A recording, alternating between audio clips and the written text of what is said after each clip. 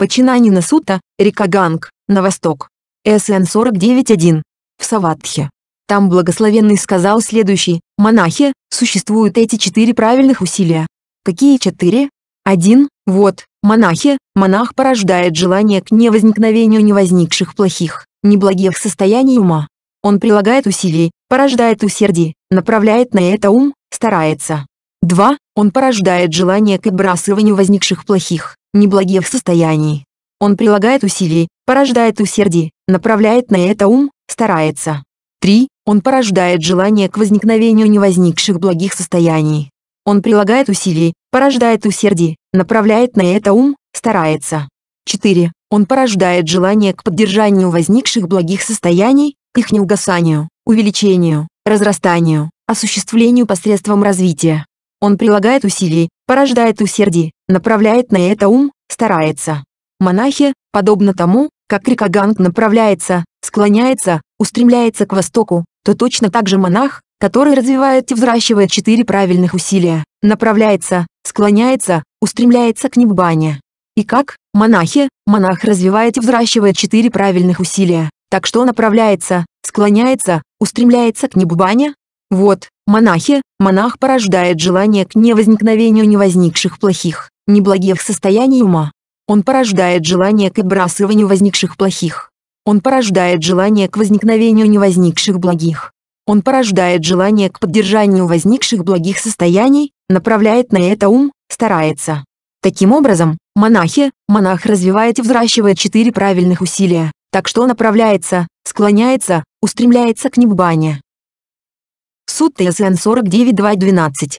Все эти сутты в точности идентичны СН 49.1, но вместо реки Ганг здесь идет река Ямуна, СН 49.2, река Ачаравати, СН 49.3, река Сарабху, СН 49.4, река Махи, СН 49.5. Все великие реки, Ганг, Ямуна, Ачаравати, Сарабху, Махи, СН 49.6. И далее, вместо склоняется на восток идет фраза склоняется к океану, река Ганг, склоняется к океану, СН 49.7, река Ямуна, склоняется к океану, СН 49.8, река Ачаравати, склоняется к океану, СН 49.9, река Сарабху, склоняется к океану, СН 49.10, река Махи, склоняется к океану, СН 49.11, все великие реки, Ганг, Емуна, Ачаравати, Сарабху, Махи, склоняются к океану, СН 49.12. Тадхагата Сута, Тадхагата. СН 49.13. Благословенный сказал, монахи, среди каких бы то ни было существ, безногих, двуногих, четвероногих, многоногих, состоящих из форм или бесформенных, с восприятием, без восприятия, ни с восприятием, ни без восприятия, Тадхагата, Арахант, полностью просветленный считается наивысшим из них. Точно так же, любые благие качества коренятся в усердии, сливаются в усердии, и усердие считается наивысшим из них. Когда монах усерден, то можно ожидать, что он разовьет и взрастит четыре правильных усилия. Монахи, и как усердный монах развивает и взращивает четыре правильных усилия? Вот, монахи, монах порождает желание к невозникновению невозникших плохих, неблагих состояний ума. Он порождает желание к отбрасыванию возникших плохих. Он порождает желание к возникновению невозникших благих. Он порождает желание к поддержанию возникших благих состояний, которое основывается на отречении, бесстрастии, прекращении, созревает в выставлении. Вот, монахи, монах порождает желание к невозникновению невозникших плохих, неблагих состояний ума. Он порождает желание к отбрасыванию возникших плохих. Он порождает желание к возникновению невозникших благих. Он порождает желание к поддержанию возникших благих состояний, которое имеет своей окончательной целью устранение жажды, устранение злобы, устранение заблуждения. Вот, монахи, монах порождает желание к невозникновению невозникших плохих, неблагих состояний ума. Он порождает желание к отбрасыванию возникших плохих. Он порождает желание к возникновению невозникших благих. Он порождает желание к поддержанию возникших благих состояний, которое имеет бессмертные своим основанием, бессмертные своим пунктом назначения, бессмертные своей окончательной целью. Вот, монахи, монах порождает желание к невозникновению невозникших плохих, неблагих состояний ума. Он порождает желание к отбрасыванию возникших плохих. Он порождает желание к возникновению невозникших благих. Он порождает желание к поддержанию возникших благих состояний, который направляется, склоняется, устремляется к неббане. Вот так, монахи, усердный монах развивает и взращивает четыре правильных усилия. Сутта СН 49.14.22. Все эти сутты в точности идентичны СН 49.13, за исключением вводного отрывка, благословенный сказал, монахи, подобно тому, как след слона покрывает след любого ходячего животного, и след слона считается величайшим среди них по размеру, то точно так же, любые благие качества коренятся в усердии, сливаются в усердии, и усердие считается наивысшим из них. Когда монах усерден, то можно ожидать, что он разовьет и взрастит четыре правильных усилия. СН 49.14. Пада Сута, следы. Благословенный сказал, монахи, подобно тому, как все стропила в доме со строконечной крышей направлены к острию крыши, сливаются в острие крыши, и острие крыши считается наивысшим, то точно так же, любые благие качества коренятся в усердии, сливаются в усердии, и усердие считается наивысшим из них. Когда монах усерден, то можно ожидать, что он разовьет и взрастит четыре правильных усилия. СН 49.15, Кутасута, острие крыши. Благословенный сказал, монахи, подобно тому, как среди всех благоухающих корней черный фиалковый корень считается наивысшим, то точно так же, любые благие качества коренятся в усердии, сливаются в усердии, и усердие считается наивысшим из них. Когда монах усерден, то можно ожидать, что он разовьет и взрастит четыре правильных усилия. СН 49.16, Мула Сута, корни. Благословенный сказал, монахи, подобно тому, как среди всех благоухающих сердцевин деревьев сердцевина красного сандалового дерева считается наивысшей, то точно так же, любые благие качества коренятся в усердии, сливаются в усердии, и усердие считается наивысшим из них. Когда монах усерден, то можно ожидать, что он разовьет и взрастит четыре правильных усилия. СН 49.17, Сарасута, сердцевина.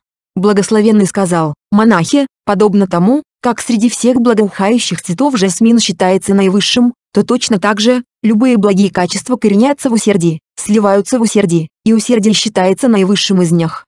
Когда монах усерден, то можно ожидать, что он разовьет и взрастит четыре правильных усилия. СН 49.18, Вассика Сута, Жасмин. Благословенный сказал, монахи, подобно тому, как все князья являются вассалами царя-миродержца, а царь-миродержец считается наивысшим, то точно так же, любые благие качества коренятся в усердии, сливаются в усердии, и усердие считается наивысшим из них. Когда монах усерден, то можно ожидать, что он разовьет и взрастит четыре правильных усилия. СН 49.19, Раджсута, царь, благословенный сказал, монахи, подобно тому, как сияние всех звезд не составляет одной шестнадцатой сияния Луны, и сияние Луны считается наивысшим, то точно так же, любые благие качества коренятся в усердии, сливаются в усердии, и усердие считается наивысшим из них. Когда монах усерден, то можно ожидать, что он разовьет и взрастит четыре правильных усилия. СН 49.20, Чиндима Сута, Луна. Благословенный сказал, монахи, подобно тому, как осенью, когда небо чистое и безоблачное, восходящее солнце рассеивает всю темноту пространства по мере того, как оно сияет, лучится, сверкает, то точно так же, любые благие качества коренятся в усердии, сливаются в усердии, и усердие считается наивысшим из них. Когда монах усерден, то можно ожидать, что он разовьет и взрастит четыре правильных усилия. СН 49.21, Суея Сута, Солнце.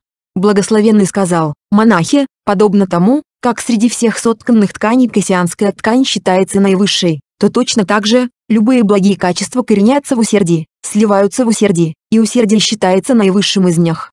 Когда монах усерден, то можно ожидать, что он разовьет и взрастит четыре правильных усилия. СН 4922, Ватхасута, ткань. Баласута, усилие. СН 4923, в Саватхе. Благословенный сказал, монахи, подобно тому, как любые поступки, требующие усилия, основываются на земле, опираются на землю, то точно так же, основываясь на нравственности, опираясь на нравственность, монах развивает четыре правильных усилия. И как, монахи, монах, основываясь на нравственности, опираясь на нравственность, развивая четыре правильных усилия? Вот, монахи, монах порождает желание к невозникновению невозникших плохих, неблагих состояний ума, он порождает желание к отбрасыванию возникших плохих. Он порождает желание к возникновению невозникших благих. Он порождает желание к поддержанию возникших благих состояний, которое основывается на отречении, бесстрастии, прекращении, созревает в выставлении. Вот, монахи, монах порождает желание к невозникновению невозникших плохих, неблагих состояний ума. Он порождает желание к отбрасыванию возникших плохих. Он порождает желание к возникновению невозникших благих. Он порождает желание к поддержанию возникших благих состояний, которое имеет своей окончательной целью устранение жажды, устранение злобы, устранение заблуждения. Вот, монахи, монах порождает желание к невозникновению невозникших плохих, неблагих состояний ума. Он порождает желание к отбрасыванию возникших плохих. Он порождает желание к возникновению невозникших благих. Он порождает желание к поддержанию возникших благих состояний которая имеет бессмертной своим основанием, бессмертной своим пунктом назначения, бессмертной своей окончательной целью. Вот, монахи, монах порождает желание к невозникновению невозникших плохих, неблагих состояний ума. Он порождает желание к отбрасыванию возникших плохих. Он порождает желание к возникновению невозникших благих. Он порождает желание к поддержанию возникших благих состояний, которые направляется, склоняется, устремляется к неббане. Таким образом, монахи, этот монах, основываясь на нравственности, опираясь на нравственность, развивая четыре правильных усилия. Биджисута, семена, СН 4924, в Саватхе. Благословенный сказал, монахи, подобно тому, как любые виды семян и растений достигают роста, увеличения, разрастания, основываясь на земле, опираясь на землю, то точно так же, основываясь на нравственности, опираясь на нравственность, монах развивает четыре правильных усилия, таким образом, достигает роста, увеличения, разрастания в благих состояниях ума. И каким образом монах так делает? Вот, монахи, монах порождает желание к невозникновению невозникших плохих, неблагих состояний ума. Он порождает желание к отбрасыванию возникших плохих. Он порождает желание к возникновению невозникших благих. Он порождает желание к поддержанию возникших благих состояний, которое основывается на отречении, бесстрастии, прекращении, созревает в выставлении. Вот, монахи, монах порождает желание к невозникновению невозникших плохих, неблагих состояний ума. Он порождает желание к отбрасыванию возникших плохих. Он порождает желание к возникновению невозникших благих. Он порождает желание к поддержанию возникших благих состояний, которая имеет своей окончательной целью устранение жажды, устранение злобы, устранение заблуждения. Вот, монахи, монах порождает желание к невозникновению невозникших плохих, неблагих состояний ума. Он порождает желание к отбрасыванию возникших плохих. Он порождает желание к возникновению невозникших благих. Он порождает желание к поддержанию возникших благих состояний которая имеет бессмертной своим основанием, бессмертной своим пунктом назначения, бессмертной своей окончательной целью. Вот, монахи, монах порождает желание к невозникновению невозникших плохих, неблагих состояний ума. Он порождает желание к отбрасыванию возникших плохих. Он порождает желание к возникновению невозникших благих. Он порождает желание к поддержанию возникших благих состояний, которые направляется, склоняется, устремляется к неббане. Таким образом, монахи, этот монах, основываясь на нравственности, опираясь на нравственность, монах развивает четыре правильных усилия и, таким образом, достигает роста, увеличения, разрастания в благих состояниях ума. Нага Сута, Наги. СН 4925. Благословенный сказал, монахи, основываясь на Гималаях, цари всех гор, наги насыщают свои тела и обретают силу. Когда они насытили свои тела и обрели силу, они входят в водоемы. Из водоемов они входят в озера, а затем в ручьи, а затем в реки, и, в конечном счете, они входят в океан. Там они достигают величия разрастания тела. Точно так же, монахи, основываясь на нравственности, опираясь на нравственность, монах развивает и взращивает четыре правильных усилия, таким образом, достигает величия разрастания в благих состояниях ума. И каким образом монах так делает? Вот, монахи, монах порождает желание к невозникновению невозникших плохих, неблагих состояний ума. Он порождает желание к отбрасыванию возникших плохих. Он порождает желание к возникновению невозникших благих. Он порождает желание к поддержанию возникших благих состояний, которое основывается на отречении, бесстрастии, прекращении, созревает в выставлении. Вот, монахи, монах порождает желание к невозникновению невозникших плохих, неблагих состояний ума. Он порождает желание к отбрасыванию возникших плохих. Он порождает желание к возникновению невозникших благих. Он порождает желание к поддержанию возникших благих состояний, которое имеет своей окончательной целью устранение жажды, устранение злобы, устранение заблуждения. Вот, монахи, монах порождает желание к невозникновению невозникших плохих, неблагих состояний ума. Он порождает желание к отбрасыванию возникших плохих. Он порождает желание к возникновению невозникших благих. Он порождает желание к поддержанию возникших благих состояний, которое имеет бессмертное своим основанием, бессмертное своим пунктом назначения, бессмертное своей окончательной целью. Вот, монахи, монах порождает желание к невозникновению невозникших плохих, неблагих состояний ума. Он порождает желание к отбрасыванию возникших плохих. Он порождает желание к возникновению невозникших благих. Он порождает желание к поддержанию возникших благих состояний, которое направляется, склоняется, устремляется к неббане. Таким образом, монахи, этот монах, основываясь на нравственности, опираясь на нравственность, развивает и взращивает четыре правильных усилия, и, таким образом, достигает величия и разрастания в благих состояниях ума. Рукхасута, дерево. СН 4926. Благословенный сказал, монахи, представьте, как если бы дерево сгибалось, склонялось и устремлялось к востоку. Если бы его срубили у основания, то в каком направлении оно бы упало? В том направлении, учитель, в котором оно сгибалось, склонялось и устремлялось. Точно так же, монахи, когда монах развивает и взращивает четыре правильных усилия, то он сгибается, склоняется, устремляется к неббане. И каким образом монах так делает?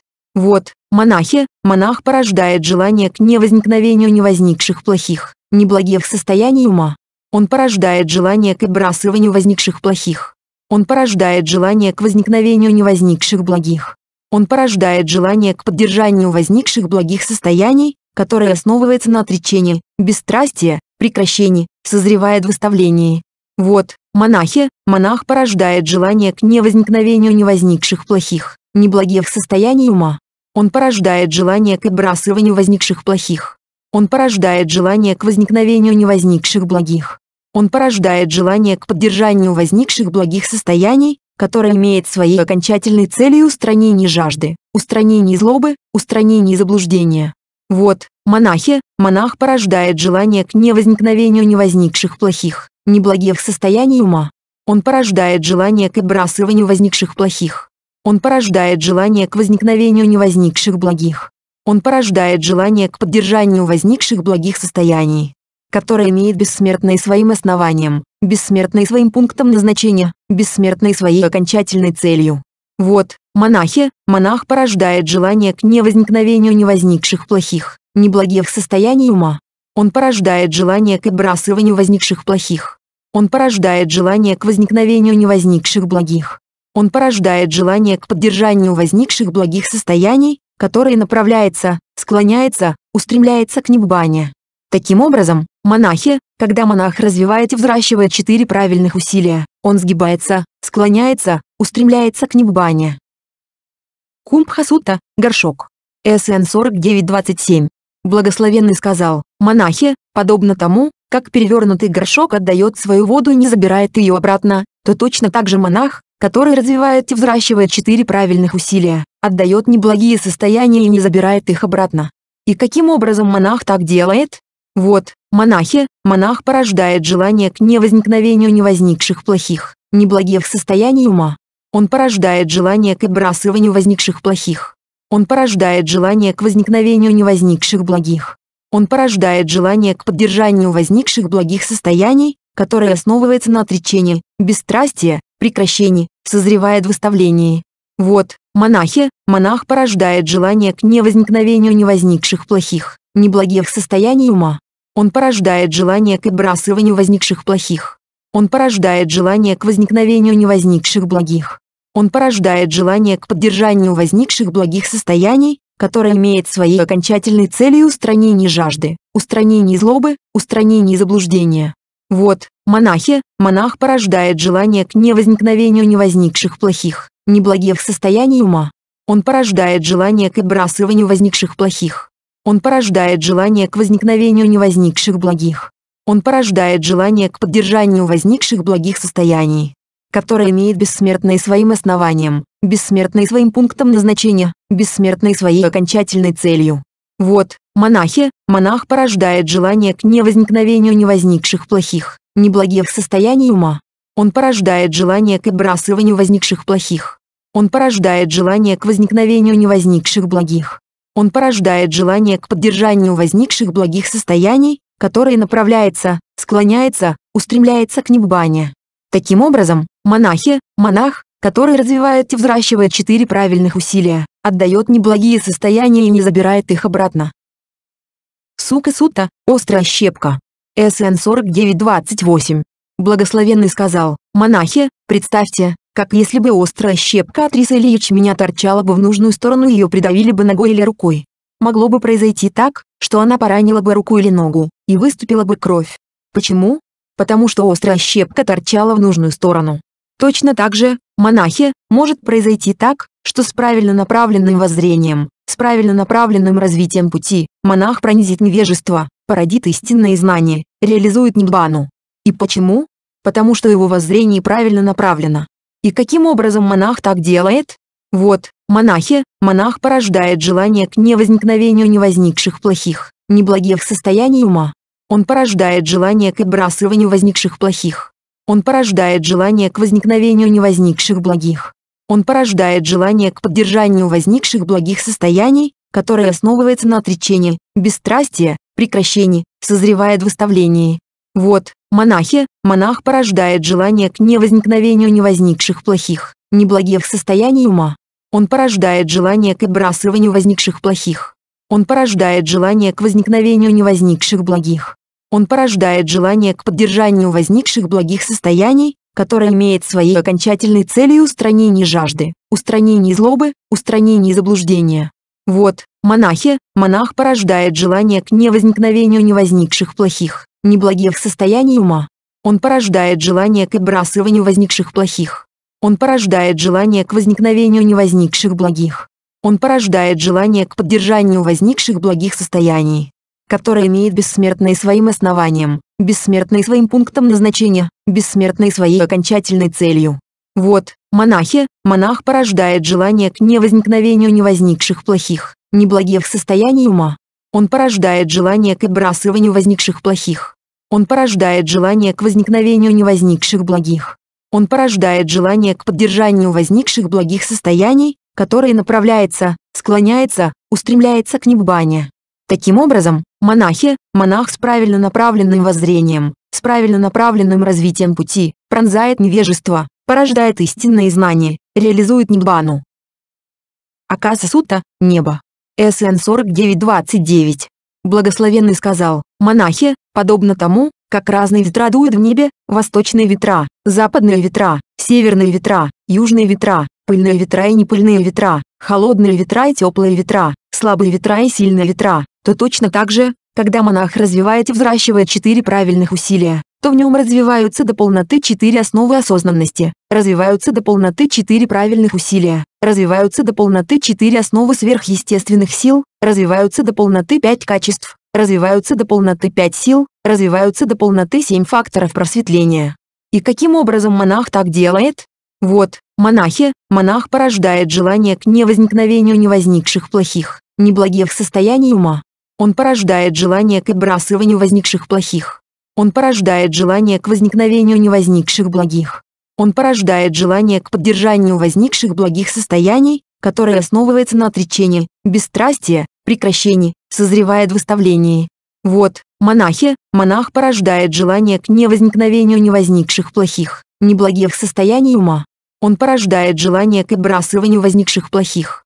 Он порождает желание к возникновению невозникших благих. Он порождает желание к поддержанию возникших благих состояний, которое имеет своей окончательной целью устранение жажды, устранение злобы, устранение заблуждения. Вот, монахи, монах порождает желание к невозникновению невозникших плохих, неблагих состояний ума. Он порождает желание к отбрасыванию возникших плохих. Он порождает желание к возникновению невозникших благих. Он порождает желание к поддержанию возникших благих состояний, которое имеет бессмертные своим основанием, бессмертные своим пунктом назначения, бессмертные своей окончательной целью. Вот, монахи, монах порождает желание к невозникновению невозникших плохих, неблагих состояний ума. Он порождает желание к отбрасыванию возникших плохих. Он порождает желание к возникновению невозникших благих.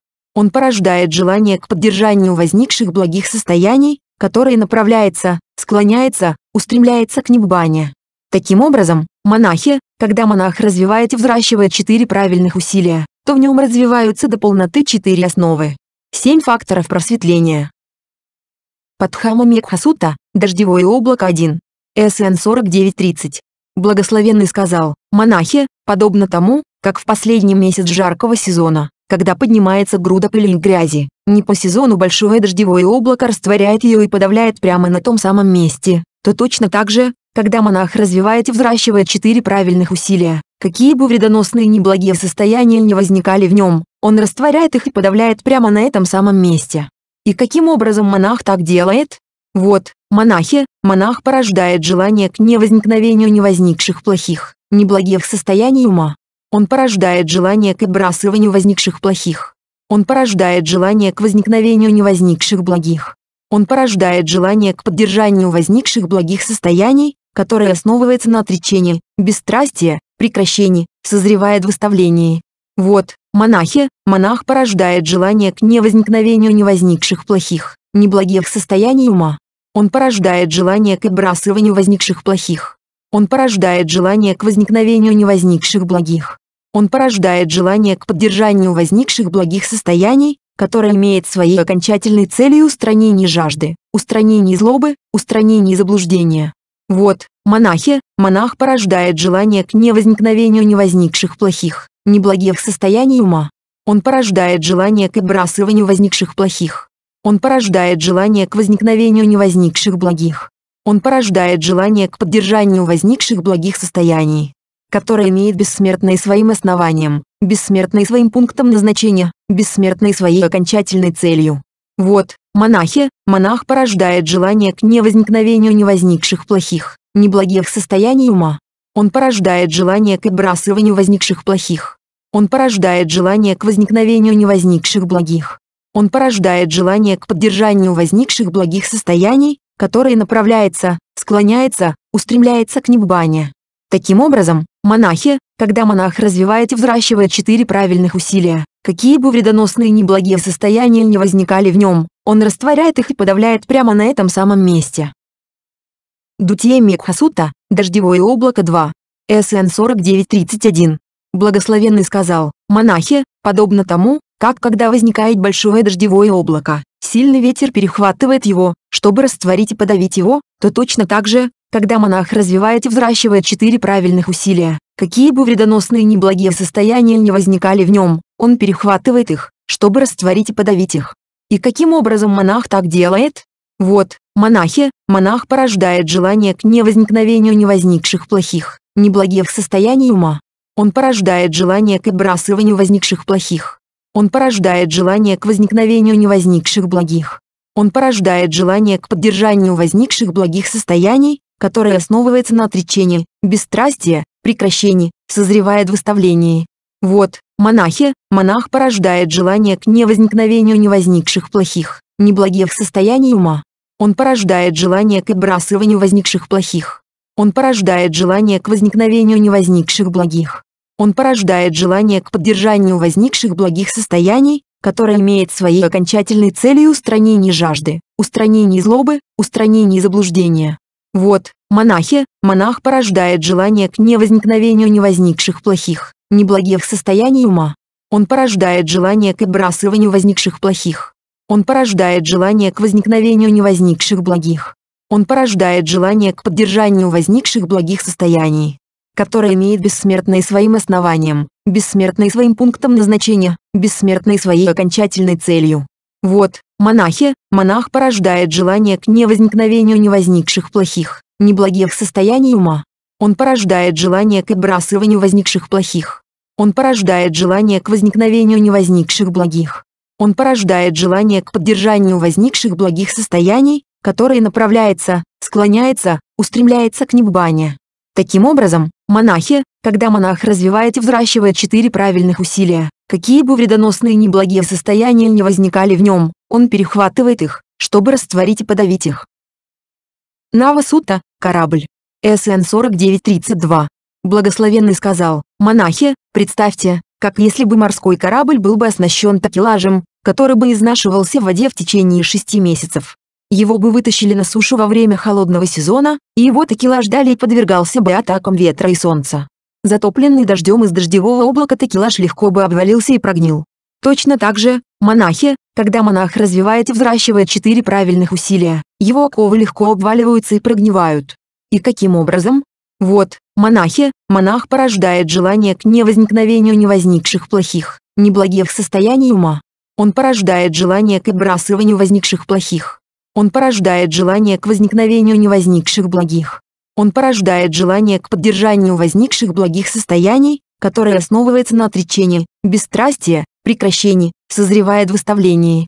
Вот, монахи, монах порождает желание к невозникновению невозникших плохих, неблагих состояний ума. Он порождает желание к отбрасыванию возникших плохих. Он порождает желание к возникновению невозникших благих. Он порождает желание к поддержанию возникших благих состояний, которая имеет своей окончательной целью устранение жажды, устранение злобы, устранение заблуждения. Вот, монахи, монах порождает желание к невозникновению невозникших плохих, неблагих состояний ума. Он порождает желание к отбрасыванию возникших плохих. Он порождает желание к возникновению невозникших благих. Он порождает желание к поддержанию возникших благих состояний которая имеет бессмертной своим основанием, бессмертной своим пунктом назначения, бессмертной своей окончательной целью. Вот, монахи, монах порождает желание к невозникновению невозникших плохих, неблагих состояний ума. Он порождает желание к отбрасыванию возникших плохих. Он порождает желание к возникновению невозникших благих. Он порождает желание к поддержанию возникших благих состояний, которые направляется, склоняется, устремляется к небане. Таким образом, монахи, когда монах развивает и взращивает четыре правильных усилия, его оковы легко обваливаются и прогнивают. Агантука Сутта, гостевой дом. СН 4933. Благословенный сказал, монахи, представьте гостевой дом. Люди идут с востока, с запада, с севера, с юга и поселяются там. Кхатте, брахманы, весы и судды приходят и поселяются там.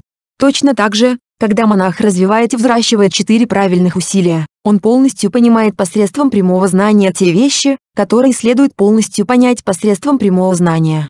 Он отбрасывает прямым знанием те вещи, которые следует отбросить прямым знанием. Он реализует прямым знанием те вещи, которые следует реализовать прямым знанием. Он развивает прямым знанием те вещи, которые следует развить прямым знанием.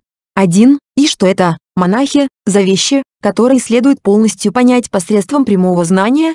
Следует ответить так, пять совокупностей, к которым происходит цепляние. Какие пять?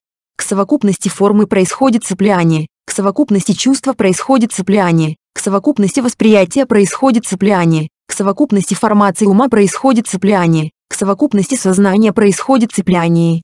Эти вещи следует полностью понять посредством прямого знания.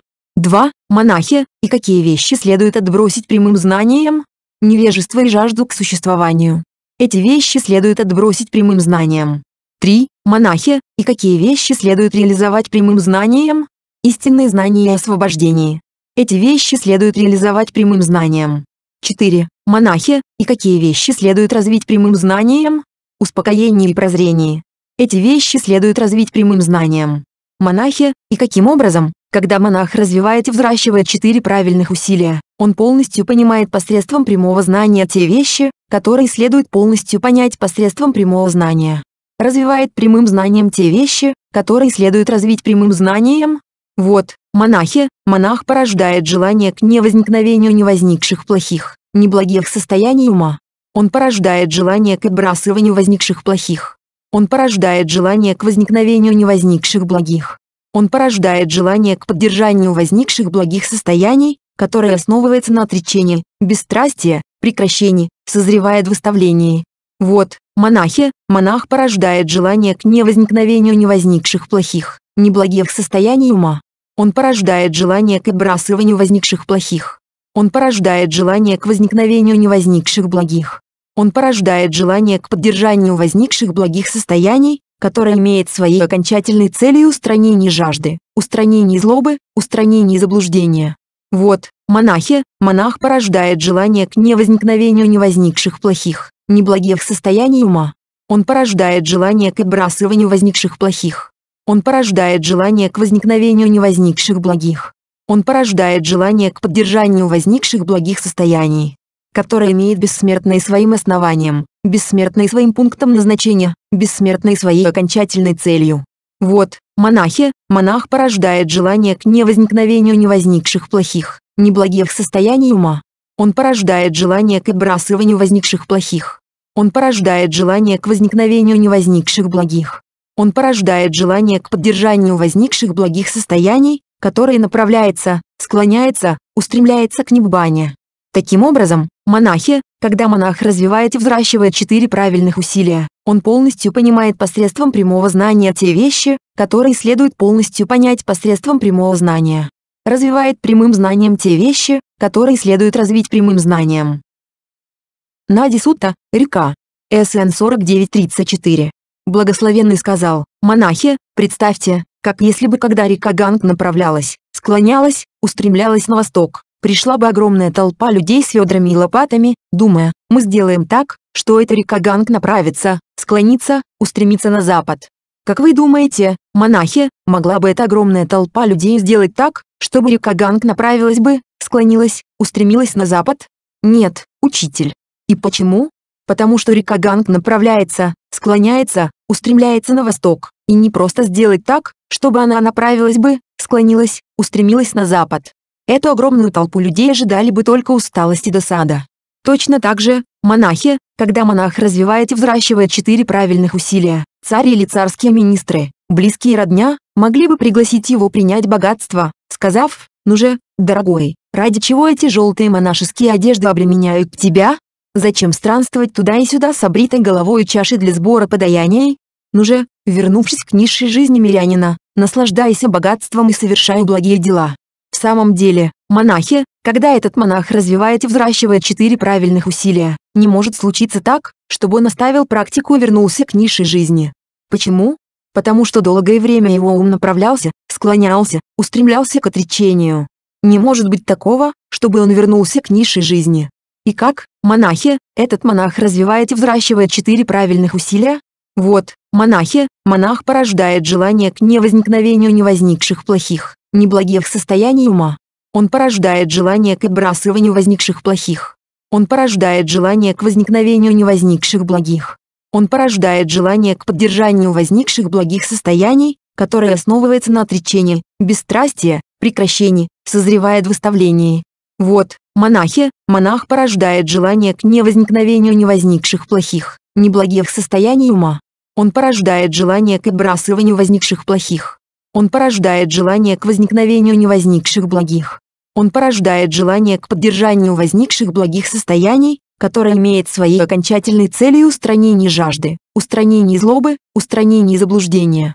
Вот, монахи, монах порождает желание к невозникновению невозникших плохих, неблагих состояний ума. Он порождает желание к отбрасыванию возникших плохих. Он порождает желание к возникновению невозникших благих. Он порождает желание к поддержанию возникших благих состояний, которое имеет бессмертное своим основанием, бессмертное своим пунктом назначения, бессмертное своей окончательной целью. Вот, монахи, монах порождает желание к невозникновению невозникших плохих, неблагих состояний ума. Он порождает желание к отбрасыванию возникших плохих. Он порождает желание к возникновению невозникших благих. Он порождает желание к поддержанию возникших благих состояний, которое направляется, склоняется, устремляется к неббане. Таким образом, монахи, монах развивает и взращивает четыре правильных усилия. Ясана Сутта, поиски. СН 4935. В Саватхе. 1. Благословенный сказал, монахи, есть эти три вида поисков. Какие три? Поиски чувственного удовольствия, поиски существования, поиски святой жизни. 1. Таковы три вида поисков. Эти четыре правильных усилия следует развить ради прямого знания этих трех поисков. И каковы эти четыре правильных усилия? Вот, монахи, монах порождает желание к невозникновению невозникших плохих, неблагих состояний ума. Он порождает желание к отбрасыванию возникших плохих. Он порождает желание к возникновению невозникших благих. Он порождает желание к поддержанию возникших благих состояний, которое основывается на отречении, бесстрастии, прекращении, созревает в выставлении. Вот, монахи, монах порождает желание к невозникновению невозникших плохих, неблагих состояний ума.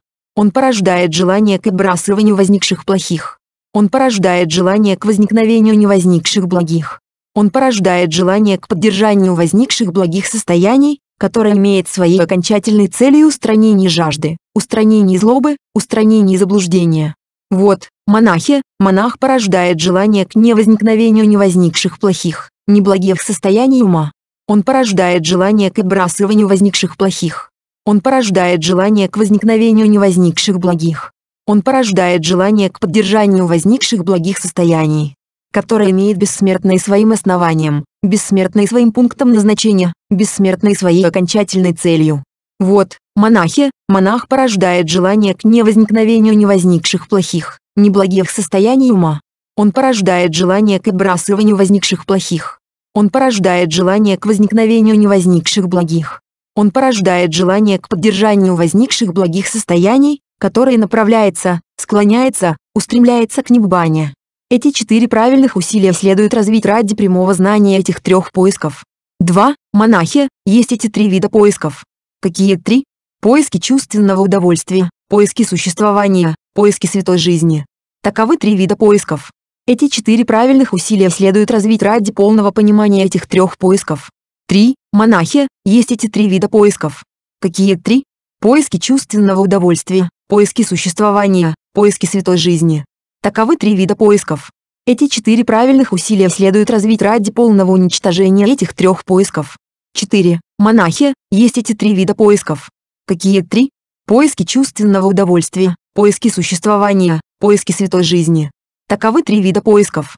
Эти четыре правильных усилия следует развить ради полного оставления этих трех поисков. Эти четыре правильных усилия следует развить ради полного оставления этих трех поисков.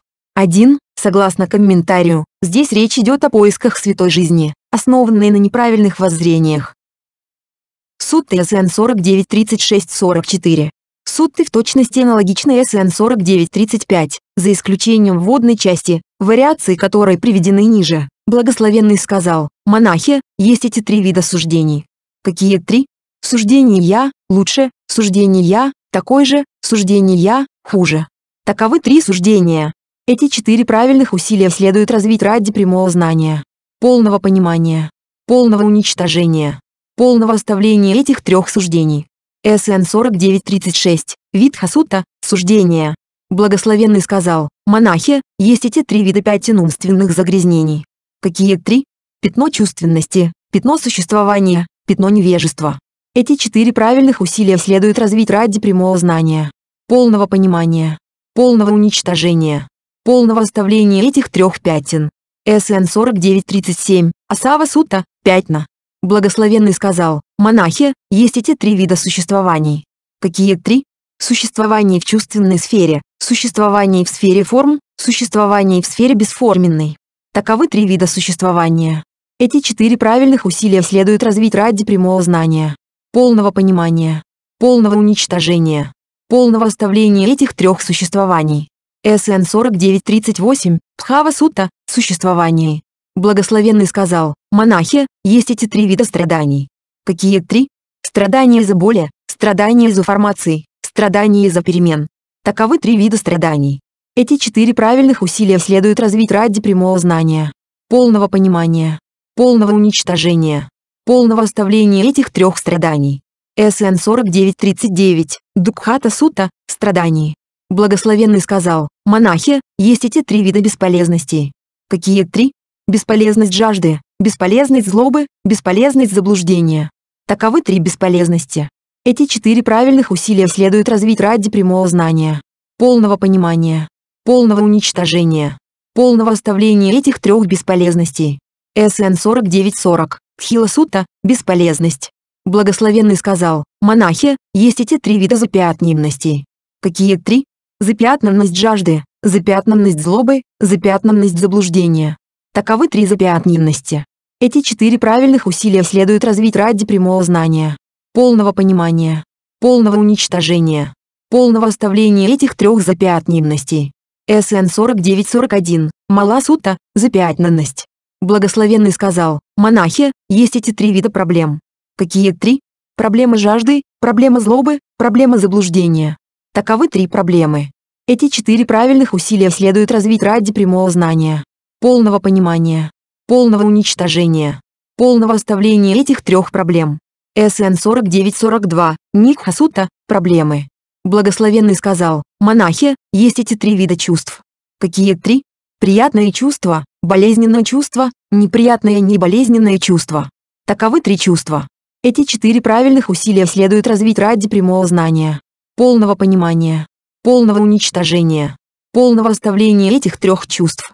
СН 4943, Ведана Сута, чувства. Благословенный сказал, монахи, есть эти три вида жажды. Какие три? Жажда к чувственным удовольствиям, жажда к существованию, жажда к несуществованию. Таковы три жажды. Эти четыре правильных усилия следует развить ради прямого знания, полного понимания, полного уничтожения, полного оставления этих трех видов жажды. СН 4944, Танхасута, жажда. Сутта СН 494554.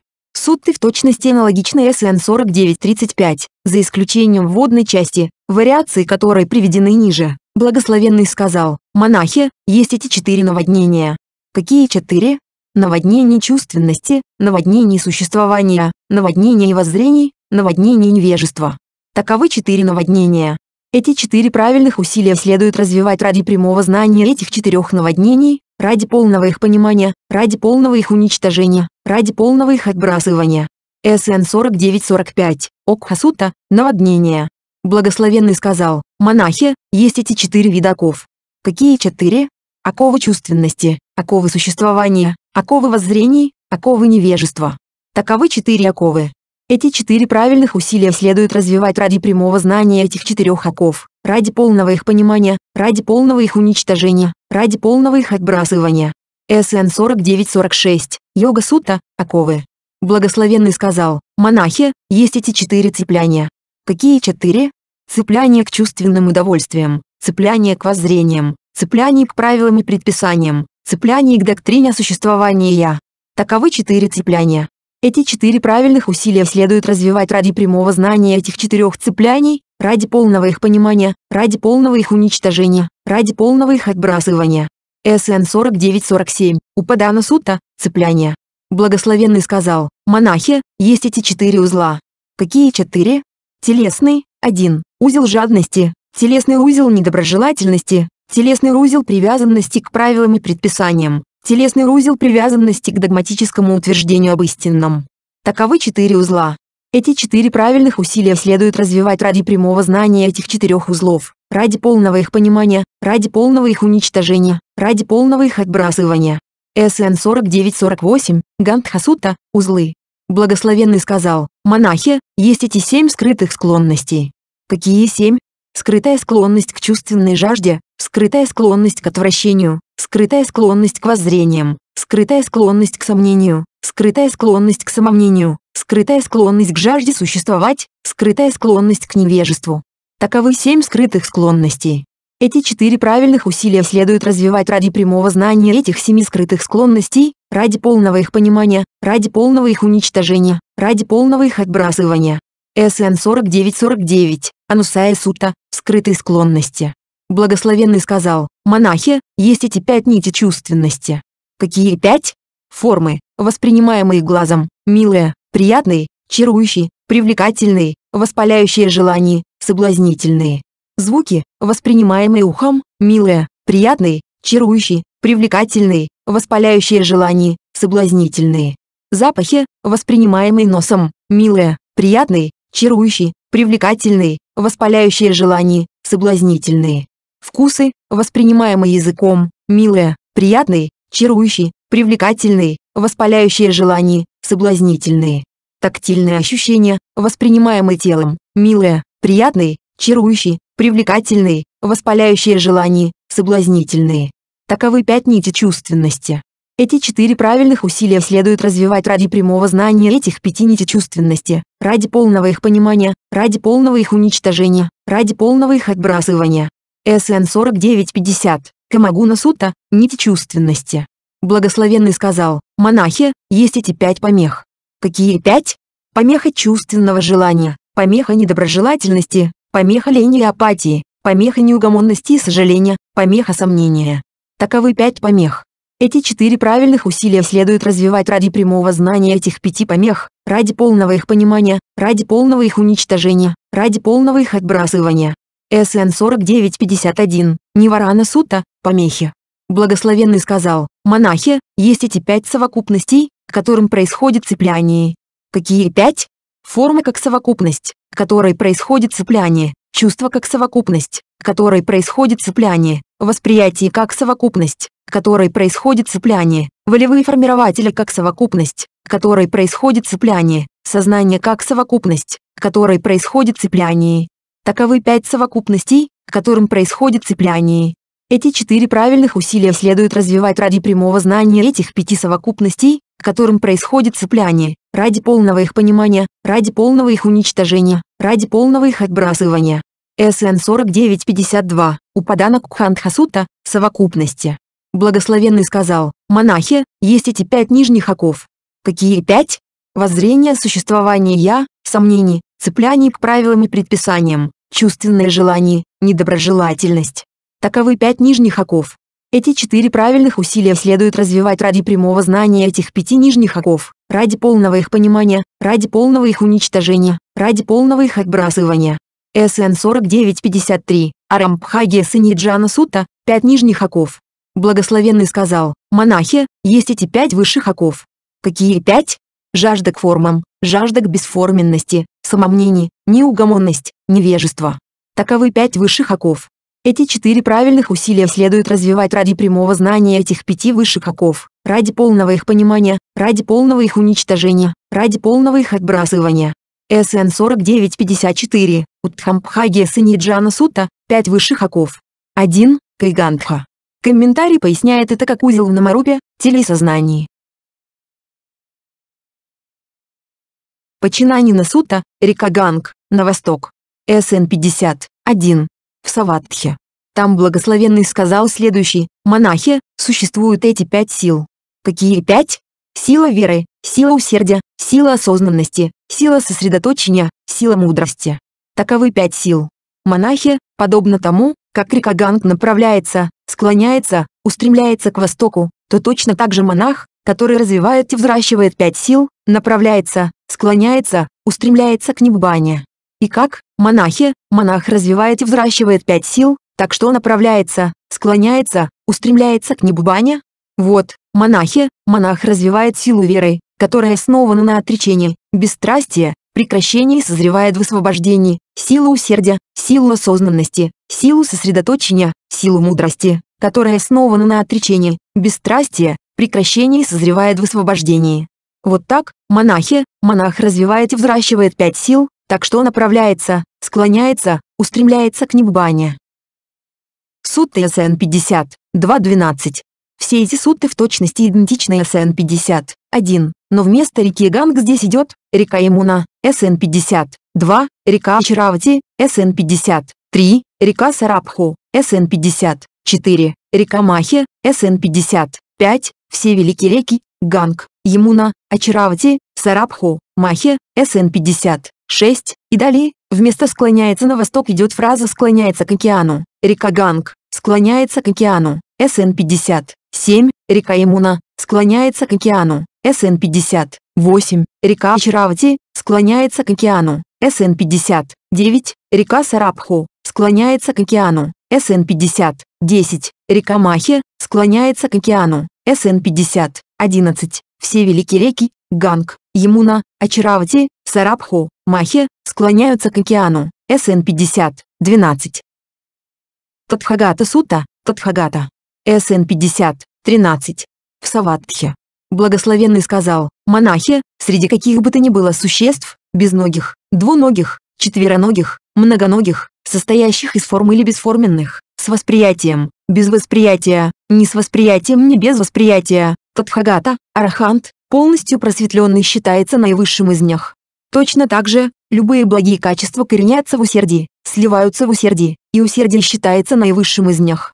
Когда монах усерден, то можно ожидать, что он разовьет и взрастит пять сил. Монахи, и как усердный монах развивает и взращивает пять сил? Вот монах развивает силу веры, усердия, осознанности, сосредоточения, мудрости, основанную на отречении, бесстрастия, прекращении, созревающую в оставлении. Вот монах развивает силу веры, усердия, осознанности, сосредоточения, мудрости, которая имеет своей окончательной целью устранение жажды, устранение злобы, устранение заблуждения. Вот монах развивает силу веры, усердия, осознанности, сосредоточения, мудрости, которая имеет бессмертной своим основанием, бессмертной своим пунктом назначения, бессмертной своей окончательной целью. Вот монах развивает силу веры, усердия, осознанности, сосредоточения, мудрости, которая направляется, склоняется, устремляется к неббане. Вот так, монахи, усердный монах развивает и взращивает пять сил. Суд ТСН 50, 14.22. Все эти суты в точности идентичны СН 50, 13, за исключением вводного отрывка, благословенный сказал, монахи, подобно тому, как след слона покрывает след любого ходячего животного, и след слона считается величайшим среди них по размеру, то точно так же, любые благие качества коренятся в усердии, сливаются в усердии, и усердие считается наивысшим из них. Когда монах усерден, то можно ожидать, что он разовьет и взрастит пять сил. СН 50, 14, Пада Сута, следы.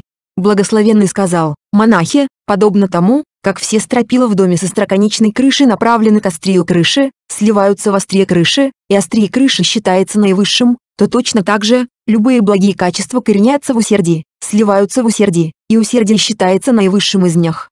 Когда монах усерден, то можно ожидать, что он разовьет и взрастит пять сил. СН 50, 15, Кутасута, острие крыши. Благословенный сказал, монахи, подобно тому, как среди всех благоухающих корней черный фиалковый корень считается наивысшим, то точно так же, любые благие качества коренятся в усердии, сливаются в усердии, и усердие считается наивысшим из них. Когда монах усерден, то можно ожидать, что он разовьет и взрастит пять сил. СН 50, 16, Мула Сута, корни. Благословенный сказал, монахи, подобно тому, как среди всех благоухающих сердцевин деревьев сердцевина красного сандалового дерева считается наивысшей, то точно так же, любые благие качества коренятся в усердии, сливаются в усердии, и усердие считается наивысшим из них. Когда монах усерден, то можно ожидать, что он разовьет и взрастит пять сил. СН 50, 17, Сарасута, сердцевина. Благословенный сказал, монахи, подобно тому, как среди всех благоухающих цветов жасмин считается наивысшим, то точно так же, любые благие качества коренятся в усердии, сливаются в усердии, и усердие считается наивысшим из них. Когда монах усерден, то можно ожидать, что он разовьет и взрастит пять сил. СН 50, 18, Вассика Сута, Жасмин. Благословенный сказал, монахи, подобно тому, как все князья являются вассалами царя миродержца, а царь миродержец считается наивысшим, то точно так же, любые благие качества коренятся в усердии, сливаются в усердии, и усердие считается наивысшим из них. Когда монах усерден, то можно ожидать, что он разовьет и взрастит пять сил. СН 50, 19, Раджсута, царь. Благословенный сказал, монахи, подобно тому, как сияние всех звезд не составляет одной шестнадцатой сияния Луны, и сияние Луны считается наивысшим, то точно так же, любые благие качества коренятся в усердии, сливаются в усердии, и усердие считается наивысшим из них. Когда монах усерден, то можно ожидать, что он разовьет и взрастит пять сил.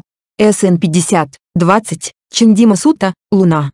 Благословенный сказал, монахи, подобно тому, как осенью, когда небо чистое и безоблачное, восходящее солнце рассеивает всю темноту пространства по мере того, как оно сияет, лучится, сверкает, то точно так же, любые благие качества коренятся в усердии, сливаются в усердии, и усердие считается наивысшим из них. Когда монах усерден, то можно ожидать, что он разовьет и взрастит пять сил. СН 50, 21, Сурия Сута, Солнце.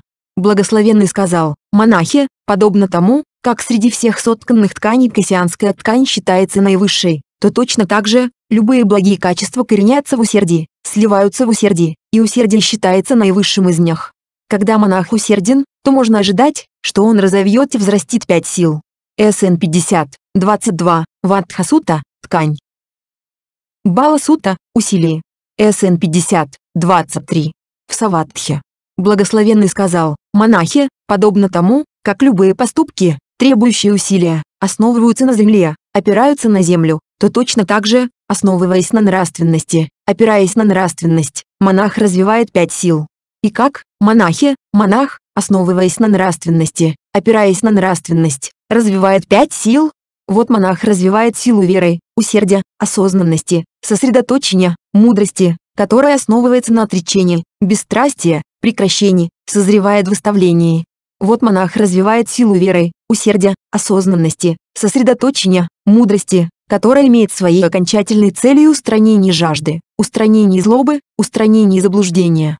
Вот монах развивает силу веры, усердия, осознанности, сосредоточения, мудрости, которая имеет бессмертной своим основанием, бессмертной своим пунктом назначения, бессмертной своей окончательной целью. Вот монах развивает силу веры, усердия, осознанности, сосредоточения, мудрости, которая направляется, склоняется, устремляется к неббане. Таким образом, монахи, этот монах, основываясь на нравственности, опираясь на нравственность, развивает пять сил. Биджи Сута, семена. СН 50, 24. В Саватхе. Благословенный сказал, монахи, подобно тому, как любые виды семян и растений достигают роста, увеличения, разрастания, основываясь на земле, опираясь на землю, то точно так же, основываясь на нравственности, опираясь на нравственность, монах развивает пять сил и, таким образом, достигает роста, увеличения, разрастания в благих состояниях ума. И каким образом монах так делает? Вот монах развивает силу веры, усердия, осознанности, сосредоточения, мудрости, которая основывается на отречении, бесстрастии, прекращении, созревает выставлении. Вот монах развивает силу веры, усердия, осознанности, сосредоточения, мудрости, которая имеет своей окончательной целью устранение жажды, устранение злобы, устранение заблуждения. Вот монах развивает силу веры, усердия, осознанности, сосредоточения, мудрости, которая имеет бессмертной своим основанием, бессмертной своим пунктом назначения, бессмертной своей окончательной целью. Вот монах развивает силу веры, усердия, осознанности, сосредоточения, мудрости, которая направляется, склоняется, устремляется к неббане. Таким образом, монахи, этот монах, основываясь на нравственности, опираясь на нравственность, монах развивает пять сил и, таким образом, достигает роста, увеличения, разрастания в благих состояниях ума. Нага Сута, Наги. СН 50, 25. Благословенный сказал, монахи, основываясь на Гималаях, цари всех гор, наги насыщают свои тела и обретают силу. Когда они насытили свои тела и обрели силу, они входят в водоемы. Из водоемов они входят в озера, а затем в ручьи, а затем в реки, и, в конечном счете, они входят в океан. Там они достигают величия и разрастания тела. Точно так же, монахи, основываясь на нравственности, опираясь на нравственность, монах развивает и взращивает пять сил и, таким образом, достигает величия и разрастания в благих состояниях ума. И каким образом монах так делает? Вот монах развивает силу веры, усердия, осознанности, сосредоточения, мудрости, которая основывается на отречении, бесстрастии, прекращении, созревает в выставлении.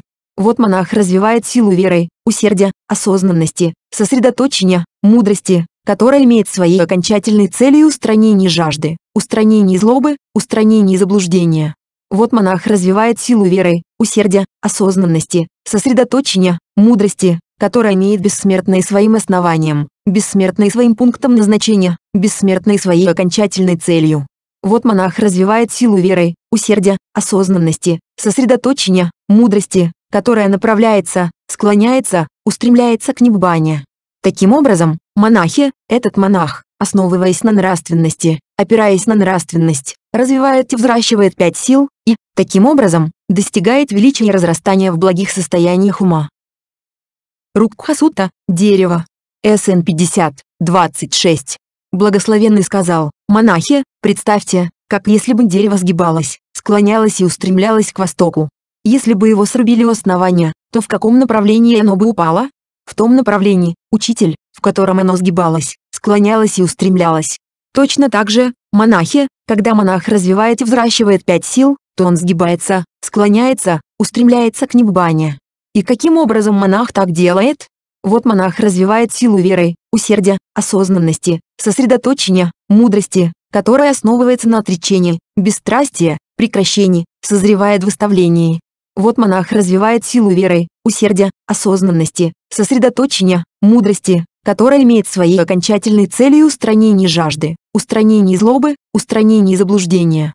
Вот монах развивает силу веры, усердия, осознанности, сосредоточения, мудрости, которая имеет бессмертной своим основанием, бессмертной своим пунктом назначения, бессмертной своей окончательной целью. Вот монах развивает силу веры, усердия, осознанности, сосредоточения, мудрости, которая направляется, склоняется, устремляется к неббане. Таким образом, монахи, когда монах развивает и взращивает пять сил, он сгибается, склоняется, устремляется к неббане. Кумбхасута, горшок. СН 50, 27. Благословенный сказал, монахи, подобно тому, как перевернутый горшок отдает свою воду и не забирает ее обратно, то точно так же монах, который развивает и взращивает пять сил, отдает неблагие состояния и не забирает их обратно. И каким образом монах так делает? Вот монах развивает силу веры, усердия, осознанности, сосредоточения, мудрости, которая основывается на отречении, бесстрастии, прекращении, созревает в выставлении. Вот монах развивает силу веры, усердия, осознанности, сосредоточения, мудрости, которая имеет своей окончательной целью устранение жажды, устранение злобы, устранение заблуждения. Вот монах развивает силу веры, усердия, осознанности, сосредоточения, мудрости, которая имеет бессмертной своим основанием, бессмертной своим пунктом назначения, бессмертной своей окончательной целью.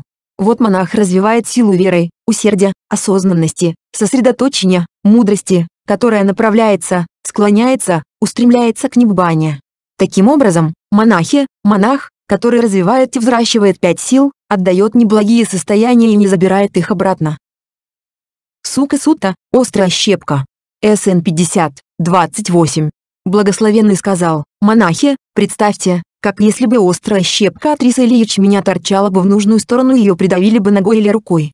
Могло бы произойти так, что она поранила бы руку или ногу, и выступила бы кровь. Почему? Потому что острая щепка торчала в нужную сторону. Точно так же, монахи, может произойти так, что с правильно направленным воззрением, с правильно направленным развитием пути, монах пронизит невежество, породит истинное знание, реализует ниббану. И почему? Потому что его воззрение правильно направлено. И каким образом монах так делает? Вот монах развивает силу веры, усердия, осознанности, сосредоточения, мудрости, которая основывается на отречении, бесстрастии, прекращении, созревает в выставлении. Вот монах развивает силу веры, усердия, осознанности, сосредоточения, мудрости, которая имеет своей окончательной целью устранение жажды, устранение злобы, устранение заблуждения. Вот монах развивает силу веры, усердия, осознанности, сосредоточения, мудрости, которая имеет бессмертной своим основанием, бессмертной своим пунктом назначения, бессмертной своей окончательной целью. Вот монах развивает силу веры, усердия, осознанности, сосредоточения, мудрости, которая направляется, склоняется, устремляется к неббане. Таким образом, монахи, монах с правильно направленным воззрением, с правильно направленным развитием пути, пронзает невежество, порождает истинное знание, реализует Ниббану. Акаса Сута, небо. СН 50, 29. Благословенный сказал, монахи, подобно тому, как разные ветра дуют в небе, восточные ветра, западные ветра, северные ветра, южные ветра, пыльные ветра и непыльные ветра, холодные ветра и теплые ветра, слабые ветра и сильные ветра, то точно так же, когда монах развивает и взращивает пять сил, то в нем развиваются до полноты четыре основы осознанности, развиваются до полноты четыре правильных усилия, развиваются до полноты четыре основы сверхъестественных сил, развиваются до полноты пять качеств, развиваются до полноты пять сил, развиваются до полноты семь факторов просветления. И каким образом монах так делает? Вот монах развивает силу веры, усердия, осознанности, сосредоточения, мудрости, которая основывается на отречении, бесстрастии, прекращении, созревает в выставлении, вот монах развивает силу веры, усердия, осознанности, сосредоточения, мудрости, которая имеет своей окончательной целью устранение жажды, устранение злобы, устранение заблуждения. Вот монах развивает силу веры, усердия, осознанности, сосредоточения, мудрости, которая имеет бессмертной своим основанием, бессмертной своим пунктом назначения, бессмертной своей окончательной целью. Вот монах развивает силу веры, усердия, осознанности, сосредоточения, мудрости, которая направляется, склоняется, устремляется к неббане. Таким образом, монахи, когда монах развивает и взращивает пять сил, то в нем развиваются до полноты четыре основы. Семь факторов просветления. Падхама Мекхасута, дождевое облако 1. СН 50, 30. Благословенный сказал, монахи, подобно тому, как в последний месяц жаркого сезона, когда поднимается груда пыли и грязи, не по сезону большое дождевое облако растворяет ее и подавляет прямо на том самом месте, то точно так же, когда монах развивает и взращивает пять сил, какие бы вредоносные неблагие состояния не возникали в нем, он растворяет их и подавляет прямо на этом самом месте. И каким образом монах так делает? Вот монах развивает силу веры, усердия, осознанности, сосредоточения, мудрости, которая основывается на отречении, бесстрастии, прекращении, созревает в выставлении. Вот монах развивает силу веры, усердия, осознанности, сосредоточения, мудрости, которая имеет своей окончательной целью устранение жажды, устранение злобы, устранение заблуждения.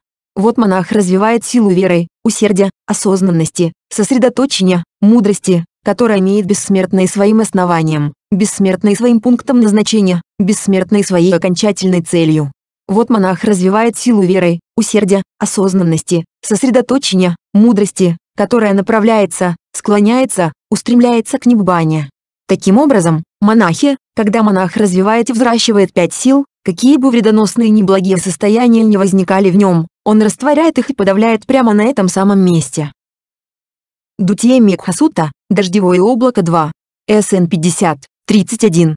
Благословенный сказал, монахи, подобно тому, как когда возникает большое дождевое облако, сильный ветер перехватывает его, чтобы растворить и подавить его, то точно так же, когда монах развивает и взращивает пять сил, какие бы вредоносные неблагие состояния не возникали в нем, он перехватывает их, чтобы растворить и подавить их. И каким образом монах так делает? Вот монах развивает силу веры, усердия, осознанности, сосредоточения, мудрости, которая основывается на отречении, бесстрастии, прекращении, созревает в выставлении. Вот монах развивает силу веры, усердия, осознанности, сосредоточения, мудрости, которая имеет своей окончательной целью устранение жажды, устранение злобы, устранение заблуждения. Вот монах развивает силу веры, усердия, осознанности, сосредоточения, мудрости, которая имеет бессмертной своим основанием, бессмертной своим пунктом назначения, бессмертной своей окончательной целью. Вот монах развивает силу веры, усердия, осознанности, сосредоточения, мудрости, которая направляется, склоняется, устремляется к неббане. Таким образом, монахи, когда монах развивает и взращивает пять сил, какие бы вредоносные неблагие состояния не возникали в нем, он перехватывает их, чтобы растворить и подавить их. Навасута, корабль. СН-50, 32. Благословенный сказал, монахи, представьте, как если бы морской корабль был бы оснащен такелажем, который бы изнашивался в воде в течение шести месяцев. Его бы вытащили на сушу во время холодного сезона, и его такелаж далее подвергался бы атакам ветра и солнца. Затопленный дождем из дождевого облака такелаж легко бы обвалился и прогнил. Точно так же, монахи, когда монах развивает и взращивает пять сил, его оковы легко обваливаются и прогнивают. И каким образом? Вот монах развивает силу веры, усердия, осознанности, сосредоточения, мудрости, которая основывается на отречении, бесстрастии, прекращении, созревает в выставлении. Вот монах развивает силу веры, усердия, осознанности, сосредоточения, мудрости, которая имеет своей окончательной целью устранение жажды, устранение злобы, устранение заблуждения. Вот монах развивает силу веры, усердия, осознанности, сосредоточения, мудрости, которая имеет бессмертной своим основанием, бессмертной своим пунктом назначения, бессмертной своей окончательной целью. Вот монах развивает силу веры, усердия, осознанности, сосредоточения, мудрости, которая направляется, склоняется, устремляется к неббане. Таким образом, монахи, когда монах развивает и взращивает пять сил, его оковы легко обваливаются и прогнивают. Агантука Сутта, гостевой дом. СН 50, 33. Благословенный сказал, монахи, представьте гостевой дом. Люди идут с востока, с запада, с севера, с юга и поселяются там. Кхатте, брахманы, весы и судды приходят и поселяются там. Точно так же, когда монах развивает и взращивает пять сил, он полностью понимает посредством прямого знания те вещи, которые следует полностью понять посредством прямого знания. Он отбрасывает прямым знанием те вещи, которые следует отбросить прямым знанием. Он реализует прямым знанием те вещи, которые следует реализовать прямым знанием. Он развивает прямым знанием те вещи, которые следует развить прямым знанием. 1. И что это, монахи, за вещи, которые следует полностью понять посредством прямого знания? Следует ответить так, пять совокупностей, к которым происходит цепляние. Какие пять? К совокупности формы происходит цепляние, к совокупности чувства происходит цепляние, к совокупности восприятия происходит цепляние, к совокупности формации ума происходит цепляние, к совокупности сознания происходит цепляние. Эти вещи следует полностью понять посредством прямого знания. 2. Монахи, и какие вещи следует отбросить прямым знанием? Невежество и жажду к существованию. Эти вещи следует отбросить прямым знанием. 3. Монахи, и какие вещи следует реализовать прямым знанием?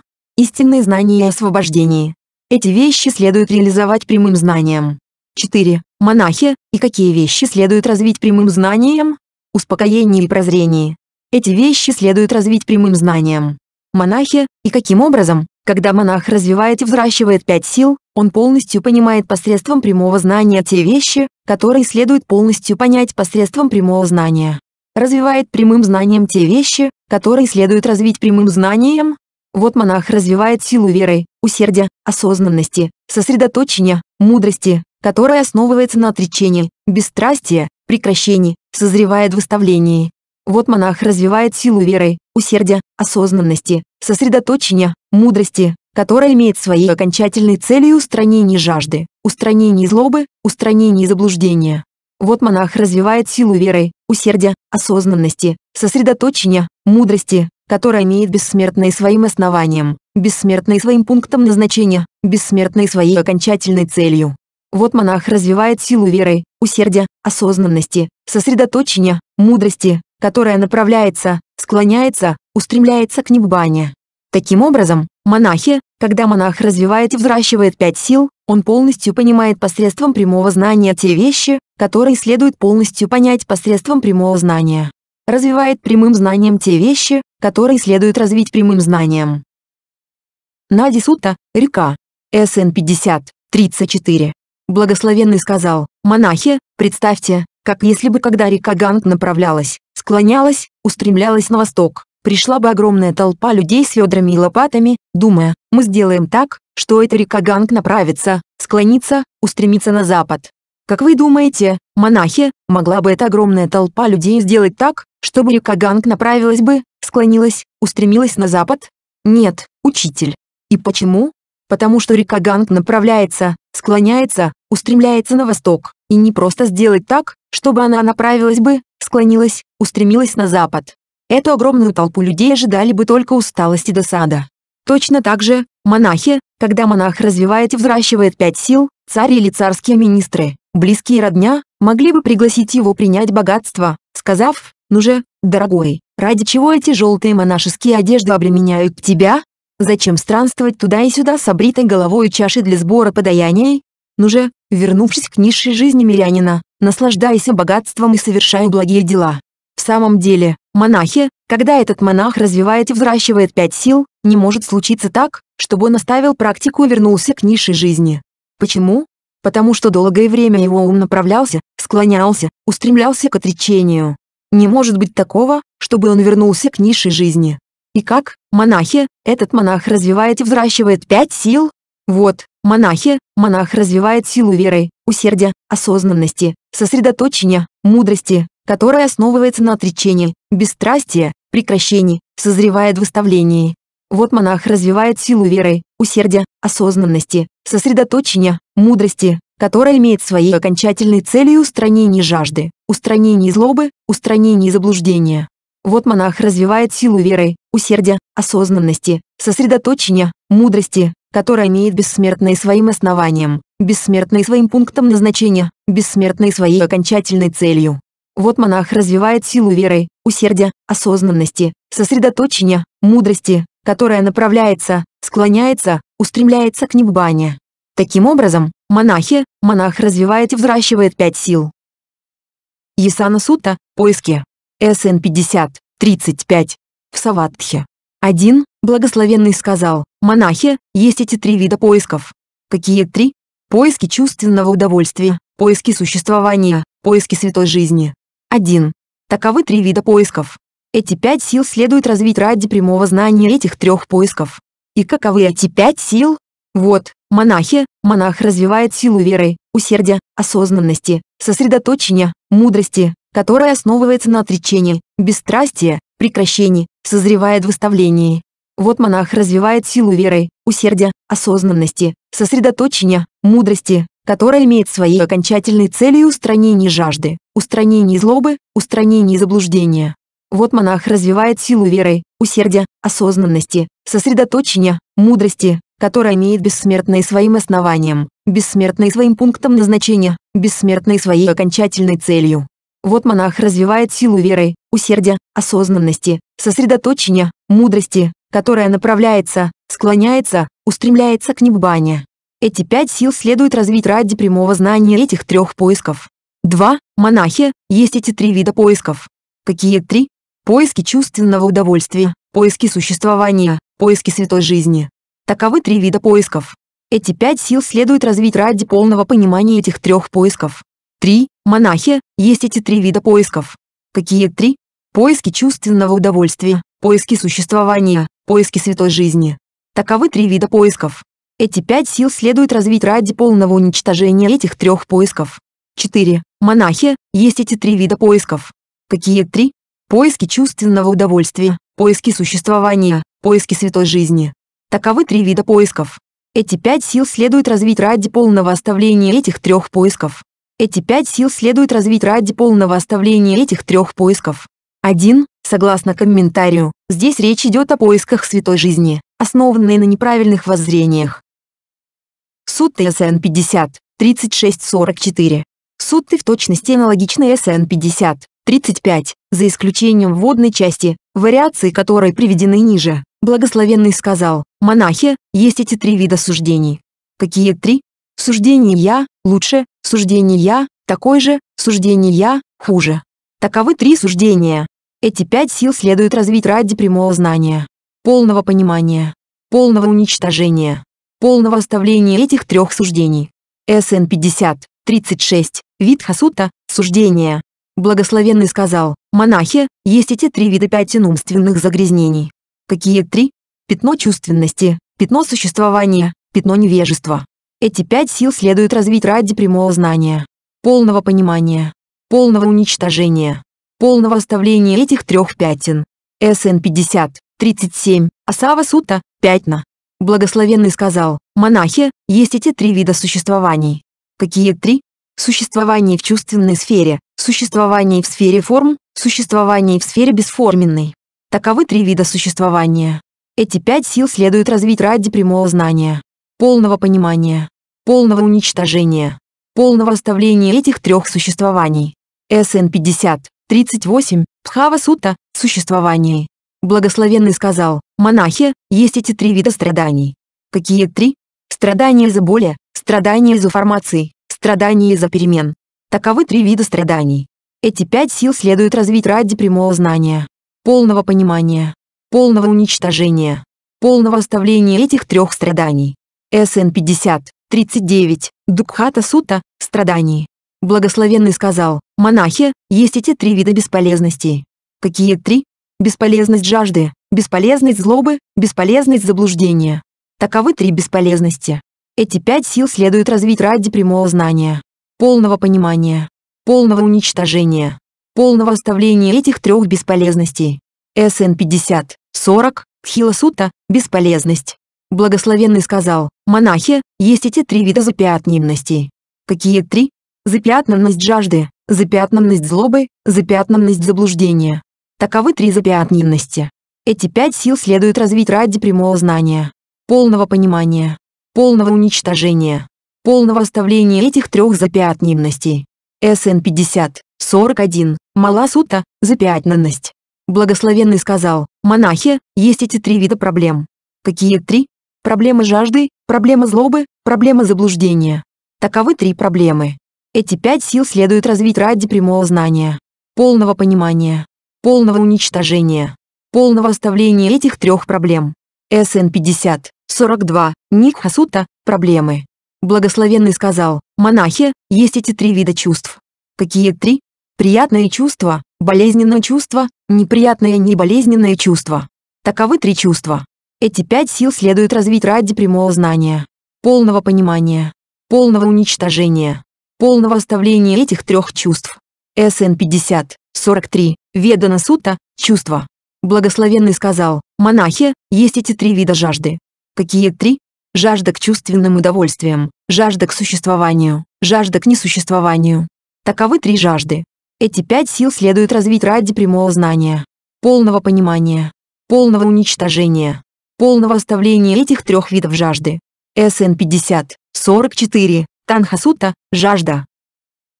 Сутта СН 50, 45-54. Сутты в точности аналогичны СН 50, 35, за исключением вводной части, вариации которой приведены ниже. Благословенный сказал, монахи, есть эти четыре наводнения. Какие четыре? Наводнение чувственности, наводнение существования, наводнение воззрений, наводнение невежества. Таковы четыре наводнения. Эти пять сил следует развивать ради прямого знания этих четырех наводнений, ради полного их понимания, ради полного их уничтожения, ради полного их отбрасывания. СН 50, 45, Окхасута, наводнение. Благословенный сказал, монахи, есть эти четыре вида оков. Какие четыре? Оковы чувственности, оковы существования, оковы воззрений, оковы невежества. Таковы четыре оковы. Эти пять сил следует развивать ради прямого знания этих четырех оков, ради полного их понимания, ради полного их уничтожения, ради полного их отбрасывания. СН 50, 46, Йога Сута, оковы. Благословенный сказал, монахи, есть эти четыре цепляния. Какие четыре? Цепляние к чувственным удовольствиям, цепляние к воззрениям, цепляние к правилам и предписаниям, цепляние к доктрине о существовании «я». Таковы четыре цепляния. Эти пять сил следует развивать ради прямого знания этих четырех цепляний, ради полного их понимания, ради полного их уничтожения, ради полного их отбрасывания. СН 50, 47, Упадана Сута, цепляние. Благословенный сказал, монахи, есть эти четыре узла. Какие четыре? Телесный, один, узел жадности, телесный узел недоброжелательности, телесный узел привязанности к правилам и предписаниям, телесный узел привязанности к догматическому утверждению об истинном. Таковы четыре узла. Эти пять сил следует развивать ради прямого знания этих четырех узлов, ради полного их понимания, ради полного их уничтожения, ради полного их отбрасывания. СН 50, 48, Гандхасута, узлы. Благословенный сказал, монахи, есть эти семь скрытых склонностей. Какие семь? Скрытая склонность к чувственной жажде, скрытая склонность к отвращению, скрытая склонность к воззрениям, скрытая склонность к сомнению, скрытая склонность к самомнению, скрытая склонность к жажде существовать, скрытая склонность к невежеству. Таковы семь скрытых склонностей. Эти пять сил следует развивать ради прямого знания этих семи скрытых склонностей, ради полного их понимания, ради полного их уничтожения, ради полного их отбрасывания. СН 50, 49, Анусая Сута, скрытой склонности. Благословенный сказал, монахи, есть эти пять нити чувственности. Какие пять? Формы, воспринимаемые глазом, милые, приятные, чарующие, привлекательные, воспаляющие желания, соблазнительные. Звуки, воспринимаемые ухом, милые, приятные, чарующие, привлекательные, воспаляющие желания, соблазнительные. Запахи, воспринимаемые носом, милые, приятные, чарующие, привлекательные, воспаляющие желания, соблазнительные. Вкусы, воспринимаемые языком, милые, приятные, чарующие, привлекательные, воспаляющие желания, соблазнительные. Тактильные ощущения, воспринимаемые телом, милые, приятные, чарующие, привлекательные, воспаляющие желания, соблазнительные. Таковы пять нити чувственности. Эти пять сил следует развивать ради прямого знания этих пяти нити чувственности, ради полного их понимания, ради полного их уничтожения, ради полного их отбрасывания. СН 50, 50, Камагуна Сута, нити чувственности. Благословенный сказал, монахи, есть эти пять помех. Какие пять? Помеха чувственного желания, помеха недоброжелательности, помеха лени и апатии, помеха неугомонности и сожаления, помеха сомнения. Таковы пять помех. Эти пять сил следует развивать ради прямого знания этих пяти помех, ради полного их понимания, ради полного их уничтожения, ради полного их отбрасывания. СН 50, 51, Ниварана Сута, помехи. Благословенный сказал, монахи, есть эти пять совокупностей, к которым происходит цепляние. Какие пять? Формы как совокупность, к которой происходит цепляние, чувство как совокупность, которой происходит цепляние, восприятие как совокупность, которой происходит цепляние, волевые формирователи как совокупность, которой происходит цепляние, сознание как совокупность, которой происходит цепляние. Таковы пять совокупностей, которым происходит цепляние. Эти пять сил следует развивать ради прямого знания этих пяти совокупностей, которым происходит цепляние, ради полного их понимания, ради полного их уничтожения, ради полного их отбрасывания. СН 50, 52, Упадана Кхандхасута, совокупности.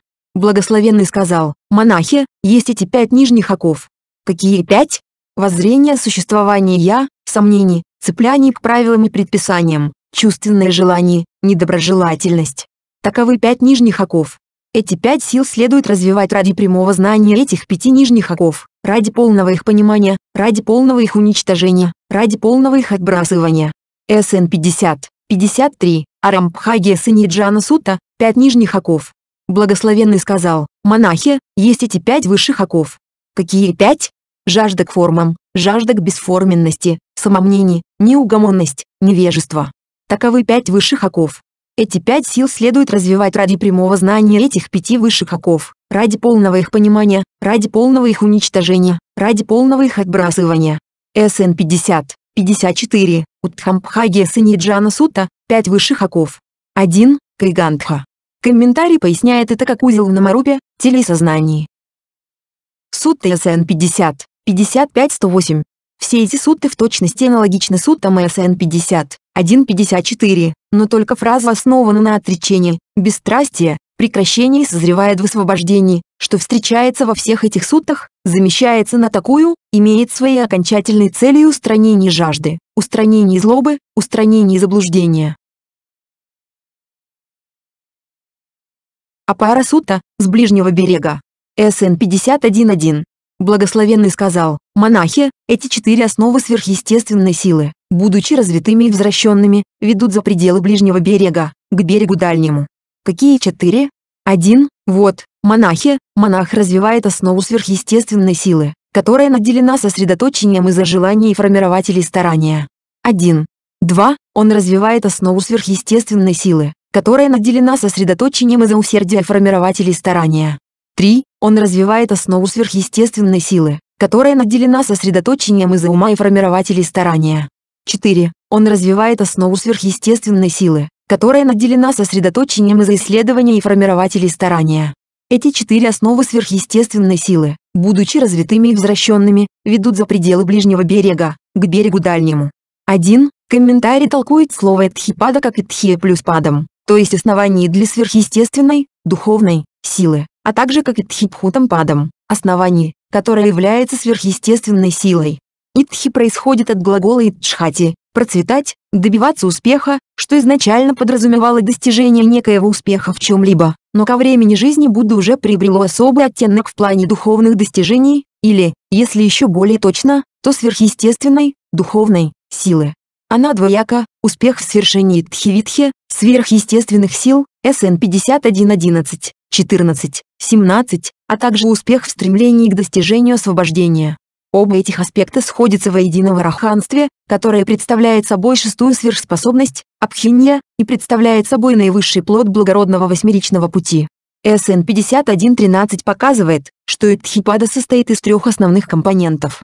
1. Сосредоточение, самадхи, 2. Четырех формирователей старания, падханасандхара, 3. Частных факторов, ответственных за осуществление сосредоточения, желаний, чанда, усердия, верио, ум, чита, исследований, вимамса. Тогда как сосредоточение и старание присущи всем четырем итхипадам, именно последний набор факторов делает итхипады четырехчастными. Вират Хасута пренебрегали. СН 51.2. Благословенный сказал, монахи, те, кто пренебрегали этими четырьмя основами сверхъестественной силы, пренебрегали благородным путем, ведущим к полному уничтожению страданий. Те, кто практиковали эти четыре основы сверхъестественной силы, практиковали благородный путь, ведущий к полному уничтожению страданий. Какими четырьмя? Один, вот, монахи, монах развивает основу сверхъестественной силы, которая наделена сосредоточением из-за желаний и формирователей старания. Два, он развивает основу сверхъестественной силы, которая наделена сосредоточением из-за усердия формирователей старания. 3. Он развивает основу сверхъестественной силы, которая наделена сосредоточением из-за ума и формирователей старания. 4. Он развивает основу сверхъестественной силы, которая наделена сосредоточением из-за исследования и формирователей старания. Монахи – те, кто пренебрегали этими четырьмя основами сверхъестественной силы, пренебрегали благородным путем, ведущим к полному уничтожению страданий. Те, кто практиковали эти четыре основы сверхъестественной силы, практиковали благородный путь, ведущий к полному уничтожению страданий. Аресута, благородный. СН 51.3. Благословенный сказал, монахи, эти четыре основы сверхъестественной силы, будучи развитыми и возвращенными, являются благородными и освобождающими. Они ведут того, кто действует в соответствии с ними, к полному уничтожению страданий. Какие четыре? Один, вот, монахи, монах развивает основу сверхъестественной силы, которая наделена сосредоточением из-за желаний и формирователей старания. Два, он развивает основу сверхъестественной силы, которая наделена сосредоточением из-за усердия формирователей старания. Три, он развивает основу сверхъестественной силы, которая наделена сосредоточением из-за ума и формирователей старания. 4. Он развивает основу сверхъестественной силы, которая наделена сосредоточением из-за исследования и формирователей старания. Таковы четыре основы сверхъестественной силы, которые, будучи развитыми и возвращенными, являются благородными и освобождающими. Они ведут того, кто действует в соответствии с ними, к полному уничтожению страданий. Нибубида Сутта, разочарование. СН 51.4. Благословенный сказал, монахи, эти четыре основы сверхъестественной силы, будучи развитыми и возвращенными, ведут к полной утрате очарованности, к бесстрастию, к прекращению, к покою, к прямому знанию, к просветлению, к небане. Какие четыре? Один, вот, монахи, монах развивает основу сверхъестественной силы, которая наделена сосредоточением из-за желаний и формирователей старания. Два, он развивает основу сверхъестественной силы, которая наделена сосредоточением из-за усердия формирователей старания. 3. Он развивает основу сверхъестественной силы, которая наделена сосредоточением из-за ума и формирователей старания. 4. Он развивает основу сверхъестественной силы, которая наделена сосредоточением из-за исследования и формирователей старания. Эти четыре основы сверхъестественной силы, будучи развитыми и возвращенными, ведут к полной утрате очарованности, к бесстрастию, к прекращению, к покою, к прямому знанию, к просветлению, к Ниббане. Падеса Сута, отчасти. СН 51.5. Благословенный сказал, монахи, любые жрецы и отшельники, которые в прошлом до некоторой степени осуществляли сверхъестественную силу, все они делали так потому, что развили и взрастили четыре основы сверхъестественной силы. Любые жрецы и отшельники, которые в будущем отчасти осуществят сверхъестественную силу, все они сделают так потому, что развили и взрастили четыре основы сверхъестественной силы любые жрецы и отшельники, которые в настоящем отчасти осуществляют сверхъестественную силу, все они делают так потому, что развили и взрастили четыре основы сверхъестественной силы. Какие четыре? Один, вот, монахи, монах развивает основу сверхъестественной силы, которая наделена сосредоточением из-за желаний и формирователей старания. Два, он развивает основу сверхъестественной силы, которая наделена сосредоточением из-за усердия формирователей старания. 3. Он развивает основу сверхъестественной силы, которая наделена сосредоточением из-за ума и формирователей старания. 4. Он развивает основу сверхъестественной силы, которая наделена сосредоточением из-за исследования и формирователей старания. Монахи, любые жрецы и отшельники, которые в прошлом, будущем, настоящем отчасти осуществляют сверхъестественную силу, все они делают так потому, что развили и взрастили четыре основы сверхъестественной силы. Саматта Сута полностью. SN 51.6. Сутта идентичны SN 51.5, но вместо фразы отчасти здесь идет фраза полностью. Тхикху Сутта, монах. SN 51.7. Благословенный сказал, монахи, любые монахи в прошлом, которые, посредством уничтожения пятен загрязнения ума, в этой самой жизни входили и пребывали в незапятнанном освобождении ума, освобождение мудростью, познав это для себя самостоятельно прямым знанием, все они сделали так потому, что развили и взрастили четыре основы сверхъестественной силы.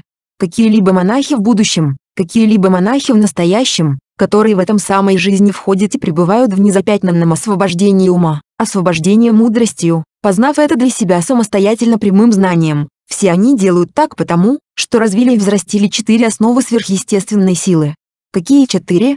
Один, вот, монахи, монах развивает основу сверхъестественной силы, которая наделена сосредоточением из-за желаний формирователей старания. 2. Он развивает основу сверхъестественной силы, которая наделена сосредоточением из-за усердия формирователей старания. 3. Он развивает основу сверхъестественной силы, которая наделена сосредоточением из-за ума и формирователей старания. 4. Он развивает основу сверхъестественной силы, которая наделена сосредоточением из-за исследования и формирователей старания. Монахи, любые монахи в прошлом, будущем, настоящем, все они делают так потому, что развили и взрастили четыре основы сверхъестественной силы. Буддхасута, Будда. СН 518. Благословенный сказал, монахи, существуют эти четыре основы сверхъестественной силы. Какие четыре? Один, вот, монахи, монах развивает основу сверхъестественной силы, которая наделена сосредоточением из-за желаний и формирователей старания. 2. Он развивает основу сверхъестественной силы, которая наделена сосредоточением из-за усердия формирователей старания. 3. Он развивает основу сверхъестественной силы, которая наделена сосредоточением из-за ума и формирователей старания. 4. Он развивает основу сверхъестественной силы, которая наделена сосредоточением из-за исследования и формирователей старания. Таковы четыре основы сверхъестественной силы. Именно потому, что он развил и взрастил эти четыре основы сверхъестественной силы, Тадхагата зовется арахантом, полностью просветленным. Ньяна Сутта, знание. СН 51.9. Благословенный сказал, монахи, один, такова основа сверхъестественной силы, которая наделена сосредоточением из-за желаний и формирователей старания. Так, монахи, в отношении вещей, неслыханных прежде, видение возникло во мне, знание, мудрость, истинное знание и свет. Эту основу сверхъестественной силы, которая наделена сосредоточением из-за желаний формирователей старания, нужно развить. Так, монахи, в отношении вещей, неслыханных прежде, видение возникло во мне, знание, мудрость, истинное знание и свет. Это основа сверхъестественной силы, которая наделена сосредоточением из-за желаний формирователей старания, была развита. Так, монахи, в отношении вещей, неслыханных прежде, видение возникло во мне, знание, мудрость, истинное знание и свет. 2. Такова основа сверхъестественной силы, которая наделена сосредоточением из-за усердия формирователей старания. 3. Такова основа сверхъестественной силы, которая наделена сосредоточением из-за ума и формирователей старания. 4. Такова основа сверхъестественной силы, которая наделена сосредоточением из-за исследования и формирователей старания. Так, монахи, в отношении вещей, неслыханных прежде, видение возникло во мне, знание, мудрость, истинное знание и свет. Эту основу сверхъестественной силы, которая наделена сосредоточением из-за исследования и формирователей старания, нужно развить. Так, монахи, в отношении вещей, неслыханных прежде, видение возникло во мне, знание, мудрость, истинное знание и свет. Это основа сверхъестественной силы, которая наделена сосредоточением из-за исследования и формирователей старания, была развита. Так, монахи, в отношении вещей, неслыханных прежде, видение возникло во мне, знание, мудрость, истинное знание и свет. Чития Сута, святилище. СН 5110. Так я слышал. Однажды благословенный пребывал в Висале в великом лесу в павильоне со строконечной крышей. И тогда, утром, благословенный, взяв чашу и верхние одеяния, вошел в Висале собирать подаяние. Когда он сходил за подаяниями в Висале и вернулся, то, после принятия пищи, он обратился к достопочтенному Ананде так, возьми коврик для сидения, Ананда. Пойдем к святилищу Чипалы, чтобы провести там остаток дня. Да, учитель, ответил достопочтенный Ананды, взяв коврик для сидения, последовал за благословенным. Затем благословенный отправился к святилищу Чипалы и сел на подготовленное сиденье. Достопочтенный Ананда, поклонившись благословенному, также сел рядом. Благословенный обратился к достопочтенному Ананде, Висали восхитителен, Ананда. Святилище Удены восхитительно. Святилище Гатамаки восхитительно. Святилище Саттамбы восхитительно. Святилище Бахупутты восхитительно. Святилище Сарандады восхитительно. Святилище Чипалы восхитительно. Тот, Ананда, кто развил и взрастил четыре основы сверхъестественной силы, сделал их своим средством передвижения, сделал их своей опорой, утвердил их, натренировался в них, в совершенстве освоил их, мог бы жить в течение цикла или остатка цикла. Тадхагата, Ананда, развил и взрастил четыре основы сверхъестественной силы, сделал их своим средством передвижения, сделал их своей опорой, утвердил их, натренировался в них, в совершенстве освоил их. Если бы он пожелал, Тадхагата мог бы жить в течение цикла или остатка цикла. 1. Но хотя достопочтенный Ананда получил такой очевидный знак от благословенного, хотя он получил такой явный намек, он не смог осознать его. Он не стал умолять благословенного, «Учитель, пусть благословенный живет в течение цикла. Пусть счастливый живет в течение цикла, ради блага многих, счастья многих, из сострадания к миру, ради блага и счастья богов и людей». Вот до какой степени его ум был охвачен Марой. 2. Во второй раз, в третий раз благословенный обратился к Ананде, Висали восхитителен, в совершенстве освоил их, мог бы жить в течение цикла или остатка цикла. И вновь, хотя достопочтенный Ананда получил такой очевидный знак от благословенного, хотя он получил такой явный намек, он не смог осознать его. Он не стал умолять благословенного, «Учитель, пусть благословенный живет в течение цикла. Пусть счастливый живет в течение цикла, ради блага многих, счастья многих, из сострадания к миру, ради блага и счастья богов и людей». Вот до какой степени его ум был охвачен Марой. И тогда благословенный обратился к достопочтенному Ананде, «Ты можешь идти, Ананда, когда сочтешь нужным». «Да, учитель», — ответил достопочтенный Ананда, встал со своего сиденья, поклонился благословенному, обойдя его с правой стороны, сел у подножья дерева неподалеку. И вскоре после того, как достопочтенный Ананда ушел, злой Мара подошел к благословенному и сказал ему, «Господин, пусть благословенный сейчас же обретет окончательную небану. Пусть счастливый сейчас обретет окончательную небану. Сейчас подходящее время для окончательной небаны благословенного. Ведь так, господин, говорилось благословенным, три, я не обрету окончательной небаны, злой, пока у меня не будет учеников-монахов, которые мудры, дисциплинированы, уверены, спасены от оков, научены, которые являются сохранителями Дхаммы, практикующими в соответствии с Дхаммой, практикующими правильно и ведущими себя соответствующе, которые выучили учение своего учителя и могут объяснить, научить, провозгласить, утвердить, раскрыть, рассмотреть, прояснить его, которые могут тщательно и аргументированно опровергнуть распространенные доктрины других и смогут научить действенной дхамме. Но сейчас, господин, у благословенного есть ученики-монахи, которые мудры, смогут научить действенной дхамме. Господин, пусть благословенный сейчас же обретет окончательную небану. Пусть счастливый сейчас обретет окончательную небану. Сейчас подходящее время для окончательной небаны благословенного. И ведь так тоже, господин, говорилось благословенным, я не обрету окончательной небаны, злой, пока у меня не будет учениц-монахинь, учеников-мирян, учениц-мирянок, которые мудры, дисциплинированы, уверены, спасены от оков, научены, которые являются сохранителями Дхаммы, практикующими в соответствии с Дхаммой, практикующими правильно и ведущими себя соответствующе, которые выучили учение своего учителя и могут объяснить, научить, провозгласить, утвердить, раскрыть, рассмотреть, прояснить его, которые могут тщательно и аргументированно опровергнуть распространенные доктрины других и смогут научить действенной дхамме. Но сейчас, господин, у благословенного есть ученица мирянки, которые мудры, смогут научить действенной дхамме. Господин, пусть благословенный сейчас же обретет окончательную небану. Пусть счастливый сейчас обретет окончательную небану. Сейчас подходящее время для окончательной небаны благословенного. И ведь так тоже, господин, говорилось благословенным, я не обрету окончательной небаны, злой, пока эта моя святая жизнь не станет успешной и процветающей, обширной, известной, распространенной, хорошо провозглашенной среди богов и людей. Эта святая жизнь благословенного, господин, стала успешной и процветающей, обширной, известной, распространенной, хорошо провозглашенной среди богов и людей. Господин, пусть благословенный сейчас же обретет окончательную небану, Пусть счастливый сейчас обретет окончательную ниббану. Сейчас подходящее время для окончательной ниббаны благословенного. Когда так было сказано, благословенный обратился к злому Маре, успокойся, злой. Не так долго придется ждать окончательной ниббана Тадхагаты. С этого момента Тадхагата обретет окончательную ниббану через три месяца. И затем в святилище Чипалы благословенный осознанно и бдительно отпустил свои формирователи жизненной силы. 4. И когда благословенный отпустил свои формирователи жизненной силы, случилось великое землетрясение, ужасающее и пугающее, и раскаты грома сотрясли небо.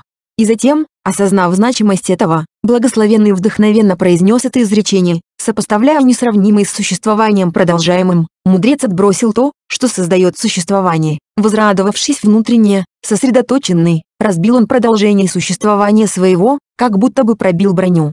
Один, комментарий утверждает, что здесь слово «каппа», цикл, означает толкапу, то есть жизненный срок, которая объясняется как полный жизненный срок человека в определенный период Вселенной, во времена жизни Будды он равнялся одной сотни лет. Остаток Каппа объясняется как срок, чуть превосходящий обычный срок жизни в 100 лет. Комментарий упоминает о Махасиве Тхере, который считал, что Будда мог жить в течение Бхадакапы, цикл существования Вселенной, что противоречило древним комментариям. Мелинда Паньха 141 также трактует Каппу в данной сутте как и Каппу, вероятно, опираясь на тот же комментаторский источник. Тем не менее, нигде в Никаях слово «каппа» не употребляется для обозначения жизненного срока человека, или в схожем смысле. 2. Согласно комментарию, Мара может овладеть умом кого-либо, кто еще не полностью отбросил умственные искажения, Випаласа, а Ананда к тому моменту этого не осуществил, будучи вступившим в поток. У него все еще были искажения ума и восприятия, но не искажения воззрений. Мара овладел его умом и создал, в уме, некий ужасающий образ, и когда Ананда увидел этот образ, то не смог уловить намека, который дал ему Будда. 3. Любопытно, что нигде в Никаях не записано этой, состоявшейся ранее, беседа между Марой и Буддой. 4. Короткое объяснение принципа работы формирователей жизненной силы можно прочесть в МН 43. Пубба Сутта, прежде. СН 5111. В Саватхе. Благословенный сказал, монахи, до моего просветления, пока я все еще был непросветленным Бадхисаттой, мысль пришла ко мне, в чем же причина и условия для развития основ сверхъестественной силы? Мысль пришла ко мне. 1. Вот монах развивает основу сверхъестественной силы, которая наделена сосредоточением из-за желаний и формирователей старания. Размышляя так, так мое желание не будет ни слишком вялым, ни слишком напряженным, не будет ни сжатым внутренне, ни отвлеченным вовне. И он пребывает, воспринимая после прежде, как прежде, так и после, как после, так и прежде, как внизу, так и вверху, как вверху, так и внизу, как днем, так и ночью, как ночью, так и днем.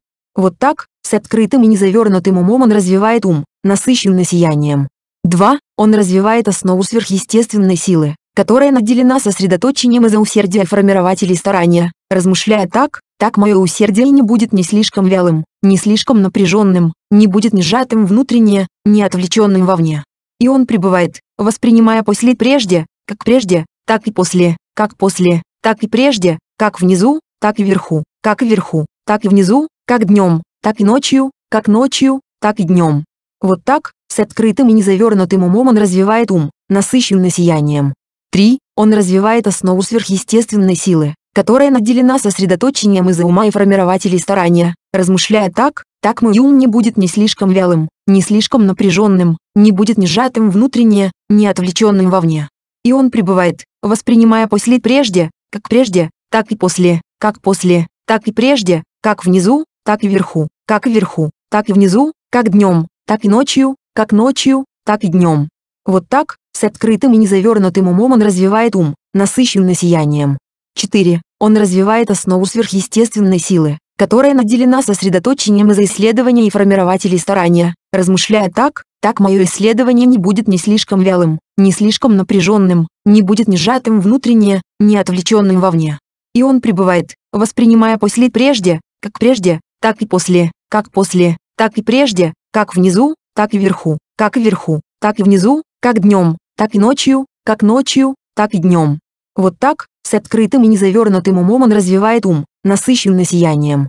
Когда четыре основы сверхъестественной силы были развиты и возвращены таким образом, монах овладевает различными видами сверхъестественных сил, будучи одним, он становится многими, будучи многими, он становится одним.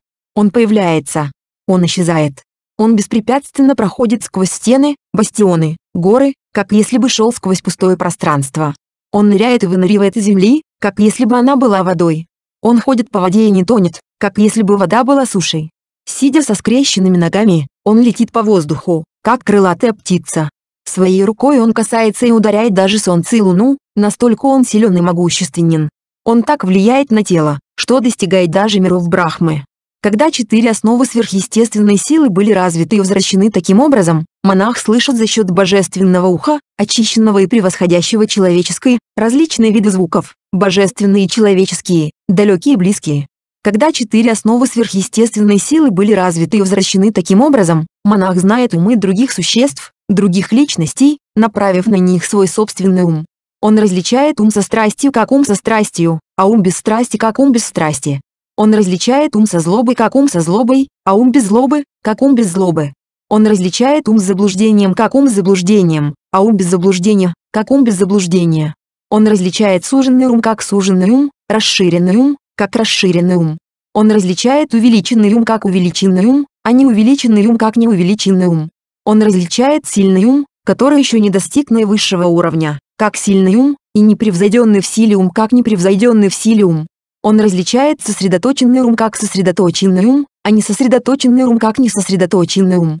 Он различает освобожденный ум как освобожденный ум, а не освобожденный ум как неосвобожденный ум. Когда четыре основы сверхъестественной силы были развиты и возвращены таким образом, монах вспоминает многочисленные прошлые обители, одну жизнь, две жизни, три жизни, четыре, пять, десять, двадцать, тридцать, сорок, пятьдесят, сто, тысячу, сто тысяч, многие циклы распада мира, многие циклы эволюции мира, вспоминая, там у меня было такое-то имя, я жил в таком-то роду, имел такую-то внешность. Таковой была моя пища, таковым было мое переживание и удовольствие и боли, таковым был конец моей жизни. Умерев в той жизни, я появился здесь. И там у меня тоже было такое-то имя, таковым был конец моей жизни. Умерев в той жизни, я появился теперь уже здесь. Так он вспоминает многочисленные прошлые обители в подробностях и деталях. Когда четыре основы сверхъестественной силы были развиты и возвращены таким образом, монах видит за счет божественного глаза, очищенного и превосходящего человеческий, смерть и перерождение существ, он различает низших и великих, красивых и уродливых, счастливых и несчастных, в соответствии с их камой, эти существа, что имели дурное поведение телом, речью и умом, оскорблявшие благородных, придерживавшиеся неправильных воззрений, действовавшие под влиянием неправильных воззрений, с распадом тела, после смерти, рождаются в состоянии лишений, в плохих уделах, в нижних мирах, в аду. Но эти существа, что имели хорошее поведение телом, речью и умом, не оскорблявшие благородных, придерживавшиеся правильных воззрений, действовавшие под влиянием правильных воззрений, с распадом тела, после смерти, рождаются в благих уделах, в небесных мирах. Так, посредством божественного глаза, очищенного и превосходящего человеческий, он видит смерть и перерождение существ, он различает низших и великих, красивых и уродливых, счастливых и несчастных, в соответствии с их каммой. Когда четыре основы сверхъестественной силы были развиты и возвращены таким образом, монах, за счет уничтожения пятен умственных загрязнений, в этой самой жизни входит и пребывает в незапятнанном освобождении ума, освобождение мудростью, зная и проявляя эти состояния для себя самостоятельно посредством прямого знания. Махабхала Сутта – великий плод. СН 5112. Сутта идентична СН 5111, за исключением вступления, которое в данной сутте другое. Монахи, эти четыре основы сверхъестественной силы, будучи развитыми и возвращенными, приносят великий плод и благо. И как, монахи, эти четыре основы сверхъестественной силы, будучи развитыми и возвращенными, приносят великий плод и благо? Чиндасамадхи Сутта – сосредоточение за желания. СН 51.13. Благословенный сказал. 1. Монахи, если монах обретает сосредоточение, обретает однонаправленность ума, основанную на желании, то это называется сосредоточением из-за желания. Он порождает желание к невозникновению невозникших плохих, неблагих состояний ума. Он прилагает усилий, порождает усердие, направляет на это ум, старается. Он порождает желание к отбрасыванию возникших плохих, неблагих состояний. Он прилагает усилий, порождает усердие, направляет на это ум, старается. Он порождает желание к возникновению невозникших благих состояний. Он прилагает усилий, порождает усердие, направляет на это ум, старается. Он порождает желание к поддержанию возникших благих состояний, к их неугасанию, увеличению, разрастанию, осуществлению посредством развития. Он прилагает усилий, порождает усердие, направляет на это ум, старается. Это называется формирователями старания. 1. Так, это желание, это сосредоточение из-за желания, и эти формирователи старания, все это называется основой сверхъестественной силы, которая наделена сосредоточением из-за желания и формирователей старания. 2. Монахи, если монах обретает сосредоточение, обретает однонаправленность ума, основанную на усердии, то это называется сосредоточением из-за усердия. Он порождает желание к невозникновению, он порождает желание к отбрасыванию. Он порождает желание к возникновению. Он порождает желание к поддержанию. Это называется формирователями старания. Так, это усердие, это сосредоточение из-за усердия, эти формирователи старания, Все это называется основой сверхъестественной силы, которая наделена сосредоточением из-за усердия формирователей старания. 3. Монахи, если монах обретает сосредоточение, обретает однонаправленность ума, основанную на уме, то это называется сосредоточением из-за ума. Это называется формирователями старания. Так, этот ум, это сосредоточение из-за ума, и эти формирователи старания, все это называется основой сверхъестественной силы, которая наделена сосредоточением из-за ума и формирователей старания. 4. Монахи, если монах обретает сосредоточение, обретает однонаправленность ума, основанную на исследовании, то это называется сосредоточением из-за исследования. Это называется формирователями старания. Так, это исследование, это сосредоточение из-за исследования, эти формирователи старания, все это называется основой сверхъестественной силы, которая наделена сосредоточением из-за исследования и формирователей старания. 2. 1. Согласно комментарию, формирователи старания, Падханасандхара – это обозначение энергия, которая совершенствует четырехчастную функцию правильного усилия, шестого фактора благородного восьмеричного пути. 2. Комментарий поясняет в качестве примера, что старец Радхапала достиг сверхмирского состояния, сделав ударение на желании, старец Сона, на усердии, старец Ампхута, на уме, старец Макхараджи, на исследовании. В СВ-2, 642-43 приводится пояснительный пример с министрами царя, тот, кто завоевывает расположение царя, прислуживая ему в течение дня и ночи, удовлетворяя его желания и потребности, сравнивается с тем, кто достигает сверхмирского состояния, полагаясь на желание. Тот, кто завоевывает расположение царя своей отвагой и подавлением восстаний на приграничных рубежах, сравнивается с тем, кто достигает сверхмирского состояния, полагаясь на усердие. Тот, кто завоевывает расположение царя своими советами и консультациями по управлению царством, сравнивается с тем, кто достигает сверхмирского состояния, полагаясь на исследование. Тот, кто завоевывает расположение царя просто лишь своей родословной, сравнивается с тем, кто достигает сверхмирского состояния, полагаясь на ум.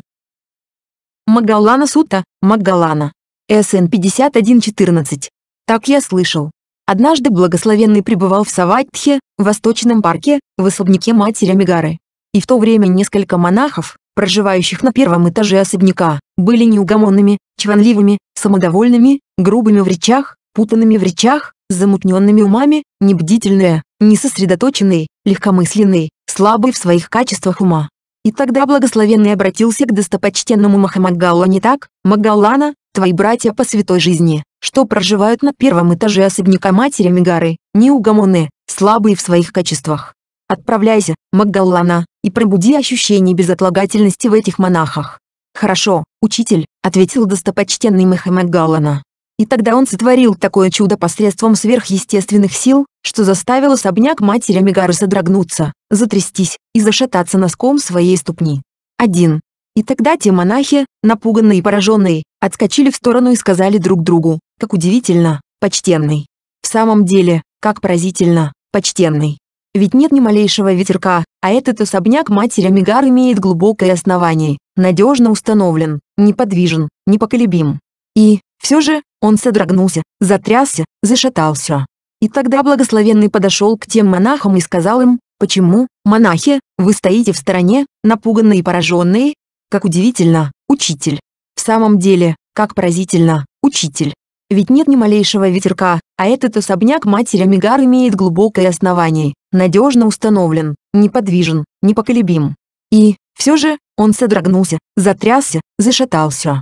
Монахи, монах Макгаллана, желая пробудить ощущение безотлагательности вас, заставил особняк матери Мегары содрогнуться, затрястись, зашататься носком своей ступни. Как вы думаете, монахи, развив и взрастив какие вещи, монах Макгаллана стал таким сильным и могущественным? Учитель, наши учения укоренены в благословенном, направляемы благословенным, находит пристанище в благословенном. Было бы хорошо, если бы благословенный сам прояснил значение этого утверждения. Услышав это из его уст, монахи запомнят это. Тогда слушайте внимательно, монахи. Я буду говорить. «Да, учитель», — ответили монахи.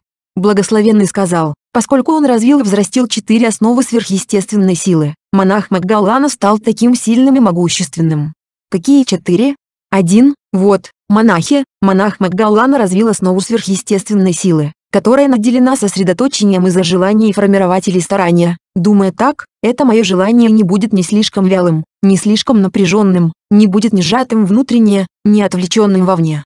И он пребывал, воспринимая после прежде, как прежде, так и после, как после, так и прежде, как внизу, так и вверху, как вверху, так и внизу, как днем, так и ночью, как ночью, так и днем.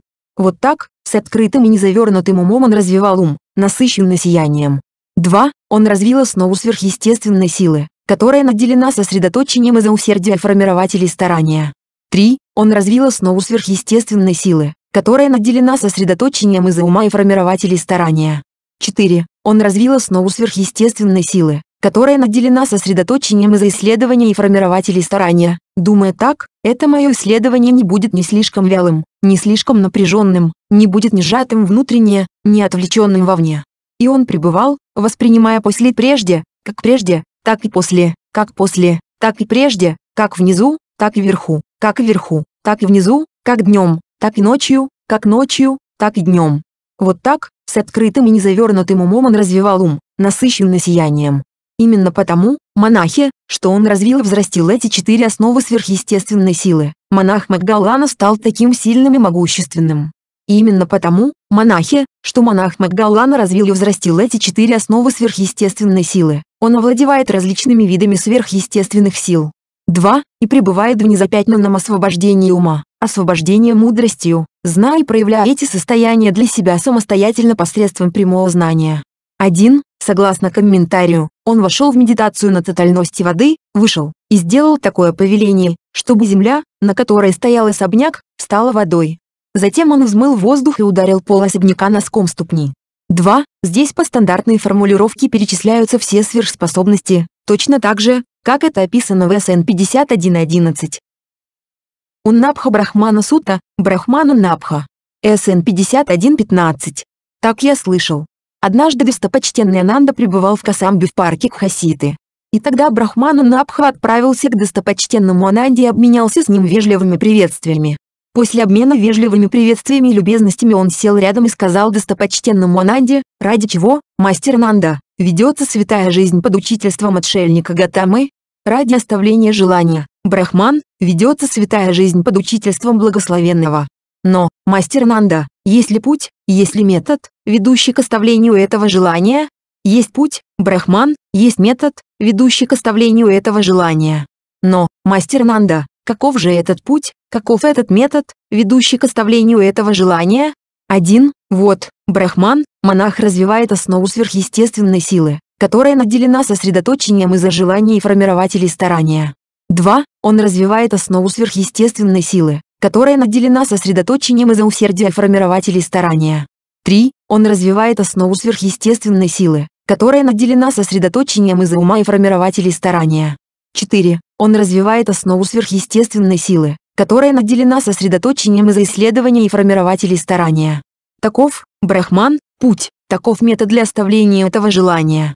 Если оно так, мастер Нанда, то ситуация бесконечна, а не конечна. Не может произойти так, чтобы кто-либо отбросил желание посредством самого желания. Что же, Брахман, я задам тебе вопрос по этой теме. Отвечай так, как сочтешь нужным. Как ты думаешь, Брахман, было ли у тебя раньше желание, я отправлюсь в парк, а после того, как ты добрался до парка, это самое желание исчезло? Да, почтенный. Прилагал ли ты раньше усердие, думая, я отправлюсь в парк, а после того, как ты добрался до парка, это самое усердие исчезло? Настраивал ли ты раньше свой ум, я отправлюсь в парк, а после того, как ты добрался до парка, эта самая настройка ума исчезла? Осуществлял ли ты раньше исследование вопроса, пойти ли мне в парк? А после того, как ты добрался до парка, это самое исследование вопроса исчезло?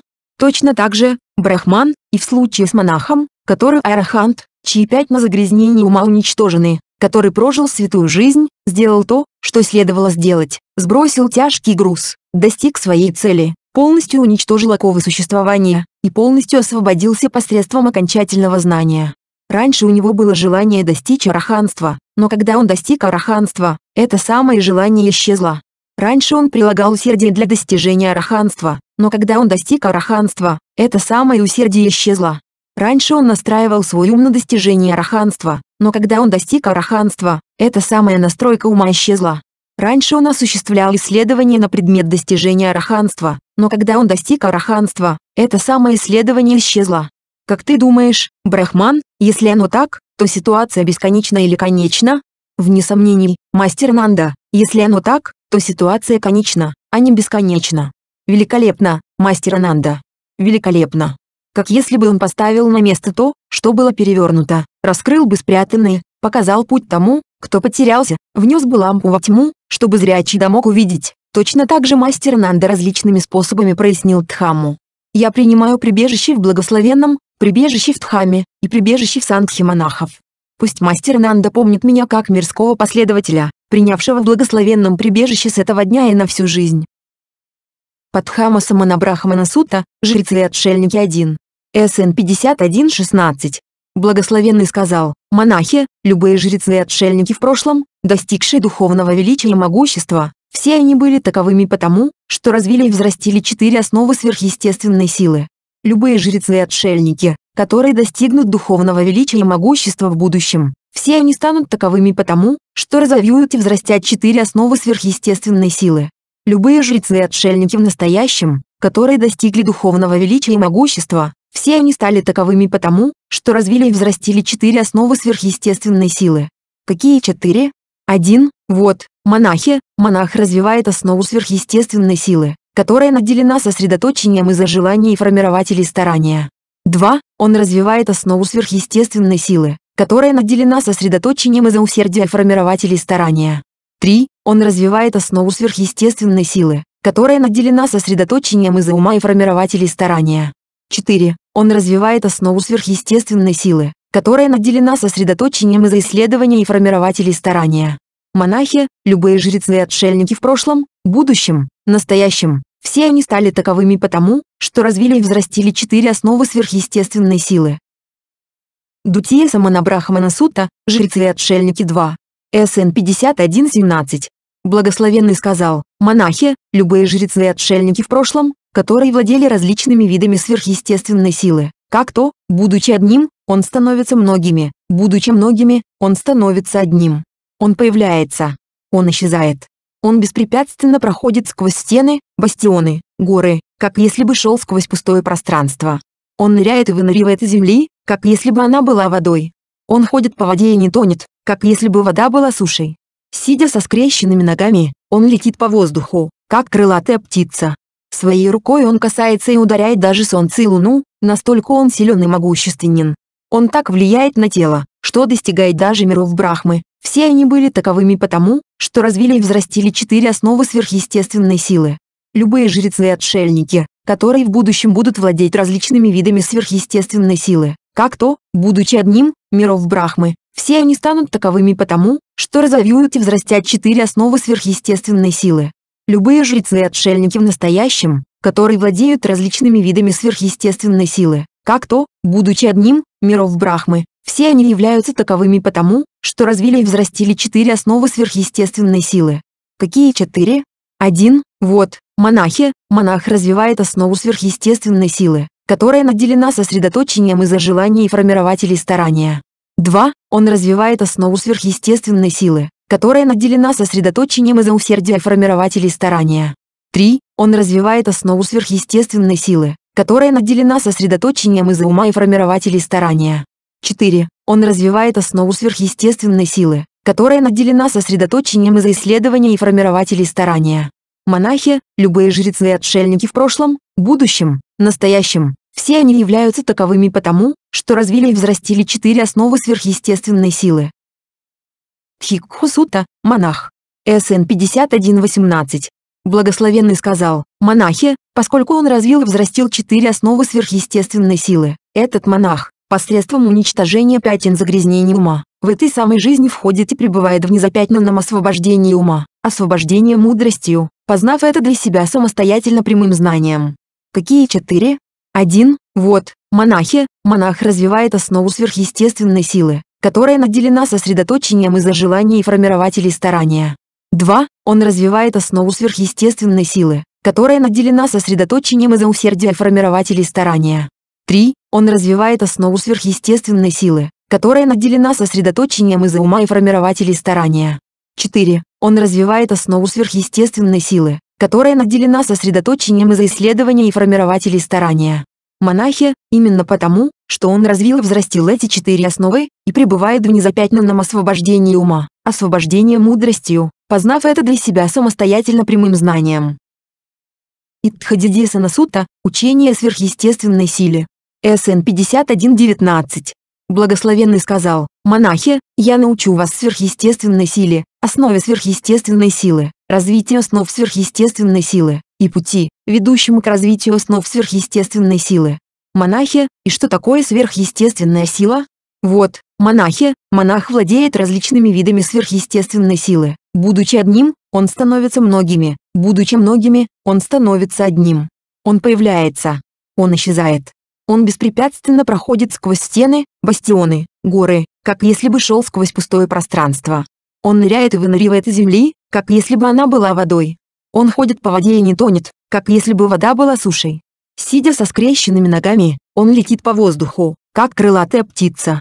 Своей рукой он касается и ударяет даже солнце и луну, настолько он силен и могущественен. Он так влияет на тело, что достигает даже миров Брахмы. Это называется сверхъестественной силой. Монахи, и что такое основа сверхъестественной силы? Это путь и практика, которая ведет к достижению сверхъестественной силы, к обретению сверхъестественной силы. Это называется основой сверхъестественной силы. 1. Монахи, и что такое развитие основ сверхъестественной силы? 1. Вот, монахи, монах развивает основу сверхъестественной силы, которая наделена сосредоточением из-за желаний и формирователей старания. 2. Он развивает основу сверхъестественной силы, которая наделена сосредоточением из-за усердия формирователей старания. 3. Он развивает основу сверхъестественной силы, которая наделена сосредоточением из-за ума и формирователей старания. 4. Он развивает основу сверхъестественной силы, которая наделена сосредоточением из-за исследования и формирователей старания. Это называется развитием основ сверхъестественной силы. Монахи, и каков путь, ведущий к развитию основ сверхъестественной силы?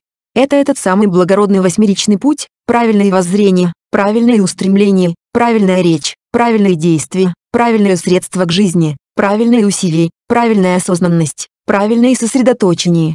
Это называется путем, ведущим к развитию основ сверхъестественной силы. 1. Согласно комментарию, здесь имеется в виду четвертая джхана, с помощью которой можно обрести эти различные сверхспособности, абхинья. Випханга Сута, анализ. СН 5120. Благословенный сказал, монахи, эти четыре основы сверхъестественной силы, будучи развитыми и возвращенными, приносят великий плод и благо.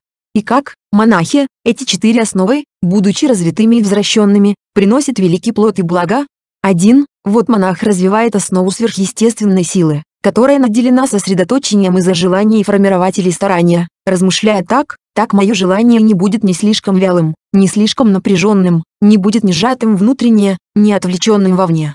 И он пребывает, воспринимая после прежде, как прежде, так и после, как после, так и прежде, как внизу, так и вверху, как вверху, так и внизу, как днем, так и ночью, как ночью, так и днем.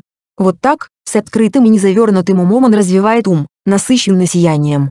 2. Он развивает основу сверхъестественной силы, которая наделена сосредоточением из-за усердия формирователей старания, размышляя так, так мое усердие.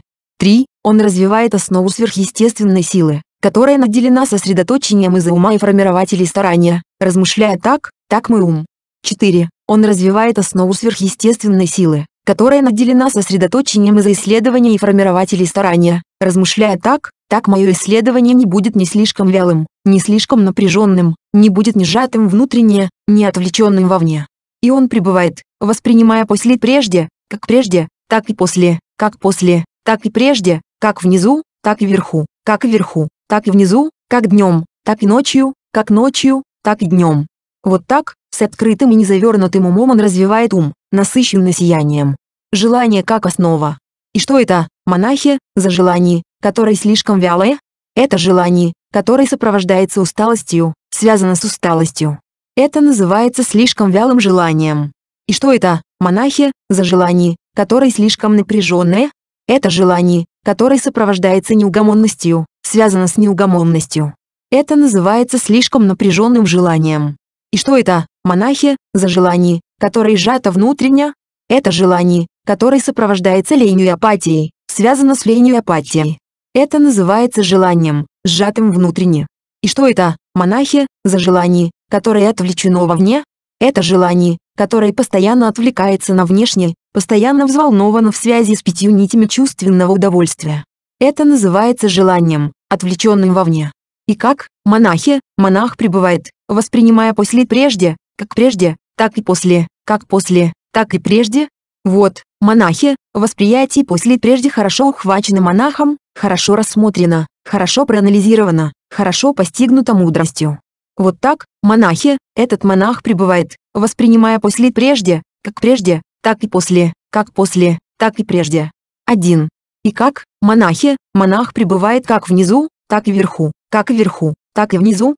Вот, монахи, монах пересматривает это самое тело снизу вверх, подошв ступней, и сверху вниз с кончиков волос головы, обернутой кожей, полной разнообразных нечистот, в этом самом теле есть волосы на голове, волосы на теле, ногти, зубы, кожа, плоть, сухожилия, кости, костный мозг, почки, сердце, печень, диафрагма, селезенка, легкие, толстые кишки, тонкие кишки, содержимое желудка, фекалии, желчь, мокрота, гной, кровь, пот, жир, слезы, кожное масло, слюна, слизь, суставная жидкость, моча.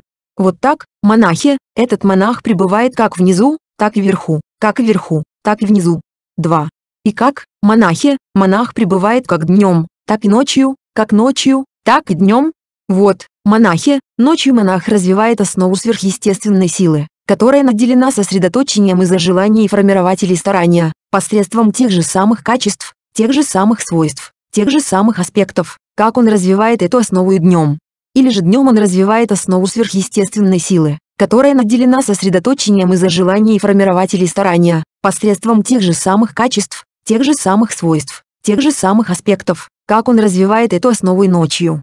Вот так, монахи, монах пребывает как днем, так и ночью, как ночью, так и днем. И как, монахи, монах с открытым и незавернутым умом развивает ум, насыщенный сиянием. Вот, монахи, восприятие света тщательно ухвачено монахом.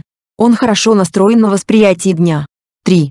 Вот так, монахи, этот монах с открытым и незавернутым умом развивает ум, насыщенный сиянием. Усердие как основа. И что это, монахи, за усердие, которое слишком вялое? Это усердие, которое сопровождается усталостью, связано с усталостью. Это называется слишком вялым усердием. 4. Ум, насыщенный сиянием. Ум как основа. И что это, монахи, за ум, который слишком вялый? Это ум, который сопровождается усталостью, связан с усталостью. Это называется слишком вялым умом. Ум, насыщенный сиянием. Исследование как основа. И что это, монахи, за исследование, которое слишком вялое? Это исследование, которое сопровождается усталостью, связано с усталостью. Это называется слишком вялым исследованием. Ум, насыщенный сиянием. Когда, монахи, эти четыре основы сверхъестественной силы были развиты и возвращены таким образом, они приносят великий плод и благо. Когда, монахи, эти четыре основы сверхъестественной силы были развиты и возвращены таким образом, монах овладевает различными видами сверхъестественной силы. Будучи одним, он становится многими. 5. За счет уничтожения пяти умственных загрязнений, в этой самой жизни он входит и пребывает в незапятнанном освобождении ума, освобождение мудростью, зная и проявляя эти состояния для себя самостоятельно посредством прямого знания. 1. Комментарий. Это следует понимать а в отношении объекта медитации, в отношении учения. В первом случае следует осознать, что объект медитации идет прежде, а араханство – после. Монах, который после осознания своего главного объекта медитации не позволяет ему впадать в неблагие условия, чрезмерную расслабленность и так далее, продвигается к араханству. И таким образом он обозначается как тот, кто пребывает как прежде, так и после. Во втором случае имеется в виду, что волосы головы идут прежде, а мозг идет после, среди всех органов при медитации на 32 частях тела. Монах, который развивает эту медитацию от начала и до конца, не впадая при этом в четыре неблагих условия, обозначается как тот, кто пребывает как прежде, так и после. По замечанию достопочтенного Будхи, это объяснение выглядит несколько притянутым за уши.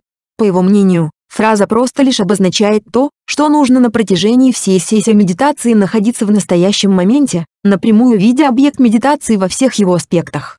Похожая фраза используется в Ан 4, 87, 2.3, где объясняется медитация при ходьбе, и звучит так, воспринимая то, что находится позади и впереди, тебе следует настроиться на хождение вперед-назад. Примечание переводчика СВ, на мой взгляд, есть еще один вариант трактовки. Восприятие прежде может означать некое предыдущее состояние в медитации, а восприятие после – новое состояние. В сути сказано, что это хорошо постигнуто и рассмотрено мудростью, что может означать анализ взаимосвязей, причин, которые привели от одного медитативного состояния к следующему, и, таким образом, монах учится методом проб и ошибок, изучая, что улучшает медитацию, а что ее ухудшает. 2. Примечание переводчика СВ. Обычно это упражнение рассматривается как способ преодоления похоти, однако мне кажется, что в данном контексте оно может иметь иной смысл. Для овладения сверхъестественными силами требуется установить полный контроль не только над умом, но и над телом. Возможно, речь идет о том, что практикующий должен ухватить внутренним медитативным взором все части тела целиком, чтобы уметь совершать с ним различные манипуляции, описанные в стандартной формуле сверхъестественных сил, смотри. СН 5119. На мой взгляд, эта же идея прослеживается в СН 5122, где Будда объясняет, каким образом он осуществляет психические силы. 3. Согласно комментарию, монах сидит на террасе, настраиваясь на восприятие света, иногда закрывая глаза, иногда открывая. Когда свет представляется ему одинаково как с закрытыми, так и с открытыми глазами, то говорится, что в уме возникло восприятие света. Если днем или же ночью он рассеивает лень и апатию с помощью этого света, удерживая ум на объекте медитации, то говорится, что в этом отношении восприятие света тщательно ухвачено. Примечание переводчика СВ, тем не менее, возможно здесь речь идет о восприятии внутреннего сияния самого ума как такового, которое, очевидно, достигается в чханах. Смотри. Ан 1.51 и примечание к ней. 4. Здесь точно так же, как выше с описанием желания, только теперь оно заменяется словом усердие. Аналогично и с идущими ниже фрагментами текста сутты. 5. Здесь идет полный перечень сверхъестественных сил, точно в таком же виде, как это описывается, например, в СН 51.11. Магга Сутта – путь. СН 51.21. Сутта в точности идентична СН 51.11, но здесь в самом начале вместо фразы «в чем же причина и условия для развития основ сверхъестественной силы» идет фраза «каков же путь и практика для развития основ сверхъестественной силы?» Айгула Сутта – железный шар. СН 51.22 в Саватхе. И тогда достопочтенный Ананда отправился к благословенному, поклонился ему, сел рядом и сказал, «Учитель, припоминает ли благословенный, чтобы он когда-либо отправлялся в мир Брахм посредством сверхъестественных сил с помощью тела, состоящего из разума?» Ананда, я припоминаю, что отправлялся в мир Брахм посредством сверхъестественных сил с помощью тела, состоящего из разума.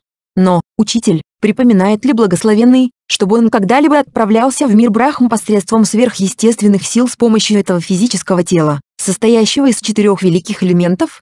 Ананда, я припоминаю, что отправлялся в мир Брахм посредством сверхъестественных сил с помощью этого физического тела, состоящего из четырех великих элементов.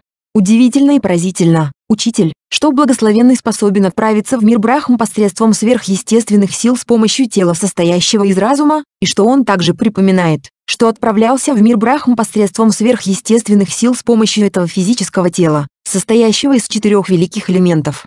Тадхагаты, Ананда, удивительные обладают удивительными свойствами. Тадхагаты поразительные обладают поразительными свойствами.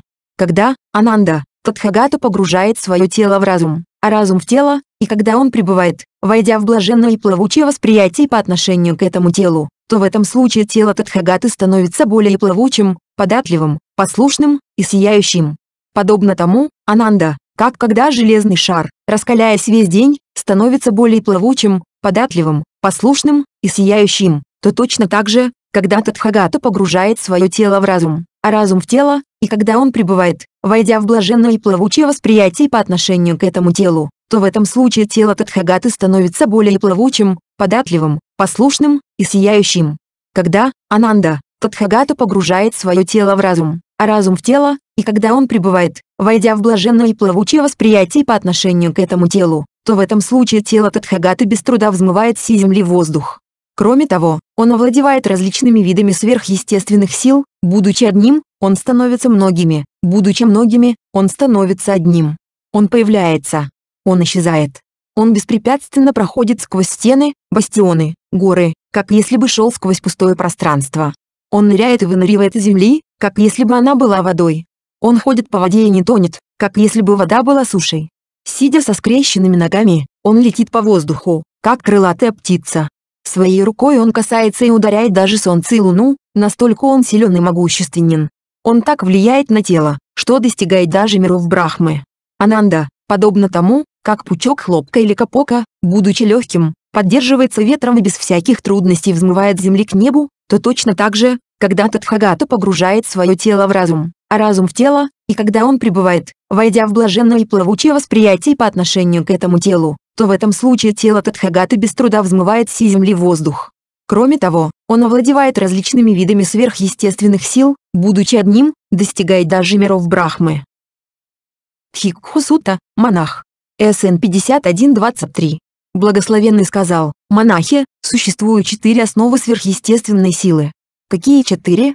Один, вот, монахи, монах развивает основу сверхъестественной силы, которая наделена сосредоточением из-за желаний и формирователей старания. 2. Он развивает основу сверхъестественной силы, которая наделена сосредоточением из-за усердия формирователей старания. 3. Он развивает основу сверхъестественной силы, которая наделена сосредоточением из-за ума и формирователей старания. 4. Он развивает основу сверхъестественной силы, которая наделена сосредоточением из-за исследования и формирователей старания. Таковы четыре основы сверхъестественной силы.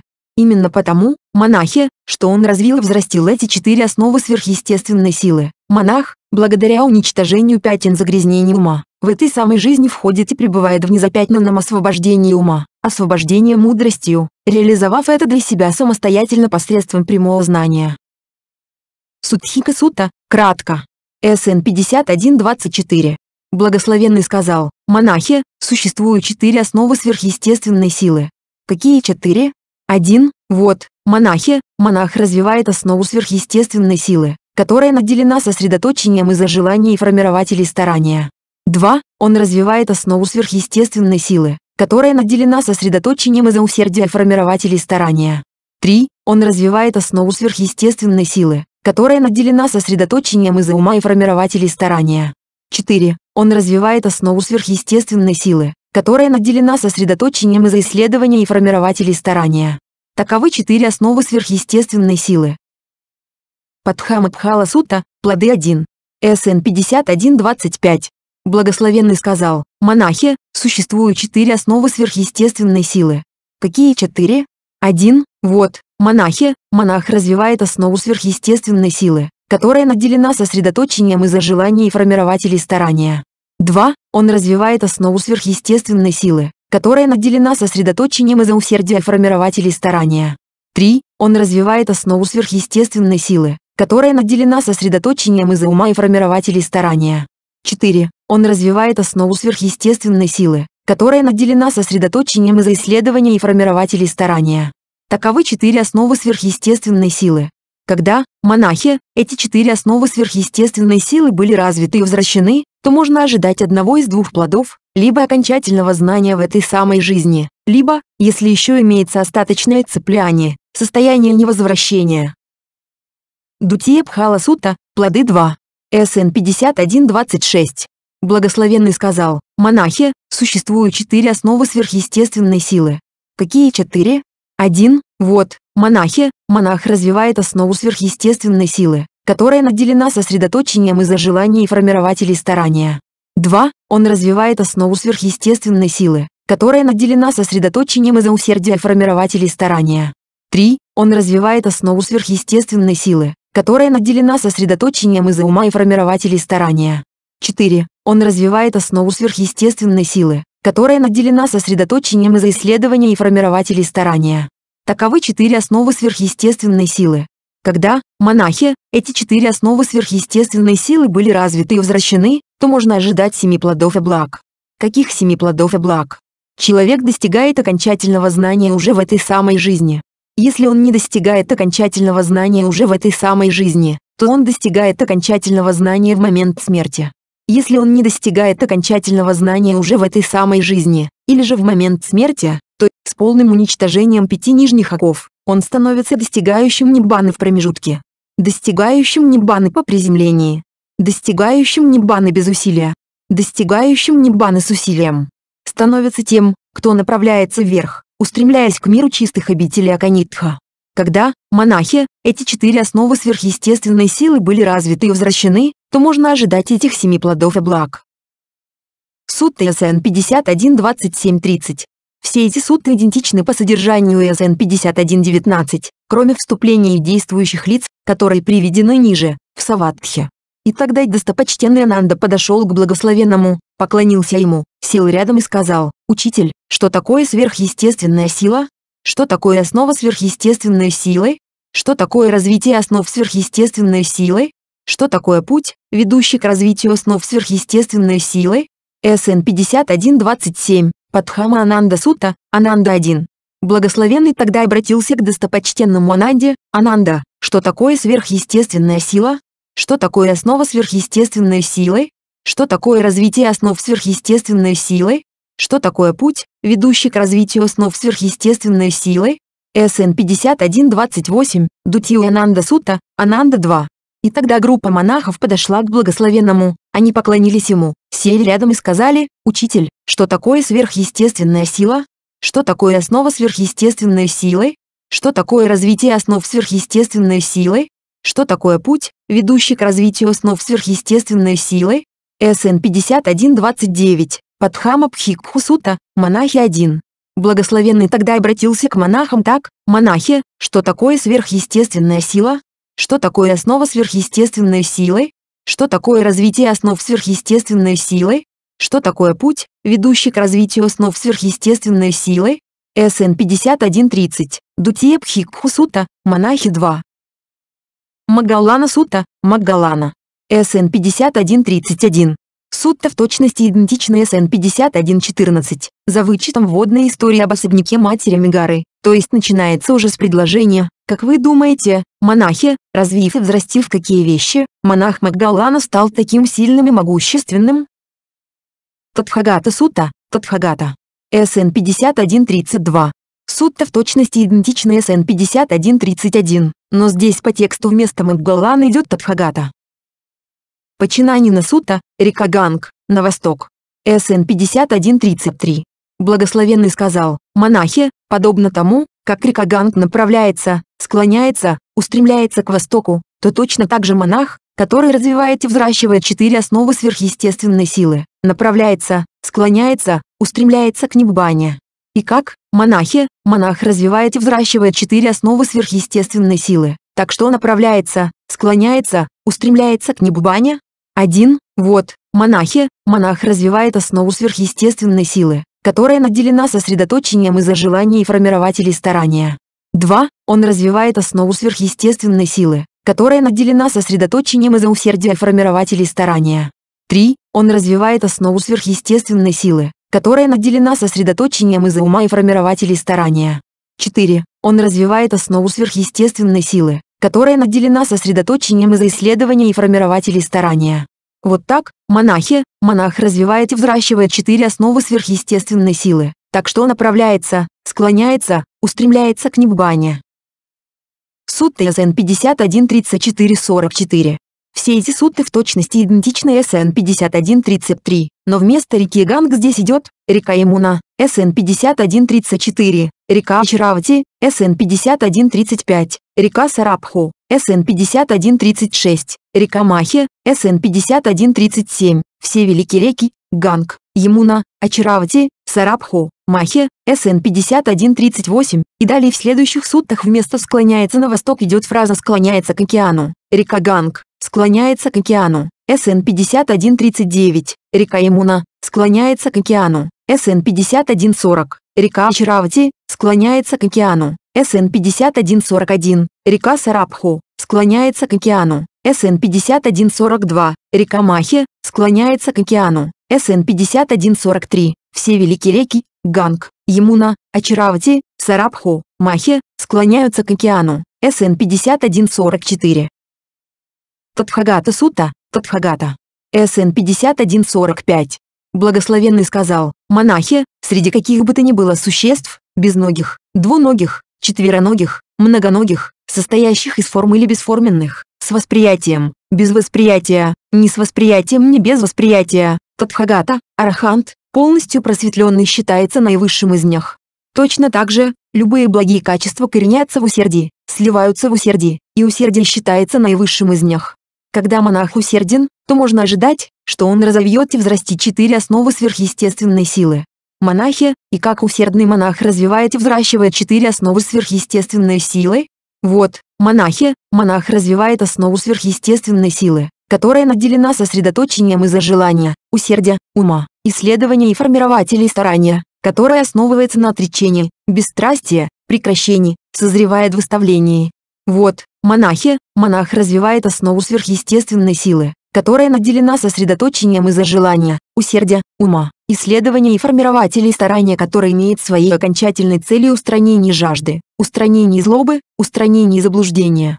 Вот, монахи, монах развивает основу сверхъестественной силы, которая наделена сосредоточением из-за желания, усердия, ума, исследования и формирователей старания, которая имеет бессмертной своим основанием, бессмертной своим пунктом назначения, бессмертной своей окончательной целью. Вот, монахи, монах развивает основу сверхъестественной силы, которая наделена сосредоточением из-за желания, усердия, ума, исследования и формирователей старания, которая направляется, склоняется, устремляется к неббане. Вот так, монахи, усердный монах развивает и взращивает четыре основы сверхъестественной силы. Сутты СН 514654. Все эти сутты в точности идентичны СН 5145, за исключением вводного отрывка, благословенный сказал, монахи, подобно тому, как след слона покрывает след любого ходячего животного, и след слона считается величайшим среди них по размеру, то точно так же, любые благие качества коренятся в усердии, сливаются в усердии, и усердие считается наивысшим из них. Когда монах усерден, то можно ожидать, что он разовьет и взрастит четыре основы сверхъестественной силы. СН 5146, Пада Сута, следы. Благословенный сказал, монахи, подобно тому, как все стропила в доме со строконечной крышей направлены к острию крыши, сливаются в острие крыши, и острие крыши считается наивысшим, то точно так же, любые благие качества коренятся в усердии, сливаются в усердии, и усердие считается наивысшим из них. Когда монах усерден, то можно ожидать, что он разовьет и взрастит четыре основы сверхъестественной силы. СН 5147, Кутасута, острие крыши. Благословенный сказал, монахи, подобно тому, как среди всех благоухающих корней черный фиалковый корень считается наивысшим, то точно так же, любые благие качества коренятся в усердии, сливаются в усердии, и усердие считается наивысшим из них. Когда монах усерден, то можно ожидать, что он разовьет и взрастит четыре основы сверхъестественной силы. СН 5148, Мула Сута, корни. Благословенный сказал, монахи, подобно тому, как среди всех благоухающих сердцевин деревьев сердцевина красного сандалового дерева считается наивысшей, то точно так же, любые благие качества коренятся в усердии, сливаются в усердии, и усердие считается наивысшим из них. Когда монах усерден, то можно ожидать, что он разовьет и взрастит четыре основы сверхъестественной силы. СН 5149, Сарасута, сердцевина. Благословенный сказал, монахи, подобно тому, как среди всех благоухающих цветов жасмин считается наивысшим, то точно так же, любые благие качества коренятся в усердии, сливаются в усердии, и усердие считается наивысшим из них. Когда монах усерден, то можно ожидать, что он разовьет и взрастит четыре основы сверхъестественной силы. СН 5150, Вассика Сута, Жасмин. Благословенный сказал, монахи, подобно тому, как все князья являются вассалами царя миродержца, а царь миродержец считается наивысшим, то точно так же, любые благие качества коренятся в усердии, сливаются в усердии, и усердие считается наивысшим из них. Когда монах усерден, то можно ожидать, что он разовьет и взрастит четыре основы сверхъестественной силы. СН 5151, Раджсута, царь. Благословенный сказал, монахи, подобно тому, как сияние всех звезд не составляет одной шестнадцатой сияния Луны, и сияние Луны считается наивысшим, то точно так же, любые благие качества коренятся в усердии, сливаются в усердии, и усердие считается наивысшим из них. Когда монах усерден, то можно ожидать, что он разовьет и взрастит четыре основы сверхъестественной силы. СН 5152, Чиндима Сута, Луна. Благословенный сказал, монахи, подобно тому, как осенью, когда небо чистое и безоблачное, восходящее солнце рассеивает всю темноту пространства по мере того, как оно сияет, лучится, сверкает, то точно так же, любые благие качества коренятся в усердии, сливаются в усердии, и усердие считается наивысшим из них. Когда монах усерден, то можно ожидать, что он разовьет и взрастит четыре основы сверхъестественной силы. СН 5153, Суея Сута, Солнце. Благословенный сказал, монахи, подобно тому, как среди всех сотканных тканей кассианская ткань считается наивысшей, то точно так же, любые благие качества коренятся в усердии, сливаются в усердии, и усердие считается наивысшим из них. Когда монах усерден, то можно ожидать, что он разовьет и взрастит четыре основы сверхъестественной силы. СН 5154, Ватхасута, ткань. Баласута, усилие. СН 5155, в Саватхе. Благословенный сказал, монахи, подобно тому, как любые поступки, требующие усилия, основываются на земле, опираются на землю, то точно так же, основываясь на нравственности, опираясь на нравственность, монах развивает четыре основы сверхъестественной силы. И каким образом монах так делает? Вот, монахи, монах развивает основу сверхъестественной силы, которая наделена сосредоточением из-за желания, усердия, ума, исследования и формирователей старания, которая основывается на отречении, бесстрастии, прекращении, созревает в выставлении. Вот, монахи, монах развивает основу сверхъестественной силы, которая наделена сосредоточением из-за желания, усердия, ума, исследования и формирователей старания, которая имеет своей окончательной целью устранение жажды, устранение злобы, устранение заблуждения. Вот, монахи, монах развивает основу сверхъестественной силы, которая наделена сосредоточением из-за желания, усердия, ума, исследования и формирователей старания, которая имеет бессмертной своим основанием, бессмертной своим пунктом назначения, бессмертной своей окончательной целью. Вот, монахи, монах развивает основу сверхъестественной силы, которая наделена сосредоточением из-за желания, усердия, ума, исследования и формирователей старания, которая направляется, склоняется, устремляется к неббане.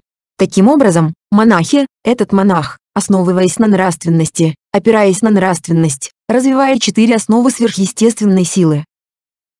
Биджи Сута, семена. СН 5156. В Саватхе. Благословенный сказал, монахи, подобно тому, как любые виды семян и растений достигают роста, увеличения, разрастания, основываясь на земле, опираясь на землю, то точно так же, основываясь на нравственности, опираясь на нравственность, монах развивает четыре основы сверхъестественной силы. Таким образом, достигает роста, увеличения, разрастания в благих состояниях ума. И каким образом монах так делает? Вот, монахи, монах развивает основу сверхъестественной силы, которая наделена сосредоточением из-за желания, усердия, ума, исследования и формирователей старания, которая основывается на отречении, бесстрастии, прекращении, созревает в выставлении. Вот, монахи, монах развивает основу сверхъестественной силы, которая наделена сосредоточением из-за желания, усердия, ума, исследования и формирователей старания, которая имеет своей окончательной целью устранение жажды, устранение злобы, устранение заблуждения. Вот, монахи, монах развивает основу сверхъестественной силы, которая наделена сосредоточением из-за желания, усердия, ума, исследования и формирователей старания, которая имеет бессмертной своим основанием, бессмертной своим пунктом назначения, бессмертной своей окончательной целью. Вот, монахи, монах развивает основу сверхъестественной силы, которая наделена сосредоточением из-за желания, усердия, ума, исследования и формирователей старания, которая направляется, склоняется, устремляется к неббане. Таким образом, монахи, этот монах, основываясь на нравственности, опираясь на нравственность, монах развивает четыре основы сверхъестественной силы и, таким образом, достигает роста, увеличения, разрастания в благих состояниях ума. Нага Сута, Наги. СН 5157. Благословенный сказал, монахи, основываясь на Гималаях, цари всех гор, наги насыщают свои тела и обретают силу. Когда они насытили свои тела и обрели силу, они входят в водоемы. Из водоемов они входят в озера, а затем в ручьи, а затем в реки, и, в конечном счете, они входят в океан. Там они достигают величия разрастания тела. Точно так же, монахи, основываясь на нравственности, опираясь на нравственность, монах развивает и взращивает четыре основы сверхъестественной силы таким образом, достигает величия разрастания в благих состояниях ума. И каким образом монах так делает? Вот, монахи, монах развивает основу сверхъестественной силы, которая наделена сосредоточением из-за желания, усердия, ума, исследования и формирователей старания, которая основывается на отречении, бесстрастии, прекращении, созревает в выставлении. Вот, монахи, монах развивает основу сверхъестественной силы, которая наделена сосредоточением из-за желания, усердия, ума, исследования и формирователей старания, которая имеет своей окончательной целью устранение жажды, устранение злобы, устранение заблуждения. Вот, монахи, монах развивает основу сверхъестественной силы, которая наделена сосредоточением из-за желания, усердия, ума, исследования и формирователей старания, которая имеет бессмертной своим основанием, бессмертной своим пунктом назначения, бессмертной своей окончательной целью. Вот, монахи, монах развивает основу сверхъестественной силы, которая наделена сосредоточением из-за желания, усердия, ума, исследования и формирователей старания, которая направляется, склоняется, устремляется к неббане. Таким образом, монахи, этот монах, основываясь на нравственности, опираясь на нравственность, развивает и взращивает четыре основы сверхъестественной силы, и, таким образом, достигает величия и разрастания в благих состояниях ума. Рукхасута, дерево. СН 5158. Благословенный сказал, монахи, представьте, как если бы дерево сгибалось, склонялось и устремлялось к востоку. Если бы его срубили у основания, то в каком направлении оно бы упало? В том направлении, учитель, в котором оно сгибалось, склонялось и устремлялось. Точно так же, монахи, когда монах развивает и взращивает четыре основы сверхъестественной силы, то он сгибается, склоняется, устремляется к неббане. И каким образом монах так делает? Вот, монахи, монах развивает основу сверхъестественной силы, которая наделена сосредоточением из-за желания, усердия, ума, исследования и формирователей старания, которая основывается на отречении, бесстрастии, прекращении, созревает в выставлении. Вот, монахи, монах развивает основу сверхъестественной силы, которая наделена сосредоточением из-за желания, усердия, ума, исследования и формирователей старания, которая имеет своей окончательной целью устранение жажды, устранение злобы, устранение заблуждения. Вот, монахи, монах развивает основу сверхъестественной силы, которая наделена сосредоточением из-за желания, усердия, ума, исследования и формирователей старания, которая имеет бессмертной своим основанием, бессмертной своим пунктом назначения, бессмертной своей окончательной целью. Вот, монахи, монах развивает основу сверхъестественной силы, которая наделена сосредоточением из-за желания, усердия, ума, исследования и формирователей старания, которая направляется, склоняется, устремляется к неббане. Таким образом, монахи, когда монах развивает и взращивает четыре основы сверхъестественной силы, он сгибается, склоняется, устремляется к неббане. Кумбхасута, горшок. СН 5159.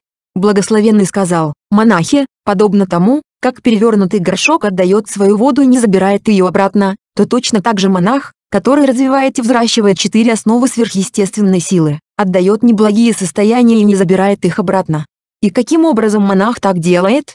Вот, монахи, монах развивает основу сверхъестественной силы, которая наделена сосредоточением из-за желания, усердия, ума, исследования и формирователей старания, которая основывается на отречении, бесстрастии, прекращении, созревает в выставлении. Вот, монахи, монах развивает основу сверхъестественной силы, которая наделена сосредоточением из-за желания, усердия, ума, исследования и формирователей старания, которая имеет своей окончательной целью устранение жажды, устранение злобы, устранение заблуждения. Вот, монахи, монах развивает основу сверхъестественной силы, которая наделена сосредоточением из-за желания, усердия, ума, исследования и формирователей старания, которая имеет бессмертной своим основанием, бессмертной своим пунктом назначения, бессмертной своей окончательной целью.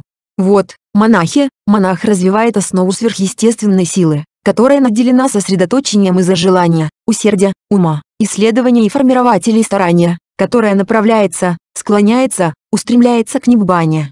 Таким образом, монахи, монах, который развивает и взращивает четыре основы сверхъестественной силы, отдает неблагие состояния и не забирает их обратно. Сука сута, острая щепка. СН 5160.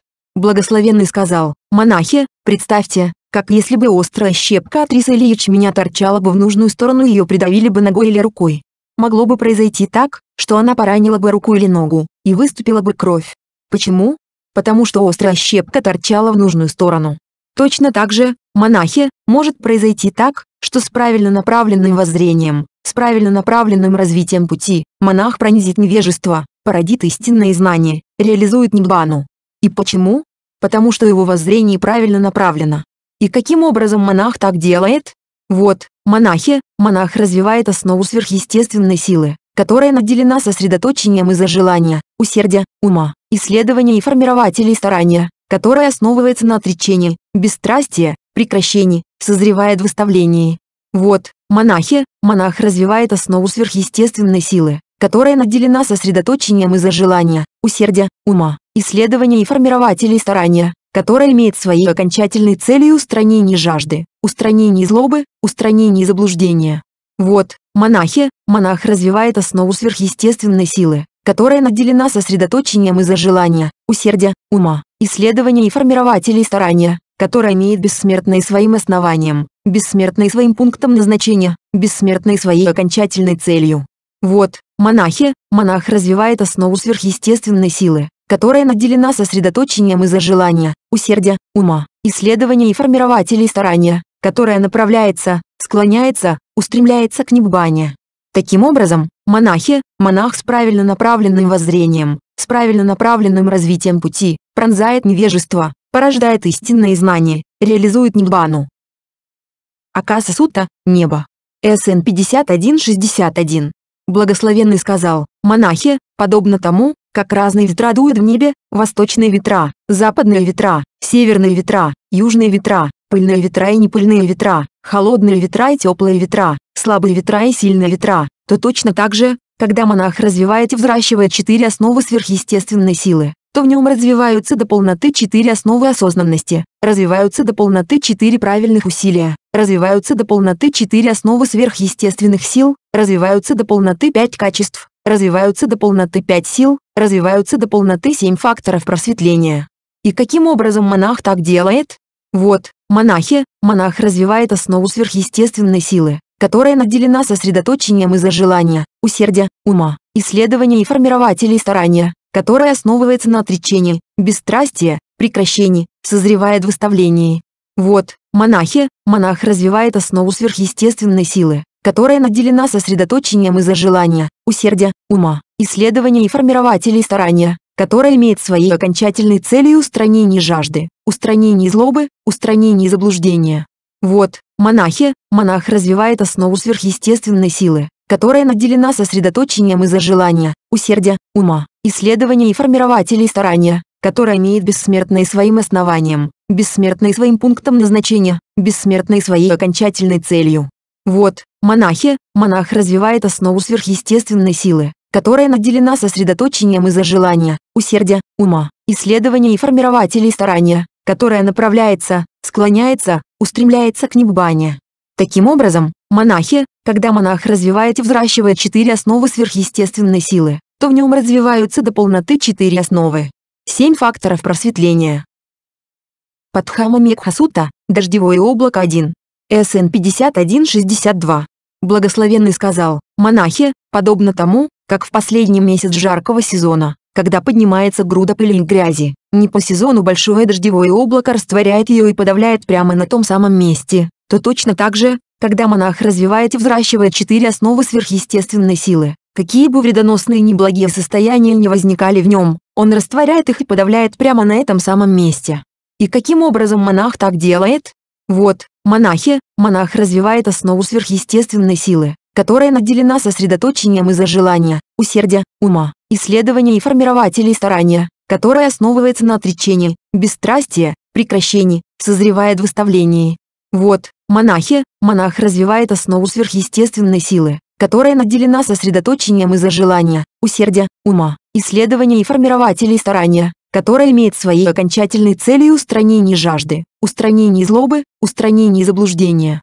Вот, монахи, монах развивает основу сверхъестественной силы, которая наделена сосредоточением из-за желания, усердия, ума, исследования и формирователей старания, которая имеет бессмертной своим основанием, бессмертной своим пунктом назначения, бессмертной своей окончательной целью.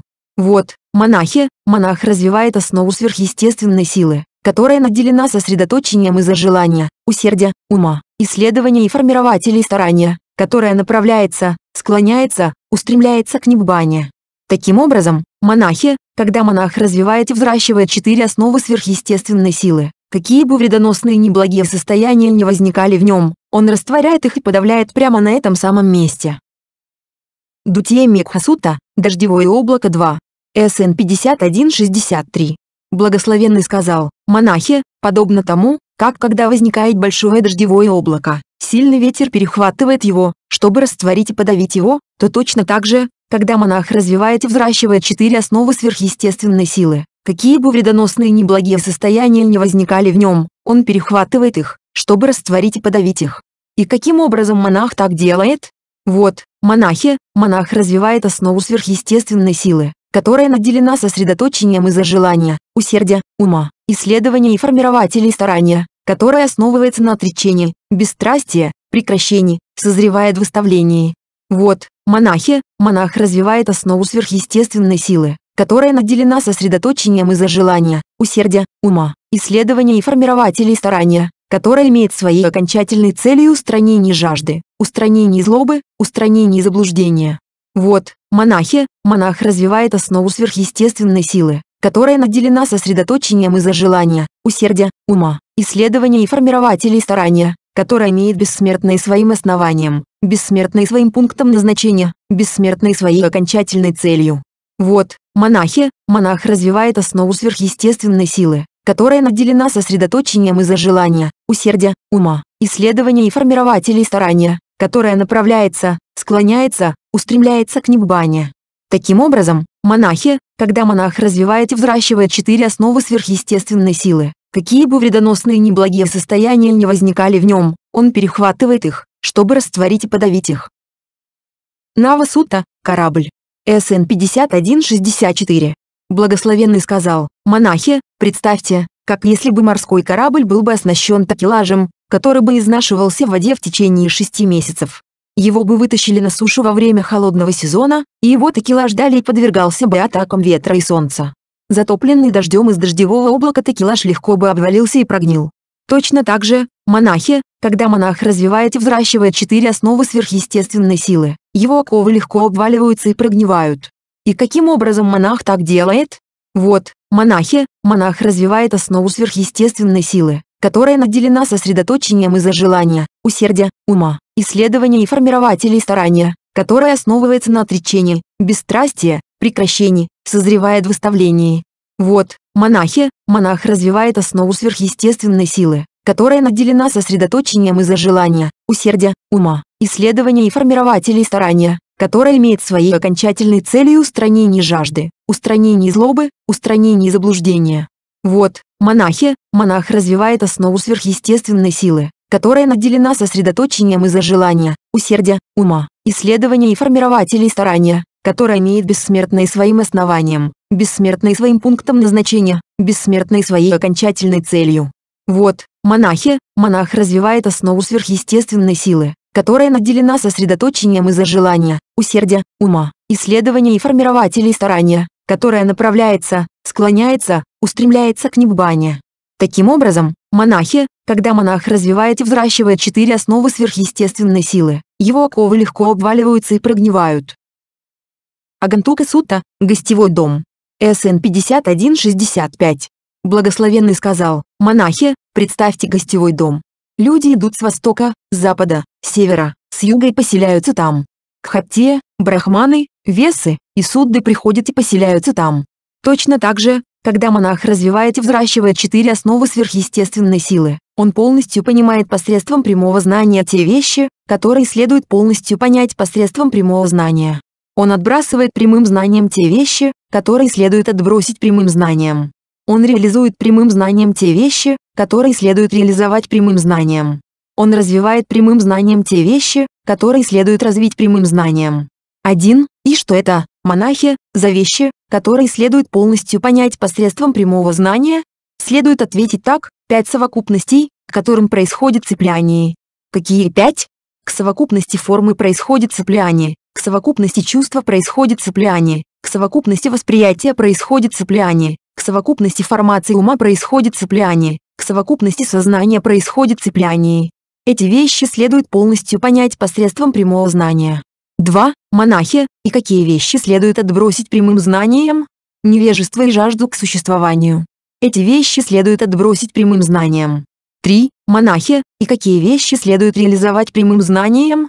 Истинные знания и освобождение. Эти вещи следует реализовать прямым знанием. 4. Монахи, и какие вещи следует развить прямым знанием? Успокоение и прозрение. Эти вещи следует развить прямым знанием. Монахи, и каким образом, когда монах развивает и взращивает четыре основы сверхъестественной силы, он полностью понимает посредством прямого знания те вещи, которые следует полностью понять посредством прямого знания. Развивает прямым знанием те вещи, которые следует развить прямым знанием. Вот, монахи, монах развивает основу сверхъестественной силы, которая наделена сосредоточением из-за желания, усердия, ума, исследования и формирователей старания, которая основывается на отречении, бесстрастии, прекращении, созревает в выставлении. Вот, монахи, монах развивает основу сверхъестественной силы, которая наделена сосредоточением из-за желания, усердия, ума, исследования и формирователей старания, которая имеет своей окончательной целью устранение жажды, устранение злобы, устранение заблуждения. Вот, монахи, монах развивает основу сверхъестественной силы, которая наделена сосредоточением из-за желания, усердия, ума, исследования и формирователей старания, которая имеет бессмертной своим основанием, бессмертной своим пунктом назначения, бессмертной своей окончательной целью. Вот, монахи, монах развивает основу сверхъестественной силы, которая наделена сосредоточением из-за желания, усердия, ума, исследования и формирователей старания, которая направляется, склоняется, устремляется к неббане. Таким образом, монахи, когда монах развивает и взращивает четыре основы сверхъестественной силы, он полностью понимает посредством прямого знания те вещи, которые следует полностью понять посредством прямого знания. Развивает прямым знанием те вещи, которые следует развить прямым знанием. Нади Сута, река. СН 5166. Благословенный сказал, монахи, представьте, как если бы когда река Ганг направлялась, склонялась, устремлялась на восток, пришла бы огромная толпа людей с ведрами и лопатами, думая, мы сделаем так, что эта река Ганг направится, склонится, устремится на запад. Как вы думаете, монахи, могла бы эта огромная толпа людей сделать так, чтобы река Ганг направилась бы, склонилась, устремилась на запад? Нет, учитель. И почему? Потому что река Ганг направляется, склоняется, устремляется на восток, и не просто сделать так, чтобы она направилась бы, склонилась, устремилась на запад. Эту огромную толпу людей ожидали бы только усталость и досада. Точно так же, монахи, когда монах развивает и взращивает четыре основы сверхъестественной силы, царь или царские министры, близкие родня, могли бы пригласить его принять богатство, сказав, ну же, дорогой, ради чего эти желтые монашеские одежды обременяют тебя? Зачем странствовать туда и сюда с обритой головой и чашей для сбора подаяний? Ну же, вернувшись к низшей жизни мирянина, наслаждайся богатством и совершай благие дела. В самом деле, монахи, когда этот монах развивает и взращивает четыре основы сверхъестественной силы, не может случиться так, чтобы он оставил практику и вернулся к низшей жизни. Почему? Потому что долгое время его ум направлялся, склонялся, устремлялся к отречению. Не может быть такого, чтобы он вернулся к низшей жизни. И как, монахи, этот монах развивает и взращивает четыре основы сверхъестественной силы? Вот, монахи, монах развивает основу сверхъестественной силы, которая наделена сосредоточением из-за желания, усердия, ума, исследования и формирователей старания, которая основывается на отречении, бесстрастии, прекращении, созревает в выставлении. Вот, монахи, монах развивает основу сверхъестественной силы, которая наделена сосредоточением из-за желания, усердия, ума, исследования и формирователей старания, которая имеет своей окончательной целью устранение жажды, устранение злобы, устранение заблуждения. Вот, монахи, монах развивает основу сверхъестественной силы, которая наделена сосредоточением из-за желания, усердия, ума, исследования и формирователей старания, которая имеет бессмертной своим основанием, бессмертной своим пунктом назначения, бессмертной своей окончательной целью. Вот, монахи, монах развивает основу сверхъестественной силы, которая наделена сосредоточением из-за желания, усердия, ума, исследования и формирователей старания, которая направляется, склоняется, устремляется к неббане. Таким образом, монахи, монах развивает и взращивает четыре основы сверхъестественной силы. Ясана Сута, поиски. СН 5167. В Саватхе. 1. Благословенный сказал, монахи, есть эти три вида поисков. Какие три? Поиски чувственного удовольствия, поиски существования, поиски святой жизни. 1. Таковы три вида поисков. Эти четыре основы сверхъестественной силы следует развить ради прямого знания этих трех поисков. И каковы эти четыре основы сверхъестественной силы? Вот, монахи, монах развивает основу сверхъестественной силы, которая наделена сосредоточением из-за желания, усердия, ума, исследования и формирователей старания, которая основывается на отречении, бесстрастии, прекращении, созревает в выставлении. Вот, монахи, монах развивает основу сверхъестественной силы, которая наделена сосредоточением из-за желания, усердия, ума, исследования и формирователей старания, которая имеет своей окончательной целью устранение жажды, устранение злобы, устранение заблуждения. Вот, монахи, монах развивает основу сверхъестественной силы, которая наделена сосредоточением из-за желания, усердия, ума, исследования и формирователей старания, которая имеет бессмертной своим основанием, бессмертной своим пунктом назначения, бессмертной своей окончательной целью. Вот, монахи, монах развивает основу сверхъестественной силы, которая наделена сосредоточением из-за желания, усердия, ума, исследования и формирователей старания, которая направляется, склоняется, устремляется к неббане. Эти четыре основы сверхъестественной силы развить ради прямого знания этих трех поисков. 2. Монахи, есть эти три вида поисков. Какие три? Поиски чувственного удовольствия, поиски существования, поиски святой жизни. Таковы три вида поисков. Эти четыре основы сверхъестественной силы следует развить ради полного понимания этих трех поисков. 3. Монахи, есть эти три вида поисков. Какие три? Поиски чувственного удовольствия, поиски существования, поиски святой жизни. Таковы три вида поисков. Эти четыре основы сверхъестественной силы следует развить ради полного уничтожения этих трех поисков. 4. Монахи, есть эти три вида поисков. Какие три? Поиски чувственного удовольствия, поиски существования, поиски святой жизни. Таковы три вида поисков. Эти четыре основы сверхъестественной силы следует развить ради полного оставления этих трех поисков. Эти четыре основы сверхъестественной силы следует развить ради полного оставления этих трех поисков.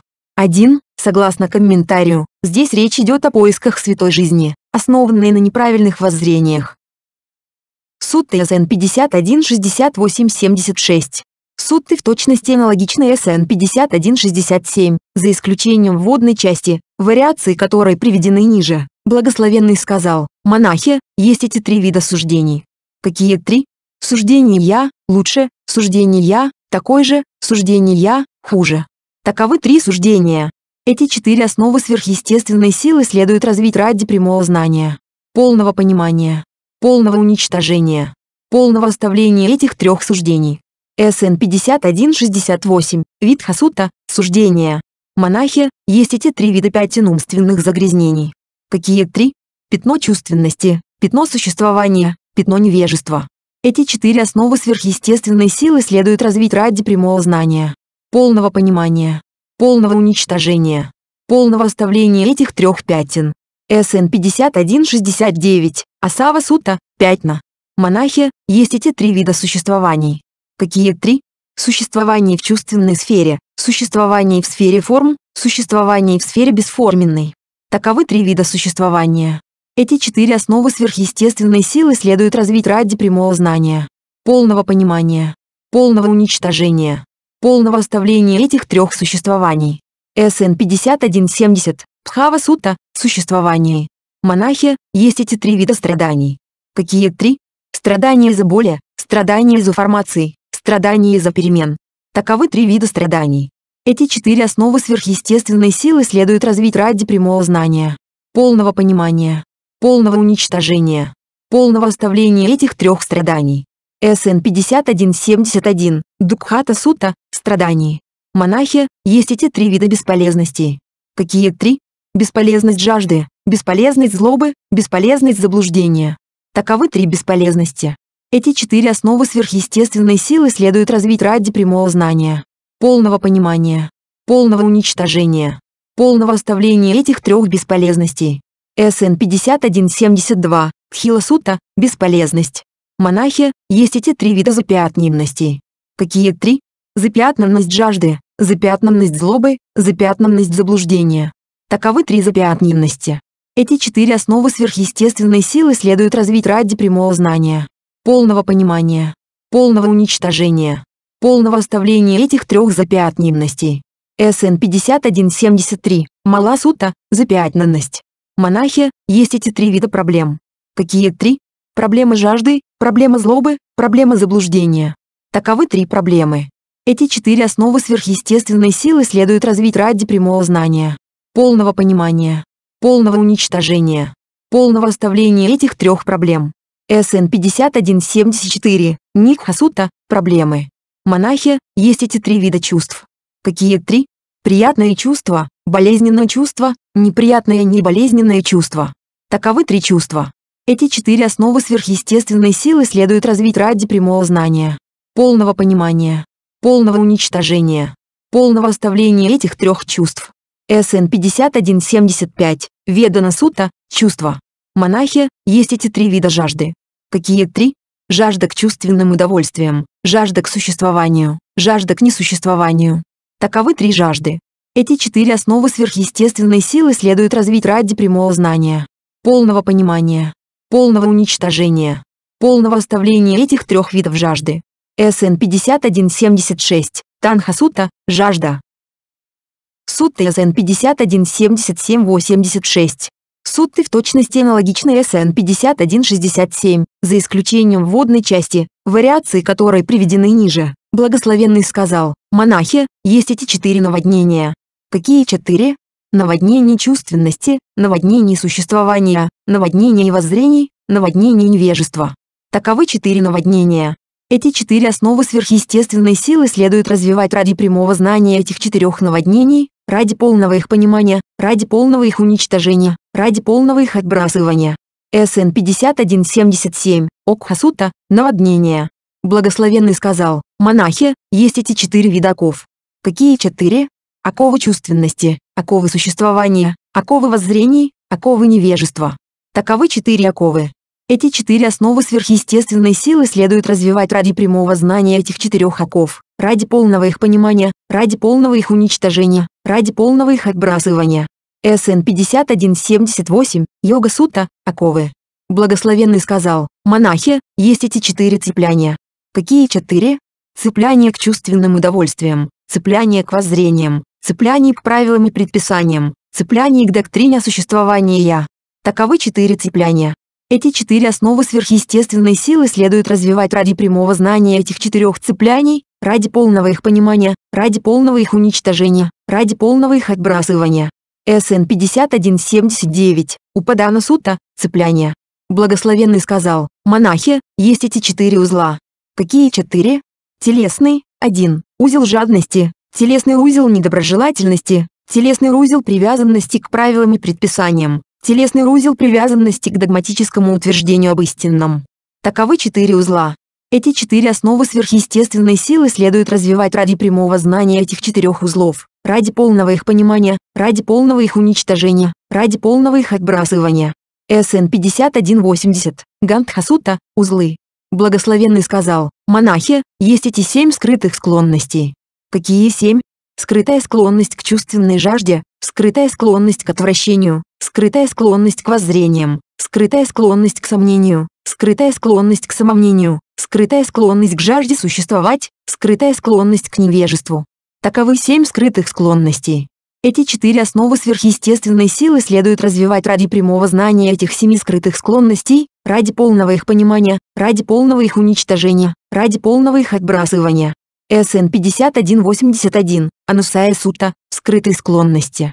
Благословенный сказал, монахи, есть эти пять нити чувственности. Какие пять? Формы, воспринимаемые глазом, милые, приятные, чарующие, привлекательные, воспаляющие желания, соблазнительные. Звуки, воспринимаемые ухом, милые, приятные, чарующие, привлекательные, воспаляющие желания, соблазнительные. Запахи, воспринимаемые носом, милые, приятные, чарующие, привлекательные, воспаляющие желания, соблазнительные. Вкусы, воспринимаемые языком, милые, приятные, чарующие, привлекательные, воспаляющие желания, соблазнительные. Тактильные ощущения, воспринимаемые телом, милые, приятные, чарующие, привлекательные, воспаляющие желания, соблазнительные. Таковы пять нити чувственности. Эти четыре основы сверхъестественной силы следует развивать ради прямого знания этих пяти нити чувственности, ради полного их понимания, ради полного их уничтожения, ради полного их отбрасывания. СН 5182, Камагуна Сута, нити чувственности. Благословенный сказал, монахи, есть эти пять помех. Какие пять? Помеха чувственного желания, помеха недоброжелательности, помеха лени и апатии, помеха неугомонности и сожаления, помеха сомнения. Таковы пять помех. Эти четыре основы сверхъестественной силы следует развивать ради прямого знания этих пяти помех, ради полного их понимания, ради полного их уничтожения, ради полного их отбрасывания. СН 5183, Ниварана Сута, помехи. Благословенный сказал, монахи, есть эти пять совокупностей, к которым происходит цепляние. Какие пять? Форма как совокупность, к которой происходит цепляние, чувство как совокупность, к которой происходит цепляние, восприятие как совокупность, которой происходит цепляние, волевые формирователи как совокупность, которой происходит цепляние, сознание как совокупность, которой происходит цепляние. Таковы пять совокупностей, которым происходит цепляние. Эти четыре основы сверхъестественной силы следует развивать ради прямого знания этих пяти совокупностей, которым происходит цепляние, ради полного их понимания, ради полного их уничтожения, ради полного их отбрасывания. СН 5184, Упаданок Кхандхасута, совокупности. Благословенный сказал, монахи, есть эти пять нижних оков. Какие пять? Воззрение существования «я», сомнений, цепляние к правилам и предписаниям, чувственное желание, недоброжелательность. Таковы пять нижних оков. Эти четыре основы сверхъестественной силы следует развивать ради прямого знания этих пяти нижних оков, ради полного их понимания, ради полного их уничтожения, ради полного их отбрасывания. СН 5185, Арамбхаги Саниджана Сута, пять нижних оков. Благословенный сказал, монахи, есть эти пять высших оков. Какие пять? Жажда к формам, жажда к бесформенности, самомнение, неугомонность, невежество. Таковы пять высших оков. Эти четыре основы сверхъестественной силы следует развивать ради прямого знания этих пяти высших оков, ради полного их понимания, ради полного их уничтожения, ради полного их отбрасывания. СН 5186, Утхампхаги Саниджана Сута, 5 высших оков. 1. Кайгантха. Комментарий поясняет это как узел в Намарупе, теле и сознании. Падхамархагата Сута, уединенный один. СН 52.1. Так я слышал. Однажды достопочтенный Анурудха пребывал в Саватхе в роще Джеты в монастыре Анадхайпиндике. И тогда, по мере того, как достопочтенный Анурудха пребывал уединенным в затворничестве, такие мысли пришли к нему, те, кто пренебрегали этими четырьмя основами осознанности, пренебрегали и благородным путем, ведущим к полному уничтожению страданий. Те, кто практиковали эти четыре основы осознанности, практиковали благородный путь, ведущий к полному уничтожению страданий. И тогда достопочтенный Махамад Галлана, напрямую познав своим умом мысли в уме достопочтенного Анурудхи, так же быстро, как сильный человек мог бы распрямить согнутую руку или согнуть распрямленную, возник рядом с достопочтенным Анурудха и сказал ему, до какой степени, друг Анурудха, эти четыре основы осознанности были предприняты монахом? Осознанность к телу. Друг, вот монах пребывает в созерцании природы возникновения в теле внутреннее, он пребывает в созерцании природы исчезновения в теле внутреннее, он пребывает в созерцании природы происхождения и исчезновения в теле внутреннее, будучи старательным, бдительным, осознанным, отбросив влечение и недовольство к миру.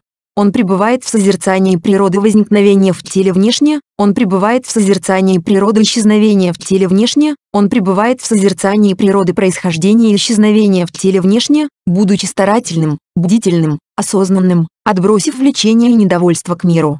Он пребывает в созерцании природы возникновения в теле внутреннее и внешне, он пребывает в созерцании природы исчезновения в теле внутреннее и внешне, он пребывает в созерцании природы происхождения и исчезновения в теле внутреннее и внешне, будучи старательным, бдительным, осознанным, отбросив влечение и недовольство к миру. Если он хочет, пусть я буду пребывать в восприятии отвратительного в неотвратительном, то он пребывает в восприятии отвратительного в этом. Если он хочет, пусть я буду пребывать в восприятии неотвратительного в отвратительном, то он пребывает в восприятии неотвратительного в этом.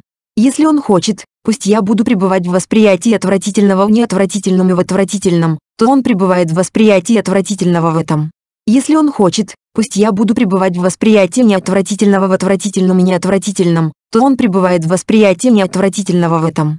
Если он хочет, избегая неотвратительного и отвратительного, пусть я буду пребывать в невозмутимости, осознанным и бдительным, то он пребывает в этом, будучи невозмутимым, осознанным и бдительным. Осознанность к чувству он пребывает в созерцании природы возникновения, исчезновения, происхождения исчезновения в чувствах внутреннее, внешне, внутреннее и внешне, будучи старательным, бдительным, осознанным, отбросив влечение и недовольство к миру. Если он хочет, пусть я буду пребывать в восприятии отвратительного в неотвратительном. Если он хочет, избегая неотвратительного и отвратительного, пусть я буду пребывать в невозмутимости, осознанным и бдительным, то он пребывает в этом, будучи невозмутимым, осознанным и бдительным. Осознанность к.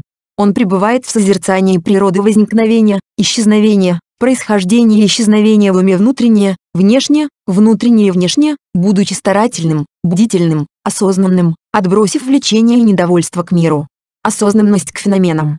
Он пребывает в созерцании природы возникновения, исчезновения, происхождения и исчезновения в феноменах внутреннее, внешне, внутреннее и внешне, будучи старательным, бдительным, осознанным, отбросив влечение и недовольство к миру.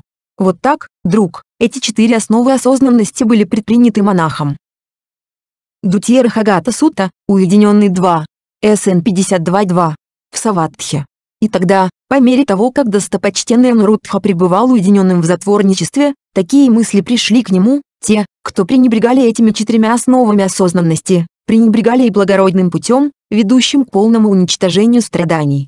Те, кто практиковали эти четыре основы осознанности, практиковали благородный путь, ведущий к полному уничтожению страданий.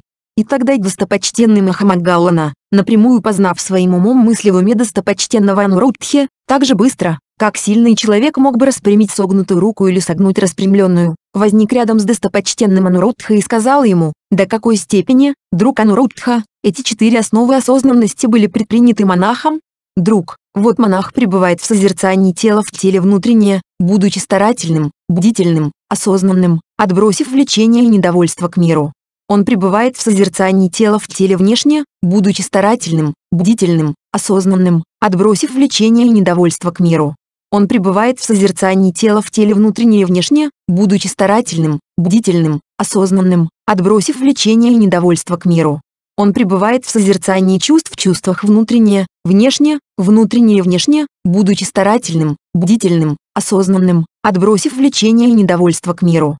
Он пребывает в созерцании ума в уме внутреннее, внешне, внутреннее и внешне, будучи старательным, бдительным, осознанным, отбросив влечение и недовольство к миру. Он пребывает в созерцании феноменов в феноменах внутреннее, внешне, внутреннее и внешне, будучи старательным, бдительным, осознанным, отбросив влечение и недовольство к миру. Вот так, друг, эти четыре основы осознанности были предприняты монахом. Сутану Сута, Сутану. СН 52.3. Однажды достопочтенный Анурудха пребывал в Саватхе на берегу Сутану. И тогда группа монахов подошла к достопочтенному Анурудхе и обменялась с ним вежливыми приветствиями. После обмена вежливыми приветствиями и любезностями они сели рядом и обратились к достопочтенному Анурудхе, развив и взрастив какие вещи, достопочтенный Анурудха достиг такого величия в прямом знании. Друзья, развив и взрастив четыре основы осознанности, я обрел такое величие в прямом знании. Какие четыре? Вот, друзья, я пребываю в созерцании тела в теле, будучи старательным, бдительным, осознанным, отбросив влечение и недовольство к миру. Я пребываю в созерцании чувств в чувствах, ума в уме, феноменов в феноменах, будучи старательным, бдительным, осознанным, отбросив влечение и недовольство к миру. Поскольку, друзья, я развил и взрастил эти четыре основы осознанности, я достиг такого величия в прямом знании. Далее, друзья, поскольку я развил и взрастил эти четыре основы осознанности, я напрямую познал низшее состояние как низшее, среднее состояние как среднее, возвышенное состояние как возвышенное. 1. 1. Комментарий, ссылаясь на Абхидхамму, поясняет, что низшие феномены, хинадхамма, это 12 неблагих видов сознания, средние феномены, матчхимадхамма, это мирские и благие состояния, результатные, функциональные, кирья и форма, возвышенные феномены, панитадхамма, это четыре пути, четыре плода, ниббана. Однако, согласно Ан-1, 233-24 эти три термина связаны с тремя мирами перерождений, миром чувств, миром форм, бесформенным миром. Примечание переводчика СВ, поскольку величие достопочтенного Анрудхи заключалось в его мастерстве видения других миров, то, судя по всему, именно так и следует понимать это утверждение и в данной сути, как это объясняется в Ангуттаре. Эта же идея подтверждается в СН 52.6. Падхама Кандаки Сута, рощи тернового куста 1. СН 52.4. Однажды достопочтенный Анурудха, достопочтенный Сарипута, достопочтенный Махамадгалана пребывали в Сакете в роще тернового куста. И тогда, вечером, достопочтенный Сарипута и достопочтенный Махамадгалана вышли из затворничества, подошли к достопочтенному Анурудхе и обменялись с ним вежливыми приветствиями. После обмена вежливыми приветствиями и любезностями они сели рядом. Достопочтенный Сарипутта обратился к достопочтенному Анурудхе, друг Анурудха, в какие вещи монаху, который является учеником, следует входить и пребывать? Друг Сарипутта, монаху, который является учеником, следует входить и пребывать в четырех основах осознанности. Каких четырех? Вот, друг, монах пребывает в созерцании тела в теле, чувств в чувствах, ума в уме, феноменов в феноменах, будучи старательным, бдительным, осознанным, отбросив влечение и недовольство к миру. Монаху, который является учеником, следует входить и пребывать в этих четырех основах осознанности. Дутия Кандаки Сута, рощи тернового куста 2. СН 52.5. В Сакете. Сидя рядом, достопочтенный Сарипутта сказал достопочтенному Анурудхе, друг Анурудха, в каких вещах монаху, который окончил обучение, следует входить и пребывать, друг Сарипутта, монаху, который окончил обучение, следует входить и пребывать в четырех основах осознанности. Каких четырех? Вот, друг, монах пребывает в созерцании тела в теле, чувств в чувствах, ума в уме, феноменов феноменах, будучи старательным, бдительным, осознанным, отбросив влечение и недовольство к миру. Монаху, который окончил обучение, следует входить и пребывать в этих четырех основах осознанности. Татья Кандаки Сута, рощи тернового куста 3. СН 52.6. В Сакете. Сидя рядом, достопочтенный Сарипутта сказал достопочтенному Анурудхе, развив и взрастив какие вещи, достопочтенный Анурудха достиг такого величия в прямом знании, друг Сарипутта, развив и взрастив четыре основы осознанности, я обрел такое величие в прямом знании. Какие четыре? Вот, друг, я пребываю в созерцании тела в теле, будучи старательным, бдительным, осознанным, отбросив влечение и недовольство к миру. Я пребываю в созерцании чувств в чувствах, ума в уме, феноменов в феноменах, будучи старательным, бдительным, осознанным, отбросив влечение и недовольство к миру. Поскольку, друг, я развил и взрастил эти четыре основы осознанности, я достиг такого величия в прямом знании. Далее, друг, поскольку я развил и взрастил эти четыре основы осознанности, я напрямую знаю систему тысячи миров. Танхакхая Сута, уничтожение жажды. СН 52.7. В Саватхе. Там достопочтенный Анурудха обратился к монахам так, друзья-монахи. Друг. Отвечали те монахи. Достопочтенный Анурудха сказал, друзья, эти четыре основы осознанности, будучи развитыми и возвращенными, ведут к уничтожению жажды. Какие четыре? Вот, друзья, монах пребывает в созерцании тела в теле, чувств в чувствах, ума в уме, феноменов в феноменах, будучи старательным, бдительным, осознанным, отбросив влечение и недовольство к миру. Эти четыре основы осознанности, будучи развитыми и возвращенными, ведут к уничтожению жажды. Салалагара Сута, хижина из дерева Салалы. СН 52.8. Однажды достопочтенный Анурудха пребывал в Саватхе в хижине из дерева Салалы. И там достопочтенный Анурудха обратился к монахам так, «Друзья, река Ганг направляется, склоняется, устремляется к востоку. Представьте, пришла бы огромная толпа людей с ведрами и лопатами, думая, мы сделаем так, что эта река Ганг направится, склонится, устремится на запад. Как вы думаете, друзья, могла бы эта огромная толпа людей сделать так, чтобы река Ганг направилась бы, склонилась, устремилась на запад? Нет, друг. И почему? Потому что река Ганг направляется, склоняется, устремляется на восток, и не просто сделать так, чтобы она направилась бы, склонилась, устремилась на запад. Эту огромную толпу людей ожидали бы только усталость и досада. Точно так же, друзья, когда монах развивает и взращивает эти четыре основы осознанности, царь или царские министры, близкие родня, могли бы пригласить его принять богатство, сказав, ну же, дорогой, ради чего эти желтые монашеские одежды обременяют тебя? Зачем странствовать туда и сюда с обритой головой и чашей для сбора подаяний? Ну же, вернувшись к низшей жизни мирянина, наслаждайся богатством и совершай благие дела. В самом деле, монахи, когда этот монах развивает и взращивает эти четыре основы осознанности, не может случиться так, чтобы он оставил практику и вернулся к низшей жизни. Почему? Потому что долгое время его ум направлялся, склонялся, устремлялся к отречению. Не может быть такого, чтобы он вернулся к низшей жизни. И как, друзья, монах развивает и взращивает четыре основы осознанности? Вот, друзья, монах пребывает в созерцании тела в теле, чувств в чувствах, ума в уме, феноменов феноменах, будучи старательным, бдительным, осознанным, отбросив влечение и недовольство к миру. Вот так, друзья, монах развивает и взращивает четыре основы осознанности. Амбапаливана Сута, роща Амбапали. СН 52.9. Однажды достопочтенный Анурудха и достопочтенный Сарипутта пребывали в Висале в роще Амбапали. И тогда, вечером, достопочтенный Сарипутта вышел из затворничества, подошел к достопочтенному Анурудхе и обменялся с ним вежливыми приветствиями. После обмена вежливыми приветствиями и любезностями он сел рядом. Достопочтенный Сарипутта обратился к достопочтенному Анурудхе, «Друг Анурудха, ты умиротворен, черты твоего лица яркие и чисты, в каком пребывании обычно пребывает достопочтенный Анурудха? Друг, я обычно пребываю с умом, хорошо утвержденным в четырех основах осознанности. Каких четырех?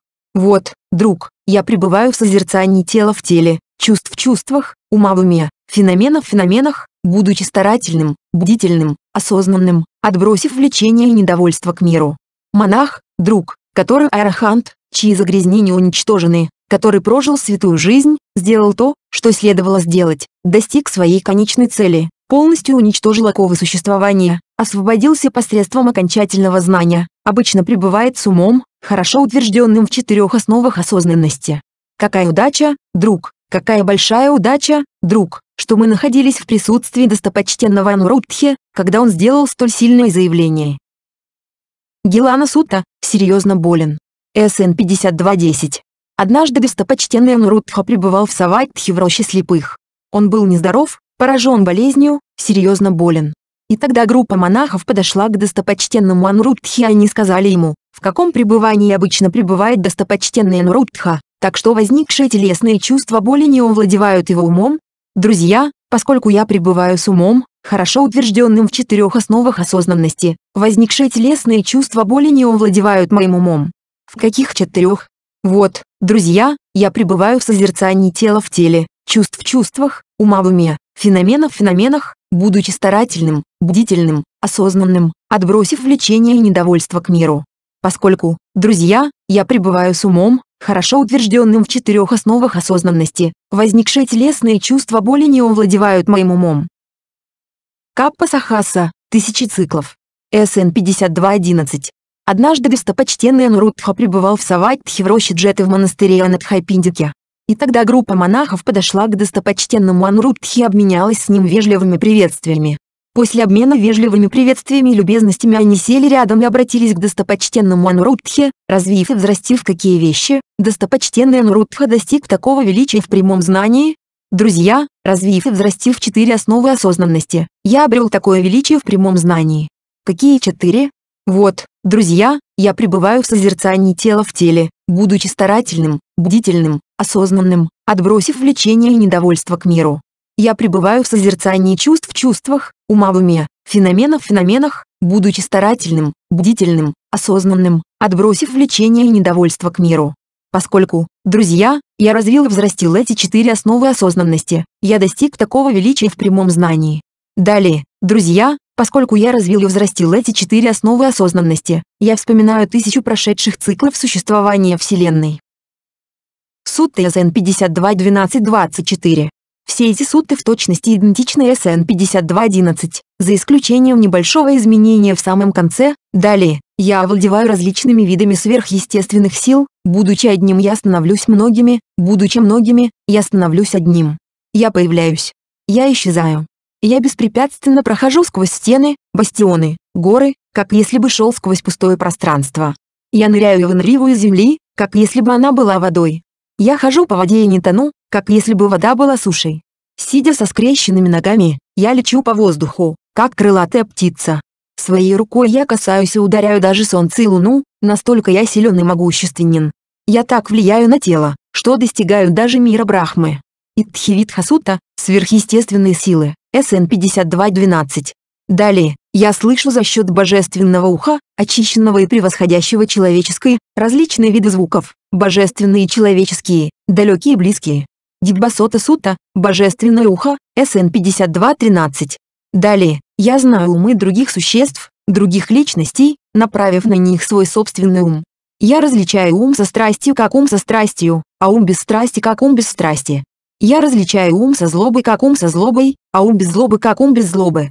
Я различаю ум с невежеством как ум с невежеством, а ум без невежества как ум без невежества. Я различаю суженный ум как суженный ум, расширенный ум как расширенный ум. Я различаю увеличенный ум как увеличенный ум, а не увеличенный ум как неувеличенный ум. Я различаю сильный ум, который еще не достиг наивысшего уровня как сильный ум, и непревзойденный в силе ум как непревзойденный в силе ум. Я различаю сосредоточенный ум как сосредоточенный ум, а не сосредоточенный ум как несосредоточенный ум. Я различаю освобожденный ум как освобожденный ум, а не освобожденный ум как неосвобожденный ум. Читапария Сутта, знание ума, СН 52.14. Далее, я понимаю возможное как возможное, а невозможное как невозможное. 1. Тхана Сутта, возможное, СН 52.15. Далее, я понимаю в соответствии с действительностью результат прошлой, будущей и настоящей каммы в плане ее потенциала и причинной последовательности. Камма Самадана Сута, пути каммы, СН 5216. Далее, я понимаю в соответствии с действительностью пути, ведущие куда бы то ни было. Саббатхагамини Сута, пути куда бы то ни было, СН 5217. Далее, я понимаю в соответствии с действительностью мир с его многочисленными и разнообразными элементами. Нанатхату Сута, разнообразные элементы, СН 5218. Далее, я понимаю в соответствии с действительностью разнообразные склонности у существ. Нанатхимутти Сута, разнообразные склонности, СН 5219. Далее, я понимаю в соответствии с действительностью степени развитости духовных качеств других существ и личностей. Индрио Парапаритта Сута, степень развитости качеств, СН 5220. Далее, я понимаю в соответствии с действительностью загрязнений, очищений и преодолений в отношении Чхан, освобождений, сосредоточений и достижений. Чханади Сута, Чханы, СН 5221. Далее, Вспоминаю многочисленные прошлые обители, одну жизнь, две жизни, три жизни, четыре, пять, десять, двадцать, тридцать, сорок, пятьдесят, сто, тысячу, сто тысяч, многие циклы распада мира, многие циклы эволюции мира, вспоминая, там у меня было такое-то имя, я жил в таком-то роду, имел такую-то внешность. Таковой была моя пища, таковым было мое переживание и удовольствие и боли, таковым был конец моей жизни. Умерев в той жизни, я появился здесь. И там у меня тоже было такое-то имя, таковым был конец моей жизни. Умерев в той жизни, я появился теперь уже здесь. Так я вспоминаю многочисленные прошлые обители в подробностях и деталях. Пубинива Сосута, прошлые обители, СН 5222. Далее, я вижу за счет божественного глаза, очищенного и превосходящего человеческий, смерть и перерождение существ, я различаю низших и великих, красивых и уродливых, счастливых и несчастных, в соответствии с их камой, эти существа, что имели дурное поведение телом, речью и умом, оскорблявшие благородных, придерживавшиеся неправильных воззрений действовавшие под влиянием неправильных воззрений, с распадом тела, после смерти, рождаются в состоянии лишений, в плохих уделах, в нижних мирах, в аду. Но эти существа, что имели хорошее поведение телом, речью и умом, не оскорблявшие благородных, придерживавшиеся правильных воззрений, действовавшие под влиянием правильных воззрений, с распадом тела, после смерти, рождаются в благих уделах, в небесных мирах. Так, посредством божественного глаза, очищенного и превосходящего человеческий, я вижу смерть и перерождение существ, различаю низших и великих, красивых и уродливых, счастливых и несчастных, в соответствии с их каммой. Диббачак Хусута, Божественный глаз, СН 5223. Далее, за счет прекращения пятен умственных загрязнений, я пребываю в состоянии освобожденного ума, свободный от загрязнений и освобожденный мудростью, напрямую зная и проявляя эти состояния для себя самостоятельно, прямо здесь и сейчас в этой самой жизни. Асавакхвая Сута, уничтожение загрязнений, СН 5224. 1. Эта способность, как ряд следующих, в дальнейших по номерам сутах, относится к десяти уникальным силам Будды, Тадхагата Бала. Согласно комментарию, некоторые араханты могут обладать этими десятью силами, но лишь до некоторой степени. Полностью ими владеет только всеведущий Будда. Починанина Сута, река Ганг, на восток. СН 53.1. В Саватхе. Там благословенный сказал следующий, монахи, существуют эти четыре джханы. Какие четыре?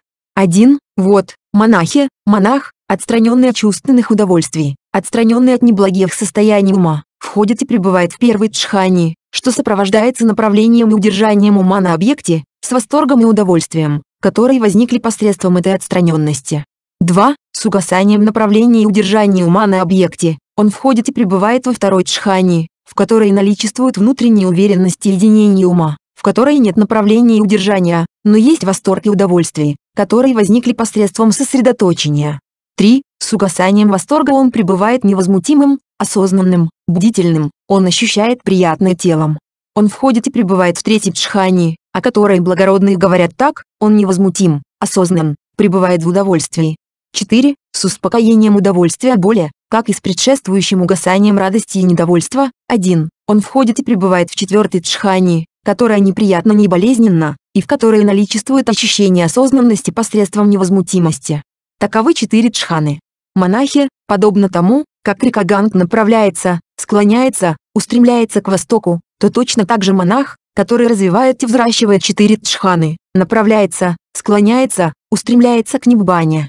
И как, монахи, монах развивает и взращивает четыре джханы, так что направляется, склоняется, устремляется к Ниббане? Вот, монахи, монах, отстраненный от чувственных удовольствий, отстраненный от неблагих состояний ума, входит и пребывает в первой джхане, второй, третьей, четвертой. Вот так, монахи, монах развивает и взращивает четыре джханы, так что направляется, склоняется, устремляется к Ниббане. 1. Смотри. СН 4840. Сутты СН 53.2.12. Все эти сутты в точности идентичны СН 53.1, но вместо реки Ганг здесь идет река Ямуна, СН 53.2, река Ачаравати, СН 53.3, река Сарабху, СН 53.4, река Махи, СН 53.5. Все великие реки, Ганг, Ямуна, Ачаравати, Сарабху, Махи, СН 53.6. И далее, вместо склоняется на восток идет фраза склоняется к океану, река Ганг, склоняется к океану, СН 53.7, река Ямуна, склоняется к океану, СН 53.8, река Ачаравати, склоняется к океану, СН 53.9, река Сарабху, склоняется к океану, СН 53.10, река Махи, склоняется к океану, СН 53.11, все великие реки, Ганг, Ямуна, Ачаравати, Сарабху, Махи, склоняются к океану, СН 53.12. Тадхагата Сута, Тадхагата. СН 53.13. Благословенный сказал, монахи, среди каких бы то ни было существ, безногих, двуногих, четвероногих, многоногих, состоящих из формы или бесформенных, с восприятием, без восприятия, не с восприятием, не без восприятия, Тадхагата, Арахант, полностью просветленный считается наивысшим из них. Точно так же, любые благие качества коренятся в усердии, сливаются в усердии, и усердие считается наивысшим из них. Когда монах усерден, то можно ожидать, что он разовьет и взрастит четыре джханы. Монахи, и как усердный монах развивает и взращивает четыре джханы? Вот, монахи, монах, отстраненный от чувственных удовольствий, отстраненный от неблагих состояний ума, входит и пребывает в первой джхане. Второй, третьей, четвертой. Вот так, монахи, усердный монах развивает и взращивает четыре джханы. Вот монах, отстраненный от чувственных удовольствий, отстраненный от неблагих состояний ума, входит и пребывает в первой джхане, второй, третьей, четвертой, которая имеет своей окончательной целью устранение жажды, устранение злобы, устранение заблуждения. Вот монах, отстраненный от чувственных удовольствий, отстраненный от неблагих состояний ума, входит и пребывает в первой джхане, второй, третьей, четвертой, которая имеет бессмертной своим основанием, бессмертной своим пунктом назначения, бессмертной своей окончательной целью. Вот монах, отстраненный от чувственных удовольствий, отстраненный от неблагих состояний ума, входит и пребывает в первой джхане, второй, третьей, четвертой, которая направляется, склоняется, устремляется к ниббане. Вот так, монахи, усердный монах развивает и взращивает четыре джханы. Суд ТСН 53.14.22. Все эти сутты в точности идентичны СН 53.13, за исключением вводного отрывка, благословенный сказал, монахи, подобно тому, как след слона покрывает след любого ходячего животного, и след слона считается величайшим среди них по размеру, то точно так же, любые благие качества коренятся в усердии, сливаются в усердии, и усердие считается наивысшим из них. Когда монах усерден, то можно ожидать, что он разовьет и взрастит четыре тшханы. СН 53.14. Пада Сута, следы.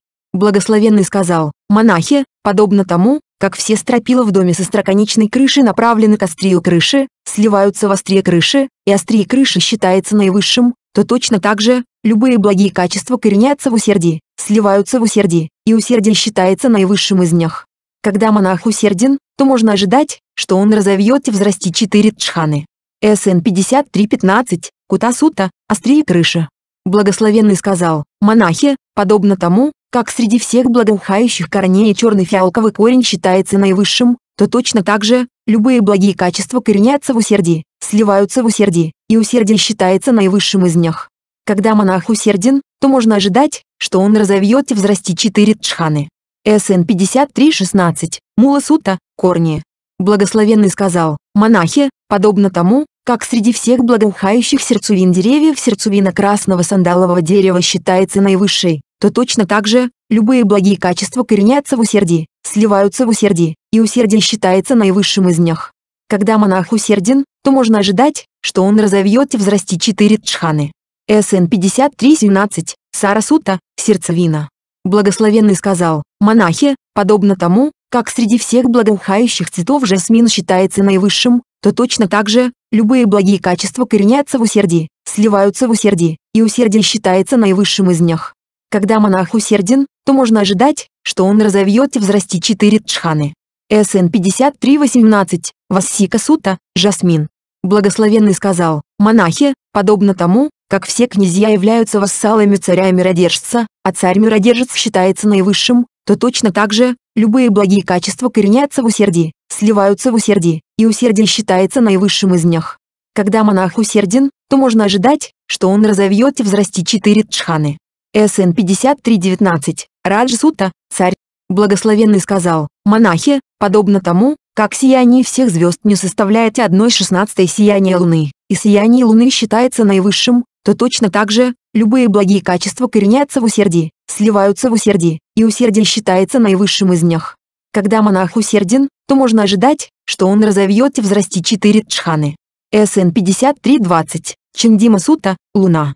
Благословенный сказал, монахи, подобно тому, как осенью, когда небо чистое и безоблачное, восходящее солнце рассеивает всю темноту пространства по мере того, как оно сияет, лучится, сверкает, то точно так же, любые благие качества коренятся в усердии, сливаются в усердии, и усердие считается наивысшим из них. Когда монах усерден, то можно ожидать, что он разовьет и взрастит четыре тшханы. СН 53.21, Сурия Сута, Солнце. Благословенный сказал, монахи, подобно тому, как среди всех сотканных тканей кассианская ткань считается наивысшей, то точно так же, любые благие качества коренятся в усердии, сливаются в усердии, и усердие считается наивысшим из них. Когда монах усерден, то можно ожидать, что он разовьет и взрастит четыре тшханы. СН 53.22, Ватхасута, ткань. Баласута, усилие. СН 53.23, в Саватхе.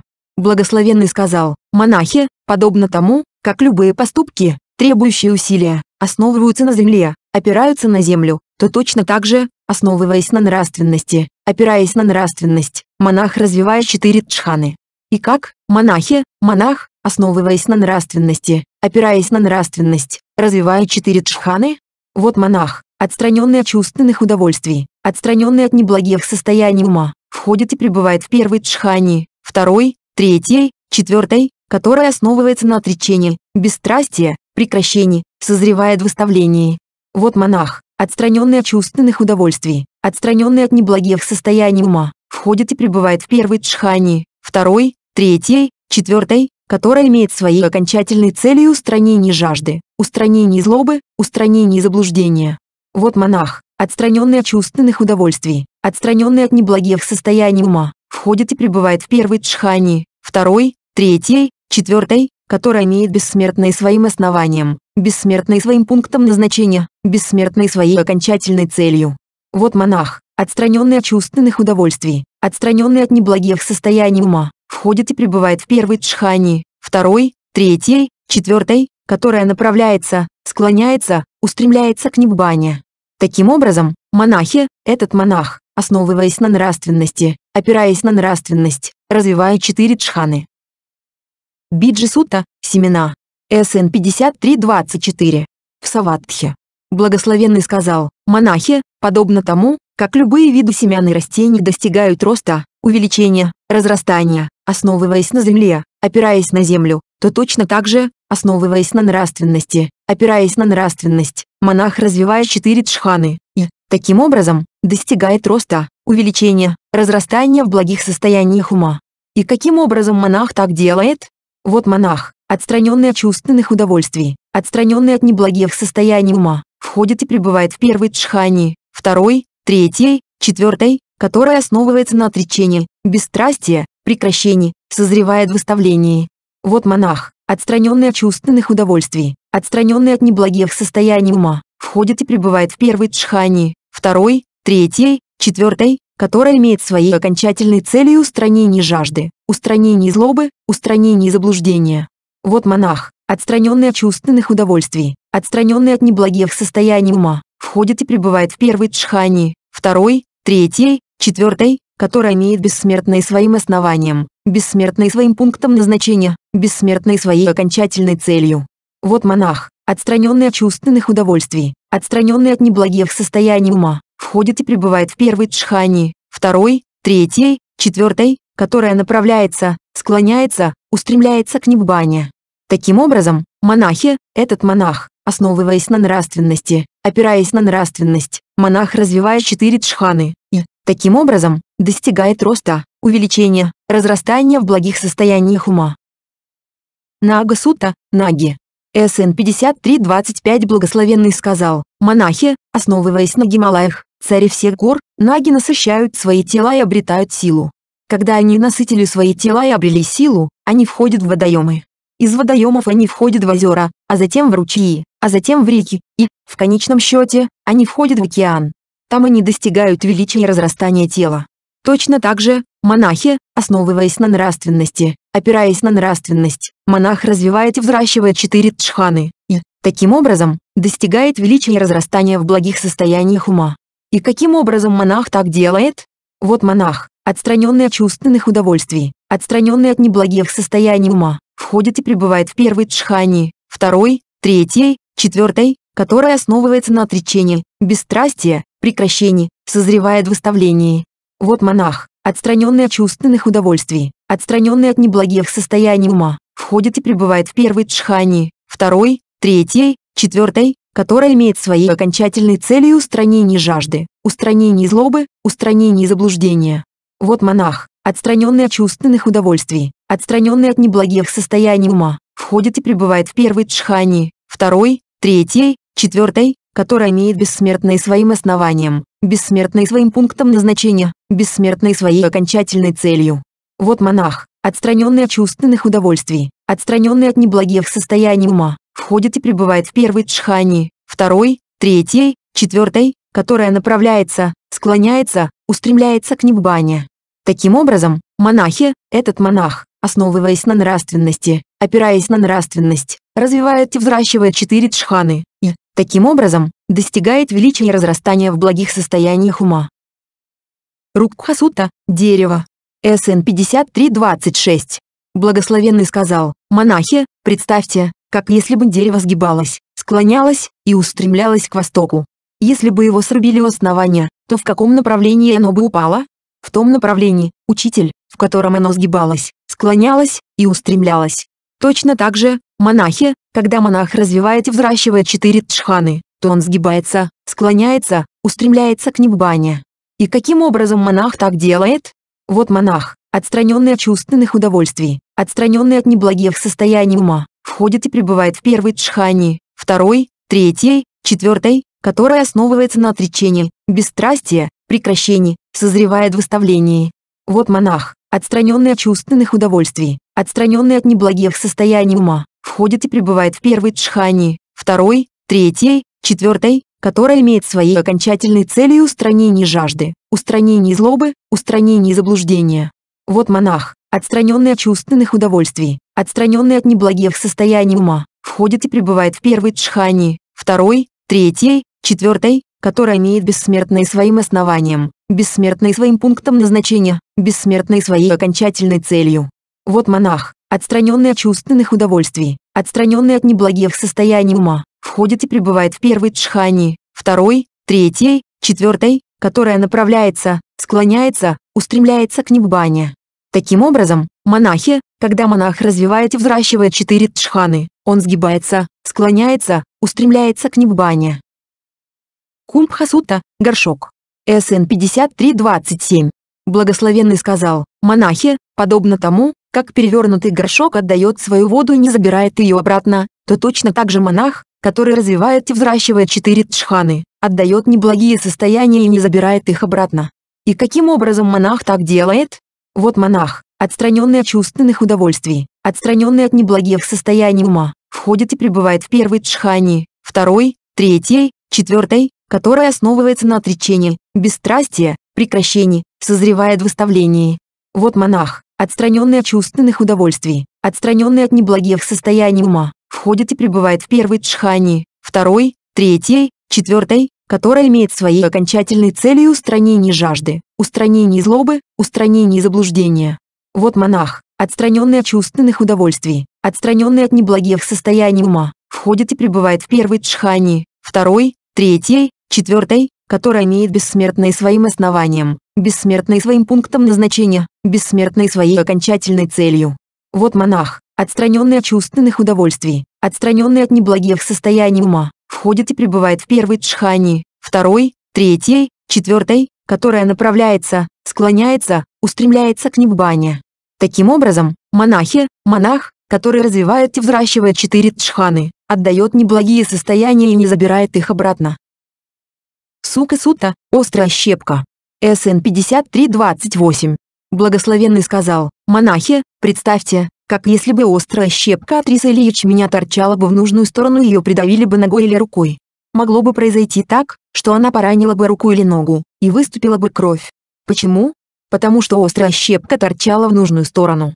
Точно так же, монахи, может произойти так, что с правильно направленным воззрением, с правильно направленным развитием пути, монах пронизит невежество, породит истинное знание, реализует ниббану.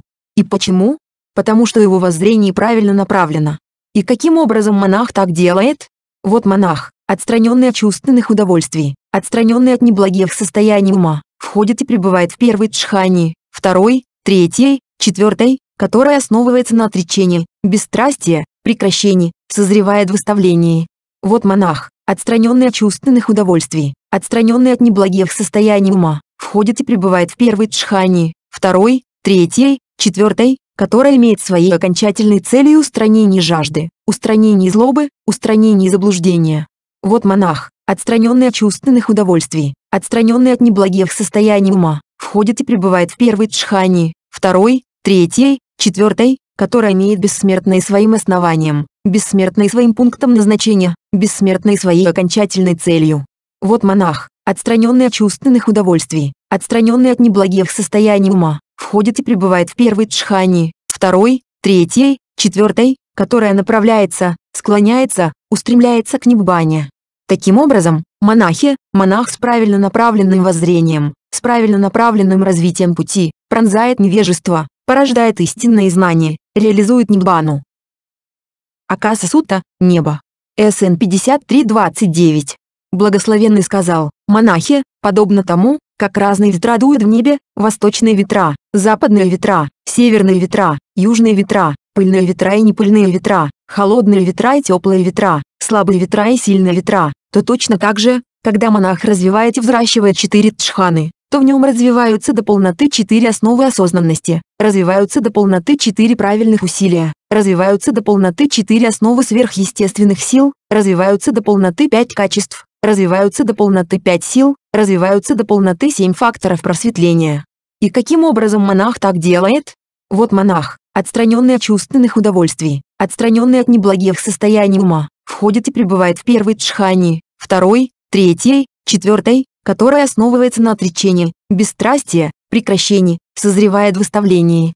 Вот монах, отстраненный от чувственных удовольствий, отстраненный от неблагих состояний ума, входит и пребывает в первой джхани, второй, третьей, четвертой, которая имеет своей окончательной целью устранение жажды, устранение злобы, устранение заблуждения.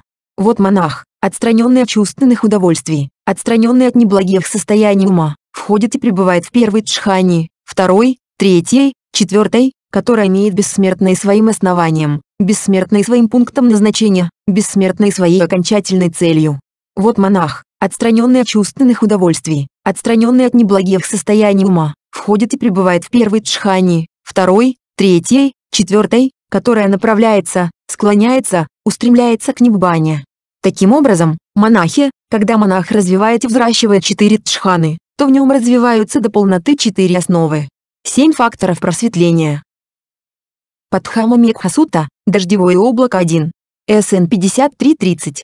Благословенный сказал, монахи, подобно тому, как в последний месяц жаркого сезона, когда поднимается груда пыли и грязи, не по сезону большое дождевое облако растворяет ее и подавляет прямо на том самом месте, то точно так же, когда монах развивает и взращивает четыре тшханы, какие бы вредоносные неблагие состояния не возникали в нем, он растворяет их и подавляет прямо на этом самом месте. И каким образом монах так делает? Вот монах, отстраненный от чувственных удовольствий, отстраненный от неблагих состояний ума, входит и пребывает в первой тшхани, второй, третьей, четвертой, которая основывается на отречении, бесстрастии, прекращении, созревает в выставлении. Вот монах, отстраненный от чувственных удовольствий, отстраненный от неблагих состояний ума, входит и пребывает в первой тшхани, второй, третьей, четвертой, которая имеет своей окончательной целью устранение жажды, устранение злобы, устранение заблуждения. Вот монах, отстраненный от чувственных удовольствий, отстраненный от неблагих состояний ума, входит и пребывает в первой тшхани, второй, третьей, четвертой, которая имеет бессмертной своим основанием, бессмертной своим пунктом назначения, бессмертной своей окончательной целью. Вот монах, отстраненный от чувственных удовольствий, отстраненный от неблагих состояний ума, входит и пребывает в первой тшхани, второй, третьей, четвертой, которая направляется, склоняется, устремляется к ниббане. Таким образом, монахи, когда монах развивает и взращивает четыре тшханы, какие бы вредоносные неблагие состояния не возникали в нем, он растворяет их и подавляет прямо на этом самом месте. Дутье Мекхасута, Дождевое облако 2. СН 5331. Благословенный сказал, монахи, подобно тому, как когда возникает большое дождевое облако, сильный ветер перехватывает его, чтобы растворить и подавить его, то точно так же, когда монах развивает и взращивает четыре тшханы, какие бы вредоносные неблагие состояния не возникали в нем, он перехватывает их, чтобы растворить и подавить их. И каким образом монах так делает? Вот монах, отстраненный от чувственных удовольствий, отстраненный от неблагих состояний ума, входит и пребывает в первой тшхани, второй, третьей, четвертой, которая основывается на отречении, бесстрастии, прекращении, созревает в выставлении. Вот монах, отстраненный от чувственных удовольствий, отстраненный от неблагих состояний ума, входит и пребывает в первой тшхани, второй, третьей, четвертой, которая имеет своей окончательной целью устранение жажды, устранение злобы, устранение заблуждения. Вот монах, отстраненный от чувственных удовольствий, отстраненный от неблагих состояний ума, входит и пребывает в первой тшхани, второй, третьей, четвертой, которая имеет бессмертной своим основанием, бессмертной своим пунктом назначения, бессмертной своей окончательной целью. Вот монах, отстраненный от чувственных удовольствий, отстраненный от неблагих состояний ума, входит и пребывает в первой тшхани, второй, третьей, четвертой, которая направляется, склоняется, устремляется к ниббане. Таким образом, монахи, когда монах развивает и взращивает четыре тшханы, какие бы вредоносные неблагие состояния не возникали в нем, он перехватывает их, чтобы растворить и подавить их. Навасута, корабль. СН 5332. Благословенный сказал, монахи, представьте, как если бы морской корабль был бы оснащен такелажем, который бы изнашивался в воде в течение шести месяцев. Его бы вытащили на сушу во время холодного сезона, и его такелаж далее подвергался бы атакам ветра и солнца. Затопленный дождем из дождевого облака такелаж легко бы обвалился и прогнил. Точно так же, монахи, когда монах развивает и взращивает четыре тшханы, его оковы легко обваливаются и прогнивают. И каким образом? Вот монах, отстраненный от чувственных удовольствий, отстраненный от неблагих состояний ума, входит и пребывает в первой джхане, второй, третьей, четвертой, которая основывается на отречении, бесстрастии, прекращении, созревает в выставлении. Вот монах, отстраненный от чувственных удовольствий, отстраненный от неблагих состояний ума, входит и пребывает в первой джхане, второй, третьей, четвертой, которая имеет своей окончательной целью устранение жажды, устранение злобы, устранение заблуждения. Вот монах, отстраненный от чувственных удовольствий, отстраненный от неблагих состояний ума, входит и пребывает в первой джхане, второй, третьей, четвертой, которая имеет бессмертной своим основанием, бессмертной своим пунктом назначения, бессмертной своей окончательной целью. Вот монах, отстраненный от чувственных удовольствий, отстраненный от неблагих состояний ума, входит и пребывает в первой джхане, второй, третьей, четвертой, которая направляется, склоняется, устремляется к ниббане. Таким образом, монахи, когда монах развивает и взращивает четыре джханы, его оковы легко обваливаются и прогнивают. Агантука Сутта, гостевой дом. СН 5333. Благословенный сказал, монахи, представьте гостевой дом. Люди идут с востока, с запада, с севера, с юга и поселяются там. Кхатте, брахманы, весы и судды приходят и поселяются там. Точно так же, когда монах развивает и взращивает четыре джханы, он полностью понимает посредством прямого знания те вещи, которые следует полностью понять посредством прямого знания. Он отбрасывает прямым знанием те вещи, которые следует отбросить прямым знанием. Он реализует прямым знанием те вещи, которые следует реализовать прямым знанием. Он развивает прямым знанием те вещи, которые следует развить прямым знанием. Один, и что это, монахи, за вещи, которые следует полностью понять посредством прямого знания? Следует ответить так, пять совокупностей, к которым происходит цепляние. Какие пять?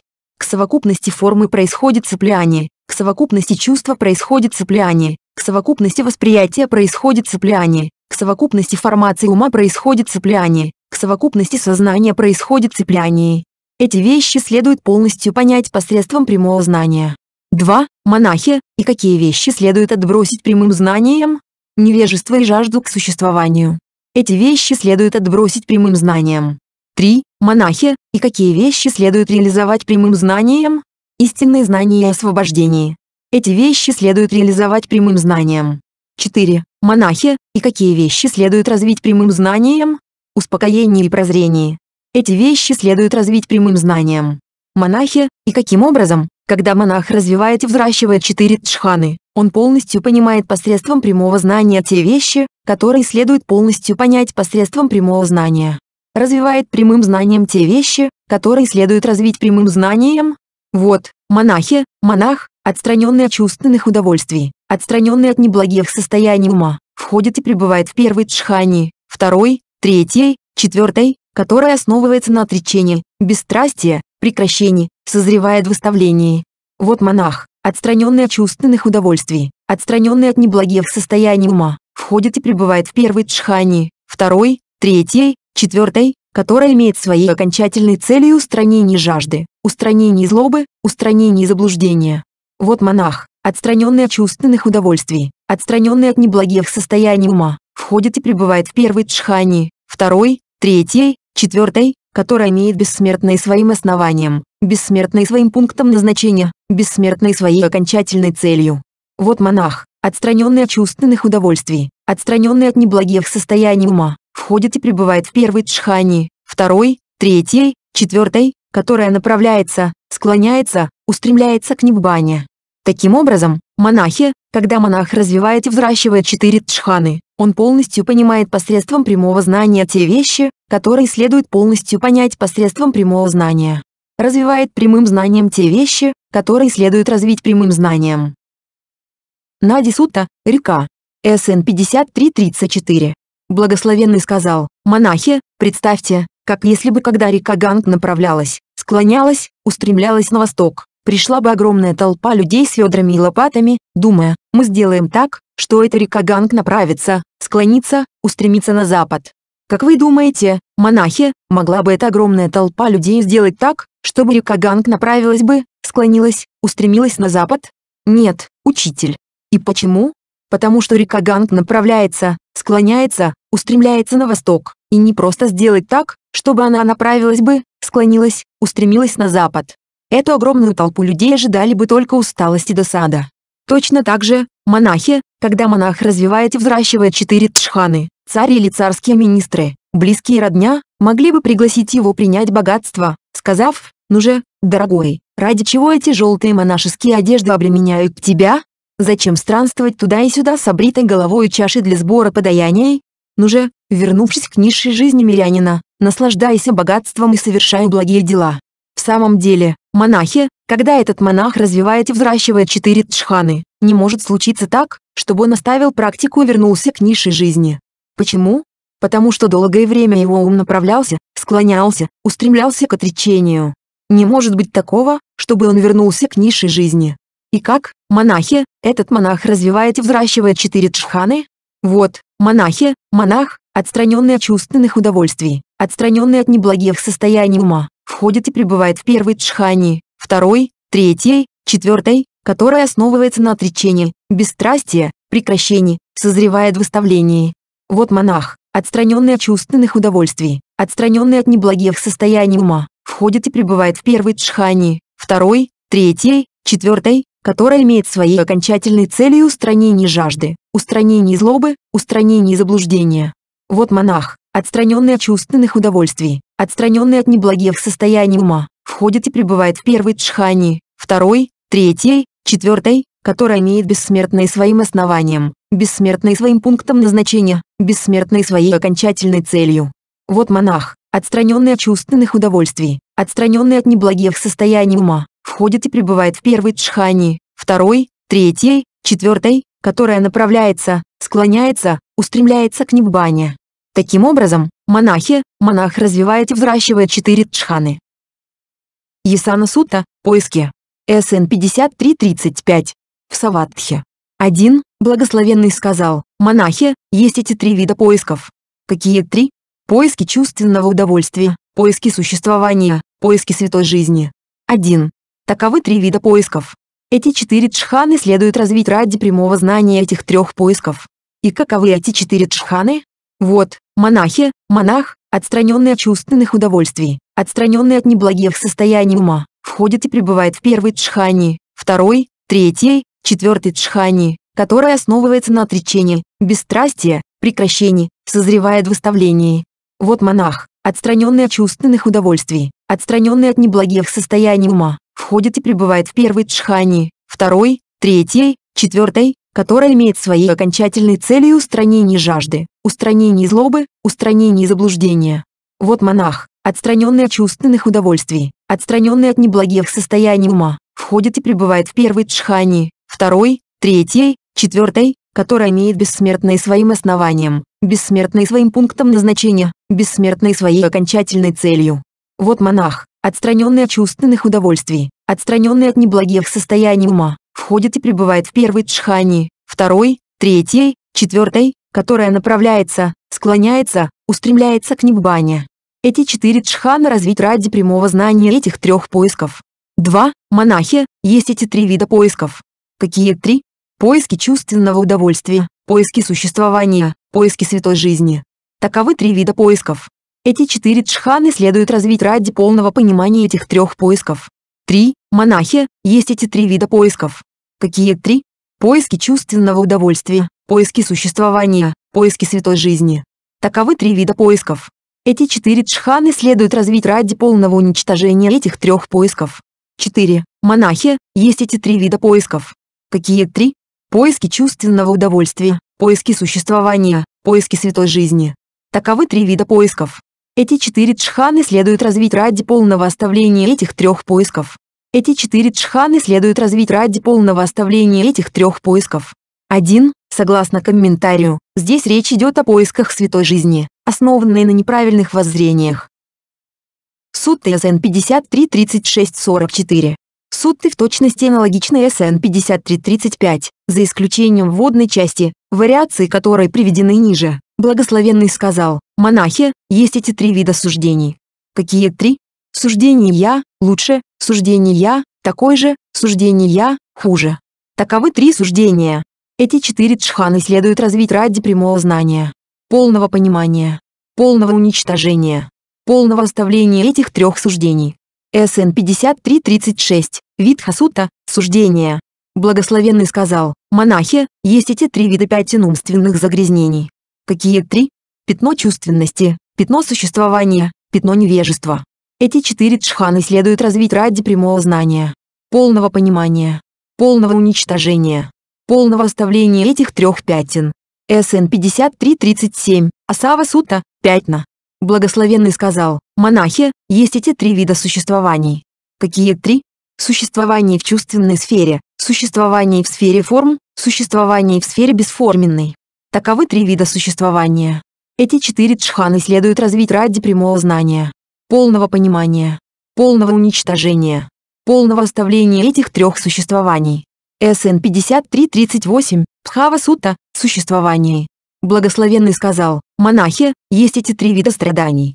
Какие три? Страдания из-за боли, страдания из-за формации, страдания из-за перемен. Таковы три вида страданий. Эти четыре джханы следует развить ради прямого знания, полного понимания, полного уничтожения, полного оставления этих трех страданий. СН 5339, Дукхата Сута, страданий. Благословенный сказал, монахи, есть эти три вида бесполезности. Какие три? Бесполезность жажды, бесполезность злобы, бесполезность заблуждения. Таковы три бесполезности. Эти четыре джханы следует развить ради прямого знания, полного понимания, полного уничтожения, полного оставления этих трех бесполезностей. СН 5340, Тхиласута, бесполезность. Благословенный сказал, монахи, есть эти три вида запятненности. Какие три? Запятнанность жажды, запятнанность злобы, запятнанность заблуждения. Таковы три запятненности. Эти четыре джханы следует развить ради прямого знания, полного понимания, полного уничтожения, полного оставления этих трех запятненностей. СН 5341, Маласута, запятнанность. Благословенный сказал, монахи, есть эти три вида проблем. Какие три? Проблема жажды, проблема злобы, проблема заблуждения. Таковы три проблемы. Эти четыре джханы следует развить ради прямого знания, полного понимания, полного уничтожения, полного оставления этих трех проблем. СН 5342, Ник Хасута, проблемы. Благословенный сказал, монахи, есть эти три вида чувств. Какие три? Приятное чувство, болезненное чувство, неприятное и неболезненное чувство. Таковы три чувства. Эти четыре джханы следует развить ради прямого знания, полного понимания, полного уничтожения, полного оставления этих трех чувств. СН 5343, Ведана Сута, чувства. Благословенный сказал, монахи, есть эти три вида жажды. Какие три? Жажда к чувственным удовольствиям, жажда к существованию, жажда к несуществованию. Таковы три жажды. Эти четыре джханы следует развить ради прямого знания, полного понимания, полного уничтожения, полного оставления этих трех видов жажды. СН 5344, Танхасута, жажда. Сутта СН 5345-54.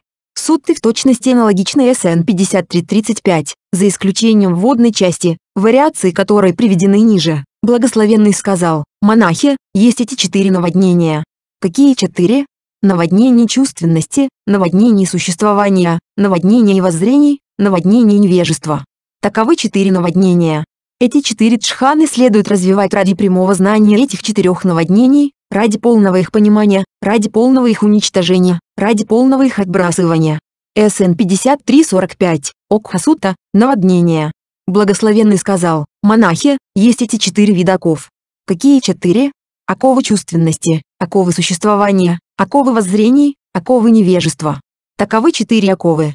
Эти четыре джханы следует развивать ради прямого знания этих четырех оков, ради полного их понимания, ради полного их уничтожения, ради полного их отбрасывания. СН 5346, Йога Сута, оковы. Благословенный сказал, монахи, есть эти четыре цепляния. Какие четыре? Цепляние к чувственным удовольствиям, цепляние к воззрениям, цепляние к правилам и предписаниям, цепляние к доктрине о существовании «я». Таковы четыре цепляния. Эти четыре джханы следует развивать ради прямого знания этих четырех цепляний, ради полного их понимания, ради полного их уничтожения, ради полного их отбрасывания. СН 5347, Упадана Сута, цепляние. Благословенный сказал, монахи, есть эти четыре узла. Какие четыре? Телесный, один, узел жадности, телесный узел недоброжелательности, телесный узел привязанности к правилам и предписаниям, телесный узел привязанности к догматическому утверждению об истинном. Таковы четыре узла. Эти четыре джханы следует развивать ради прямого знания этих четырех узлов, ради полного их понимания, ради полного их уничтожения, ради полного их отбрасывания. СН 5348, Гандхасута, узлы. Благословенный сказал, монахи, есть эти семь скрытых склонностей. Какие семь? Скрытая склонность к чувственной жажде, скрытая склонность к отвращению, скрытая склонность к воззрениям, скрытая склонность к сомнению, скрытая склонность к самомнению, скрытая склонность к жажде существовать, скрытая склонность к невежеству. Таковы семь скрытых склонностей. Эти четыре джханы следует развивать ради прямого знания этих семи скрытых склонностей, ради полного их понимания, ради полного их уничтожения, ради полного их отбрасывания. СН 5349, Анусая Сута, скрытые склонности. Благословенный сказал, монахи, есть эти пять нити чувственности. Какие пять? Формы, воспринимаемые глазом, милые, приятные, чарующие, привлекательные, воспаляющие желания, соблазнительные. Звуки, воспринимаемые ухом, милые, приятные, чарующие, привлекательные, воспаляющие желания, соблазнительные. Запахи, воспринимаемые носом, милые, приятные, чарующие, привлекательные, воспаляющие желания, соблазнительные. Вкусы, воспринимаемые языком, милые, приятные, чарующие, привлекательные, воспаляющие желания, соблазнительные. Тактильные ощущения, воспринимаемые телом, милые, приятные, чарующие, привлекательные, воспаляющие желания, соблазнительные. Таковы пять нити чувственности. Эти четыре джханы следует развивать ради прямого знания этих пяти нити чувственности, ради полного их понимания, ради полного их уничтожения, ради полного их отбрасывания. СН 5350, Камагуна Сута, нити чувственности. Благословенный сказал, монахи, есть эти пять помех. Какие пять? Помеха чувственного желания, помеха недоброжелательности, помеха лени и апатии, помеха неугомонности и сожаления, помеха сомнения. Таковы пять помех. Эти четыре джханы следует развивать ради прямого знания этих пяти помех, ради полного их понимания, ради полного их уничтожения, ради полного их отбрасывания. СН 5351, Ниварана Сута, помехи. Благословенный сказал, монахи, есть эти пять совокупностей, к которым происходит цепляние. Какие пять? Форма как совокупность, к которой происходит цепляние, чувство как совокупность, к которой происходит цепляние, восприятие как совокупность, которой происходит цепляние, волевые формирователи как совокупность, которой происходит цепляние, сознание как совокупность, которой происходит цепляние. Таковы пять совокупностей, к которым происходит цепляние. Эти четыре джханы следует развивать ради прямого знания этих пяти совокупностей, к которым происходит цепляние, ради полного их понимания, ради полного их уничтожения, ради полного их отбрасывания. СН 5352, Упадана Кхандхасута, совокупности. Благословенный сказал, монахи, есть эти пять нижних оков. Какие пять? Воззрение существования «я», сомнений, цепляние к правилам и предписаниям, чувственное желание, недоброжелательность. Таковы пять нижних оков. Эти четыре джханы следует развивать ради прямого знания этих пяти нижних оков, ради полного их понимания, ради полного их уничтожения, ради полного их отбрасывания. СН 5353, Арамбхаги Саниджана Сута, пять нижних оков. Благословенный сказал, монахи, есть эти пять высших оков. Какие пять? Жажда к формам, жажда к бесформенности, самомнение, неугомонность, невежество. Таковы пять высших оков. Эти четыре джханы следует развивать ради прямого знания этих пяти высших оков, ради полного их понимания, ради полного их уничтожения, ради полного их отбрасывания. СН 5354, Утхампхаги Саниджана Сута, 5 высших оков. 1. Кайгандха. Комментарий поясняет это как узел в намарупе, телесознании. Екатхама Сута – одна вещь. СН 54.1. В Саватхе. Там благословенный сказал следующий, монахи, это одна вещь, будучи развитой и возвращенной, приносит великий плод и благо. Какая одна? Осознанность к дыханию. И как, монахи, осознанность к дыханию, будучи развитой и возвращенной, приносит великий плод и блага? Вот, монахи, монах, затворившись в лесу, у подножья дерева или в пустом жилище, садится. Скрестив ноги, выпрямив тело, он устанавливает осознанность впереди. Будучи осознанным, он вдыхает, будучи осознанным, он выдыхает. 1. Делая долгий вдох, он знает, я делаю долгий вдох. Или, делая долгий выдох, он знает, я делаю долгий выдох.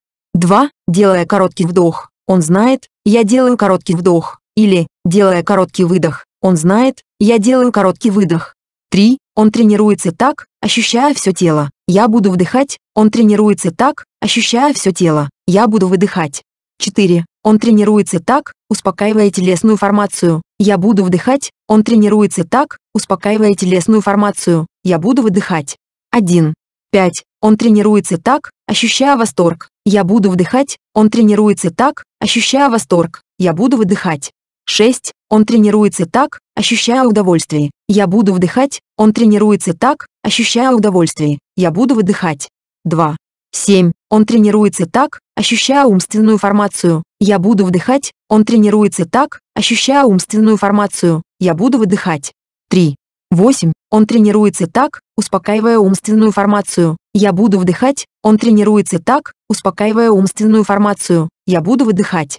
9. Он тренируется так, ощущая ум. Я буду вдыхать, он тренируется так, ощущая ум. Я буду выдыхать. 10. Он тренируется так, радуя ум. Я буду вдыхать, он тренируется так, радуя ум. Я буду выдыхать. 11. Он тренируется так, сосредоточивая ум. Я буду вдыхать, он тренируется так, сосредоточивая ум. Я буду выдыхать. 12. Он тренируется так, освобождая ум. Я буду вдыхать, он тренируется так, освобождая ум. Я буду выдыхать. 4.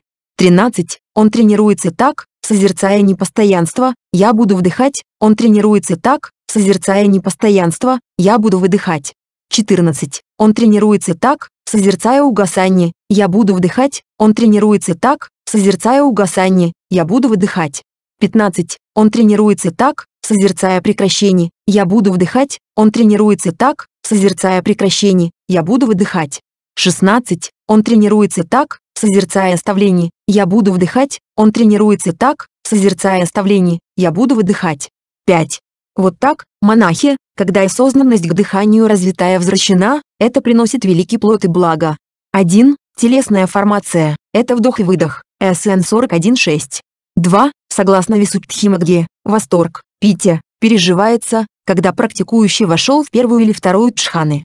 После выхода из них, он постигает прозрением восторг, связанный с чханой, на предмет происхождения и исчезновения. Счастье, сукха, достигается в нижних трех чханах. После выхода из них оно также аналогичным образом становится объектом для прозрения. 3. Умственные формации, читтасандхара – это чувство и восприятие, веданы и санья, они присутствуют во всех четырех чханах. 4. Согласно Висуптхимагде, ощущая ум следует понимать посредством четырех чхан. Ум радуется достижением первых двух чхан, сопровождаемых восторгом, или же посредством прозрения в них, когда они видятся как подверженные происхождению и исчезновению.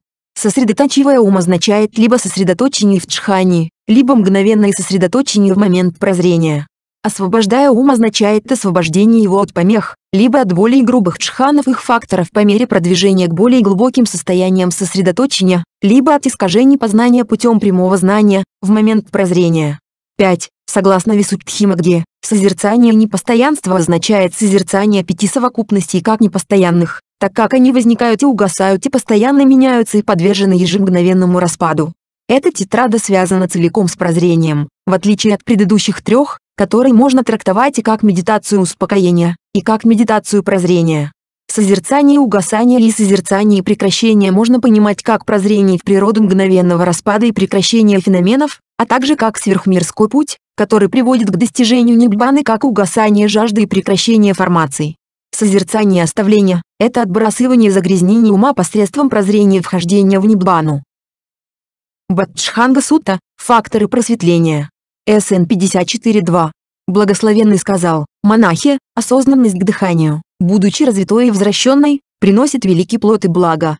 И как, монахи, осознанность к дыханию, будучи развитой и возвращенной, приносит великий плод и благо? 1. Вот, монахи, монах развивает осознанность как фактор просветления вместе с осознанностью к дыханию, основанный на отречении, бесстрастии, прекращении созревающего выставлении. 2. Он развивает исследование состояний как фактор просветления вместе с осознанностью к дыханию. 3. Он развивает усердие как фактор просветления вместе с осознанностью к дыханию. 4. Он развивает восторг как фактор просветления вместе с осознанностью к дыханию. 5. Он развивает безмятежность как фактор просветления вместе с осознанностью к дыханию. 6. Он развивает сосредоточение как фактор просветления вместе с осознанностью к дыханию. 7. Он развивает невозмутимость как фактор просветления вместе с осознанностью к дыханию, основанный на отречении, бесстрастие, прекращении созревающей выставлении. Вот так, монахи, осознанность к дыханию, будучи развитой и возвращенной, приносит великий плод и благо. Судхака Сутта – простое. СН 54.3. Сутта идентична СН 54.1, но здесь нет вступительной фразы «в Саватхе». Там благословенный сказал следующий, а начинается сразу с обращения к монахам. Падхамадхала Сутта, плоды 1. СН 54.4. Сутта идентична СН 54.1, но здесь в самом конце добавлена фраза «Вот так, монахи, когда осознанность к дыханию развита и возвращена так, то можно ожидать получения одного из двух плодов, либо окончательного знания в этой самой жизни, либо, если еще осталось цепляние, то состояние невозвращения. Дутия Пхала Сутта, плоды 2. СН 54.5. Сутта идентична СН 54.3, но здесь в самом конце добавлен такой фрагмент, вот так, монахи, когда осознанность к дыханию развита и возвращена так, то можно ожидать получения семи плодов и благ. Каких семи? 1. Человек достигает окончательного знания уже в этой самой жизни. 2. Если он не достигает окончательного знания уже в этой самой жизни, то он достигает окончательного знания в момент смерти. 3. Если он не достигает окончательного знания уже в этой самой жизни, или же в момент смерти, то с полным уничтожением пяти нижних оков, он становится достигающим Ниббаны в промежутке. 4. Достигающим Ниббаны по приземлении. 5. Достигающим Ниббаны без усилия. 6. Достигающим Ниббаны с усилием. 7. Становится тем, кто направляется вверх, устремляясь к миру чистых обителей Аканитха. Монахи, когда осознанность к дыханию развита и возвращена так, то можно ожидать получения этих семи плодов и благ. Аритха Сута, Аритха. СН 54.6. В Саватхе. Там благословенный сказал так, монахи, развиваете ли вы осознанность к дыханию? Когда так было сказано, достопочтенный Аритха сказал благословенному, «Учитель, я развиваю осознанность к дыханию». Но как, Аритха, ты развиваешь осознанность к дыханию? Я отбросил чувственное желание к прошлым чувственным удовольствиям. Учитель, я избавился от чувственного желания к будущим чувственным удовольствиям, и я тщательно устранил восприятие отвращения по отношению к внутренним и внешним вещам. Будучи осознанным, я вдыхаю, будучи осознанным, я выдыхаю. Вот так, учитель, я развиваю осознанность к дыханию. Такова осознанность к дыханию, аритха. Я не говорю, что она не такова. Но что касается осознанности к дыханию, осуществляемой в подробностях, аритха, то слушай внимательно, я буду говорить. 1. Да, учитель, ответил достопочтенный Аритха. Благословенный сказал, и как, Аритха, осознанность к дыханию осуществляется в подробностях? Вот, Аритха, монах, затворившись в лесу, у подножья дерева или в пустом жилище, садится. Скрестив ноги, выпрямив тело, он устанавливает осознанность впереди. Будучи осознанным, он вдыхает, будучи осознанным, он выдыхает. Делая долгий вдох, он знает, я делаю долгий вдох, или, делая долгий выдох, он знает, я делаю долгий выдох. 2. Он тренируется так, созерцая оставление, я буду вдыхать, он тренируется так, созерцая оставление, я буду выдыхать. Вот так, аритха, осознанность к дыханию осуществляется в подробностях. 1. Согласно комментарию, Аритха объяснил свое достижение невозвращения. По заметке под комментария, это видно по его косвенному утверждению об отбрасывании пяти нижних оков. Однако Будда объясняет далее практику прозрения, которая ведет к араханству. 2. Здесь идут все этапы анапанасати, описываемые в СН 54.1. Махакаппина Сута, Махакаппина. СН 54.7. В Саватхе. И в тот момент достопочтенный Махакаппина сидел неподалеку от благословенного, скрестив ноги, держа тело выпрямленным, установив осознанность впереди. Благословенный увидел его сидящим неподалеку, скрестившего ноги, держащего тело выпрямленным, установившего осознанность впереди. Увидев его, он обратился к монахам так, «Монахи, видите ли вы хоть какое-то покачивание и шевеление тела этого монаха? Учитель, каждый раз, как мы видим этого достопочтенного, сидит ли он посреди сандхи или же сидит, уединившись, мы не замечаем какого-либо покачивания и шевеления тела этого достопочтенного. монахе, этот монах обретает по желанию, без сложностей и проблем, такого сосредоточения, за счет развития и взращивания которого не происходит какого-либо покачивания и шевеления тела, и не происходит покачивания и шевеления ума. И что это за сосредоточение, за счет развития и взращивания которого не происходит какого-либо покачивания и шевеления тела, и не происходит покачивания и шевеления ума? Когда, монахи, сосредоточение осознанности к дыханию было развито и возвращено, не происходит какого-либо покачивания и шевеления тела, и не происходит покачивания и шевеления ума. И как, монахи, сосредоточение осознанности к дыханию развивается и взращивается, что не происходит какого-либо покачивания и шевеления тела, и не происходит покачивания и шевеления ума? Вот, монахи, монах, затворившись в лесу, у подножья дерева или в пустом жилище, садится. Скрестив ноги, выпрямив тело, он устанавливает осознанность впереди. Будучи осознанным, он вдыхает, будучи осознанным, он выдыхает. Делая долгий вдох, он знает, я делаю долгий вдох, или, делая долгий выдох, он знает, я делаю долгий выдох.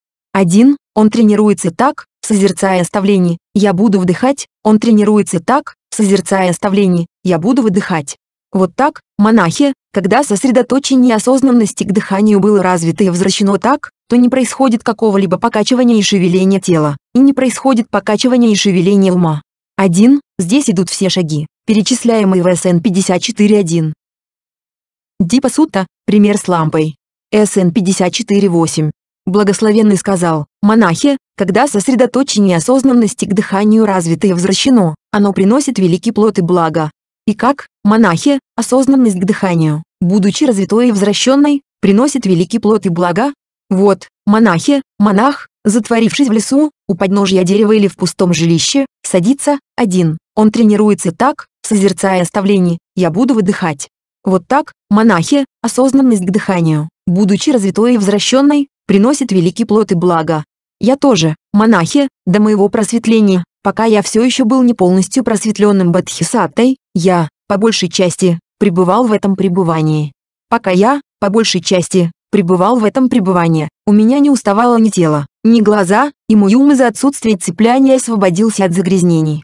Один, поэтому, монахи, если монах желает, Пусть у меня ни тело, ни глаза не станут уставшими, и пусть мой ум из-за отсутствия цепляния освободится от загрязнений, то ему следует тщательно практиковать это самое сосредоточение осознанности к дыханию. 2. 2. Поэтому, монахи, если монах желает, пусть воспоминания и устремления, связанные с домохозяйской жизнью, будут отброшены мной, то ему следует тщательно практиковать это самое сосредоточение осознанности к дыханию. 3. Поэтому, монахи, если монах желает, пусть я буду пребывать в восприятии отвратительного в неотвратительном. 3. То ему следует тщательно практиковать это самое сосредоточение осознанности к дыханию. Если монах желает, пусть я буду пребывать в восприятии неотвратительного в отвратительном, то ему следует тщательно практиковать это самое сосредоточение осознанности к дыханию. Если монах желает, пусть я буду пребывать в восприятии отвратительного и в неотвратительном и в отвратительном, то ему следует тщательно практиковать это самое сосредоточение осознанности к дыханию. Если монах желает, пусть я буду пребывать в восприятии неотвратительного и в неотвратительном и в отвратительном, то ему следует тщательно практиковать это самое сосредоточение осознанности к дыханию. Если монах желает, избегая неотвратительного и отвратительного, пусть я буду пребывать в невозмутимости, осознанным и бдительным, то ему следует тщательно практиковать это самое сосредоточение осознанности к дыханию. 4. Поэтому, монахи, если монах желает, пусть я, будучи отстраненным от чувственных удовольствий, отстраненным от неблагих состояний ума, войду и буду пребывать в первой тшхани, которая сопровождается направлением и удержанием ума на объекте медитации, с восторгом и удовольствием, которые возникли из-за этой отстраненности, то ему следует тщательно практиковать это самое сосредоточение осознанности к дыханию. 5. Поэтому, монахи, если монах желает, пусть я с успокоением направления и удержания ума, войду и буду пребывать во второй тшхани, в которой нет направления и удержания, но есть внутренняя устойчивость и единение ума, а также восторг и удовольствие, рожденные сосредоточением, то ему следует тщательно практиковать это самое сосредоточение осознанности к дыханию. 6. Поэтому, монахи, если монах желает, пусть я с успокоением восторга буду пребывать невозмутимым, осознанным и бдительным и ощущать приятное телом. Я войду и буду пребывать в третьей чхани, о которой благородные говорят так, непоколебимый и осознанный, он пребывает в приятном пребывании, то ему следует тщательно практиковать это самое сосредоточение осознанности к дыханию. 7. поэтому, монахи, если монах желает, пусть я с успокоением удовольствия и боли, как и с предшествующим угасанием радости и недовольства, войду и буду пребывать в четвертой тшхани, которая неприятно не болезненна, характерна чистейшей осознанностью из-за невозмутимости, то ему следует тщательно практиковать это самое сосредоточение осознанности к дыханию.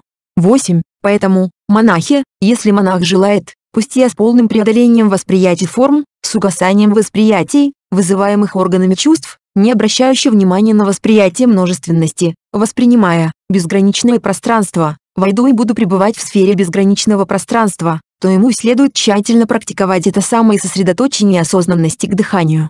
9. Поэтому, монахи, если монах желает, пусть я с полным преодолением сферы безграничного пространства, осознавая безграничное сознание, войду и буду пребывать в сфере безграничного сознания, то ему следует тщательно практиковать это самое сосредоточение осознанности к дыханию. 10. Поэтому, монахи, если монах желает, пусть я с полным преодолением сферы безграничного сознания, воспринимая, здесь ничего нет, войду и буду пребывать в сфере отсутствия всего, то ему следует тщательно практиковать это самое сосредоточение осознанности к дыханию. 11. Поэтому, монахи, если монах желает, пусть я с полным преодолением сферы отсутствия всего войду и буду пребывать в сфере невосприятия, не невосприятия, то ему следует тщательно практиковать это самое сосредоточение осознанности к дыханию. 12. Поэтому, монахи, если монах желает, пусть я с полным преодолением сферы невосприятия, не невосприятия, войду и буду пребывать в прекращении восприятия и чувствования, то ему следует тщательно практиковать это самое сосредоточение осознанности к дыханию. Когда, монахи, сосредоточение осознанности к дыханию было развито и возвращено таким образом, то, если он чувствует приятные чувства, он понимает, оно не постоянно. Он понимает, за него не стоит цепляться. Он понимает, им не стоит наслаждаться. Если он чувствует болезненное чувство, он понимает, оно не постоянно. Он понимает, за него не стоит цепляться. Он понимает, им не стоит наслаждаться. Если он чувствует неприятное неболезненное чувство, он понимает, оно не постоянно. Он понимает, за него не стоит цепляться. Он понимает, им не стоит наслаждаться. Если он чувствует приятные чувства, он чувствует его, будучи отсоединенным от него. Если он чувствует болезненное чувство, он чувствует его, будучи отсоединенным от него. Если он чувствует неприятное неболезненное чувство, он чувствует его, будучи отсоединенным от него. Когда он чувствует чувство, прекращающееся вместе с телом, он понимает, я чувствую чувство, прекращающееся вместе с телом. Когда он чувствует чувство, прекращающееся вместе с жизнью, он понимает, я чувствую чувство, прекращающееся вместе с жизнью. Он понимает, после распада тела, после истощения жизни, все, что чувствуется, при отсутствии наслаждения в этом, прямо здесь угаснет. Подобно тому, монахи, как масляная лампа горит в зависимости от масла и фитиля, и с истощением масла и фитиля она гаснет из-за недостатка топлива, то точно так же, монахи, когда монах чувствует чувства, прекращающиеся вместе с телом, прекращающиеся вместе с жизнью, он понимает, после распада тела, после истощения жизни, все, что чувствуется, при отсутствии наслаждения в этом, прямо здесь угаснет. 1. Здесь перечисляются все 16 шагов, описанные в СН 54.1. 2. Не безинтересно, что, согласно комментарию, медитация на других объектах, таких как четыре элемента или кассина вызывает напряжение в глазах и в теле, а также подавленность после выхода из такой медитации, тогда как при осознанности к дыханию такого не происходит. 3. Согласно комментарию, речь идет об аритхе.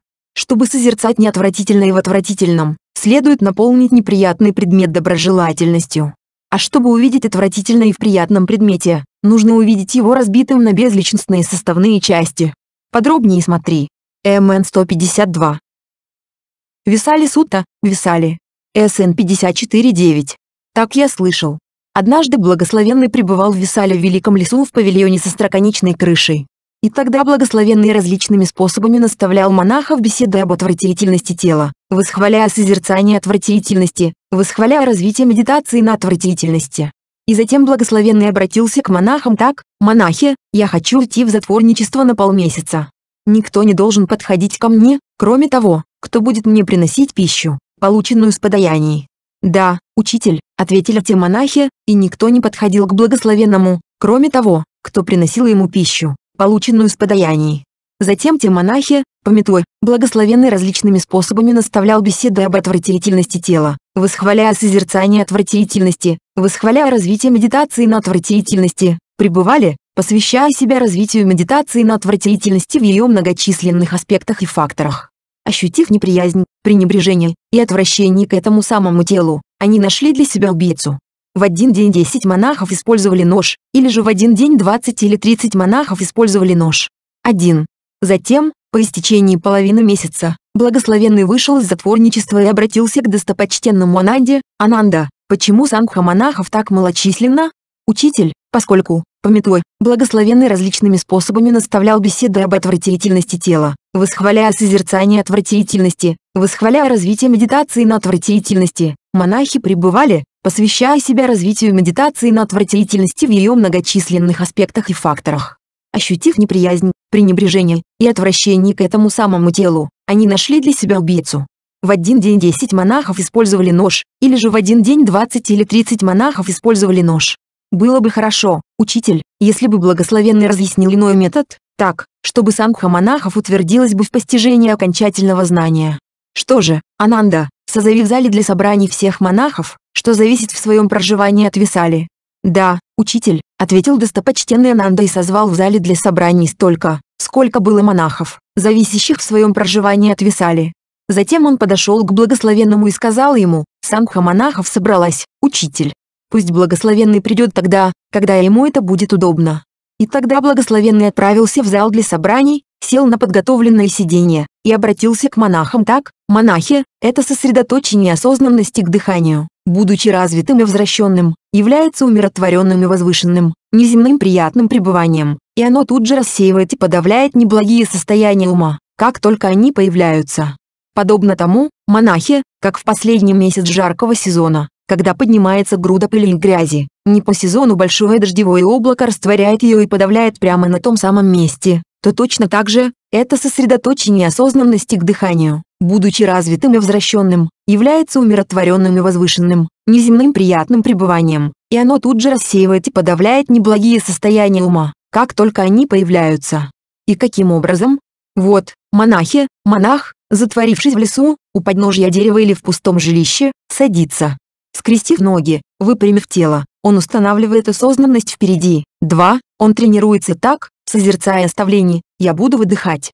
Вот так, монахи, это сосредоточение осознанности к дыханию, подавляет неблагие состояния ума, как только они появляются.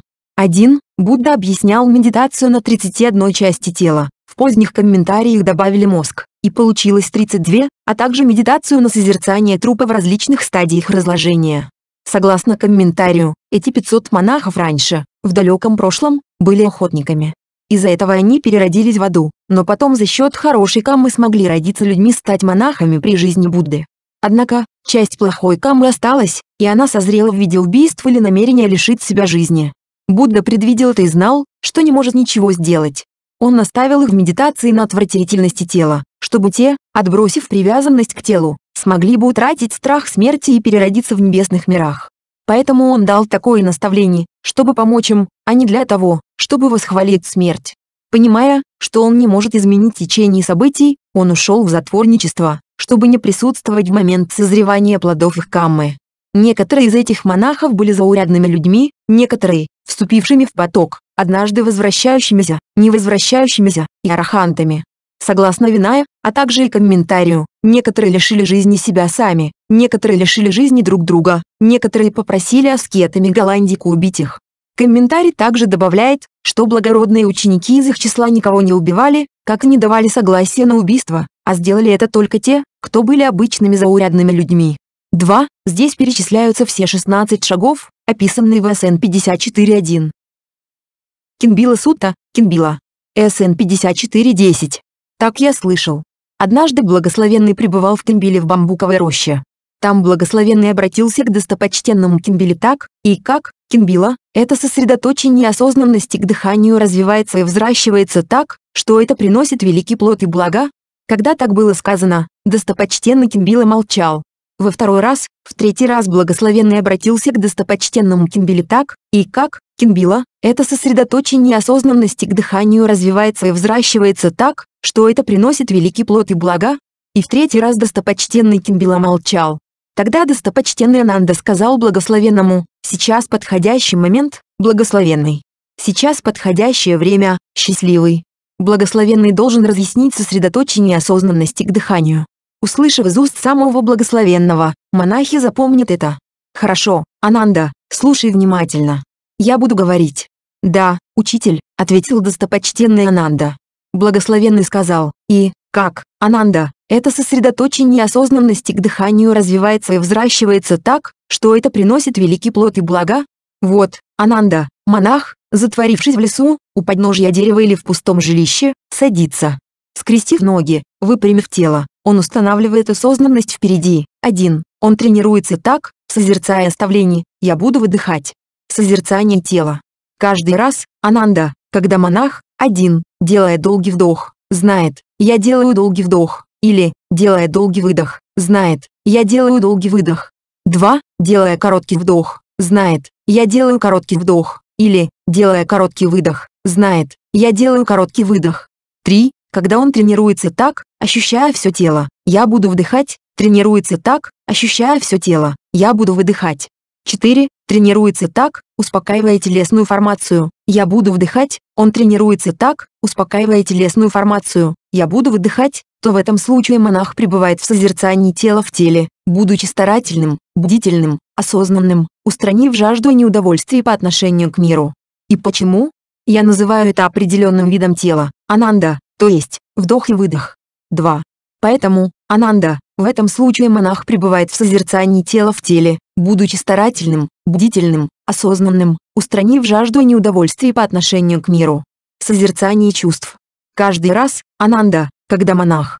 5. Тренируется так, ощущая восторг, я буду вдыхать, тренируется так, ощущая восторг, я буду выдыхать. 6. Тренируется так, ощущая счастье, я буду вдыхать, тренируется так, ощущая счастье, я буду выдыхать. 7. Тренируется так, ощущая умственную формацию. Я буду вдыхать. Тренируется так, ощущая умственную формацию. Я буду выдыхать. 8. Тренируется так, успокаивая умственную формацию. Я буду вдыхать. Тренируется так, успокаивая умственную формацию. Я буду выдыхать, то в этом случае монах пребывает в созерцании чувств в чувствах, будучи старательным, бдительным, осознанным, устранив жажду и неудовольствие по отношению к миру. И почему? Я называю это определенным видом чувства, ананда, то есть, пристальное внимание к вдоху и выдоху. 3. Поэтому, ананда, в этом случае монах пребывает в созерцании чувств в чувствах, будучи старательным, бдительным, осознанным, устранив жажду и неудовольствие по отношению к миру. Созерцание ума. 9. Тренируется так, ощущая ум, я буду вдыхать, тренируется так, ощущая ум, я буду выдыхать. 10. Тренируется так, радуя ум, я буду вдыхать, Тренируется так, радуя ум, я буду выдыхать. 11. Тренируется так, сосредоточивая ум, я буду вдыхать, тренируется так, сосредоточивая ум, я буду выдыхать. 12. Тренируется так, освобождая ум, я буду вдыхать, тренируется так, освобождая ум, я буду выдыхать, то в этом случае монах пребывает в созерцании ума в уме, будучи старательным, бдительным, осознанным, устранив жажду и неудовольствие по отношению к миру. И почему? Я утверждаю, Ананда, что нет развития сосредоточения осознанности к дыханию того, чей ум замутнен и у кого нет бдительности. Поэтому, Ананда, в этом случае монах пребывает в созерцании ума в уме, будучи старательным, бдительным, осознанным, устранив жажду и неудовольствие по отношению к миру. Созерцание феноменов. 13. Тренируется так, созерцая непостоянство, я буду вдыхать, тренируется так, созерцая непостоянство, я буду выдыхать.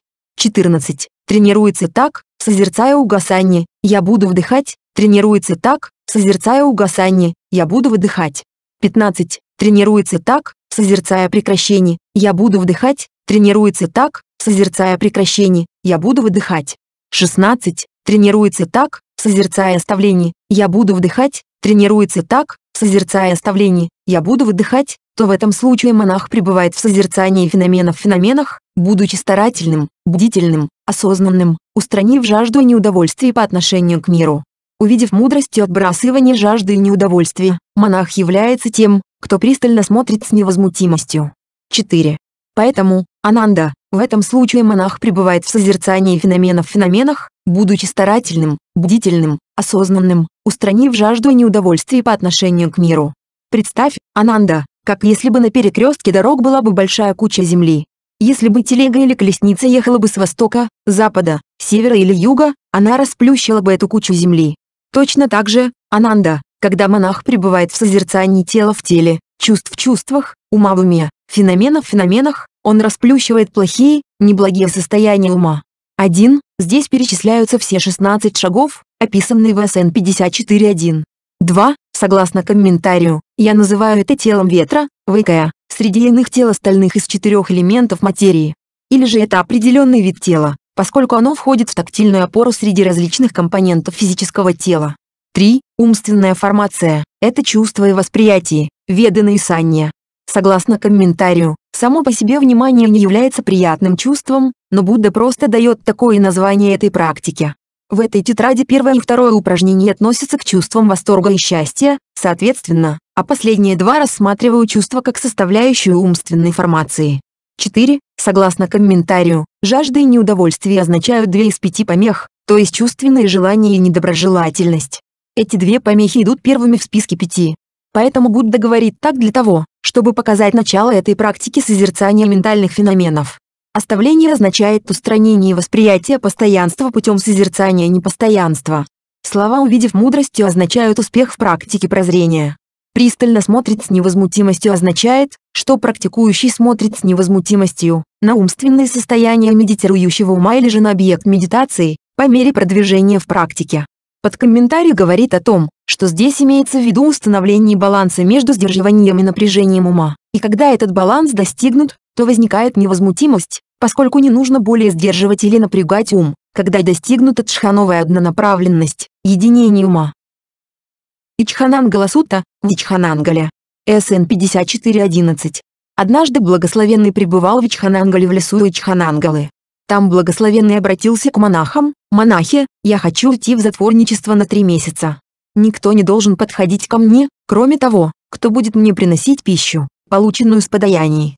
«Да, учитель», — ответили те монахи, и никто не подходил к благословенному, кроме того, кто приносил ему пищу, полученную с подаяний.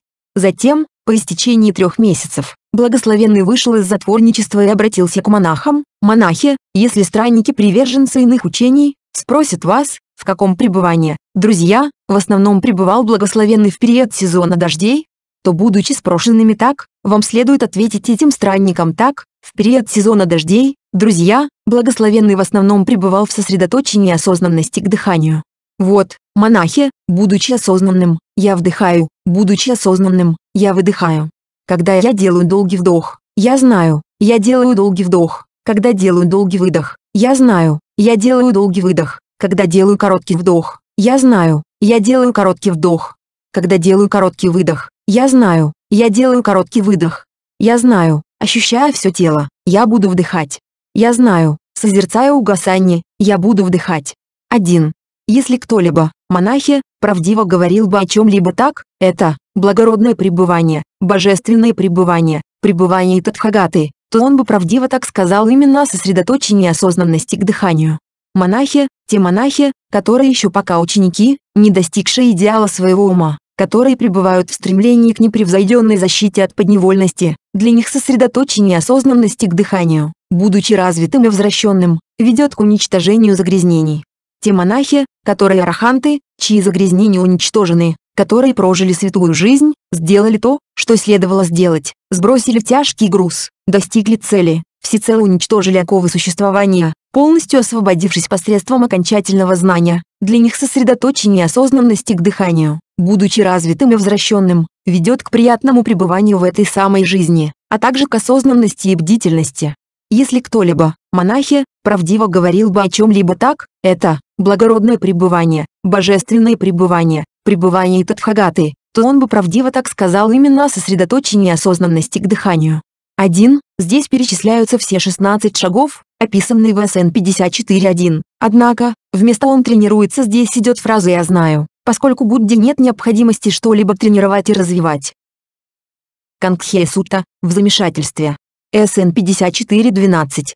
Однажды достопочтенный Лама Савангиса пребывал среди сакьев Капилаватху в парке Нигродхи. И тогда Маханама из клана Сакьев подошел к достопочтенному Лама Савангисе, поклонился ему, сел рядом и сказал ему, Так ли оно, господин, что пребывание ученика тождественно пребыванию Тадхагаты, или же пребывание ученика – это одно, а пребывание Тадхагаты – нечто иное? Не так оно, друг Маханама, что пребывание ученика тождественно пребыванию Тадхагаты. Напротив, пребывание ученика – это одно, а пребывание Тадхагаты – нечто иное. Друг Маханама – те монахи, которые еще ученики, не достигшие идеала своего ума, которые пребывают в устремлении к непревзойденной защите от подневольности, пребывают, временно отбросив пять помех. Какие пять?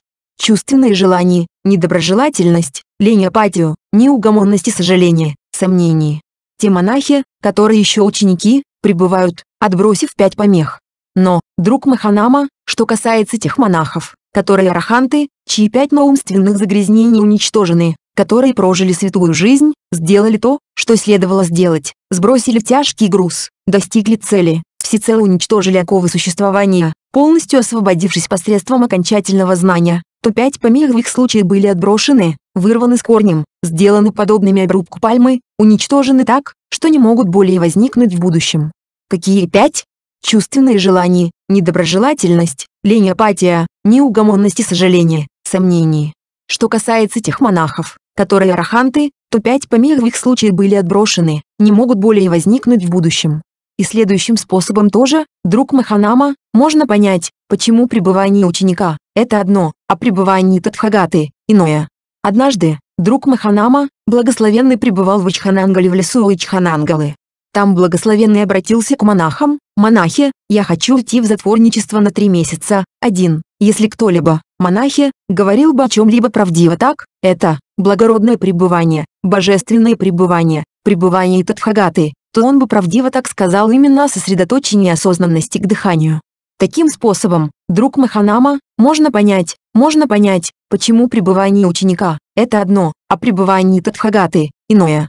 Один, здесь перечисляются все 16 шагов, описанные в СН 54.11. Падхама Ананда Сута, Ананда 1. СН 54.13. В Саватхе. И тогда достопочтенный Ананда подошел к благословенному, поклонился ему, сел рядом и сказал ему, «Учитель, есть ли такая одна вещь, которая, будучи развитой и возвращенной, вела бы к реализации четырех вещей, и четыре вещи, которые, будучи развитыми и возвращенными, вели бы к реализации семи вещей, и семь вещей, которые, будучи развитыми и возвращенными, вели бы к реализации двух вещей, есть, Ананда, одна вещь, которая, будучи развитой и возвращенной, ведет к реализации четырех вещей, и четыре вещи, которые, будучи развитыми и возвращенными, ведут к реализации семи вещей, и семь вещей, которые, будучи развитыми и возвращенными, ведут к реализации двух вещей. Но, учитель, что это за одна вещь, четыре вещи, семь вещей, которые, будучи развитыми и возвращенными, ведут к реализации двух вещей? Сосредоточение осознанности к дыханию. Ананда – это одна вещь, которая, будучи развитой и возвращенной, ведет к реализации четырех основ осознанности. Четыре основы осознанности, будучи развитыми и возвращенными, ведут к реализации семи факторов просветления. Семь факторов просветления, будучи развитыми и возвращенными, ведут к реализации истинного знания и освобождения. Реализация четырех основ осознанности. И как, Ананда, сосредоточение осознанности к дыханию, будучи развитым и возвращенным, ведет к реализации четырех основ осознанности? Вот, Ананда, монах, затворившись в лесу, у подножья дерева, или в пустом жилище, садится. Скрестив ноги, выпрямив тело, он устанавливает осознанность впереди. Будучи осознанным, он вдыхает, будучи осознанным, он выдыхает. Один, он тренируется так, созерцая оставление, я буду выдыхать. Каждый раз, Ананда, когда монах, делая долгий вдох, знает, я делаю долгий вдох. Два, монах пребывает в созерцании феноменов в феноменах, будучи старательным, бдительным, осознанным, устранив жажду и неудовольствие по отношению к миру. Вот так, Ананда, сосредоточение осознанности к дыханию, будучи развитым и возвращенным, ведет к реализации четырех основ осознанности. Реализация семи факторов просветления. И как, Ананда, четыре основы осознанности, будучи развитыми и возвращенными, ведут к реализации семи факторов просветления. Один, Каждый раз, Ананда, когда монах пребывает в созерцании тела в теле, то в этом случае незамутненная осознанность утверждается в этом монахе.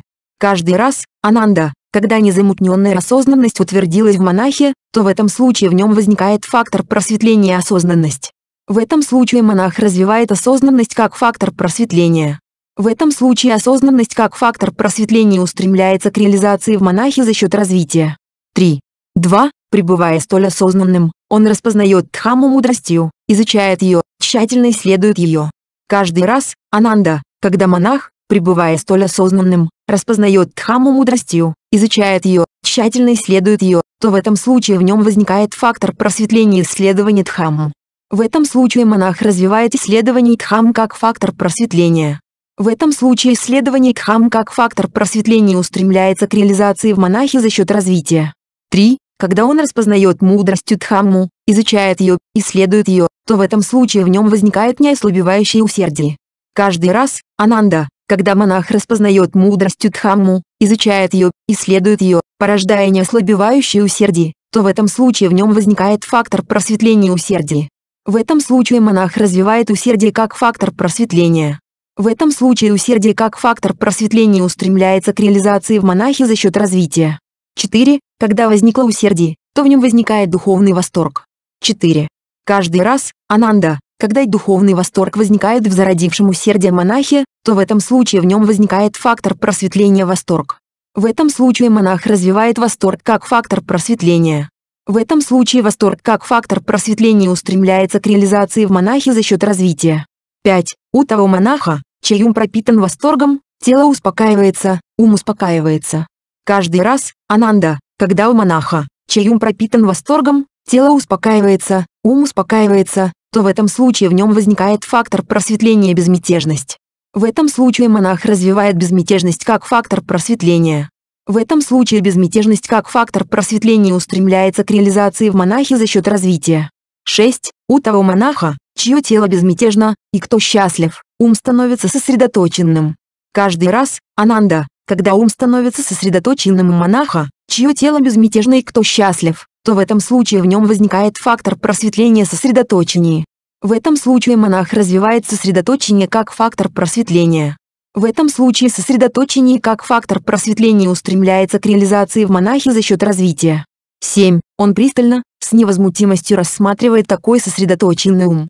Каждый раз, Ананда, когда монах пристально, с невозмутимостью рассматривает такой сосредоточенный ум, то в этом случае в нем возникает фактор просветления невозмутимость.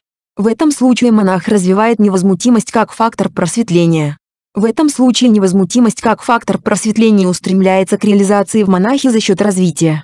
Каждый раз, Ананда, когда монах пребывает в созерцании чувств в чувствах, ума в уме, феноменов в феноменах, то в этом случае незамутненная осознанность утверждается в этом монахе. Каждый раз, Ананда, когда незамутненная осознанность утвердилась в монахе, то в этом случае в нем возникает фактор просветления осознанность, фактор просветления исследования Дхам, фактор просветления усердия, фактор просветления восторг, фактор просветления безмятежность, фактор просветления сосредоточение, фактор просветления невозмутимость. В этом случае монах развивает невозмутимость как фактор просветления. В этом случае невозмутимость как фактор просветления устремляется к реализации в монахе за счет развития. Вот так, Ананда, четыре основы осознанности, будучи развитыми и возвращенными, ведут к реализации семи факторов просветления. Реализация истинного знания и освобождения. И как, Ананда, семь факторов просветления, будучи развитыми и возвращенными, ведут к реализации истинного знания и освобождения? Вот, Ананда, монах развивает осознанность как фактор просветления, который основан на отречении, бесстрастии, прекращении, созревающей выставлении.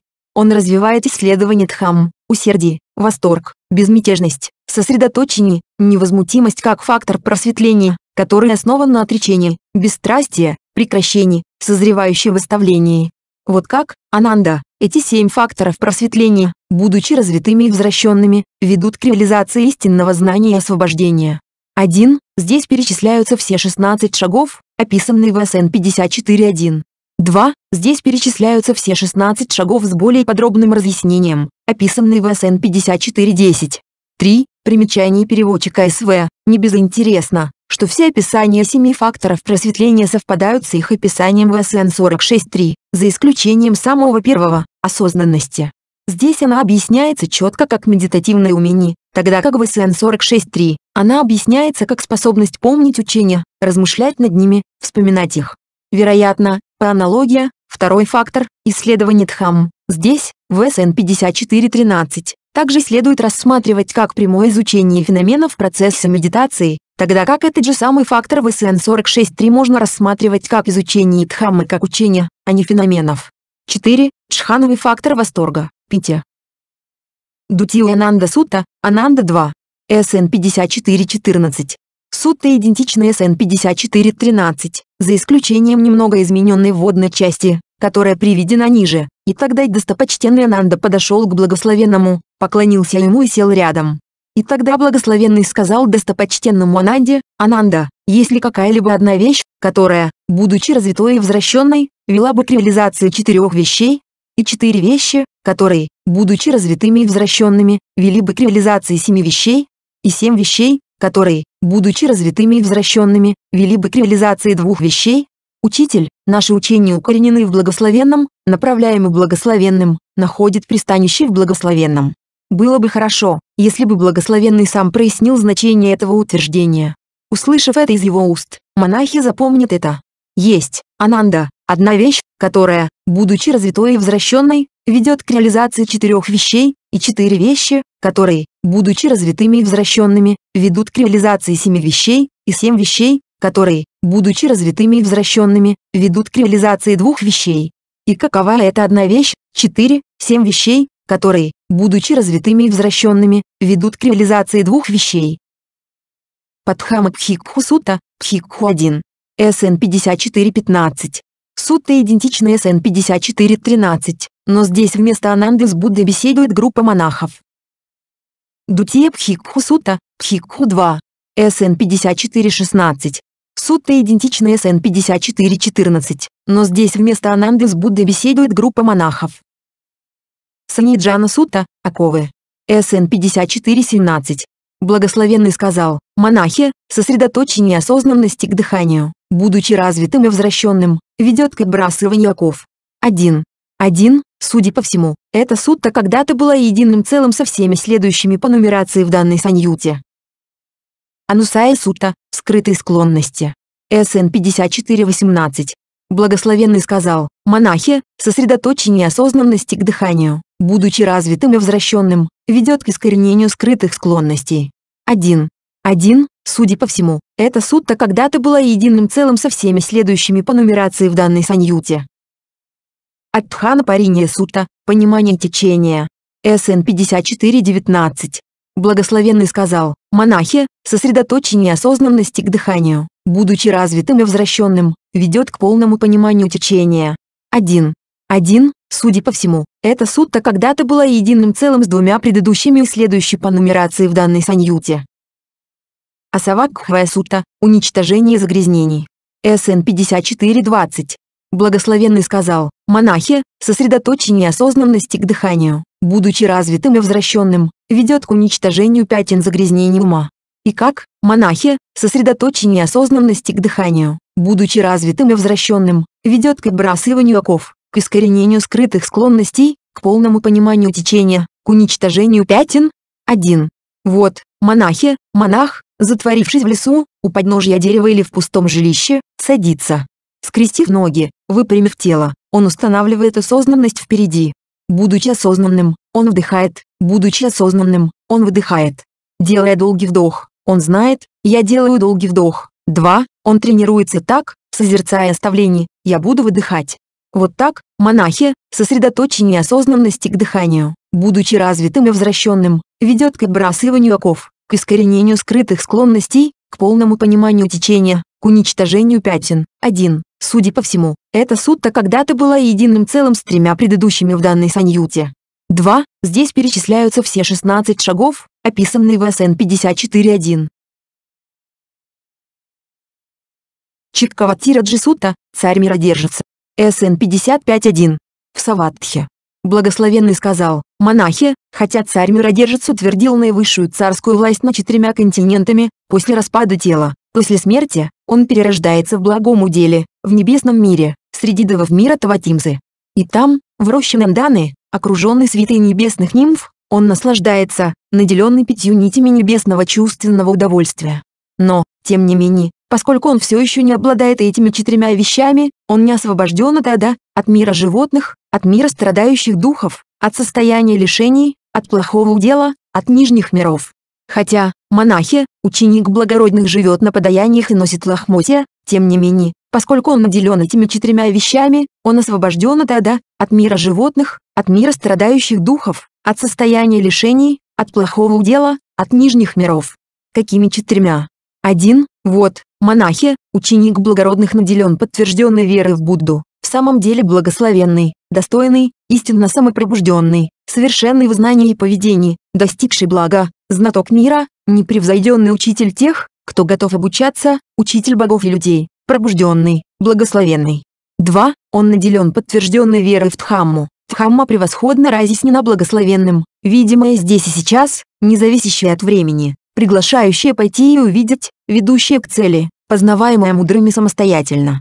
3. Он наделен подтвержденной верой в Сангху, Сангха учеников благословенного, идущих по хорошему пути, идущих по прямому пути, идущих по верному пути, идущих по совершенному пути. Другими словами, четыре пары или восемь типов личностей – это Сангха учеников благословенного, достойная даров, достойное гостеприимство, достойное подношений, достойное уважение, непревзойденное поле заслуг для мира. 4. Он наделен нравственными качествами, которые дороги благородным, прочными, цельными, незапятнанными, освобождающими, восхваляемыми мудрецами, яркими, ведущими к сосредоточению. Он наделен этими четырьмя вещами. И, монахи, если сравнивать обретение царской власти на четырьмя континентами и обретение этих четырех вещей, то обретение царской власти не стоит даже одной шестнадцатой обретения этих четырех вещей. Брахмачари Йогадхасута, утвержденный. СН 55.2.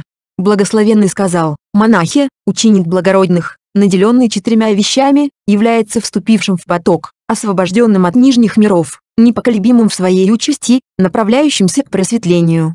Какими четырьмя?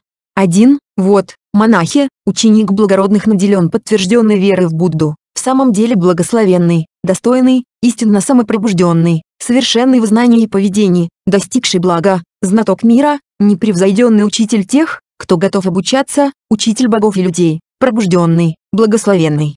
2. Он наделен подтвержденной верой в Дхамму. Дхамма превосходно разъяснена благословенным, видимая здесь и сейчас, не зависящая от времени, приглашающая пойти и увидеть, ведущая к цели, познаваемая мудрыми самостоятельно.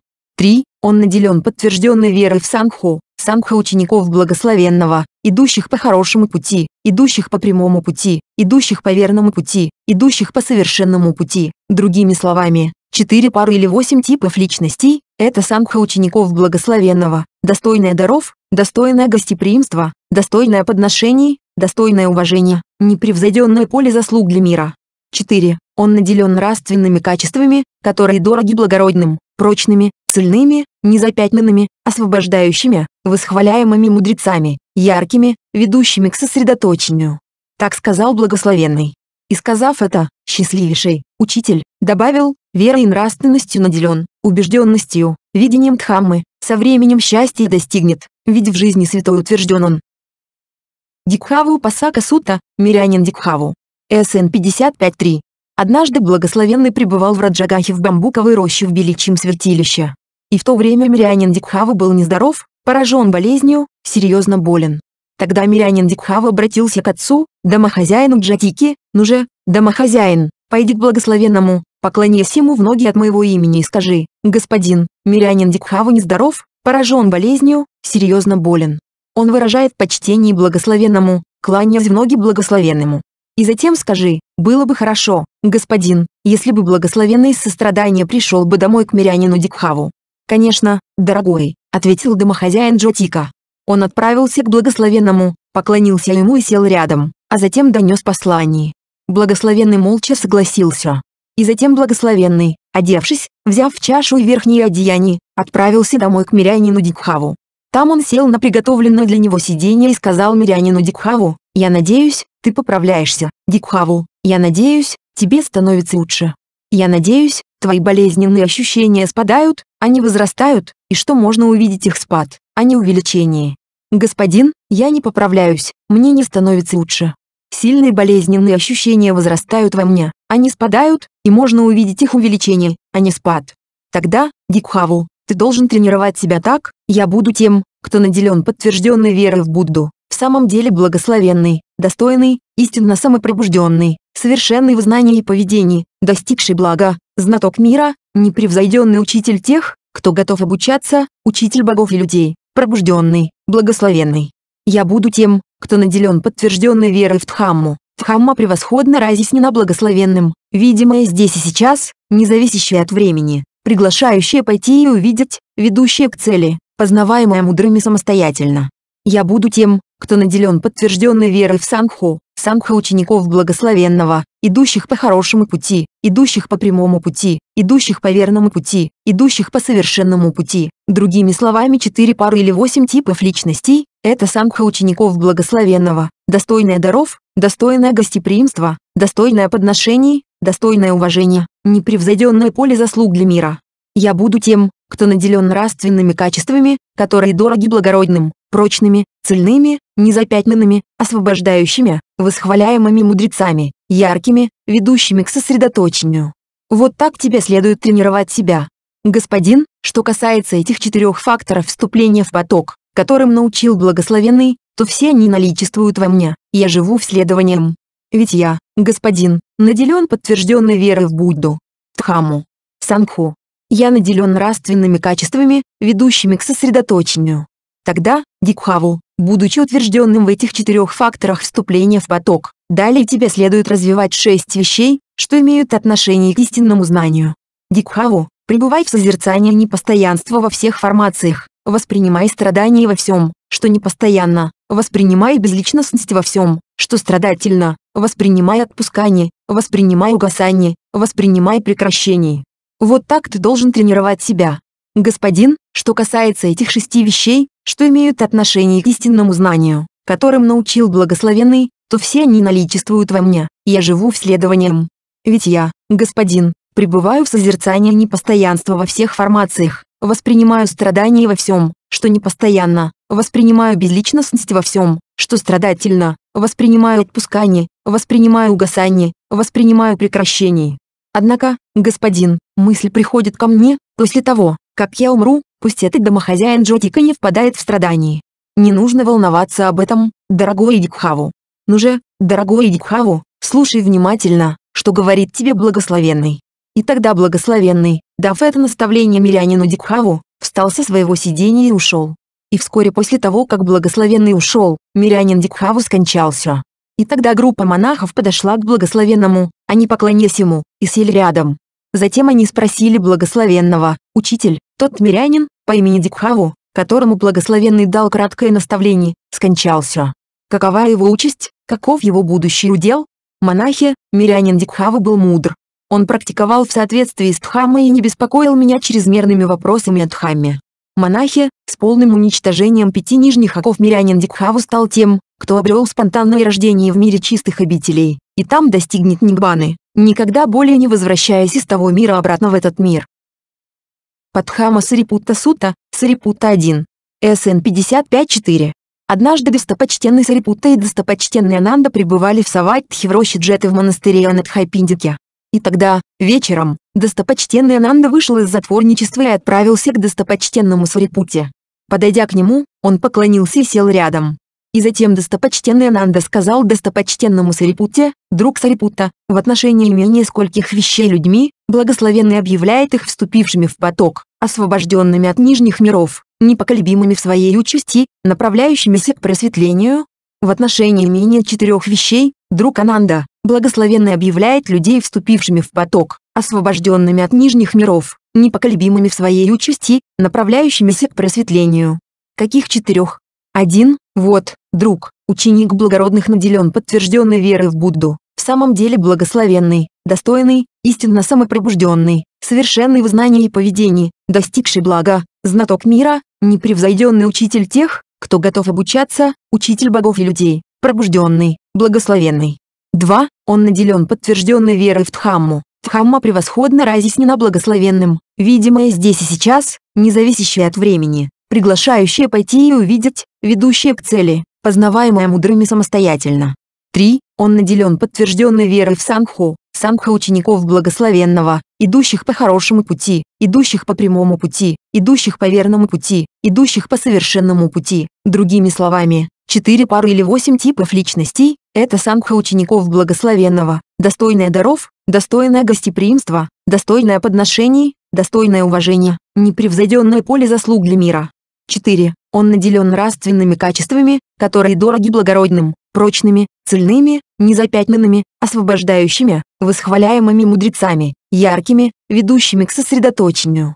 В отношении «друг» имение этих четырех вещей благословенно объявляет людей вступившими в поток, освобожденными от нижних миров, непоколебимыми в своей участи, направляющимися к просветлению.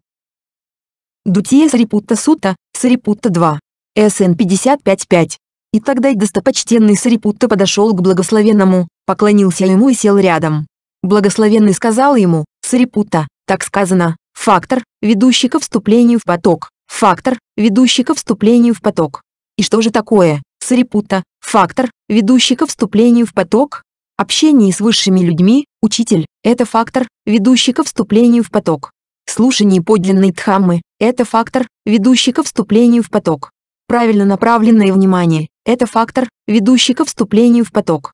Практика в соответствии с Дхаммой – это фактор, ведущий ко вступлению в поток. Хорошо, Сарипута, хорошо. Общение с высшими людьми – это фактор, ведущий ко вступлению в поток. Слушание подлинной Дхаммы – это фактор, ведущий ко вступлению в поток. Правильно направленное внимание – это фактор, ведущий ко вступлению в поток. Практика в соответствии с Дхаммой – это фактор, ведущий ко вступлению в поток. Сарипутта, так сказано, поток, поток. И что же такое поток, Сарипутта? Этот самый благородный восьмеричный путь, учитель, является потоком. То есть, правильное воззрение, правильное устремление, правильная речь, правильные действия, правильное средство к жизни, правильные усилия, правильная осознанность, правильное сосредоточение. Хорошо, Сарипутта, хорошо. Этот самый благородный восьмеричный путь является потоком. То есть, правильное воззрение, правильное сосредоточение. Сарипутта, так сказано, вступивший в поток, вступивший в поток. И кто же такой, Сарипутта, вступивший в поток? Тот, кто обладает этим благородным восьмеричным путем, учитель, и является тем, кого называют вступившим в поток. То есть, такой-то почтенный с таким-то именем из такого-то клана. Хорошо, Сарипутта, хорошо. Тот, кто обладает этим благородным восьмеричным путем, и является тем, кого называют вступившим в поток. То есть, такой-то почтенный с таким-то именем из такого-то клана. Тхапати Сута, Дворецкие. СН 55-6. В Саватхе. В то время большая группа монахов изготавливала одеяния для благословенного, размышляя так, по истечении трех месяцев, когда эта одежда будет готова, благословенный отправится в странствие. И в то время дворецкие Сидатты Пурана находились в Садхуке по неким делам. Они услышали, большая группа монахов, как говорят, изготавливает одежду для благословенного, размышляя о том, что по истечении трех месяцев, когда эта одежда будет готова, благословенный отправится в странствие. И тогда дворецкие седаты Пурана поставили на дорогу человека и сказали ему, «Почтенный, когда увидишь, как идет благословенный, арахант, полностью просветленный, то тогда сообщи нам об этом».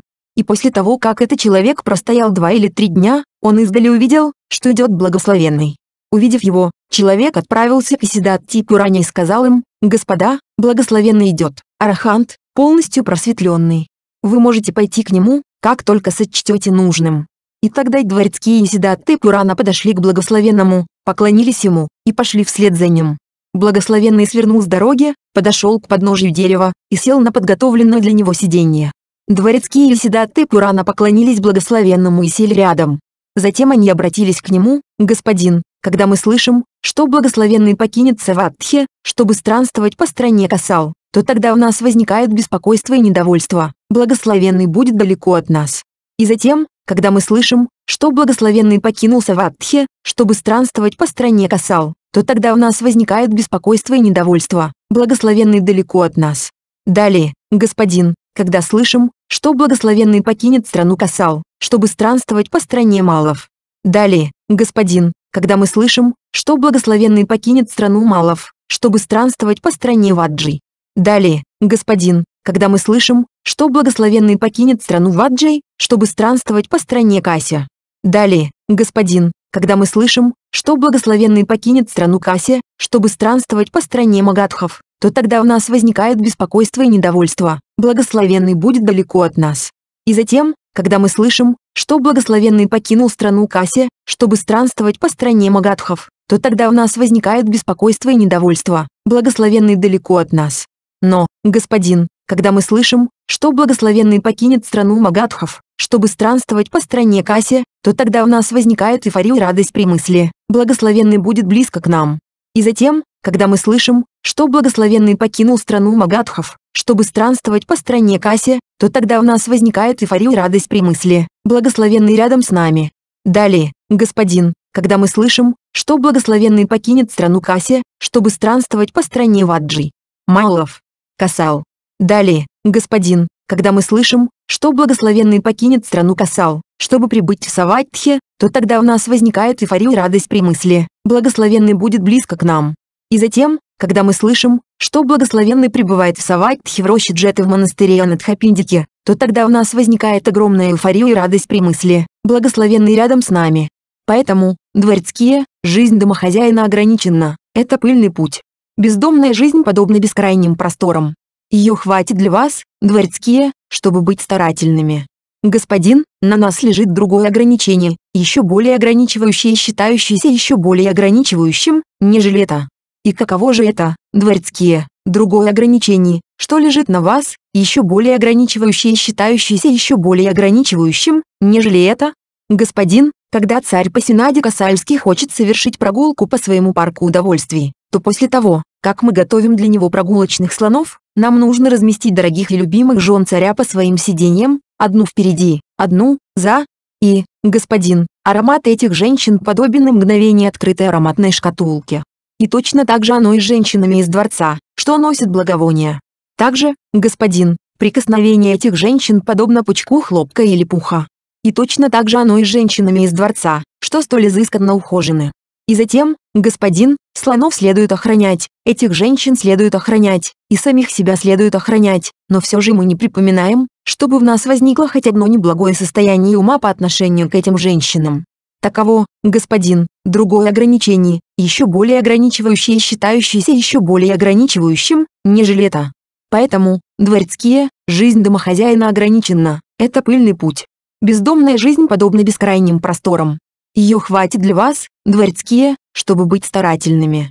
Ученик благородных, дворецкие, наделенный четырьмя вещами, является вступившим в поток, освобожденным от нижних миров, непоколебимым в своей участи, направляющимся к просветлению. Какими четырьмя? Один, вот, дворецкие, ученик благородных наделен подтвержденной верой в Будду, в самом деле благословенный, достойный, истинно самопробужденный, совершенный в знании и поведении, достигший блага, знаток мира, непревзойденный учитель тех, кто готов обучаться, учитель богов и людей, пробужденный, благословенный.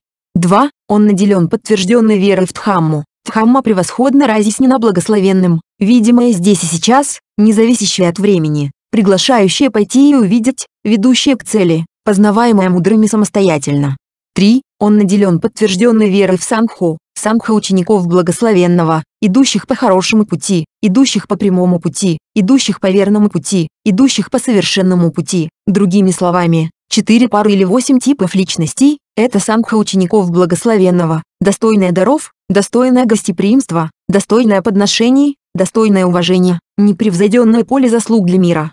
4. Он пребывает дома с умом, лишенным скупости, щедрым, открытым, радуется оставлению, предан благотворительности, радуется дарению и разделению. 1. Ученик благородных, наделенный этими четырьмя вещами, является вступившим в поток, освобожденным от нижних миров, непоколебимым в своей участи, направляющимся к просветлению. Вы, дворецкие, обладаете подтвержденной верой в Будду, Дхамму, Сангху.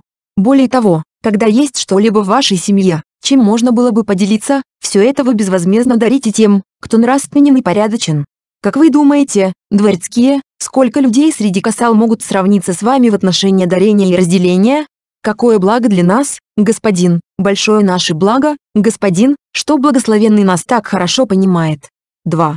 1. В этой сути вместо стандартного четвертого фактора развитой нравственности идет щедрость. 2. Согласно комментариям, Оба, и Пурана и Сидатта, были однажды возвращающимися. Причем, один из них вел жизнь в безбрачии, и Сидатта, а другой жил с женой, то есть не вел безбрачную жизнь, Пурана. В Ангуттара Никае сказано, что после смерти оба переродились в мире Тусита, и оба в момент смерти были однажды возвращающимися. Смотри также Ан 10.75. Вилудвария Сутта, жители бамбуковых врат. СН 55.7. Так я слышал. Однажды благословенный странствовал по стране Касал вместе с большой сангхой монахов. И он прибыл в брахманскую касальскую деревню под названием Бамбуковые врата. Домохозяева брахмана Бамбуковых врат услышали, говорят, почтенный, что отшельник Гатама, сын Сакьев, ушедший из клана Сакьев в бездомную жизнь, путешествует по стране Касал с большой сангхой монахов, и прибыл в Бамбуковые врата. И об этом учителе Гатаме распространилась славная молва, в самом деле, благословенный, достойный, истинно самопробужденный, совершенный в знании и поведении, достигший блага, знаток мира, непревзойденный учитель тех, кто готов обучаться, учитель богов и людей, пробужденный, благословенный. Напрямую увидев своей мудростью, он познал мир с его девами, Марой, Брахмой, с его поколениями жрецов и отшельников, божеств и людей. Он обучает Дхаме, превосходной в начале, превосходной в середине и превосходной в конце, правильной в духе и в букве. Он раскрывает святую жизнь, которая в совершенстве полная и чистая. Хорошо было бы увидеть таких арахантов. И тогда домохозяева Брахмана Бамбуковых врат отправились к благословенному, по прибытии, поклонившись ему, сели рядом. Некоторые обменялись с ним вежливыми приветствиями и после обмена вежливыми приветствиями и любезностями сели рядом. Некоторые из них сели рядом, поприветствовав его в почтении сложенными у груди ладонями. Некоторые из них сели рядом, объявив свое имя и имя клана. Некоторые из них сели рядом просто молча. И сидя рядом, эти домохозяева Брахмана Бамбуковых врат сказали благословенному, «Мастер Гатама, у нас есть такие мечты, желания и надежды, как и те, будем жить в доме, полном детей. Будем наслаждаться сандаловым деревом из кася. Будем носить гирлянды, использовать благовония, мази. Будем принимать золото и серебро. После распада тела, после смерти, родимся в благом уделе, в небесном мире. Поскольку у нас есть такие мечты, желания и надежды, пусть мастер Гатама обучит нас Дхамме так, чтобы мы могли проживать в доме, полном детей, и после смерти родиться в благом уделе, в небесном мире. Я научу вас, домохозяева, изложению Дхаммы, применимому к самому себе. Слушайте внимательно, я буду говорить. Да, почтенный, ответили те домохозяева брахманы бамбуковых врат. Один, благословенный сказал, и каково, домохозяева, изложение Дхаммы, применимое к самому себе? Вот, домохозяева, ученик благородных рассуждает так, я тот, кто желает жить, кто не желает умирать. Я хочу счастья, я не хочу страдания. Поскольку я тот, кто желает жить и не желает умирать, хочет счастья и не хочет страдания, то если бы кто-нибудь забрал бы мою жизнь, это не было бы милым и приятным для меня. И, в таком случае, если бы я забрал чужую жизнь, у того, кто желает жить и не желает умирать, хочет счастья и не хочет страдания, то это не было бы милым и приятным для него тоже. То, что не мило и неприятно мне, тоже не мило и неприятно другому. Как я могу причинить другому то, что не мило и неприятно мне? Рассуждая так, он воздерживается от уничтожения жизни, призывает других к отказу от уничтожения жизни, восхваляет воздержание от уничтожения жизни. Таким образом, его телесное поведение очищается в этих трех аспектах. 2. Далее, домохозяева, ученик благородных рассуждает так, если бы кто-либо забрал бы у меня то, чего я ему не дал, то есть, совершил бы кражу, то это не было бы милым и приятным для меня. И, в таком случае, если бы я забрал у другого то, что он мне не дал, то есть, совершил бы кражу, то это также не было бы милым и приятным для него. То, что не мило и неприятно мне, тоже не мило и неприятно другому. Как я могу причинить другому то, что не мило и неприятно мне? Рассуждая так, он воздерживается от взятия того, что не дано, призывает других к отказу от взятия того, что не дано, восхваляет воздержание от взятия того, что не дано. Таким образом, его телесное поведение очищается в этих трех аспектах. 3. Далее, домохозяева, ученик благородных рассуждает так, если кто-либо совершил бы прелюбодеяние с моими женами, то это не было бы милым и приятным для меня. И, в таком случае, если бы я совершил прелюбодеяние с женами другого, то это также не было бы милым и приятным для него. Как я могу причинить другому то, что не мило и неприятно мне? Рассуждая так, он воздерживается от неблагого сексуального поведения, призывает других к отказу от неблагого сексуального поведения, восхваляет воздержание от неблагого сексуального поведения. Таким образом, его телесное поведение очищается в этих трех аспектах. 4. Далее, домохозяева, ученик благородных рассуждает так, если кто-либо разрушил бы мое благополучие лживыми речами, то это не было бы милым и приятным для меня. И, в таком случае, если бы я разрушил благополучие другого, то это также не было бы милым и приятным для него. Как я могу причинить другому то, что не мило и неприятно мне? Рассуждая так, он воздерживается от лжи, призывает других к отказу от лжи, восхваляет воздержание от лжи. Таким образом, его словесное поведение очищается в этих трех аспектах. 5. Далее, домохозяева, ученик благородных рассуждает так, если кто-либо поссорил бы меня с друзьями сеющий раз при речью, то это не было бы милым и приятным для меня. И, в таком случае, если бы я поссорил другого с его друзьями сеющий раз при речью, то это также не было бы милым и приятным для него. Как я могу причинить другому то, что не мило и неприятно мне? Рассуждая так, он воздерживается от сеющей раз при речи, призывает других к отказу от сеющей раз при речи, восхваляет воздержание от сеющей раз при речи. Таким образом, его словесное поведение очищается в этих трех аспектах. 6. Далее, домохозяева, ученик благородных рассуждает так, если кто-либо обратился бы ко мне с грубой речью, то это не было бы милым и приятным для меня. И, в таком случае, если бы я обратился к другому с грубой речью, то это также не было бы милым и приятным для него. Как я могу причинить другому то, что не мило и неприятно мне? Рассуждая так, он воздерживается от грубой речи, призывает других к отказу от грубой речи, восхваляет воздержание от грубой речи.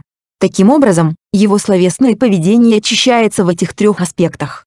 7. Далее, домохозяева, ученик благородных рассуждает так, если кто-либо обратился бы ко мне с легкомысленной речью и пустословием, то это не было бы милым и приятным для меня.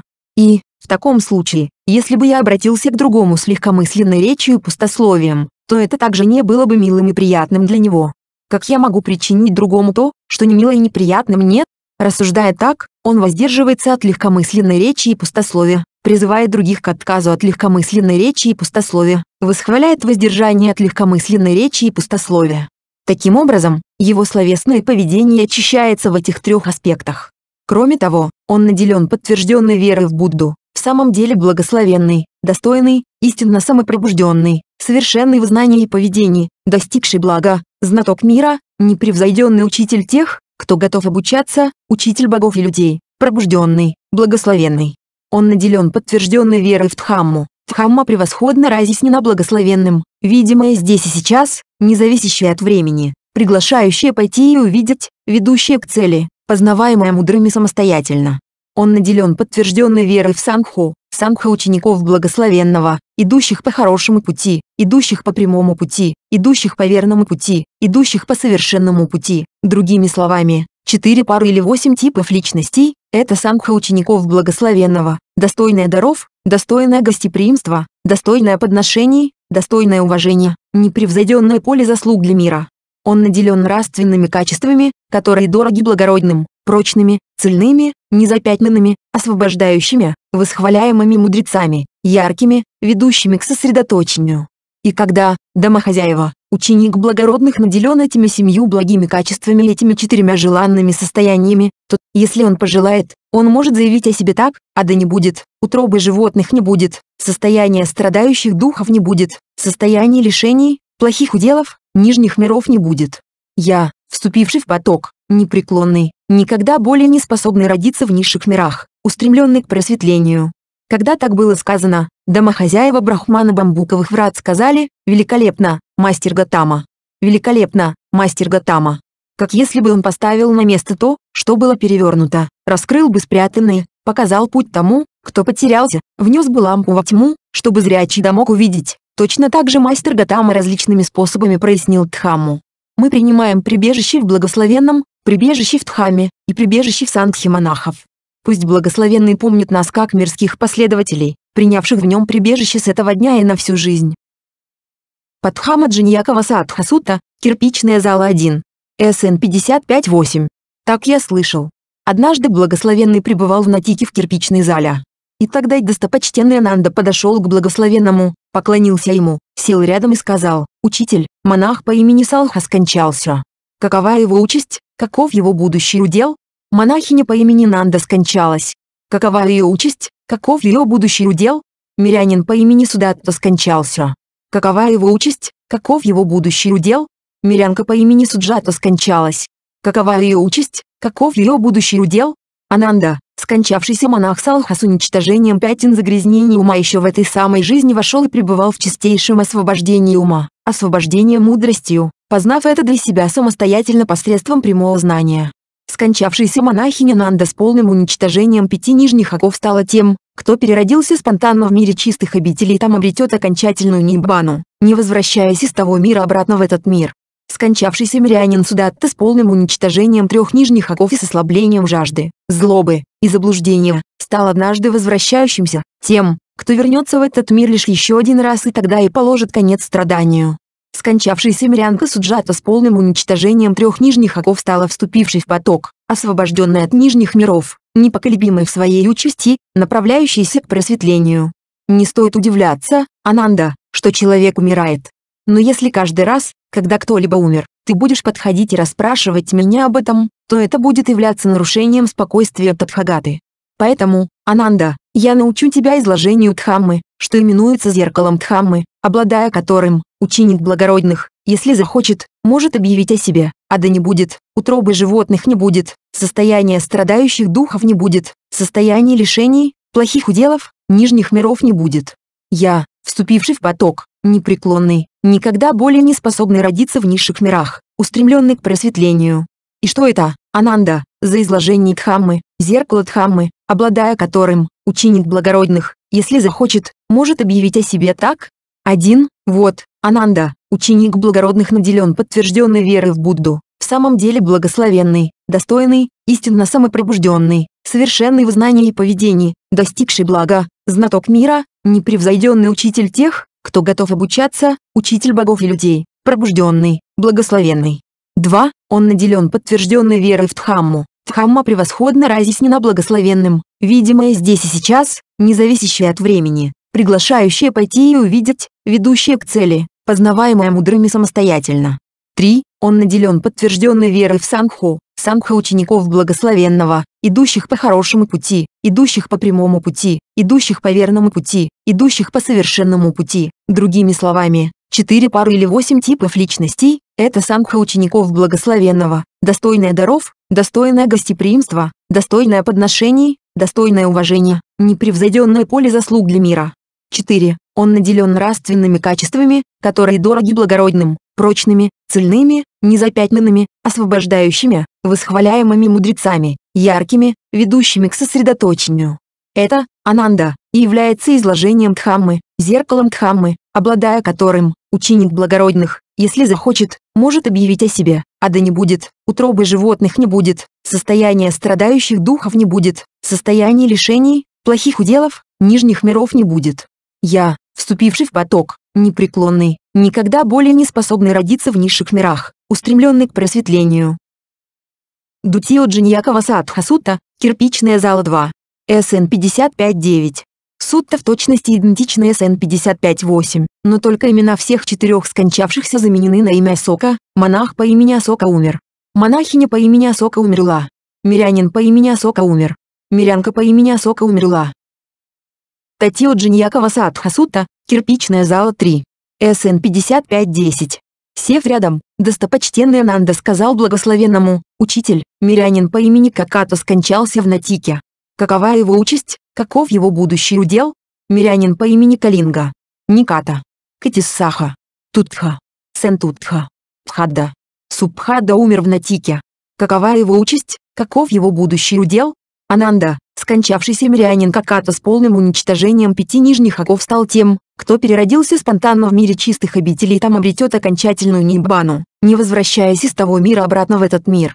И то же самое и в отношении мирян Калинги, Никаты, Катиссахи, Тутхе, Сантутхе, Пхадды, Субхадды. Более 50 скончавшихся в Натике мирян с полным уничтожением пяти нижних оков стали теми, кто переродился спонтанно в мире чистых обителей и там обретет окончательную ниббану, не возвращаясь из того мира обратно в этот мир. Более чем 90 скончавшихся в Натике мирян с полным уничтожением трех нижних оков и с ослаблением жажды, злобы и заблуждения, стали однажды возвращающимися, теми, кто вернется в этот мир лишь еще один раз и тогда и положит конец страданию. 506 мирян, скончавшихся в Натике, с полным уничтожением трех нижних оков стали вступившими в поток, освобожденными от нижних миров, непоколебимыми в своей участи, направляющимися к просветлению. Не стоит удивляться, Ананда, что человек умирает. Но если каждый раз, когда кто-либо умер, ты будешь подходить и расспрашивать меня об этом, то это будет являться нарушением спокойствия Тадхагаты. Поэтому, Ананда, я научу тебя изложению Дхаммы, что называется зеркалом Дхаммы, обладая которым, ученик благородных, если захочет, может объявить о себе, а да не будет, утробы животных не будет, состояния страдающих духов не будет, состояния лишений, плохих уделов, нижних миров не будет. Я, вступивший в поток, непреклонный, никогда более не способный родиться в низших мирах, устремленный к просветлению. И что это, Ананда, за раскрывание Дхаммы, зеркало Дхаммы, обладая которым ученик благородных, если захочет, может объявить о себе так? Один, вот, Ананда, ученик благородных наделен подтвержденной верой в Будду, в самом деле благословенный, достойный, истинно самопробужденный, совершенный в знании и поведении, достигший блага, знаток мира, непревзойденный учитель тех, кто готов обучаться, учитель богов и людей, пробужденный, благословенный. 2. Он наделен подтвержденной верой в Дхамму. Дхамма превосходно разъяснена благословенным, видимое здесь и сейчас, не зависящее от времени, приглашающее пойти и увидеть, ведущее к цели, познаваемое мудрыми самостоятельно. 3. Он наделен подтвержденной верой в Сангху, Сангха учеников благословенного, идущих по хорошему пути, идущих по прямому пути, идущих по верному пути, идущих по совершенному пути. Другими словами, четыре пары или восемь типов личностей – это Сангха учеников благословенного, достойная даров, достойное гостеприимство, достойное подношений, достойное уважение, непревзойденное поле заслуг для мира. 4. Он наделен нравственными качествами, которые дороги благородным, прочными, цельными, незапятнанными, освобождающими, восхваляемыми мудрецами, яркими, ведущими к сосредоточению. Это, Ананда, и является раскрыванием Дхаммы, зеркалом Дхаммы, обладая которым, ученик благородных, если захочет, может объявить о себе, а да не будет, утробы животных не будет, состояния страдающих духов не будет, состояния лишений, плохих уделов, нижних миров не будет. Я, вступивший в поток, непреклонный, никогда более не способный родиться в низших мирах, устремленный к просветлению. Сахасабхикхуни Самхасута, тысяча монахинь. СН 5511. Однажды благословенный пребывал в Саватхе в царском парке. И тогда Сангха из тысячи монахинь подошла к благословенному, поклонилась ему и встала рядом. И благословенный обратился к этим монахиням, монахини, ученик благородных, наделенный этими четырьмя вещами, является вступившим в поток, освобожденным от нижних миров, непоколебимым в своей участи, направляющимся к просветлению. Какими четырьмя? Один, вот, монахини, ученик благородных наделен подтвержденной верой в Будду, в самом деле благословенный, достойный, истинно самопробужденный, совершенный в знании и поведении, достигший блага, знаток мира, непревзойденный учитель тех, кто готов обучаться, учитель богов и людей, пробужденный, благословенный. 2. Он наделен подтвержденной верой в Дхамму. Дхамма превосходно разъяснена благословенным, видимое здесь и сейчас, не зависящее от времени, приглашающее пойти и увидеть, ведущее к цели, познаваемое мудрыми самостоятельно. 3. Он наделен подтвержденной верой в Сангху, Сангха учеников благословенного, идущих по хорошему пути, идущих по прямому пути, идущих по верному пути, идущих по совершенному пути. Другими словами, Четыре пары или восемь типов личностей – это самха учеников благословенного, достойное даров, достойное гостеприимство, достойное подношений, достойное уважение, непревзойденное поле заслуг для мира. 4. Он наделен нравственными качествами, которые дороги благородным, прочными, цельными, незапятнанными, освобождающими, восхваляемыми мудрецами, яркими, ведущими к сосредоточению. Ученик благородных, монахини, наделенный этими четырьмя вещами является вступившим в поток, освобожденным от нижних миров, непоколебимым в своей участи, направляющимся к просветлению. Брахмана Сута, Брахманы. СН 5512. В Саватхе. Монахи, брахманы провозглашают путь, называемый направлением ввысь. Они наставляют своих учеников так, давай же, почтенный, вставай рано утром и иди на восток. Когда будешь идти так, то не обходи встречающиеся на пути впадину, обрыв, столб, колючки, деревенский пруд или выгребную яму. Возможно, тебе стоит ждать смерти там, куда ты упадешь. Так, почтенный, после распада тела, после смерти, ты переродишься в благом уделе, в небесном мире. Монахи, практика этих брахманов, это глупый путь, дурацкий путь. Он не ведет к устранению очарованности, к бесстрастию, к прекращению, к покою, к прямому знанию, к пробуждению, к неббане. Но я, монахи, провозглашаю путь, ведущий в изучении благородных, путь, который ведет к абсолютному устранению очарованности, к бесстрастию, к прекращению, к покою, к прямому знанию, к пробуждению, к неббане. И что это за путь, монахи, что ведет ввысь, что ведет к абсолютному устранению очарованности, к неббане? Один, вот, монахи, ученик благородных наделен подтвержденной верой в Будду, в самом деле благословенный, достойный, истинно самопробужденный, совершенный в знании и поведении, достигший блага, знаток мира, непревзойденный учитель тех, кто готов обучаться, учитель богов и людей, пробужденный, благословенный. 2. Он наделен подтвержденной верой в Дхамму. Дхамма превосходно разъяснена благословенным, видимое здесь и сейчас, не зависящее от времени, приглашающее пойти и увидеть, ведущее к цели, познаваемое мудрыми самостоятельно. 3. Он наделен подтвержденной верой в Сангху, Сангха учеников благословенного, идущих по хорошему пути, идущих по прямому пути, идущих по верному пути, идущих по совершенному пути. Другими словами, четыре пары или восемь типов личностей – это Сангха учеников благословенного, достойная даров, достойное гостеприимство, достойное подношений, достойное уважение, непревзойденное поле заслуг для мира. 4. Он наделен нравственными качествами, которые дороги благородным, прочными, цельными, незапятнанными, освобождающими, восхваляемыми мудрецами, яркими, ведущими к сосредоточению. Таков, монахи, путь, ведущий к абсолютному устранению очарованности, к бесстрастию, к прекращению, к покою, к прямому знанию, к пробуждению, к неббане. Ананда Тхирасута, Ананда. СН 5513. Однажды достопочтенный Ананда и достопочтенный Сарипутта пребывали в Саватхе в роще Джеты в монастыре Анатхайпиндике. И тогда, вечером, достопочтенный Сарипутта вышел из затворничества, подошел к достопочтенному Ананде и обменялся с ним вежливыми приветствиями. После обмена вежливыми приветствиями и любезностями, он сел рядом и сказал достопочтенному Ананде, «Друг Ананда, сколько вещей нужно отбросить и сколькими вещами нужно обладать людям, чтобы благословенный заявил о них так, он, вступивший в поток, непреклонный, никогда более не способный родиться в низших мирах, устремленный к просветлению? Друг, людям нужно отбросить четыре вещи и обладать четырьмя вещами для того, чтобы благословенный заявил о них так. Какими четырьмя? Один, друг, у человека нет недоверия по отношению к Будде, которым наделен необученный заурядный человек, из-за которого последний после распада тела, после смерти, перерождается в состоянии лишений, в плохом деле, в нижних мирах, в аду, у человека есть подтвержденная вера в Будду, которой наделен обученный ученик благородных, из-за которой последний после распада тела, после смерти, перерождается в благом уделе, в небесном мире, в самом деле благословенный, достойный, истинно самопробужденный, совершенный в знании и поведении, достигший блага, знаток мира, непревзойденный учитель тех, кто готов обучаться, учитель богов и людей, пробужденный, благословенный. 2. Друг. У человека нет недоверия по отношению к Дхаме, которым наделен необученный заурядный человек, из-за которого последний после распада тела, после смерти, перерождается в состоянии лишений, в плохом уделе, в нижних мирах, в аду.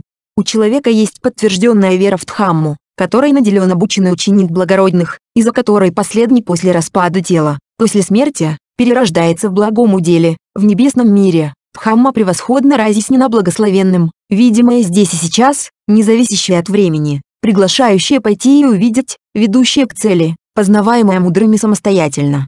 3. Друг. У человека нет недоверия по отношению к сангхе, которым наделен необученный заурядный человек, из-за которого последний после распада тела, после смерти, перерождается в состоянии лишений, в плохом уделе, в нижних мирах, в аду.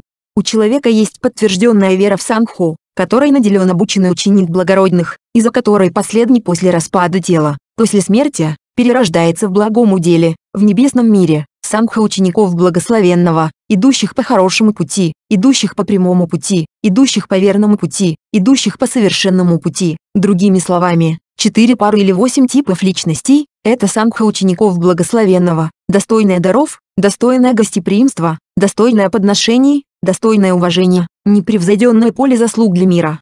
4. Друг. У человека нет безнравственности, которой наделен необученный заурядный человек, из-за которой последний после распада тела, после смерти, перерождается в состоянии лишений, в плохом уделе, в нижних мирах, в аду. У человека есть нравственные качества, которые дороги благородным, которыми обладает ученик благородных, из-за которых последний после распада тела, после смерти, перерождается в благом уделе, в небесном мире. Эти нравственные качества, которые дороги благородным, таковы, прочные, цельные, незапятнанные, освобождающие, восхваляемые мудрецами, яркие, ведущие к сосредоточению. Друг, людям нужно отбросить эти четыре вещи и обладать этими четырьмя вещами для того, чтобы благословенный заявил о них так, он, вступивший в поток, непреклонный, никогда более не способный родиться в низших мирах, устремленный к просветлению. Дугати Пхайсута, плохой удел 1. СН 5514. Благословенный сказал, монахи, ученик благородных, наделенный этими четырьмя вещами, преодолел всякий страх плохого удела. Какими четырьмя? Один, вот, монахи, ученик благородных наделен подтвержденной верой в Будду, в самом деле благословенный, достойный, истинно самопробужденный, совершенный в знании и поведении, достигший блага, знаток мира, непревзойденный учитель тех, кто готов обучаться, учитель богов и людей, пробужденный, благословенный. 2. Он наделен подтвержденной верой в Дхамму. Дхамма превосходно разъяснена благословенным, видимое здесь и сейчас, не зависящее от времени, приглашающее пойти и увидеть, ведущее к цели, познаваемое мудрыми самостоятельно. 3. Он наделен подтвержденной верой в Сангху, Сангха учеников благословенного, идущих по хорошему пути, идущих по прямому пути, идущих по верному пути, идущих по совершенному пути. Другими словами, четыре пары или восемь типов личностей – это Сангха учеников благословенного, достойная даров, достойное гостеприимство, достойное подношений, достойное уважение, непревзойденное поле заслуг для мира. 4. Он наделен нравственными качествами, которые дороги благородным, прочными, цельными, незапятнанными, освобождающими, восхваляемыми мудрецами, яркими, ведущими к сосредоточению. Ученик благородных, наделенный этими четырьмя вещами, преодолел всякий страх плохого удела. Дугативини Потапхвая Сута, плохой удел 2. СН 5515. Эта сутта в точности идентична СН 5514, но только вместо фразы «плохой удел» здесь идет фраза «плохой удел», нижние миры, Падхама Миттамача Сута, друзья и коллеги 1. СН 5516. Благословенный сказал, монахи, тех, кому у вас есть сострадание, и кто относится к вам со вниманием, друзей или коллег, родственников и родню, их вам следует наставлять, утверждать, укреплять в подтвержденной вере в Будду таким образом, в самом деле благословенный, достойный, истинно самопробужденный, совершенный в знании и поведении, достигший блага, знаток мира, непревзойденный учитель тех, кто готов обучаться, учитель богов и людей, пробужденный, благословенный. Их вам следует наставлять, утверждать, укреплять в подтвержденной вере в Дхамму таким образом, Дхамма превосходно разъяснена благословенным, видимое здесь и сейчас, не зависящее от времени, приглашающее пойти и увидеть, ведущее к цели, познаваемое мудрыми самостоятельно. Их вам следует наставлять, утверждать, укреплять в подтвержденной вере в Сангху таким образом, Сангха учеников благословенного, идущих по хорошему пути, идущих по прямому пути, идущих по верному пути, идущих по совершенному пути. Другими словами, четыре пары или восемь типов личностей – это Сангха учеников благословенного, достойное даров, достойное гостеприимство, достойное подношений, достойное уважение, непревзойденное поле заслуг для мира.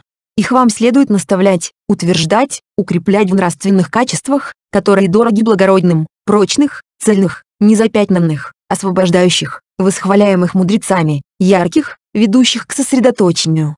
Тех, кому у вас есть сострадание, и кто относится к вам со вниманием, друзей или коллег, родственников и родню, их вам следует наставлять, утверждать, укреплять в этих четырех факторах вступления в поток. Дутилами Тамача Сута, друзья и коллеги 2. СН 5517. Благословенный сказал, монахи, тех, кому у вас есть сострадание, и кто относится к вам со вниманием, друзей или коллег, родственников и родню, их вам следует наставлять, утверждать, укреплять в этих четырех факторах вступления в поток. Каких четырех? Один, вам следует их наставлять, утверждать, укреплять в подтвержденной вере в Будду таким образом, в самом деле благословенный, достойный, истинно самопробужденный, совершенный в знании и поведении, достигший блага, знаток мира, непревзойденный учитель тех, кто готов обучаться, учитель богов и людей, пробужденный, благословенный. Монахи, можно увидеть перемену в четырех великих элементах, в элементе земли, элементе воды, элементе тепла, элементе воздуха, но не может быть перемены в ученике благородных, который наделен подтвержденной верой в Будду. Перемена здесь такова, чтобы ученик благородных, наделенный подтвержденной верой в Будду, переродился бы в аду, в мире животных, среди страдающих духов. Такого не может произойти. 2. Вам следует их наставлять, утверждать, укреплять в подтвержденной вере в Дхамму таким образом, Дхамма превосходно разъяснена благословенным, видимое здесь и сейчас, не зависящее от времени, приглашающее пойти и увидеть, ведущее к цели, познаваемое мудрыми самостоятельно. Монахи, можно увидеть перемену в четырех великих элементах, в элементе земли, элементе воды, элементе тепла, элементе воздуха, но не может быть перемены в ученике благородных, который наделен подтвержденной верой в Дхамму. 3. Вам следует их наставлять, утверждать, укреплять в подтвержденной вере в Сангху таким образом, Сангха учеников благословенного, идущих по хорошему пути, идущих по прямому пути, идущих по верному пути, идущих по совершенному пути. Другими словами, четыре пары или восемь типов личностей – это Сангха учеников благословенного, достойная даров, достойное гостеприимство, достойное подношений, достойное уважение, непревзойденное поле заслуг для мира. Монахи, можно увидеть перемену в четырех великих элементах, в элементе земли, элементе воды, элементе тепла, элементе воздуха, но не может быть перемены в ученике благородных, который наделен подтвержденной верой в Сангху. 4. Вам следует их наставлять, утверждать, укреплять в нравственных качествах, которые дороги благородным, прочных, цельных, незапятнанных, освобождающих, восхваляемых мудрецами, ярких, ведущих к сосредоточению монахи, можно увидеть перемену в четырех великих элементах, в элементе земли, элементе воды, элементе тепла, элементе воздуха, но не может быть перемены в ученике благородных, который наделен нравственными качествами, которые дороги благородным. Перемена здесь такова, чтобы ученик благородных, наделенный нравственными качествами, которые дороги благородным, переродился бы в аду, в мире животных, среди страдающих духов. Такого не может произойти. Тех, кому у вас есть сострадание, и кто относится к вам со вниманием, друзей или коллег, родственников и родню, их вам следует наставлять, утверждать, укреплять в этих четырех факторах вступления в поток. Падхамадова Чарика Сута, посещение Девов 1. СН 5518. В Саватхе. И тогда, подобно тому, как сильный человек распрямил бы согнутую руку или согнул распрямленную, достопочтенный Махамадгалана исчез из рощи Джета и появился среди божеств Таватимзы. И тогда группа девов Таватимсы подошла к достопочтенному Махамадгалане, поклонившись ему, встала рядом. И тогда достопочтенный Махамадгалана обратился к этим божествам. «Хорошо, друзья, обладать подтвержденной верой в Будду, в самом деле благословенный, достойный, истинно самопробужденный, совершенный в знании и поведении, достигший блага, знаток мира, непревзойденный учитель тех, кто готов обучаться, учитель богов и людей, пробужденный, благословенный, из-за наличия подтвержденной веры в Будду некоторые существа здесь, после распада тела, после смерти, перерождаются в благом уделе, в небесном мире. Хорошо, друзья, обладать подтвержденной верой в Дхамму. Хорошо, друзья, обладать подтвержденной верой в Сангху. Хорошо, друзья, обладать нравственными качествами, которые дороги благородным, прочными, цельными, незапятнанными, освобождающими, восхваляемыми мудрецами, яркими, ведущими к сосредоточению из-за наличия нравственных качеств, которые дороги благородным. Некоторые существа здесь, после распада тела, после смерти, перерождаются в благом уделе, в небесном мире. Хорошо, почтенный Маггаллана, обладать подтвержденной верой в Будду, Дхамму, Сангху, нравственными качествами, ведущими к сосредоточению. Потому что из-за наличия нравственных качеств, которые дороги благородным, некоторые существа здесь, после распада тела, после смерти, перерождаются в благом уделе, в небесном мире. Дутьедова Чарика Сутта, посещение Девов 2. СН 5519. Сутта в точности идентична СН 5518, но только вместо фразы «перерождаются в благом уделе» здесь идет фраза «переродились в благом уделе». Татьедова Чарика Сутта, посещение Девов 3. СН 5520.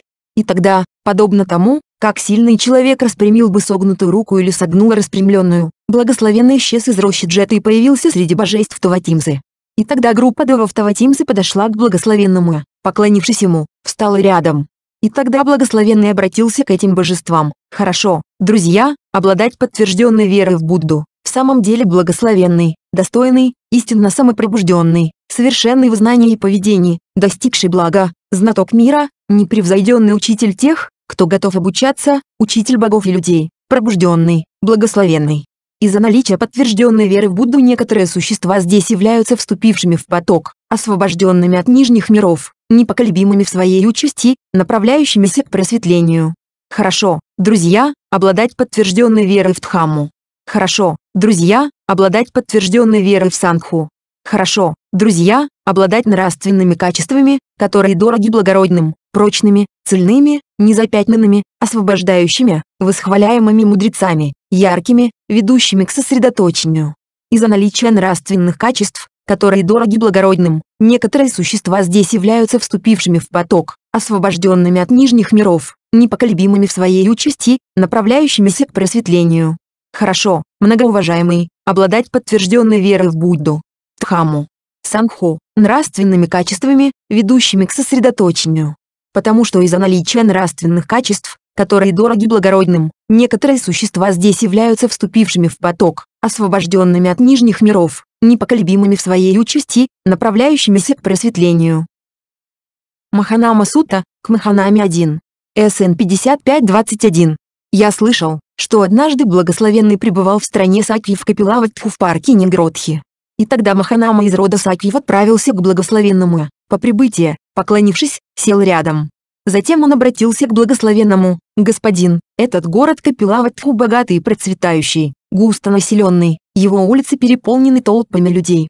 Иногда, когда я вхожу в Капилаватху вечером после вдохновляющих встреч с благословенным или с монахами, я встречаюсь с несущимся слоном или лошадью, с несущейся колесницей или повозкой, с несущимся человеком. В этот момент мое пометование о благословенном затуманивается, мое пометование о Дхаме, о Сангхи затуманивается. Мысль приходит ко мне, если я умру в этот самый миг, каковой будет моя судьба, какой будет моя дальнейшая участь. Не бойся, Маханама. Не бойся. Твоя смерть не будет плохой, твоя кончина не будет печальной.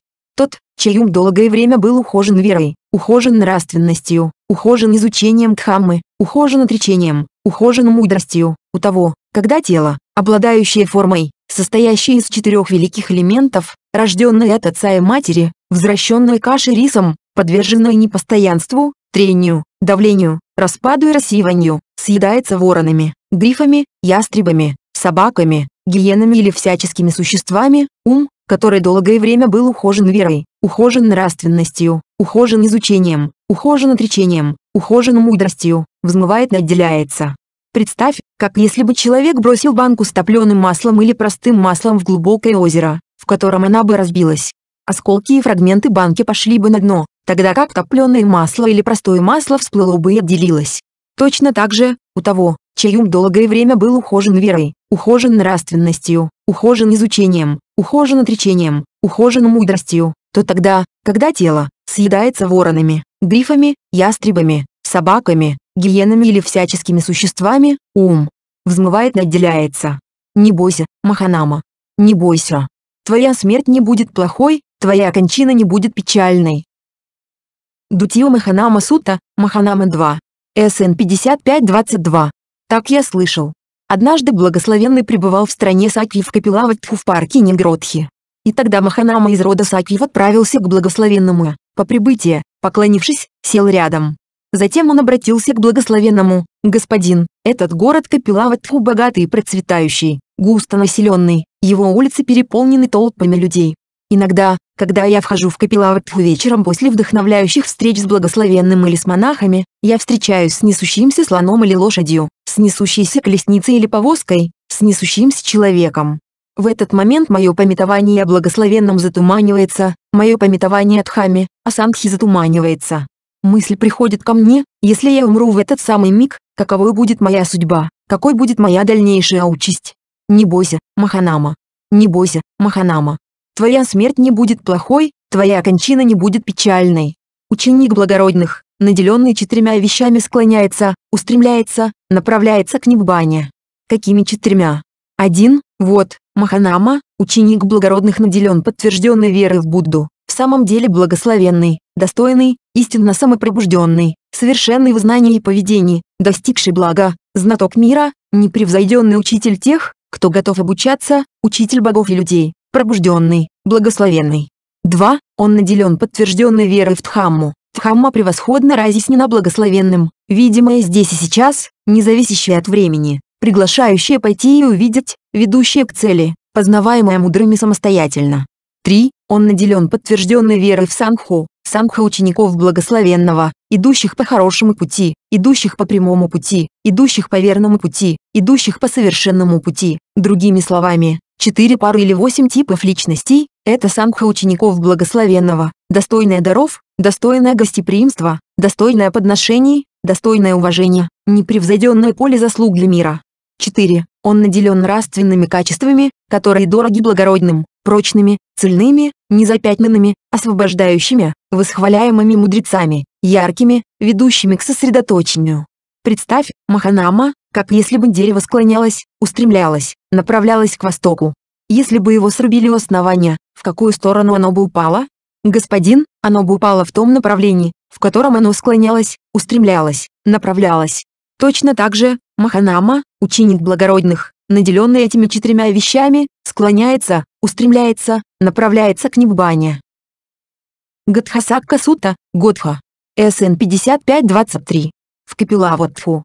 И тогда Маханама из клана Сакьев отправился к Годхи из клана Сакьев и сказал ему, сколькими вещами, Годха, должен обладать человек, чтобы ты признал его вступившим в поток, освобожденным от нижних миров, непоколебимым в своей участи, направляющимся к просветлению, когда человек обладает тремя вещами, Маханама, я признаю его вступившим в поток, освобожденным от нижних миров, непоколебимым в своей участи, направляющимся к просветлению. Какими тремя? Вот, Маханама, ученик благородных наделен подтвержденной верой в Будду, в самом деле благословенный, достойный, истинно самопробужденный, совершенный в знании и поведении, достигший блага, знаток мира, непревзойденный учитель тех, кто готов обучаться, учитель богов и людей, пробужденный, благословенный. Он наделен подтвержденной верой в Дхамму. Дхамма превосходно разъяснена благословенным, видимое здесь и сейчас, независящее от времени, приглашающее пойти и увидеть, ведущее к цели, познаваемое мудрыми самостоятельно. Он наделен подтвержденной верой в Сангху, Сангха учеников благословенного, идущих по хорошему пути, идущих по прямому пути, идущих по верному пути, идущих по совершенному пути. Другими словами, четыре пары или восемь типов личностей, это Сангха учеников благословенного, достойное даров, достойное гостеприимство, достойное подношений, достойное уважение, непревзойденное поле заслуг для мира. Когда человек обладает этими тремя вещами, Маханама, я признаю его вступившим в поток, освобожденным от нижних миров, непоколебимым в своей участи, направляющимся к просветлению. Но, Маханама, сколькими вещами на твой взгляд должен обладать человек, чтобы ты признал его вступившим в поток, направляющимся к просветлению? Годха, когда человек обладает этими четырьмя вещами, я признаю его вступившим в поток, направляющимся к просветлению. Какими четырьмя? Один, вот, Годха, ученик благородных наделен подтвержденной верой в Будду. Два, подтвержденной верой в Дхамму. Три, подтвержденной верой в Сангху. Четыре, он наделен нравственными качествами, которые дороги благородным, прочными, цельными, незапятнанными, освобождающими, восхваляемыми мудрецами, яркими, ведущими к сосредоточению. Когда человек обладает этими четырьмя вещами, я признаю его вступившим в поток, направляющимся к просветлению. Подожди, Маханама. Подожди, Маханама. Только благословенный может знать о том, обладает ли человек этими вещами или нет. Ну же, Годха, пойдем к благословенному. Подойдя, расскажем ему об этом. И тогда Маханама из клана Сакиев и Годха из клана Сакиев подошли к благословенному, поклонились ему и сели рядом. И затем Маханама рассказал об их беседе, добавив, «Господин, может статься так, что возникнет некое обсуждение на предмет Дхаммы. Благословенный займет одну позицию, а Сангха монахов – другую. Какую бы позицию ни занял благословенный, я бы принял эту сторону также. Пусть благословенный помнит меня как того, кто обладает таким доверием. Господин, может статься так, что возникнет некое обсуждение на предмет Дхаммы. Благословенный займет одну позицию, а сангха монахов и сангха монахинь – другую. Господин, может статься так, что возникнет некое обсуждение на предмет Дхаммы. Благословенный займет одну позицию, а сангха монахов и сангха монахинь и группа мирян – другую. Господин, может статься так, что возникнет некое обсуждение на предмет Дхаммы. Благословенный займет одну позицию, а сангха монахов, и сангха монахинь, и группа мирян, и группа мирянок, другую. Какую бы позицию ни занял благословенный, я бы принял эту сторону также. Пусть благословенный помнит меня как того, кто обладает таким доверием. Господин, может статься так, что возникнет некое обсуждение на предмет Дхаммы. Благословенный займет одну позицию, а сангха монахов, и сангха монахинь, и группа мирян, и группа мирянок, и весь мир с его девами, Марой, Брахмой, с его поколениями жрецов и отшельников, богов и людей, другую. Какую бы позицию ни занял благословенный, я бы принял эту сторону также. Пусть благословенный помнит меня как того, кто обладает таким доверием. Благословенный ответил, Годха, когда он так говорит, чтобы ты сказала Маханами из клана Сакиев? Когда он так говорит, господин, я бы ничего не сказала Маханами из клана Сакиев, кроме хорошего и благого. Падхама Саракани Сута, Саракани 1. СН 5524. В Капилавотфу. В то время недавно скончавшийся Саракани из клана Сакью был объявлен вступившим в поток самим благословенным, неспособным более родиться в нижних мирах, направляющимся к просветлению. По этому случаю ряд Сакьев при встрече друг с другом, или собравшись в компанию, были возмущены, раздражены, и говорили с издевкой, чудное дело, поразительно. Теперь кто угодно может стать вступившим в поток, если уж благословенный объявил таковым недавно скончавшегося Саракани, объявил его неспособным более родиться в нижних мирах, направляющимся к просветлению. Как же так, если Саракани пал в своей тренировке и начал пить? Один, тогда Маханама из клана Сакьев отправился к благословенному, поклонился ему и рассказал обо всем, что произошло. Благословенный ответил, Маханама, мирянин, который уже давно принял прибежище в Будде, в Хаме и Сангхе, как он может оказаться в нижних мирах? 2. 1. Маханама, бывает так, когда человек наделен непоколебимой верой в Будду, самом деле благословенный, достойный, истинно самопробужденный, совершенный в знании и поведении, достигший блага, знаток мира, непревзойденный учитель тех, кто готов обучаться, учитель богов и людей, пробужденный, благословенный. Он наделен непоколебимой верой в Дхамму. Дхамма превосходно разъяснена благословенным, видимая здесь и сейчас, не зависящая от времени, приглашающая пойти и увидеть, ведущая к цели, познаваемая мудрыми самостоятельно.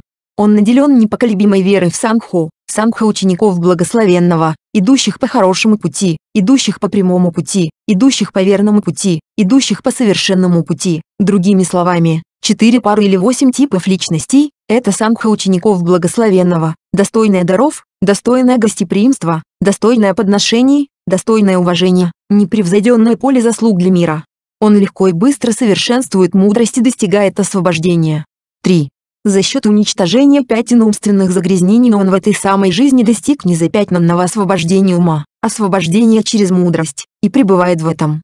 Это человек полностью освобожден от ада, от перерождения животным, от мира голодных духов, полностью освобожден от падения, порочного пути, скорбных уделов. 2. Бывает так, Маханама, когда человек наделен непоколебимой верой в Будду, Дхамму, Сангху, он легко и быстро совершенствует мудрость и не достигает освобождения. Уничтожив пять нижних оков, он переродится спонтанно в мире чистых обителей, где достигнет Ниббана и никогда более не вернется назад из того мира обратно в этот мир.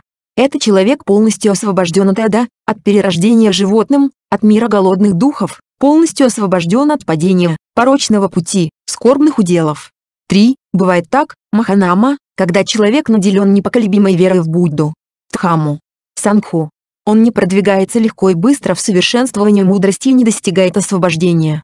И, все же, уничтожив три нижние оковы и ослабив жажду, злобу и заблуждение, он является однажды возвращающимся, который лишь единожды вернется в этот мир и положит конец страданиям.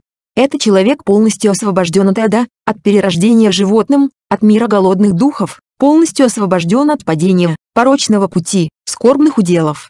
4. Бывает так, Маханама, когда человек наделен непоколебимой верой в Будду, Дхамму, Сангху, он не продвигается легко и быстро в совершенствовании мудрости и не достигает освобождения. И, все же, уничтожив три нижние оковы, он является вступившим в поток, неспособным родиться в скорбных уделах и направляющимся к просветлению. Это человек полностью освобожден от ада, от перерождения животным, от мира голодных духов, полностью освобожден от падения, порочного пути, скорбных уделов. 5. Бывает так, Маханама, когда человек даже не имеет непоколебимой веры в Будду, Дхамму, Сангху. Он не продвигается легко и быстро в совершенствовании мудрости и не достигает освобождения. Но у него есть следующие качества. Качество веры, качество усердия, качество осознанности, качество сосредоточения, качество мудрости. И с помощью мудрости он рассмотрел и до определенной степени согласился с тем, что провозгласил Тадхагата. Этот человек не направляется в мир голодных духов, к падению, к порочному пути, скорбным делам. 6. Бывает так, Маханама, когда человек даже не имеет непоколебимой веры в Будду, Дхамму, Сангху. Он не продвигается легко и быстро в совершенствовании мудрости и не достигает освобождения. Но у него есть следующие качества. Качество веры, качество усердия, качество осознанности, качество сосредоточения, качество мудрости, и у него есть доверие и симпатия к Тадхагати. Этот человек также не направляется в мир голодных духов, к падению, к порочному пути, скорбным делам. 4. Маханама, если бы эти великие соловые деревья могли бы различать хорошо сказанное от плохо сказанного, я бы провозгласил эти великие соловые деревья вступившими в поток, направляющимися к просветлению. Так что уж говорить о Саракане из клана Сакиев. Маханама, Саракане из клана Сакиев исполнил тренировку в момент смерти. 5. 1. Примечание переводчика СВ. Судя по всему речь идет о том, что Саракани был монахом, но растригся, вернувшись к мирской жизни, и более того, пристрастился к алкоголю. 2. Примечание переводчика СВ. Речь идет о Саракане. 3. Подобная фраза используется в суттах отношений Сарипутты. Есть четыре типа. Один достигающий араханства быстро и без трудностей, как в случае с Сарипуттой. Два быстро, но с трудностями, как в случае с Махамед Галланой. Три медленно, но без трудностей. Четыре медленно и с трудностями.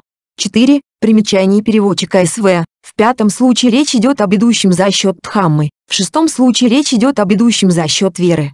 Оба эти типа личности не способны более родиться в низших уделах и в этой самой жизни обязательно достигнут плода вступления в поток, отбросив три нижние оковы. Подробности смотри. В СН-25. По заметке достопочтенного Бодхи, в случае этих личностей не сказано, что они освобождены от рождения в аду, потому что подлинное такое освобождение обретается только с достижением плода вступления в поток, который только еще будет достигнут этими личностями в этой самой жизни. 5. Примечание переводчика СВ. Очевидно, здесь Будда подтверждает, что Саракани был одним из типов личностей, описанных в сутте в пятом или шестом пункте. Они не способны умереть, не достигнув плода вступления в поток, что подтвердилось в случае Саракани в момент его смерти. Дутия Саракани Сута, Саракани 2. СН 5525. В Капилаватфу. В то время недавно скончавшийся Саракани из клана Сакиев самим благословенным был объявлен вступившим в поток, неспособным более родиться в нижних мирах, направляющимся к просветлению. По этому случаю, ряд Сакиев при встрече друг с другом, или собравшись в компанию, были возмущены, раздражены, и говорили с издевкой, чудное дело, поразительно. Теперь кто угодно может стать вступившим в поток, если уж благословенный объявил таковым недавно скончавшегося Саракани, объявил его неспособным более родиться в нижних мирах, направляющимся к просветлению. Как же так, если Саракани пал в своей тренировке? Тогда Маханама из клана Сакиев отправился к благословенному, поклонился ему, сел рядом, и рассказал ему об этом. Благословенный ответил, Маханама, мирянин, который уже давно принял прибежище в Будде, в Хаме и Сангхе, как он может отправиться в Нижние миры? Маханама, долгое время Саракани из клана Сакиев принимал прибежище в Будде, в Хаме, Сангхе, так как же он может отправиться в Нижние миры? 1. Маханама, бывает так, что человек полностью предан Будде и имеет к нему полное доверие таким образом, в самом деле благословенный, достойный, истинно самопробужденный, совершенный в знании и поведении, достигший блага, знаток мира, непревзойденный учитель тех, кто готов обучаться, учитель богов и людей, пробужденный, благословенный. И тоже в отношении Дхамы и Сангхи. Он тот, у кого радостная мудрость, стремительная мудрость, и он достиг освобождения. За счет уничтожения пятен умственных загрязнений, он входит и пребывает в незапятнанном освобождении ума, освобождение мудростью, реализовав это для себя прямым знанием. Это человек, Маханама, освобожден от ада, от мира животных, от мира страдающих духов, освобожден от состояния лишений, от неблагих уделов, от нижних миров. 2. Вот, Маханама, человек полностью предан Будде имеет к нему полное доверие таким образом. И тоже в отношении Дхамы и Сангхи. Он тот, у кого радостная мудрость, стремительная мудрость, но он еще не достиг освобождения. С уничтожением пяти нижних оков он стал тем, кто обретает окончательные знания уже в этой жизни, или тем, кто обретает окончательные знания в момент смерти, или достигнет Нигбана в промежутке, или достигнет Нигбаны по приземлении, или достигнет Нигбаны с без приложения усилия, или достигнет Нигбаны с приложением усилия, или будет тем, кто направляется вверх, к миру Аканитха. Это человек, Маханама, также освобожден от ада, от мира животных, от мира страдающих духов, освобожден от состояния лишений, от неблагих уделов, от нижних миров. 3. Вот, Маханама, человек полностью предан Будде имеет к нему полное доверие таким образом. И тоже в отношении Дхамы и Сангхи. Он не тот, у кого радостная мудрость, не тот, у кого стремительная мудрость, и он еще не достиг освобождения. И, все же, с полным уничтожением трех нижних оков и с ослаблением жажды, злобы и заблуждения, он является однажды возвращающимся, который лишь единожды вернется в этот мир и положит конец страданиям. Это человек, Маханама, также освобожден ада, от мира животных, от мира страдающих духов, освобожден от состояния лишений, от неблагих уделов, от нижних миров. 4. Вот, Маханама, человек полностью предан Будде имеет к нему полное доверие таким образом. И тоже в отношении Дхамы и Сангхи. Он не тот, у кого радостная мудрость, не тот, у кого стремительная мудрость, и он еще не достиг освобождения. И, все же, с полным уничтожением трех нижних оков он является вступившим в поток, неспособным родиться в нижних мирах и направляющимся к просветлению. Это человек, Маханама, также освобожден от ада, от мира животных, от мира страдающих духов, освобожден от состояния лишений, от неблагих уделов, от нижних миров. 5. Вот, Маханама, человек не полностью предан Будде не имеет к нему полного доверия таким образом, в самом деле благословенный, достойный, истинно самопробужденный, совершенный в знании и поведении, достигший блага, знаток мира, непревзойденный учитель тех, кто готов обучаться, учитель богов и людей, пробужденный, благословенный. И тоже в отношении Дхамы и Сангхи. Он не тот, у кого радостная мудрость, не тот, у кого стремительная мудрость, и он еще не достиг освобождения.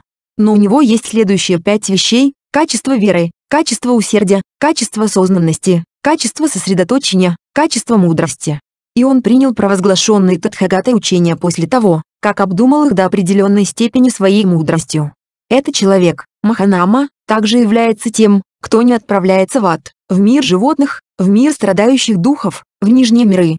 6. Вот, Маханама, человек не полностью предан Будде не имеет к нему полного доверия таким образом, в самом деле благословенный, достойный, истинно самопробужденный, совершенный в знании и поведении, достигший блага, знаток мира, непревзойденный учитель тех, кто готов обучаться, учитель богов и людей, пробужденный, благословенный. И тоже в отношении Дхамы и Сангхи. Он не тот, у кого радостная мудрость, не тот, у кого стремительная мудрость, и он еще не достиг освобождения. Но у него есть следующие пять вещей – качество веры, качество усердия, качество осознанности, качество сосредоточения, качество мудрости. И у него есть достаточное доверие, достаточная преданность к Тадхагати. Этот человек, Маханама, также является тем, кто не отправляется в ад, в мир животных, в мир страдающих духов, в нижние миры. Представь, Маханама, плохое поле с плохой почвой, дни на котором не выкорчеваны, а посаженные на поле семена были бы разбиты, испорчены, повреждены ветром и солнцем, неплодоносные, неухоженные, и с неба не проливалось бы достаточно дождя. Могло бы статься так, чтобы эти семена достигли роста, прибавления, разрастания? Нет, господин. Точно так же, Маханама, бывает так, когда Дхама плохо разъяснена, плохо провозглашена, не ведет к освобождению, не ведет к покою, поведана тем, кто не является полностью просветленным. Это, я говорю тебе, схоже с плохим полем. И вот ученик пребывает в этой плохой дхаме, практикует в соответствии с ней, практикует надлежащим образом, ведет себя соответствующе. Это, я говорю тебе, схоже с плохим семением. Представь, Маханама, хорошее поле с хорошей почвой, тщательно очищенное от пней, а посаженные семена были бы не разбитыми, не испорченными, не поврежденными ветром и солнцем, плодоносные, ухоженные, и с неба проливалось бы достаточно дождя. Могло бы статься так, чтобы эти семена достигли роста, прибавления, разрастания? Да, господин. Точно так же, Маханама, бывает так, когда Дхама хорошо разъяснена, хорошо провозглашена, ведет к освобождению, ведет к покою, поведана тем, кто является полностью просветленным. Это, я говорю тебе, схоже с хорошим полем. И вот ученик пребывает в этой дхаме, практикует в соответствии с ней, практикует надлежащим образом, ведет себя соответствующе. Это, я говорю тебе, схоже с хорошим семением. Так что уж говорить о Саракане из клана Сакиев. Маханама, Саракане из клана Сакиев исполнил тренировку в момент смерти. Падхама Анадхапиндика Сута, Анадхапиндика 1. СН 5526. В Саватхе. И в то время домохозяин Анадхапиндика был нездоров, поражен болезнью, серьезно болен. И тогда домохозяин Анадхапиндика обратился к некоему человеку так, ну же, почтенный, пойди к достопочтенному Сарипутте, поклоняйся ему в ноги от моего имени и скажи, достопочтенный, домохозяин Анадхапиндика нездоров, поражен болезнью, серьезно болен. Он выражает почтение достопочтенному Сарипутте, кланяясь ему в ноги. И затем скажи, было бы хорошо, достопочтенный, если бы достопочтенный Сарипутта из сострадания пришел бы домой к домохозяину Анадхайпиндике. «Конечно, господин», — ответил человек и отправился к достопочтенному Сарипутте, поклонился ему и сел рядом, а затем донес послание. Достопочтенный Сарипутта молча согласился. И затем, утром, достопочтенный Сарипутта, одевшись, взяв чашу и верхние одеяния, отправился домой к домохозяину Анадхапиндике вместе с сопровождавшим его достопочтенным Анандой. Там он сел на подготовленное для него сиденье и сказал домохозяину Анадхапиндике, «Я надеюсь, ты поправляешься, домохозяин, я надеюсь, тебе становится лучше. Я надеюсь, твои болезненные ощущения спадают, они возрастают, и что можно увидеть их спад, а не увеличение. Достопочтенный, я не поправляюсь, мне не становится лучше. Сильные болезненные ощущения возрастают во мне, они спадают, и можно увидеть их увеличение, а не спад. Один, у тебя, домохозяин, нет недоверия к Будде, которым обладает необученный заурядный человек, из-за чего он после распада тела, после смерти, переродится в состоянии лишений, в плохом уделе, в нижних мирах, в аду. Но у тебя есть подтвержденная вера в Будду, в самом деле благословенный, достойный, истинно самопробужденный, совершенный в знании и поведении, достигший блага, знаток мира, непревзойденный учитель тех, кто готов обучаться, учитель богов и людей, пробужденный, благословенный. Если ты будешь рассматривать в себе эту подтвержденную веру в Будду, то твои боли могут прямо тут же и утихнуть. 2. У тебя, домохозяин, нет недоверия к Дхаме, которым обладает необученный заурядный человек, из-за чего он после распада тела, после смерти, переродится в состоянии лишений, в плохом уделе, в нижних мирах, в аду. Но у тебя есть подтвержденная вера в Дхамму. Дхамма превосходно разъяснена благословенным, видимая здесь и сейчас, независящая от времени, приглашающая пойти и увидеть, ведущая к цели, познаваемая мудрыми самостоятельно. Если ты будешь рассматривать в себе эту подтвержденную веру в Дхамму, то твои боли могут прямо тут же и утихнуть. 3. У тебя, домохозяин, нет недоверия к Сангхе, которым обладает необученный заурядный человек, из-за чего он после распада тела, после смерти, переродится в состоянии лишений, в плохом уделе, в нижних мирах, в аду. Но у тебя есть подтвержденная вера в Сангху, Сангха учеников благословенного, идущих по хорошему пути, идущих по прямому пути, идущих по верному пути, идущих по совершенному пути. Другими словами, четыре пары или восемь типов личностей – это Сангха учеников благословенного, достойная даров, достойное гостеприимство, достойное подношений, достойное уважение, непревзойденное поле заслуг для мира. Если ты будешь рассматривать в себе эту подтвержденную веру в Сангху, то твои боли могут прямо тут же и утихнуть. 4. У тебя, домохозяин, нет безнравственности, которой обладает необученный заурядный человек, из-за чего он после распада тела, после смерти, переродится в состоянии лишений, в плохом уделе, в нижних мирах, в аду. Но у тебя есть эти нравственные качества, которые дороги благородным, прочные, цельные, незапятнанные, освобождающие, восхваляемые мудрецами, яркие, ведущие к сосредоточению. Если ты будешь рассматривать в себе эти нравственные качества, которые дороги благородным, то твои боли могут прямо тут же и утихнуть.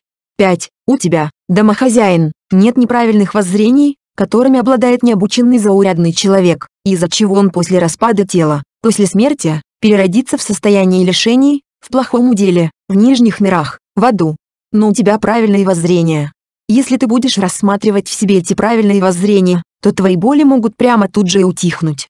6. У тебя, домохозяин, нет неправильного устремления, неправильной речи, неправильного действия, неправильных средств к жизни, неправильного усилия, неправильной осознанности, неправильного сосредоточения, неправильного знания, неправильного освобождения, которым обладает необученный заурядный человек, из-за чего он после распада тела, после смерти, переродится в состоянии лишений, в плохом уделе, в нижних мирах, в аду. Но у тебя есть правильные устремления, правильное освобождение. 1. Если ты будешь рассматривать в себе это правильное освобождение, то твои боли могут прямо тут же и утихнуть. И тогда боли домохозяина Анадхапиндики в тот же миг и утихли. И тогда домохозяин Анадхапиндика поделился с достопочтенными Сарипуттой и Ананда едой из своей собственной посуды. И когда достопочтенный Сарипутта поел и вымыл руки и чашу, домохозяин Анадхапиндика взял более низкое сиденье, сел рядом, и достопочтенный Сарипутта обратился к нему следующими строфами. «Коль верой в Тадхагату ты наделен, той, что прочно и непоколебимо, а также поведением нравственным благим, что благородный ценит, восхваляет, коль в Санхе есть уверенность в тебе, и выправлены все твои воззрения, то скажет о тебе, что ты не беден, и жизнь твоя не прожита зазря. Поэтому тот, кто способен к пониманию, держа в уме учений Будды, пусть вере посвятит себя и добродетели, уверенности, равно как и дхамма видению. И тогда достопочтенный Сарипута, поблагодарив домохозяина Анадхапиндику этими строфами, поднялся со своего сидения и ушел. И затем достопочтенный Ананда отправился к благословенному, поклонился ему, и сел рядом. Затем благословенный сказал ему, «Ананда, откуда путь держишь средь бела дня?» Учитель, достопочтенный Сарипутта воодушевлял домохозяина Анадхапиндику такими-то и такими-то наставлениями. Сарипутта мудр, Ананда. Сарипутта наделен великой мудростью, до такой степени, что он может рассмотреть четыре фактора вступления в поток в десяти перспективах. Один, несколько странно то, что Анадхапиндике, вступившему в поток, в данной сути приписаны 9 и 10 факторы благородного восьмеричного пути, правильные знания и правильное освобождение, которые, по сути, являются плодом пути, согласно Матшхима Никая 3, 76, подразумевают араханство, ученик, секха, наделен восемью факторами пути, а не ученик, а секха, то есть арахант, наделен десятью факторами пути. Примечание переводчика СВ, однако, комментарий Кангуттара Никая поясняет, что под этими факторами подразумеваются более низкие плоды, чем полное просветление, то есть плод вступления в поток, однажды возвращение, невозвращение.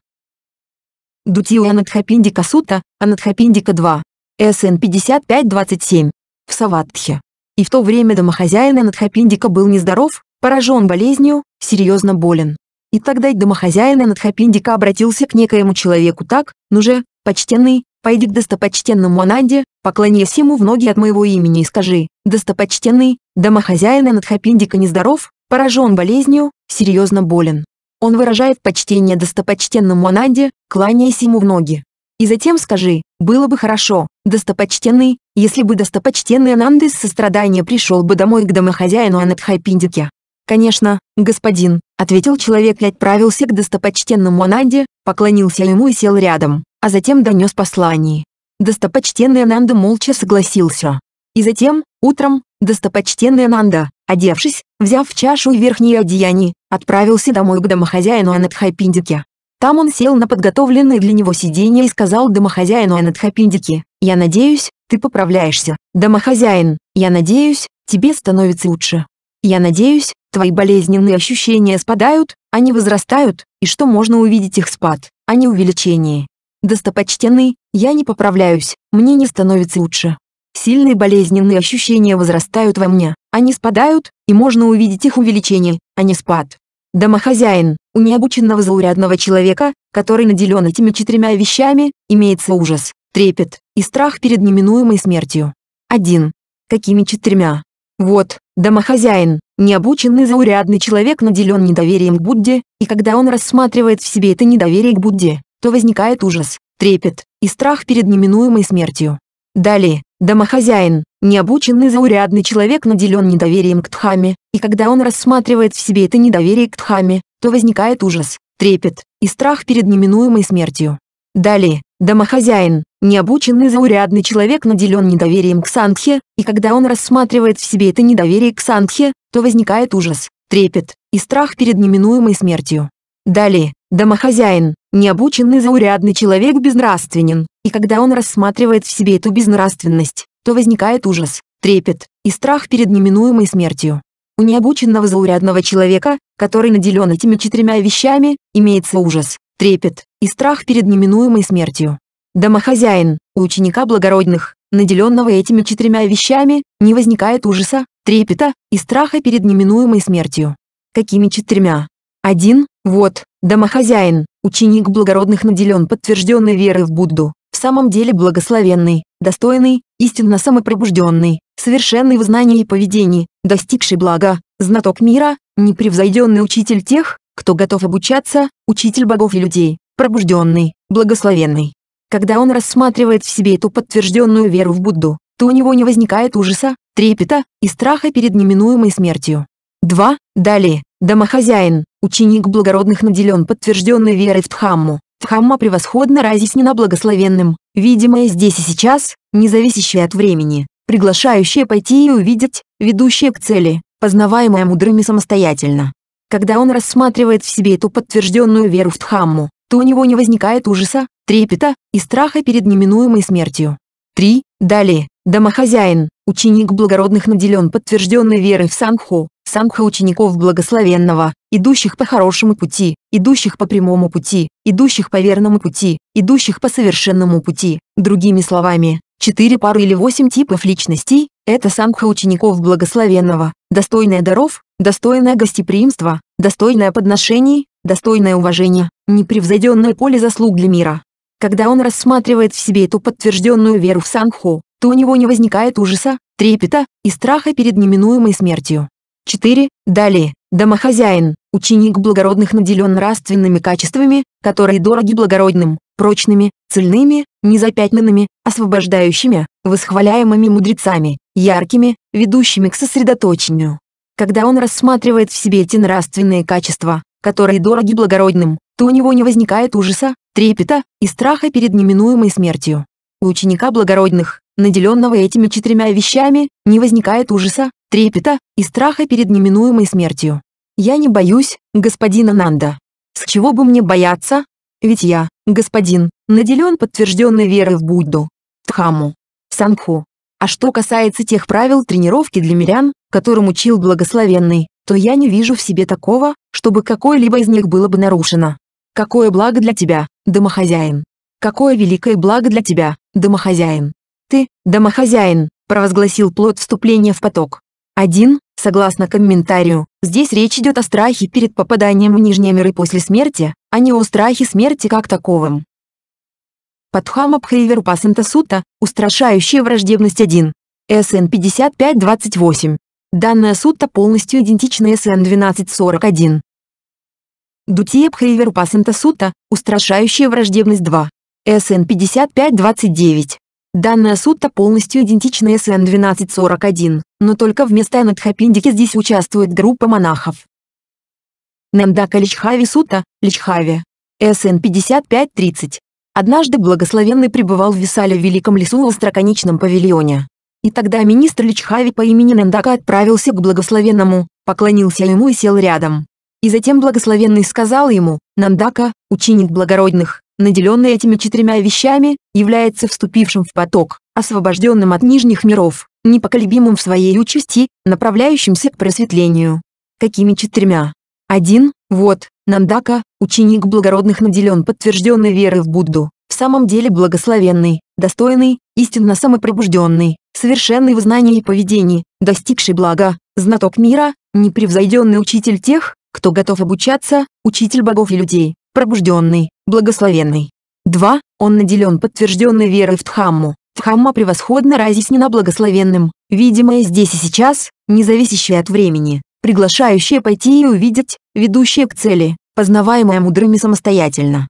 3. Он наделен подтвержденной верой в Сангху, Сангха учеников благословенного, идущих по хорошему пути, идущих по прямому пути, идущих по верному пути, идущих по совершенному пути. Другими словами, четыре пары или восемь типов личностей – это Сангха учеников благословенного, достойное даров, достойное гостеприимство, достойное подношений, достойное уважение, непревзойденное поле заслуг для мира. 4. Он наделен нравственными качествами, которые дороги благородным, прочными, цельными, незапятнанными, освобождающими, восхваляемыми мудрецами, яркими, ведущими к сосредоточению. Ученик благородных, наделенный этими четырьмя вещами, является вступившим в поток, освобожденным от нижних миров, непоколебимым в своей участи, направляющимся к просветлению. Далее, Нандака, ученик благородных, наделенный этими четырьмя вещами, становится обладателем длинной жизни, небесной или человеческой. Он становится обладателем красоты, небесной или человеческой. Он становится обладателем счастья, небесного или человеческого. Он становится обладателем славы, небесной или человеческой. Он становится обладателем власти, небесной или человеческой. И я говорю так, Нандака, не потому, что услышал об этом от других жрецов-отшельников. Но говорю так именно потому, что я узнал сам, увидел это сам, реализовал это прямое знание сам. Когда так было сказано, подошедший человек обратился к Нандаке, министру Личхаве. «Все готово для принятия вами ванны, господин». «Довольно, я говорю, с меня этой внешней ванны. Мне достаточно этой внутренней ванны, то есть, убежденности в благословенном. Падхама Пунья Пхисанда Сута, потоки заслуг 1. СН 5531. В Саватхе. Благословенный сказал, монахи, существуют эти четыре потока заслуг, потока благого, пищи для счастья. Какие четыре? Один, вот, монахи, ученик благородных наделен подтвержденной веры в Будду, в самом деле благословенный, достойный, истинно самопробужденный, совершенный в знании и поведении, достигший блага, знаток мира, непревзойденный учитель тех, кто готов обучаться, учитель богов и людей, пробужденный, благословенный. Таков первый поток заслуг, поток благого, пищи для счастья. 2. Далее, монахи, ученик благородных наделен подтвержденной верой в Дхамму. Дхамма превосходно разъяснена благословенным, видимое здесь и сейчас, не зависящее от времени, приглашающее пойти и увидеть, ведущее к цели, познаваемое мудрыми самостоятельно. Таков второй поток заслуг, поток благого, пищи для счастья. 3. Далее, монахи, ученик благородных наделен подтвержденной верой в Сангху, Сангха учеников благословенного, идущих по хорошему пути, идущих по прямому пути, идущих по верному пути, идущих по совершенному пути. Другими словами, четыре пары или восемь типов личностей – это Сангха учеников благословенного, достойная даров, достойное гостеприимство, достойное подношений, достойное уважение, непревзойденное поле заслуг для мира. Таков третий поток заслуг, поток благого, пищи для счастья. 4. Далее, монахи, ученик благородных наделен нравственными качествами, которые дороги благородным, прочными, цельными, незапятнанными, освобождающими, восхваляемыми мудрецами, яркими, ведущими к сосредоточению. Таков четвертый поток заслуг, поток благого, пищи для счастья. Таковы четыре потока заслуг, потока благого, пищи для счастья. Дутия Пунья Пхисанда Сута, потоки заслуг 2. СН 5532.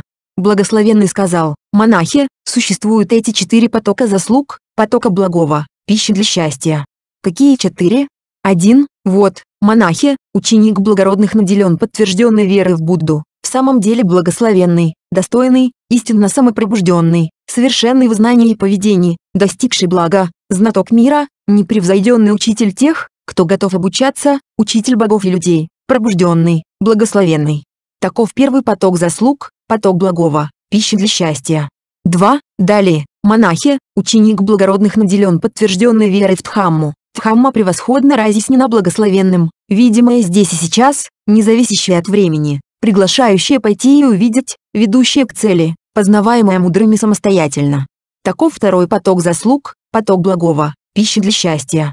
3. Далее, монахи, ученик благородных наделен подтвержденной верой в Сангху, Сангха учеников благословенного, идущих по хорошему пути, идущих по прямому пути, идущих по верному пути, идущих по совершенному пути. Другими словами, четыре пары или восемь типов личностей – это Сангха учеников благословенного, достойное даров, достойное гостеприимство, достойное подношений, достойное уважение, непревзойденное поле заслуг для мира.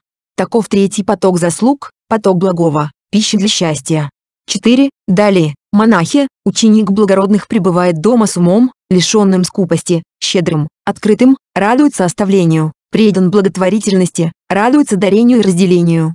Таков четвертый поток заслуг, поток благого, пищи для счастья. Таковы четыре потока заслуг, потока благого, пищи для счастья. Татья Пунья Сута, потоки заслуг 3. СН 5533. Благословенный сказал, монахи, существуют эти четыре потока заслуг, потока благого, пищи для счастья. Какие четыре? Один, вот, монахи, ученик благородных наделен подтвержденной верой в Будду, в самом деле благословенный, достойный, истинно самопробужденный, совершенный в знании и поведении, достигший блага, знаток мира, непревзойденный учитель тех, кто готов обучаться, учитель богов и людей, пробужденный, благословенный. Таков первый поток заслуг, поток благого, пища для счастья.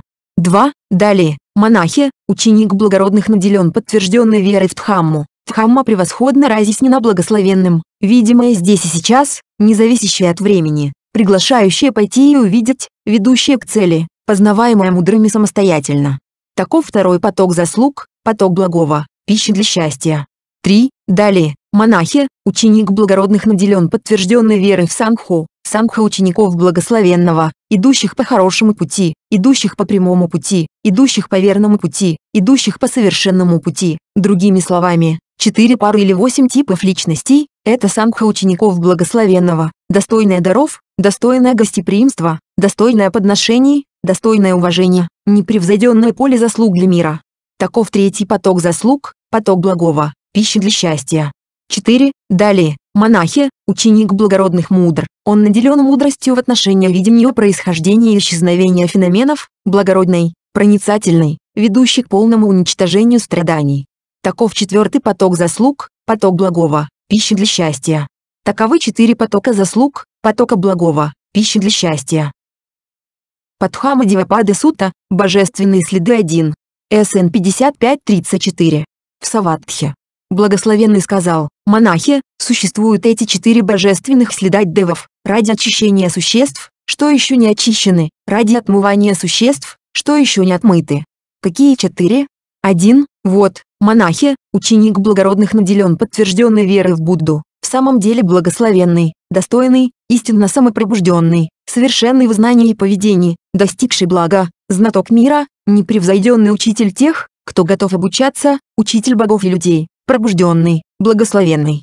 Таков первый божественный след девов, ради очищения существ, что еще не очищены, ради отмывания существ, что еще не отмыты. 2. Далее, монахи, ученик благородных наделен подтвержденной верой в Дхамму. Дхамма превосходно разъяснена благословенным, видимое здесь и сейчас, не зависящее от времени, приглашающее пойти и увидеть, ведущее к цели, познаваемое мудрыми самостоятельно. Таков второй божественный след девов.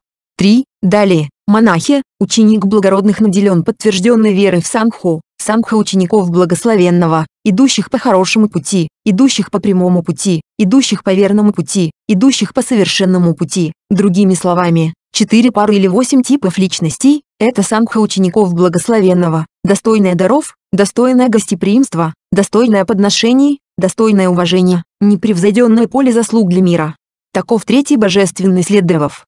4. Далее, монахи, ученик благородных наделен нравственными качествами, которые дороги благородным, прочными, цельными, незапятнанными, освобождающими, восхваляемыми мудрецами, яркими, ведущими к сосредоточению. Таков четвертый божественный след девов. Таковы четыре божественных следа девов, ради очищения существ, что еще не очищены, ради отмывания существ, что еще не отмыты. Дутил Дивапады Сута, Божественные следы 2. СН 5535. Благословенный сказал, монахи, существуют эти четыре божественных следа девов, ради очищения существ, что еще не очищены, ради отмывания существ, что еще не отмыты. Какие четыре? Один, вот, монахи, ученик благородных наделен подтвержденной верой в Будду, в самом деле благословенный, достойный, истинно самопробужденный, совершенный в знании и поведении, достигший блага, знаток мира, непревзойденный учитель тех, кто готов обучаться, учитель богов и людей, пробужденный, благословенный. И он размышляет так, и что же такое божественный след девав? Он понимает так, и я слышал, что в настоящее время девы считают непритеснение наиважнейшим. А я никого не притесняю, ни слабого, ни сильного. Вне сомнений, я пребываю в обладании одним из божественных следов. Таков первый божественный след девов. 2. Далее, монахи, ученик благородных наделен подтвержденной верой в Дхамму, Дхамма превосходно разъяснена благословенным, видимое здесь и сейчас, не зависящее от времени, приглашающее пойти и увидеть, ведущее к цели, познаваемое мудрыми самостоятельно. 3. Далее, монахи, ученик благородных наделен подтвержденной верой в Сангху, Сангха учеников благословенного, идущих по хорошему пути, идущих по прямому пути, идущих по верному пути, идущих по совершенному пути. Другими словами, четыре пары или восемь типов личностей, это Сангха учеников благословенного, достойное даров, достойное гостеприимство, достойное подношений, достойное уважение, несравненное поле заслуг для мира. 4. Далее, монахи, ученик благородных наделен нравственными качествами, которые дороги благородным, прочными, цельными, незапятнанными, освобождающими, восхваляемыми мудрецами, яркими, ведущими к сосредоточению. И он размышляет так, и что же такое божественный след девав? Он понимает так, и я слышал, что в настоящее время девы считают непритеснение наиважнейшим. А я никого не притесняю, ни слабого, ни сильного.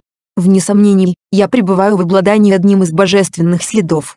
Таков четвертый божественный след девов. Таковы четыре божественных следа девов, ради очищения существ, что еще не очищены, ради отмывания существ, что еще не отмыты. Девасабхагата Сута, подобный девам. СН 5536. Благословенный сказал, монахи, когда ученик благородных обладает четырьмя вещами, то девы ликуют и говорят о его сходстве с ними. Какими четырьмя? Один, вот, монахи, ученик благородных наделен подтвержденной верой в Будду, в самом деле благословенный, достойный, истинно самопробужденный, совершенный в знании и поведении, достигший блага, знаток мира, непревзойденный учитель тех, кто готов обучаться, учитель богов и людей, пробужденный, благословенный. Тем девам, которые, будучи людьми, умерли здесь в человеческом мире и переродились там в небесном мире, обладающим подтвержденной верой в Будду, приходит такая мысль, поскольку ученик благородных наделен такой же подтвержденной верой в Будду, которой обладали мы, когда умерли там и переродились здесь, то он появится среди девов.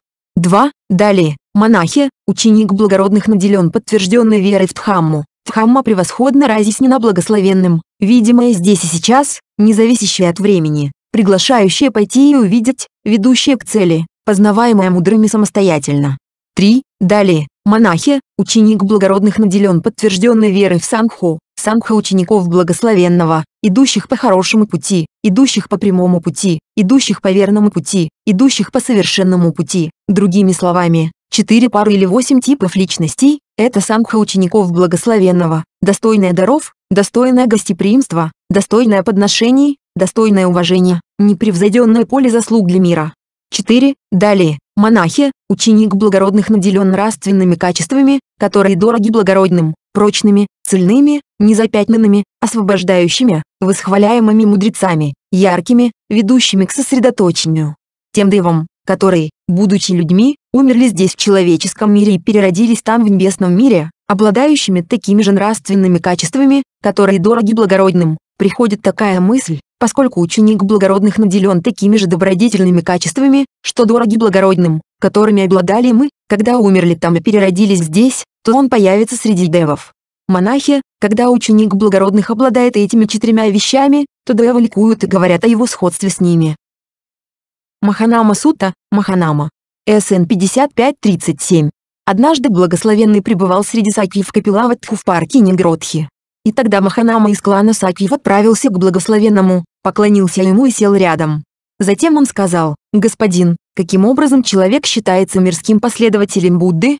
Маханама, когда человек принял прибежище в Будде, в Дхаме, в Сандхе, то тогда он считается мирским последователем. Каким образом, господин, мирской последователь совершенен в нравственности?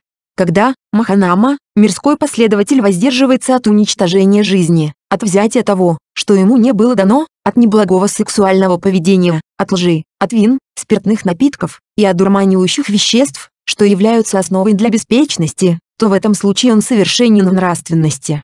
Каким образом, господин, мирской последователь совершенен в вере? Маханама, мирской последователь, человек веры. Он верит в просветление Тадхагаты так, в самом деле благословенный, достойный, истинно самопробужденный, совершенный в знании и поведении, достигший блага, знаток мира, непревзойденный учитель тех, кто готов обучаться, учитель богов и людей, пробужденный, благословенный. Вот каким образом мирской последователь совершенен в вере. Каким образом, господин, мирской последователь совершенен в щедрости? Маханама, мирской последователь пребывает дома с умом, лишенным скупости, щедрым, открытым, радуется оставлению, предан благотворительности, радуется дарению и разделению. Вот каким образом мирской последователь совершенен в щедрости. Каким образом, господин, мирской последователь совершенен в мудрости? Маханама, мирской последователь мудр, он наделен мудростью в отношении видимого происхождения и исчезновения феноменов, благородной, проницательной, ведущей к полному уничтожению страданий. Вот каким образом мирской последователь совершенен в мудрости. Васса Сута, дождь. СН 5538. Благословенный сказал, монахи, подобно тому, как ливень проливается тяжелыми каплями на вершину горы, и водяные потоки устремляются вниз по склону, заполняя расселены, канавки и протоки, а по заполнении этих, заполняют пруды, а по заполнении этих, заполняют озера, а по заполнении этих, заполняют ручьи, а по заполнении этих, заполняют реки, а по заполнении этих, заполняют океан, то точно так же в ученике благородных эти вещи, подтвержденная вера в Будду, в Хамму, Сангху и нравственные качества, которые дороги благородным, текут вперед и, продвинувшись, они приводят к уничтожению пятен загрязнений ума. Калиготха Сута, Калиготха. СН 5539. Однажды благословенный пребывал в стране Сакьи в Капилаватху в парке Негротхи. И тогда, утром, благословенный, одевшись, взяв чашу и верхние одеяния, отправился в дом мирянки Калиготхи из клана Сакьев. Там он сел на подготовленное сиденье. И тогда мирянка Калиготха из клана Сакьев подошла к благословенному, поклонилась ему и села рядом. Благословенный сказал ей, «Годха, ученица благородных, наделенная этими четырьмя вещами, является вступившей в поток, освобожденной от нижних миров, непоколебимой в своей участи, направляющейся к просветлению». Какими четырьмя? Один, вот, Годха, ученица благородных наделена подтвержденной верой в Будду, в самом деле благословенный, достойный, истинно самопробужденный, совершенный в знании и поведении, достигший блага, знаток мира, непревзойденный учитель тех, кто готов обучаться, учитель богов и людей, пробужденный, благословенный. 2. Она наделена подтвержденной верой в Дхамму. Дхамма превосходно разъяснена благословенным, видимая здесь и сейчас, не зависящая от времени, приглашающая пойти и увидеть, ведущая к цели, познаваемая мудрыми самостоятельно. 3. Она наделена подтвержденной верой в Сангху, Сангха учеников благословенного, идущих по хорошему пути, идущих по прямому пути, идущих по верному пути, идущих по совершенному пути. Другими словами, четыре пары или восемь типов личностей – это Сангха учеников благословенного, достойная даров, достойное гостеприимство, достойное подношений, достойное уважение, несравненное поле заслуг для мира. 4. Она пребывает дома с умом, лишенным скупости, щедрым, открытым, радуется оставлению, предана благотворительности, радуется дарению и разделению. Годха, ученица благородных, наделенная этими четырьмя вещами, является вступившей в поток, освобожденной от нижних миров, непоколебимой в своей участи, направляющейся к просветлению. Господин, что касается этих четырех факторов вступления в поток, которым научил благословенный, то все они есть во мне, я живу в соответствии с ними. Ведь я, господин, наделена подтвержденной верой в Будду, в Дхамму и в Сангху. Более того, когда в моей семье появляется что-либо, чем можно поделиться, то все это я безвозмездно раздаю среди тех, кто нравственен и добр. Какое благо для тебя, Годха! Какое большое благо для тебя, Годха! Ты провозгласила плод вступления в поток. Нандия Сута, Кнандия. СН 5540. Однажды благословенный проживал среди сакьев рядом с Капилаватху в парке Негротхи. И тогда Нандия из клана сакьев отправился к благословенному, по прибытии, поклонившись ему, сел рядом. Затем он обратился к благословенному, «Господин, можно ли назвать ученика благородных, у которого напрочь отсутствуют факторы вступления в поток, учеником благородных, который живет в беспечности? Надя, того, в ком напрочь отсутствуют факторы вступления в поток, я называю чужаком, относящимся к обычным заурядным людям. А что касается ученика благородных, живущего в прилежании, один, или живущего в беспечности, то слушай внимательно, я буду говорить. Как скажете, господин, ответил Нандия из клана Сакьев. Один, благословенный сказал, и как, Нандия, ученик благородных живет в беспечности? Вот ученик благородных наделен убежденностью по отношению к благословенному, в самом деле благословенный, достойный, истинно самопробужденный, совершенный в знании и поведении, достигший блага, знаток мира, непревзойденный учитель тех, кто готов обучаться, учитель богов и людей, пробужденный, благословенный. Довольствуясь этой убежденностью, он не прилагает дальнейших усилий к пребыванию в уединении днем или в затворничестве ночью. Поскольку таким образом он живет в беспечности, у него нет радости. Когда нет радости, нет восторга. Когда нет восторга, нет безмятежности. Поскольку нет безмятежности, он живет в болезненности. Когда он живет в болезненности, его ум не сосредоточивается. Если ум не сосредоточен, то феномены не видны. Когда феномены не видны, то такой ученик благородных считается живущим в беспечности. 2. Далее, ученик благородных наделен убежденностью по отношению к Дхамме, Дхамма превосходно разъяснена благословенным, видимое здесь и сейчас, не зависящее от времени, приглашающее пойти и увидеть, ведущее к цели, познаваемое мудрыми самостоятельно. Довольствуясь этой убежденностью, он не прилагает дальнейших усилий к пребыванию в уединении днем или в затворничестве ночью. Поскольку таким образом он живет в беспечности, у него нет радости. Когда нет радости, нет восторга. Когда нет восторга, нет безмятежности. Поскольку нет безмятежности, он живет в болезненности. Когда он живет в болезненности, его ум не сосредоточивается. Если ум не сосредоточен, то феномены не видны. Когда феномены не видны, то такой ученик благородных считается живущим в беспечности. 3. Далее, ученик благородных наделен убежденностью по отношению к Сангхе, Сангха учеников благословенного, идущих по хорошему пути, идущих по прямому пути, идущих по верному пути, идущих по совершенному пути. Другими словами, четыре пары или восемь типов личностей – это Сангха учеников благословенного, достойная даров, достойное гостеприимство, достойное подношений, достойное уважение, непревзойденное поле заслуг для мира. Довольствуясь этой убежденностью, он не прилагает дальнейших усилий к пребыванию в уединении днем или в затворничестве ночью. Поскольку таким образом он живет в беспечности, у него нет радости. Когда нет радости, нет восторга. Когда нет восторга, нет безмятежности. Поскольку нет безмятежности, он живет в болезненности. Когда он живет в болезненности, его ум не сосредоточивается.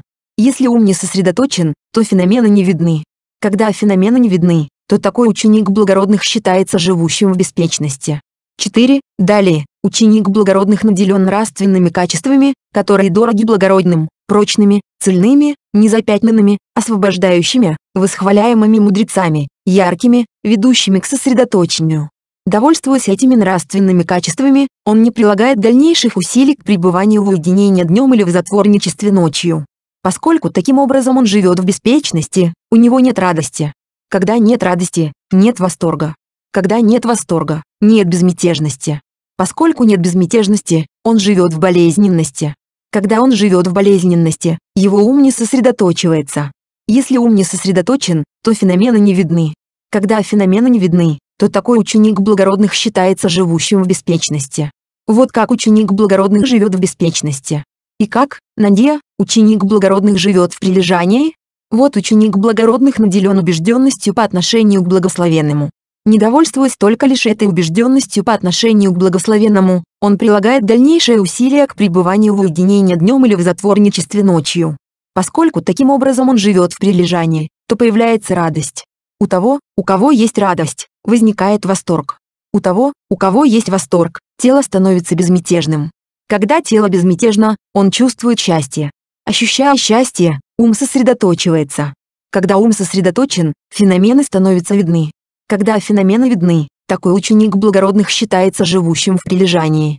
Далее, ученик благородных наделен убежденностью по отношению к Дхамме.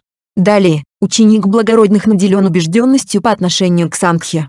Далее, ученик благородных наделен нравственными качествами, которые дороги благородным, прочными, цельными, незапятнанными, освобождающими, восхваляемыми мудрецами, яркими, ведущими к сосредоточению.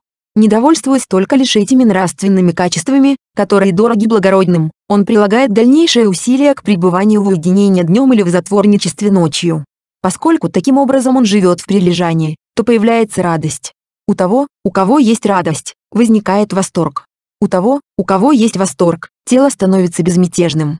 Когда тело безмятежно, он чувствует счастье. Ощущая счастье, ум сосредоточивается. Когда ум сосредоточен, феномены становятся видны. Когда феномены видны, такой ученик благородных считается живущим в прилежании. Вот как ученик благородных живет в прилежании. 1. Примечание переводчика СВ. В СН 4856 сказано о том, что такое прилежание. Вот монах охраняет свой ум в отношении умственных загрязнений и качеств ума которые проистекают из этих загрязнений. Когда он охраняет ум таким образом, полностью развивается качество веры, качество усердия, качество осознанности, сосредоточения, мудрости. Падхама Абхисанда Сута, потоки 1. СН 5541. В Саватхе. Благословенный сказал, монахи, существуют эти четыре потока заслуг, потока благого, пищи для счастья. Какие четыре? Один, вот, монахи, ученик благородных наделен подтвержденной верой в Будду, в самом деле благословенный, достойный, истинно самопробужденный, совершенный в знании и поведении, достигший блага, знаток мира, непревзойденный учитель тех, кто готов обучаться, учитель богов и людей, пробужденный, благословенный. Таков первый поток заслуг, поток благого, пищи для счастья. 2. Далее, монахи, ученик благородных наделен подтвержденной верой в Дхамму. Дхамма превосходно разъяснена благословенным, видимое здесь и сейчас, не зависящее от времени, приглашающее пойти и увидеть, ведущее к цели, познаваемое мудрыми самостоятельно. Таков второй поток заслуг, поток благого, пищи для счастья. 3. Далее, монахи, ученик благородных наделен подтвержденной верой в Сангху, Сангха учеников благословенного, идущих по хорошему пути, идущих по прямому пути, идущих по верному пути, идущих по совершенному пути. Другими словами, четыре пары или восемь типов личностей – это Сангха учеников благословенного, достойная даров, достойное гостеприимство, достойное подношений, достойное уважение, несравненное поле заслуг для мира. Таков третий поток заслуг, поток благого, пищи для счастья. 4. Далее, монахи, ученик благородных наделен нравственными качествами, которые дороги благородным, прочными, цельными, незапятнанными, освобождающими, восхваляемыми мудрецами, яркими, ведущими к сосредоточению. Таков четвертый поток заслуг, поток благого, пищи для счастья. Таковы четыре потока заслуг, потока благого, пищи для счастья. Когда монахи, ученик благородных обладает этими четырьмя потоками заслуг, потоками благого, то не просто измерить его заслуги так, вот таков объем его потока заслуг, потока благого, пищи для счастья. Но вместо этого этот объем считается неизмеримым, безмерным, огромной грудой заслуг. Монахи, подобно тому, как не просто измерить объем воды в океане, вот столько-то галлонов воды здесь или здесь столько-то сотен галлонов воды или здесь столько-то тысяч галлонов воды или здесь столько-то сотен тысяч галлонов воды, но вместо этого этот объем считается неизмеримым, безмерным, огромной грудой воды, точно так же, когда ученик благородных обладает этими четырьмя потоками заслуг, это считается неизмеримым, безмерным, огромной грудой заслуг. Так сказал благословенный. И сказав это, счастливейший, учитель, добавил, подобно рекам, что используемы многими людьми, что текут вниз и, достигая, наполняют океан, груду воды, что суть сплошное море без краев, грозный ковчег, в котором скрыты самоцветы, так и заслуг потоки к мудрецу текут, тому, кто дарит ткани, пищу и напитки, дарует кто постель, сиденья, покрывало, как будто бы река, что воды к морю все несет. Дутия Абхисанда Сута, потоки 2. СН 5542. Благословенный сказал, монахи, существуют эти четыре потока заслуг, потока благого, пищи для счастья. Какие четыре? Один, вот, монахи, ученик благородных наделен подтвержденной верой в Будду, в самом деле благословенный, достойный, истинно самопробужденный, совершенный в знании и поведении, достигший блага, знаток мира, непревзойденный учитель тех, кто готов обучаться, учитель богов и людей, пробужденный, благословенный. Таков первый поток заслуг, поток благого, пищи для счастья. 2. Далее, монахи, ученик благородных наделен подтвержденной верой в Дхамму. Дхамма превосходно разъяснена благословенным, видимое здесь и сейчас, не зависящее от времени, приглашающее пойти и увидеть, ведущее к цели, познаваемое мудрыми самостоятельно. Таков второй поток заслуг, поток благого, пищи для счастья. 3. Далее, монахи, ученик благородных наделен подтвержденной верой в Сангху, Сангха учеников благословенного, идущих по хорошему пути, идущих по прямому пути, идущих по верному пути, идущих по совершенному пути. Другими словами, четыре пары или восемь типов личностей – это Сангха учеников благословенного, достойное даров, достойное гостеприимство, достойное подношений, достойное уважение, непревзойденное поле заслуг для мира. Таков третий поток заслуг, поток благого, пищи для счастья. 4. Далее, монахи, ученик благородных пребывает дома с умом, лишенным скупости, щедрым, открытым, радуется оставлению, предан благотворительности, радуется дарению и разделению. Таков четвертый поток заслуг, поток благого, пищи для счастья. Таковы четыре потока заслуг, потока благого, пищи для счастья. Когда монахи, ученик благородных обладает этими четырьмя потоками заслуг, потоками благого, то не просто измерить его заслуги так, вот таков объем его потока заслуг, потока благого, пищи для счастья. Но вместо этого этот объем считается неизмеримым, безмерным, огромной грудой заслуг. Монахи, точно так же, как в том месте, где встречаются и сливаются воедино эти великие реки, Ганг, Емуна, Ачаравати, Сарабху, Махе, не просто измерить объем воды так, вот столько-то галлонов воды здесь или здесь столько-то сотен галлонов воды или здесь столько-то тысяч галлонов воды или здесь столько-то сотен тысяч галлонов воды, но вместо этого этот объем считается неизмеримым, безмерным, огромной грудой воды. Точно так же, когда ученик благородных обладает этими четырьмя потоками заслуг, это считается неизмеримым, безмерным, огромной грудой заслуг. Так сказал благословенный. И сказав это, счастливейший, учитель, добавил, подобно рекам, что используемы многими людьми, что текут вниз и, достигая, наполняют океан, груду воды, что суть сплошное море без краев, грозный ковчег, в котором скрыты самоцветы, так и заслуг потоки к мудрецу текут, тому, кто дарит ткани, пищу и напитки, дарует кто постель, сиденья, покрывало, как будто бы река, что воды к морю все несет. Татья Абхисанда Сута, потоки 3. СН 5543. Благословенный сказал, монахи, существуют эти четыре потока заслуг, потока благого, пищи для счастья. Какие четыре? Один, вот, монахи, ученик благородных наделен подтвержденной верой в Будду, в самом деле благословенный, достойный, истинно самопробужденный, совершенный в знании и поведении, достигший блага, знаток мира, непревзойденный учитель тех, кто готов обучаться, учитель богов и людей, пробужденный, благословенный. Таков первый поток заслуг, поток благого, пищи для счастья. 2. Далее, монахи, ученик благородных наделен подтвержденной верой в Дхамму. Дхамма превосходно разъяснена благословенным, видимое здесь и сейчас, независящее от времени, приглашающее пойти и увидеть, ведущее к цели, познаваемое мудрыми самостоятельно. Таков второй поток заслуг, поток благого, пищи для счастья. 3. Далее, монахи, ученик благородных наделен подтвержденной верой в Сангху, Сангха учеников благословенного, идущих по хорошему пути, идущих по прямому пути, идущих по верному пути, идущих по совершенному пути. Другими словами, четыре пары или восемь типов личностей – это Сангха учеников благословенного, достойная даров, достойное гостеприимство, достойное подношений, достойное уважение, непревзойденное поле заслуг для мира. Таков третий поток заслуг, поток благого, пищи для счастья. 4. Далее, монахи, ученик благородных наделен мудростью в отношении видения происхождения и исчезновения феноменов, благородной, проницательной, ведущий к полному уничтожению страданий. Таков четвертый поток заслуг, поток благого, пищи для счастья. Таковы четыре потока заслуг, потока благого, пищи для счастья. Когда, монахи, ученик благородных обладает этими четырьмя потоками заслуг, потоками благого, то не просто измерить его заслуги так, вот таков объем его потока заслуг, потока благого, пищи для счастья. Но вместо этого этот объем считается неизмеримым, безмерным, огромной грудой заслуг. Так сказал благословенный.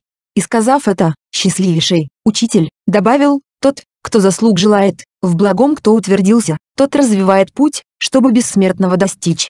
И тот, кто смог добраться до Дхамы сердцевины, уничтожению счастлив, придуме не трепещет, придет владыка смерти. Падхама Махатхана Сута, богатство 1. СН 5544. Благословенный сказал, монахи, про ученика благородных, наделенного этими четырьмя вещами, говорят, что он богат, имеет большое состояние и имущество. Какими четырьмя? Один, вот, монахи, ученик благородных наделен подтвержденной верой в Будду, в самом деле благословенный, достойный, истинно самопробужденный, совершенный в знании и поведении, достигший блага, знаток мира, непревзойденный учитель тех, кто готов обучаться, учитель богов и людей, пробужденный, благословенный. 2. Далее, монахи, ученик благородных наделен подтвержденной верой в Дхамму. Дхамма превосходно разъяснена благословенным, видимое здесь и сейчас, независящее от времени, приглашающее пойти и увидеть, ведущее к цели, познаваемое мудрыми самостоятельно. 3. Далее, монахи, ученик благородных наделен подтвержденной верой в Сангху, Сангха учеников благословенного, идущих по хорошему пути, идущих по прямому пути, идущих по верному пути, идущих по совершенному пути. Другими словами, четыре пары или восемь типов личностей – это Сангха учеников благословенного, достойное даров, достойное гостеприимство, достойное подношений, достойное уважение, непревзойденное поле заслуг для мира. 4. Далее, монахи, ученик благородных наделен нравственными качествами, которые дороги благородным, прочными, цельными, незапятнанными, освобождающими, восхваляемыми мудрецами, яркими, ведущими к сосредоточению. Про ученика благородных, наделенного этими четырьмя вещами, говорят, что он богат, имеет большое состояние и имущество. Дутио Махатхана Сута, богатство 2. СН 5545. Сутта в точности аналогична СН 5544, но к фразе «богат», имеет большое состояние и имущество добавляется еще фраза «обладает великой славой». Септхака Сутта, кратко. СН 5546. Сутта в точности аналогична СН 55.2 за вычетом строфы в самом конце. Нандия Сутта, к Нандия. СН 5547. Сутта в точности аналогична СН 5546, но только здесь действие происходит в Капилаватху и Будда обращается не к монахам, а к Нандия. Пхаддия Сутта, к Пхаддии. СН 5548. Сутта в точности аналогична СН 5546, но только здесь действие происходит в Капилаватху и Будда обращается не к монахам, а к Пхаддии из клана Сакьев. Маханама Сутта, к Маханаме. СН 5549. Сутта в точности аналогична СН 5546, но только здесь действие происходит в Капилаватху и Будда обращается не к монахам, а к Маханаме из клана Сакьев. Анга Сутта, факторы. СН 5550. Благословенный сказал, монахи, таковы эти четыре фактора для вступления в поток. Какие четыре? Общение с высшими личностями, слушание подлинной дхаммы, правильно направленное внимание, практика в соответствии с дхаммой. Таковы эти четыре фактора для вступления в поток. Сагатхака Сутта со строфами. СН 5551. Сутта в точности аналогична СН 55.2, только строфа в конце заменена тремя строфами из СН 55.26. Васамвудха Сутта, прошедший сезон дождей. СН 5552. Однажды благословенный пребывал в Савайтхе в роще Джеты в монастыре Анатхайпиндике. И тогда один монах, окончивший прохождение сезона дождей в Савайтхе, прибыл по неким делам в Капилаватху. Саки из Капилаватху заслышали, один монах, как говорят, окончивший прохождение сезона дождей в Савайтхе, прибыл по неким делам в Капилаватху. И тогда Саки из Капилаватху отправились к этому монаху и, поклонившись ему, сели рядом. Затем они сказали ему, «Господин, мы надеемся, что благословенный крепок и здоров. Друзья, благословенный крепок и здоров. Господин, мы надеемся, что Сарипутта и Маггаллана крепкие и здоровы. Друзья, Сарипутта и Маггаллана крепкие и здоровы. Господин, мы надеемся, что Сангха монахов крепка и здорова. Друзья, Сангха монахов крепка и здорова. Господин, слышали ли вы что-либо, узнали ли вы что-либо, пребывая в присутствии благословенного во время этого сезона дождей?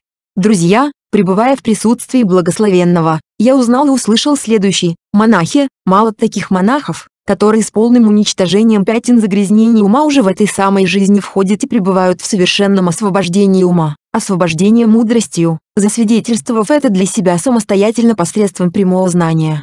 Куда больше тех монахов, которые с полным уничтожением пяти нижних оков переродились спонтанно в мире чистых обителей, и обретут там окончательную ниббану, не возвращаясь из того мира обратно в этот. Далее, друзья, пребывая в присутствии благословенного, я узнал и услышал следующий. Монахи, мало таких монахов, которые с полным уничтожением пяти нижних оков переродились спонтанно, но куда больше тех монахов, которые с полным уничтожением трех нижних оков и с ослаблением жажды, злобы и заблуждения стали однажды возвращающимися, кто вернется в этот мир лишь еще один раз, где и положит конец страданиям. Далее, друзья, пребывая в присутствии благословенного, я узнал и услышал следующий. Монахи, мало таких монахов, которые с полным уничтожением трех нижних оков и с ослаблением жажды, злобы и заблуждения, стали однажды возвращающимися, но куда больше тех монахов, которые с полным уничтожением трех нижних оков стали вступившими в поток, освобожденными от нижних миров, непоколебимыми в своей участи, направляющимися к просветлению. Тхаммадинна Сута, Тхаммадинна, СН 5553. Однажды благословенный пребывал в Варанасе в оленьем парке в Асипатане. И тогда мирянин Тхаммадин вместе с пятью сотнями других мирян подошел к благословенному, поклонился ему и сел рядом. Затем мирянин Тхаммадин обратился к благословенному, пусть благословенный, господин, посоветуйте наставить нас так, чтобы это привело к нашему благополучию и счастью на долгое время. В таком случае, Тхаммадинна, вы должны тренировать себя так, время от времени мы будем входить и пребывать в наставлениях, произнесенных Тадхагатой, в глубоких, глубоких в своем значении, выводящих за пределы мира, связанных с пустотностью. Господин, это не просто нам, тем, кто проживает в доме, полном детей, наслаждается сандаловым деревом из касси, носит гирлянды, использует благовония и мази, берет золото и серебро, время от времени входить и пребывать в наставлениях, произнесенных Татхагатой, в глубоких, глубоких в своем значении, выводящих за пределы мира, связанных с пустотностью. Поскольку мы утверждены в пяти правилах нравственности, пусть благословенный даст нам дальнейшие наставления по Дхамме. В таком случае, Дхаммадинна, вы должны тренировать себя так, мы будем обладать подтвержденной верой в Будду, Дхамму, Сангху. Мы будем обладать нравственными качествами, которые дороги благородным, прочными, ведущими к сосредоточению. Вот как вы должны тренировать себя.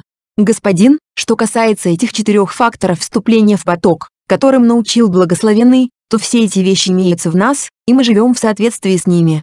Ведь мы, господин, наделены подтвержденной верой в Будду, в Дхамму и в Сангху. Мы наделены нравственными качествами, которые дороги благородным, ведущими к сосредоточению. Какое благо для вас, Дхаммадинна! Какое большое благо для вас, Дхаммадинна! Ты только что провозгласил плод вступления в поток. Гелана Сута, болен. СН 5554. Однажды благословенный пребывал в стране Сакви в Капилаватху в парке Негротхи. И тогда группа монахов изготавливала одеяние для благословенного, размышляя так, по истечении трех месяцев, когда эта одежда будет готова, благословенный отправится в странствие. Маханама из клана Саквив услышал, группа монахов изготавливает одеяние для благословенного, размышляя так, по истечении трех месяцев, когда эта одежда будет готова, благословенный отправится в странствие. И тогда Маханама из клана Саквив отправился к благословенному, поклонился ему, сел рядом, и сказал, «Господин, я слышал, что группа монахов изготавливает одеяние для благословенного. Но я так и не услышал и не узнал в присутствии самого благословенного о том, как мудрого мирянина, который нездоров, поражен болезнью, серьезно болен, должен наставлять другой мудрый мирянин. Маханама, мудрый мирянин, который нездоров, поражен болезнью, серьезно болен, должен наставляться другим мудрым мирянином этими четырьмя утешениями, пусть почтенный успокоится. Ты обладаешь подтвержденной верой в Будду, в самом деле благословенной. Подтвержденной верой в Дхамму, подтвержденной верой в Сангху, ты наделен нравственными качествами, которые дороги благородным, прочными, цельными, незапятнанными, освобождающими, восхваляемыми мудрецами, яркими, ведущими к сосредоточению. После того, как мудрый мирянин, который нездоров, поражен болезнью, серьезно болен, получил наставление другого мудрого мирянина этими четырьмя утешениями, его далее следует спросить, волнуешься ли ты о своем отце или матери? Если он ответит «да», ему следует сказать «но, дорогой мой, ты подвержен смерти. Вне зависимости от того, волнуешься ли ты о своем отце или матери, или же нет, ты все равно умрешь. Так что, пожалуйста, отбрось свое волнение о своем отце или матери. Если он скажет «я отбросил свое волнение о своем отце или матери», то его следует спросить «волнуешься ли ты о своей жене и детях?» Если он ответит «да», ему следует сказать «но, дорогой мой, ты подвержен смерти». Вне зависимости от того, волнуешься ли ты о своей жене и детях, или же нет, ты все равно умрешь. Так что, пожалуйста, отбрось свое волнение о своей жене и детях. Если он скажет «я отбросил свое волнение о своей жене и детях», то его следует спросить «волнуешься ли ты о пятинитях человеческих чувственных удовольствий?» Если он ответит «да», ему следует сказать «небесные чувственные удовольствия, друг, куда более прекрасные и возвышенные, нежели человеческие чувственные удовольствия». Так что, пожалуйста, отведи свой ум от человеческих чувственных удовольствий и настройся на девов мира четырех великих царей. Если он скажет, мой ум отведен от человеческих чувственных удовольствий и настроен на девов мира четырех великих царей, то ему следует сказать, девы мира Таватимсы куда более прекрасны и возвышенны, нежели девы мира четырех великих царей. Так что, пожалуйста, отведи свой ум от девов четырех великих царей и настройся на девов мира Таватимсы. Если он скажет, мой ум отведен от девов мира четырех великих царей и настроен на девов мира Таватимсы, то ему следует сказать, куда более прекрасны и возвышенны, нежели девы Таватимса, девы Ямы, девы Туситы, девы Ниманарати, девы Паранимитавасавати, мир Брахмы, друг, куда более прекрасен и возвышен, нежели девы Паранимитавасавати. Так что, пожалуйста, отведи свой ум от девов Паранимитавасавати и настройся на мир Брахмы. 1. Если он скажет, мой ум отведен от Девов Паранимитавасавати и настроен на мир Брахмы, то ему следует сказать, даже мир Брахмы, друг, не постоянен, не устойчив, входит в самоопределение. 2. Так что, пожалуйста, отведи свой ум от мира Брахмы и направь его на прекращение самоопределения. 3. Если он скажет, мой ум отведен от мира Брахмы, я направил его на прекращение самоопределения, то тогда, Маханама, я утверждаю, что нет разницы между мирянином, который таким образом освобожден умом, и монахом, который освобожден умом уже как сотню лет. То есть нет разницы между одним освобождением и другим. 4. 1. ВМН 97 достопочтенный Сарипутта наставляет умирающего брахмана по аналогичной схеме, но прекращает наставление на этом самом моменте, за что потом его порицает Будда. Примечание переводчика СВ, ему следовало продолжить наставление и дальше, так как Брахман в итоге переродился в мире Брахмы, а не достиг полного освобождения от сансары, как могло бы случиться при полном наставлении. 2. Примечание переводчика СВ, Напалика и личность, индивидуальное существование. На английский достопочтенный Бодхи переводит как identity, а я в данном случае перевожу как самоопределение. Вероятно, имеется в виду, что даже брахмы обладают ощущением самости, представляя собой индивидуальное существо, и поэтому не свободны от сансары. 3. Сакаянирадха, дословно, прекращение личности, то есть нидбана. Это предписание должно отвести ум умирающего мирянина от перерождения в мире Брахмы и направить его на достижение Ниббаны. 4. Будда утверждает, что мирянин стал арахантом. Помимо нескольких случаев, когда мирянин достигает араханства незадолго до пострижения, как, например, в случае с Ясой, что упомянут в Виная, это может быть единственным упоминанием мирянина араханта в Никаях Палийского канона, то есть достижение араханства мирянином, находящимся при смерти. Примечание переводчика СВ. На мой взгляд, здесь речь идет не о том, что он достигает араханства при смерти, но о том, что если он направит свой ум соответствующе, то станет арахантом, достигнет нигбаны, непосредственно в сам момент смерти. Это вырисовывается из общей схемы наставления, которая подразумевает, что обретение того или иного небесного мира наступает не до, а после смерти. Сатапатти Пхала Сута, плод вступления в поток.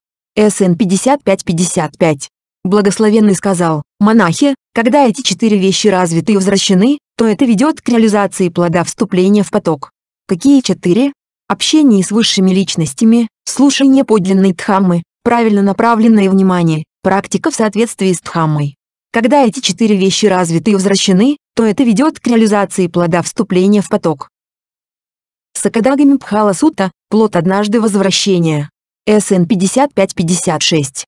Сутта в точности аналогична СН 5555, только вместо плода вступления в поток здесь идет плод однажды возвращения. А ногами пхала сутта, плод невозвращения. СН 5557. Сутта в точности аналогична СН 5555, только вместо плода вступления в поток здесь идет плод невозвращения. Арахатта пхала сутта, плод араханства. СН 5558. Сутта в точности аналогична СН 5555, только вместо плода вступления в поток здесь идет плод араханства. Сутта СН 555974. Все сутты, начиная с СН 5559 вплоть до СН 5574 в точности аналогичны сутте СН 5555, только фраза ведет к реализации плода вступления в поток замещается следующими фразами, в соответствии с каждой последующей сутой, ведет к обретению мудрости. СН 5559 ведет к возрастанию мудрости. СН 5560 ведет к увеличению мудрости. СН 5561 ведет к величию мудрости. СН 5562 ведет к обширности мудрости. СН 5563 ведет к безбрежности мудрости. СН 5564 ведет к глубине мудрости. СН 5565 ведет к состоянию непревзойденной мудрости. СН 5566 ведет к широте мудрости. СН 5567 ведет к изобилию мудрости. СН 5568 ведет к быстроте мудрости. СН 5569 ведет к плавучести мудрости. СН 5570 ведет к радости мудрости. СН 5571 ведет к ловкости мудрости. СН 5572 ведет к остроте мудрости. СН 5573 ведет к проницательности мудрости. СН 5574. Самадхи Сута, сосредоточение. СН 56.1. В Саватхе. Благословенный сказал, монахи, развивайте сосредоточение. Сосредоточенный монах понимает вещи в соответствии с действительностью. И что он понимает в соответствии с действительностью? Он понимает в соответствии с действительностью, это страдание. Он понимает в соответствии с действительностью, это источник страдания. Он понимает в соответствии с действительностью, это прекращение страдания. Он понимает в соответствии с действительностью, это путь, ведущий к прекращению страдания. Монахи, развивайте сосредоточение. Сосредоточенный монах понимает вещи в соответствии с действительностью. Таким образом, монахи следует прилагать усилий, чтобы понять это страдание. Следует прилагать усилий, чтобы понять это источник страдания. Следует прилагать усилий, чтобы понять это прекращение страдания. Следует прилагать усилий, чтобы понять это путь, ведущий к прекращению страдания. Патисалвана Сутта – затворничество. СН 56.2. Сутта идентична СН 56.1, но вступительная фраза иная «монахи, прилагайте усилия к затворничеству». Монах, находящийся в затворничестве, понимает вещи в соответствии с действительностью. Падхама Кулапутта Сутта, человек один. СН 56.3. Благословенный сказал, монахи, какие бы представители клана в прошлом не уходили праведно из домохозяйской жизни в жизнь бездомную, все они делали так для того, чтобы постичь четыре благородных истины в соответствии с действительностью. Какие бы представители клана в будущем не уйдут праведно из домохозяйской жизни в жизнь бездомную, все они сделают так для того, чтобы постичь четыре благородных истины в соответствии с действительностью.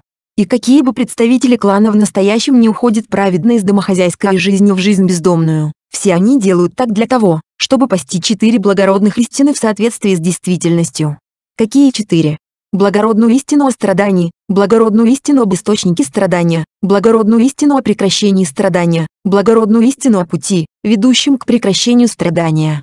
Какие бы представители клана в прошлом, будущем, настоящем не уходят праведно из домохозяйской жизни в жизнь бездомную, все они делают так для того, чтобы постичь эти четыре благородные истины в соответствии с действительностью.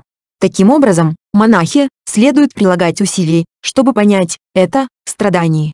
Следует прилагать усилий, чтобы понять это источник страдания. Следует прилагать усилий, чтобы понять это прекращение страдания. Следует прилагать усилий, чтобы понять это путь, ведущий к прекращению страдания. Дутия Кулапутта Сута, человек 2. СН 56.4. Благословенный сказал, монахи, какие бы представители клана в прошлом праведно не ушли из домохозяйской жизни в жизнь бездомную постигли вещи в соответствии с действительностью, все они постигли четыре благородные истины в соответствии с действительностью. Какие бы представители клана в будущем не уйдут праведно из домохозяйской жизни в жизнь бездомную постигнут вещи в соответствии с действительностью, все они постигнут четыре благородные истины в соответствии с действительностью. Какие бы представители клана в настоящем не уходят праведно из домохозяйской жизни в жизнь бездомную постигают вещи в соответствии с действительностью, все они постигают четыре благородные истины в соответствии с действительностью. Какие четыре? Благородную истину о страдании, благородную истину об источнике страдания, благородную истину о прекращении страдания, благородную истину о пути, ведущем к прекращению страдания. Какие бы представители клана в прошлом, будущем, настоящем не уходят из домохозяйской жизни, они постигают эти четыре благородные истины в соответствии с действительностью. Таким образом, монахи следует прилагать усилий, чтобы понять это страдание. Следует прилагать усилий, чтобы понять это источник страдания. Следует прилагать усилий, чтобы понять это прекращение страдания. Следует прилагать усилий, чтобы понять это путь, ведущий к прекращению страдания. Падхама Саманабрахмана Сута, жрецы и отшельники 1. СН 56.5. Благословенный сказал, монахи, какие бы жрецы и отшельники в прошлом не пробудились бы целиком вещи, существующие в соответствии с действительностью, все они целиком пробудились в четыре благородные истины, существующие в соответствии с действительностью. Какие бы жрецы и отшельники в будущем не пробудятся целиком вещи, существующие в соответствии с действительностью, все они целиком пробудятся в четыре благородные истины, существующие в соответствии с действительностью. Какие бы жрецы и отшельники в настоящем не пробуждаются целиком вещи, существующие в соответствии с действительностью, все они целиком пробуждаются в четыре благородные истины, существующие в соответствии с действительностью. Какие четыре? Благородную истину о страдании, благородную истину об источнике страдания, благородную истину о прекращении страдания, благородную истину о пути, ведущем к прекращению страдания. Какие бы жрецы и отшельники в прошлом, будущем, настоящем не пробуждаются целиком вещи, существующие в соответствии с действительностью, Все они целиком пробуждаются в четыре благородные истины, существующие в соответствии с действительностью. Таким образом, монахи следует прилагать усилий, чтобы понять это страдание. Следует прилагать усилий, чтобы понять это источник страдания. Следует прилагать усилий, чтобы понять это прекращение страдания. Следует прилагать усилий, чтобы понять это путь, ведущий к прекращению страдания. Витакка Сута, мысли. СН 56.7. Благословенный сказал, монахи, не обдумывайте плохих, неблагих мыслей, то есть, чувственных мыслей, недоброжелательных мыслей, мыслей о причинении вреда. И почему? Потому что эти мысли, монахи, не полезны, не имеют ничего общего с основами святой жизни, не ведут к разочарованию, бесстрастию, прекращению, покою, прямому знанию, просветлению, небане. Когда вы думаете о чем-то, монахи, вам следует думать так, это страдание. Вам следует думать так, это источник страдания. Вам следует думать так, это прекращение страдания. Вам следует думать так, это путь, ведущий к прекращению страдания. И почему? Эти мысли, монахи, полезны, имеют отношение к основам святой жизни, ведут к разочарованию, к бесстрастию, к прекращению, покою, прямому знанию, просветлению, небане. Таким образом, монахи следует прилагать усилий, чтобы понять это страдание. Следует прилагать усилий, чтобы понять это источник страдания. Следует прилагать усилий, чтобы понять это прекращение страдания. Следует прилагать усилий, чтобы понять это путь, ведущий к прекращению страдания. Чинта Сута, размышление. СН 56.8. Благословенный сказал, монахи, не размышляйте плохим, неблагим образом так, мир вечен или мир не вечен, или мир ограничен или мир безграничен, или душа и тело. Это одно или душа суть одно, а тело суть иное, или Тадхагата существует после смерти, или Тадхагата не существует после смерти, или Тадхагата и существует после смерти, и не существует после смерти, или Тадхагата не существует после смерти, не не существует после смерти. И почему? Потому что эти размышления, монахи, не полезны, не имеют ничего общего с основами святой жизни, не ведут к разочарованию, бесстрастию, прекращению, покою, прямому знанию, просветлению, небане. Когда вы размышляете о чем-то, монахи, вам следует размышлять так, это страдание. Вам следует размышлять так, это источник страдания. Вам следует размышлять так, это прекращение страдания. Вам следует размышлять так, это путь, ведущий к прекращению страдания. И почему? Эти размышления, монахи, полезны, имеют отношение к основам святой жизни, ведут к разочарованию, к бесстрастию, к прекращению, покою, прямому знанию, просветлению, небане. Таким образом, монахи следует прилагать усилий, чтобы понять это страдание. Следует прилагать усилий, чтобы понять это источник страдания. Следует прилагать усилий, чтобы понять это прекращении страдания. Следует прилагать усилий, чтобы понять, это путь, ведущий к прекращению страдания. Видгахика Катхасута, споры. СН 56.9. Благословенный сказал, монахи, не пускайтесь в споры, говоря так, ты не понимаешь эту дхаму и винаю. Я понимаю эту дхаму и винаю. Что бы ты понимал в этой дхаме и винае? Ты практикуешь неправильно, я практикую правильно. То, что нужно было сказать вначале, ты сказал потом. То, что нужно было сказать после, ты сказал в начале. Я последователен, а ты непоследователен. То, на чем ты так долго размышлял, несостоятельно. Твой тезис опровергнут. Попробуй, докажи состоятельность своего тезиса, так как ты побежден, или распутайся сам, если сможешь. И почему? Потому что такая беседа, монахи, не полезна, не имеет ничего общего с основами святой жизни, не ведет к разочарованию, бесстрастию, прекращению, покою, прямому знанию, просветлению, неббане. Когда вы беседуете, монахи, вам следует говорить вот о чем, это страдание. Вам следует говорить вот о чем, это источник страдания. Вам следует говорить вот о чем, это прекращение страдания. Вам следует говорить вот о чем, это путь, ведущий к прекращению страдания. И почему? Такая беседа, монахи, полезна, имеет отношение к основам святой жизни, ведет к разочарованию, к бесстрастию, к прекращению, покою, прямому знанию, просветлению, неббане. Таким образом, монахи следует прилагать усилий, чтобы понять это страдание. Следует прилагать усилий, чтобы понять это источник страдания. Следует прилагать усилий, чтобы понять это прекращение страдания. Следует прилагать усилий, чтобы понять это путь, ведущий к прекращению страдания. Тирачхана Катхасута «Бесцельные разговоры». СН 5610. Благословенный сказал, монахи, не пускайтесь в бесцельные разговоры, то есть беседы, о царях, о ворах, о царских министрах, об армиях, об опасностях, о войнах, о еде, о напитках, об украшениях и постелях, о гирляндах и благовониях, о родне, средствах передвижения, деревнях, селениях, городах и странах, о женщинах, о героях, о слухах с улицы и слухах у колодцев, о тех, кто скончался, о бесчисленных сплетнях, о мире и о морях, о том, чтобы стать тем или этим. И почему? Потому что такая беседа, монахи, не полезна, не имеет ничего общего с основами святой жизни, не ведет к разочарованию, бесстрастию, прекращению, покою, прямому знанию, просветлению, небане. Когда вы беседуете, монахи, вам следует говорить вот о чем, это, страдание. Вам следует говорить вот о чем, это, источник страдания. Вам следует говорить вот о чем, это, прекращение страдания. Вам следует говорить вот о чем, это, путь, ведущий к прекращению страдания. И почему? Такая беседа, монахи, полезна, имеет отношение к основам святой жизни, ведет к разочарованию, к бесстрастию, к прекращению, покою, прямому знанию, просветлению, небане. Таким образом, монахи, следует прилагать усилий, чтобы понять, это, страдание. Следует прилагать усилий, чтобы понять, это, источник страдания. Следует прилагать усилий, чтобы понять, это, прекращение страдания. Следует прилагать усилий, чтобы понять, это, путь, ведущий к прекращению страдания. Дхаммачакка Паваттана Сута, поворот колеса Дхаммы. СН 5611. Так я слышал. Однажды благословенный пребывал в Варанаси в оленем парке, в Висипатане. Там он обратился к пяти монахам так, срединный путь.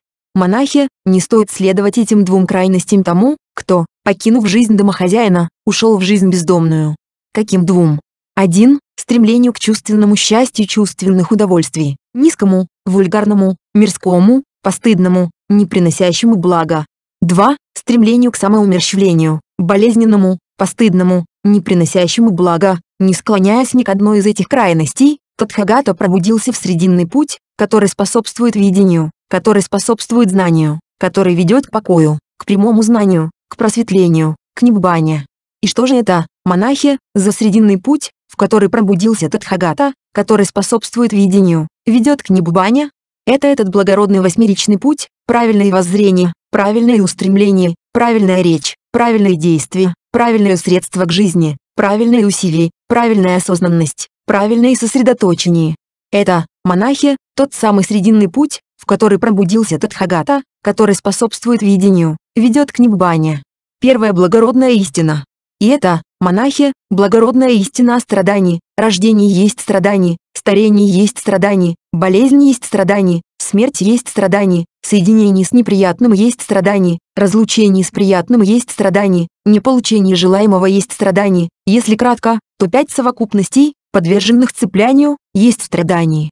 Вторая благородная истина. И это, монахи, благородная истина об источнике страдания, это жажда, что ведет к новому существованию, сопровождаемая наслаждением и страстным желанием, ищущая удовольствия здесь и там, то есть, жажда к чувственным удовольствиям, жажда к существованию, жажда к несуществованию. Третья благородная истина. И это, монахи, благородная истина о прекращении страдания, это безостаточное угасание и прекращение этой самой жажды, оставление и отбрасывание ее, освобождение от нее, отсутствие опоры на нее. Четвертая благородная истина. И это, монахи, благородная истина о пути, ведущем к прекращению страдания, это этот самый благородный восьмеричный путь, то есть правильное воззрение. Сосредоточение. Три фазы колеса в каждой из четырех истин. Один – это благородная истина о страдании. Так, монахи, в отношении вещей, неслыханных прежде, видение возникло во мне, знание, мудрость, истинное знание и свет. Эту благородную истину о страдании нужно полностью понять. Так, монахи, в отношении вещей, неслыханных прежде, видение возникло во мне, знание, мудрость, истинное знание и свет. Эта благородная истина о страдании была полностью понята. Так, монахи, в отношении вещей, неслыханных прежде, видение возникло во мне, знание, мудрость, истинное знание и свет. 2. Это, благородная истина об источнике страдания. Так, монахи, в отношении вещей, неслыханных прежде, видение возникло во мне, знание, мудрость, истинное знание и свет.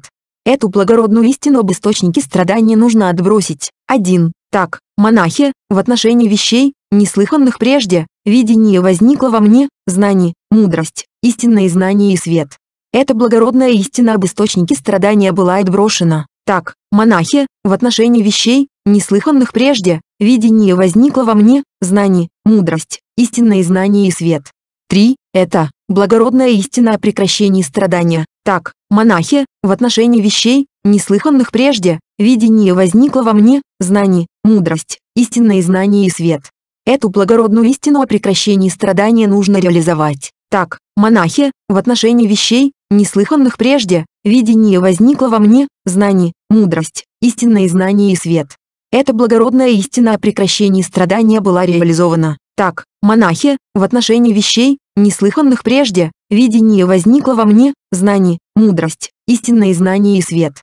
4. Это благородная истина о пути, ведущем к прекращению страданий. Так, монахи, в отношении вещей, неслыханных прежде, видение возникло во мне, знание, мудрость, истинное знание и свет. Эту благородную истину о пути, ведущем к прекращению страдания, нужно развить. Так, монахи, в отношении вещей, неслыханных прежде, видение возникло во мне, знание, мудрость, истинное знание и свет. Эта благородная истина о пути, ведущем к прекращению страдания, была развита. Так, монахи, в отношении вещей, неслыханных прежде, видение возникло во мне, знание, мудрость, истинное знание и свет. Покуда, монахи, мое знание видения и в соответствии с действительностью этих четырех благородных истин в их трех фазах и двенадцати аспектах не было таким образом очищено, я не заявлял о том, что пробудился в непревзойденное совершенное просветление в этом мире с его девами, Марой, Брахмой, с его поколениями жрецов и отшельников, божеств и людей. Но когда мое знание видения и в соответствии с действительностью этих четырех благородных истин в их трех фазах и двенадцати аспектах было таким образом очищено, я заявил о том, что пробудился, божеств и людей. Знание видения возникло во мне, непоколебимо мое освобождение ума. Это мое последнее рождение. Не будет нового существования. Так сказал благословенный. Восхищенные, пять монахов возрадовались утверждению благословенного. И во время этой беседы в достопочтенном Кандании возникло незапаленное, незапятнанное видение Дхаммы. Все, что подвержено возникновению, подвержено также и прекращению. Восклицание божеств. И когда колесо Дхаммы было приведено в движение благословенным, проживающие на земле божества воскликнули, в Ранасе, в оленьем парке Исипатаны, благословенным было приведено в движение непревзойденное колесо Дхаммы, который не сможет остановить ни один отшельник, ни один жрец, ни Дева, ни Мара, ни Брахма, никто бы то ни был в этом мире. Услышав восклицание божеств, проживающих на земле, Девы мира четырех великих царей воскликнули в Варанасе. Благословенным было приведено в движение непревзойденное колесо Дхаммы. Услышав восклицание Девов мира четырех великих царей, Девы Таватимсы, Девы Ямы, Девы Туситы, Девы Ниманарати, Девы Параниметавасавати, Девы Свиты Брахмы воскликнули, в Ранасе, в оленьем парке Исипатаны, благословенным было приведено в движение непревзойденное колесо Дхаммы, которое не сможет остановить ни один отшельник, ни один жрец, ни Дева, ни Мара, ни Брахма, никто бы то ни был в этом мире. И в тот момент, в то самое мгновение, в ту самую секунду, клич дошел до мира Брахм, и эта система десяти тысяч миров затряслась, содрогнулась, задрожала, и безмерное лучезарное сияние возникло в мире, превосходящее небесное величие девов. И тогда благословенный вдохновенно произнес это изречение, Кандания в самом деле понял. Кандания в самом деле понял. Итак, достопочтенный Кандания получил имя, а не Кандания, Кандания, который понял. 1. Примечание переводчика СВ. В каждом из этих случаев под словом «истина» здесь подразумевается предмет истины, а не истинность как таковая. Предмет первой истинное страдание, в частности, это тело и ум. Их нужно полностью постичь. Предмет истины источника страданий – это жажда, ее нужно отбросить. Предмет третьей истины – это ниббана, которую нужно реализовать. Предмет четвертой истины – это благородный восьмеричный путь, который нужно развить. Татхагата Сута, Татхагата. СН 5612. Благословенный сказал, это благородная истина о страдании. Так, монахи, в отношении вещей, неслыханных прежде, видение возникло в Тадхагате, знание, мудрость, истинное знание и свет. Эту благородную истину о страдании нужно полностью понять. Так, монахи, в отношении вещей, неслыханных прежде, видение возникло в Тадхагате, знание, мудрость, истинное знание и свет. Эта благородная истина о страдании была полностью понята. Так, монахи, в отношении вещей, неслыханных прежде, видение возникло в Тадхагате, знание, мудрость, истинное знание и свет. Это благородная истина об источнике страдания. Эту благородную истину об источнике страдания нужно отбросить. Эта благородная истина об источнике страдания была отброшена. Это благородная истина о прекращении. Эту благородную истину о прекращении страдания нужно реализовать. Эта благородная истина о прекращении страдания была реализована. Это благородная истина о пути, ведущем к прекращению страданий. Эту благородную истину о пути, ведущем к прекращению страдания, нужно развить. Эта благородная истина о пути, ведущем к прекращению страдания, была развита. Так, монахи, в отношении вещей, неслыханных прежде, видение возникло в Тадхагате, знание, мудрость, истинное знание и свет. В Хандхасута, совокупности. СН 56.13. Благословенный сказал, монахи, существуют четыре благородные истины. Какие четыре? благородная истина о страдании, благородная истина об источнике страдания, благородная истина о прекращении страдания, благородная истина о пути, ведущем к прекращению страдания. 1. И что такое, монахи, благородная истина о страдании? На это следует ответить так, пять совокупностей, подверженных цеплянию, то есть форма как совокупность, подверженная цеплянию, чувство, восприятие, формации, сознание как совокупность, подверженная цеплянию. Это называется благородная истина о страдании. 2. И что такое, монахи, благородная истина об источнике страдания? Это жажда, что ведет к новому существованию, сопровождаемая наслаждением и страстным желанием, ищущая удовольствие здесь и там, то есть, жажда к чувственным удовольствиям, жажда к существованию, жажда к несуществованию. Это называется благородная истина об источнике страдания. 3. И что такое, монахи, благородная истина о прекращении страдания? Это безостаточное угасание и прекращение этой самой жажды, оставление и отбрасывание ее, освобождение от нее, отсутствие опоры на нее. Это называется благородная истина о прекращении страдания. 4. И что такое благородная истина пути, ведущем к прекращению страдания? Это этот благородный восьмеричный путь, правильное воззрение, правильное устремление, правильная речь, правильные действия, правильное средство к жизни, правильные усилия, правильная осознанность, правильное сосредоточение, это называется благородной истиной о пути, ведущем к прекращению страдания. Таковы, монахи, четыре благородных истины. Таким образом, монахи, следует прилагать усилий, чтобы понять, это, страдание. Следует прилагать усилий, чтобы понять, это, источник страдания. Следует прилагать усилий, чтобы понять, это, прекращение страдания. Следует прилагать усилий, чтобы понять, это, путь, ведущий к прекращению страдания. Аджхатикаятана Сута, внутренний сфер чувств. СН 5614. Сутта идентична СН 5613, но здесь первая благородная истина объясняется так, на это следует ответить так, шесть внутренних сфер чувств. Какие шесть? Сфера глаза, уха, носа, языка, тела, ума. Это называется благородная истина о страдании. Падхамадхарана Сута, пометование 1. СН 5615. Благословенный сказал, «Монахи, помните ли вы четыре благородные истины, которым я научил?» Когда так было сказано, один монах обратился к благословенному, «Учитель, я помню четыре благородные истины, которым научил благословенный.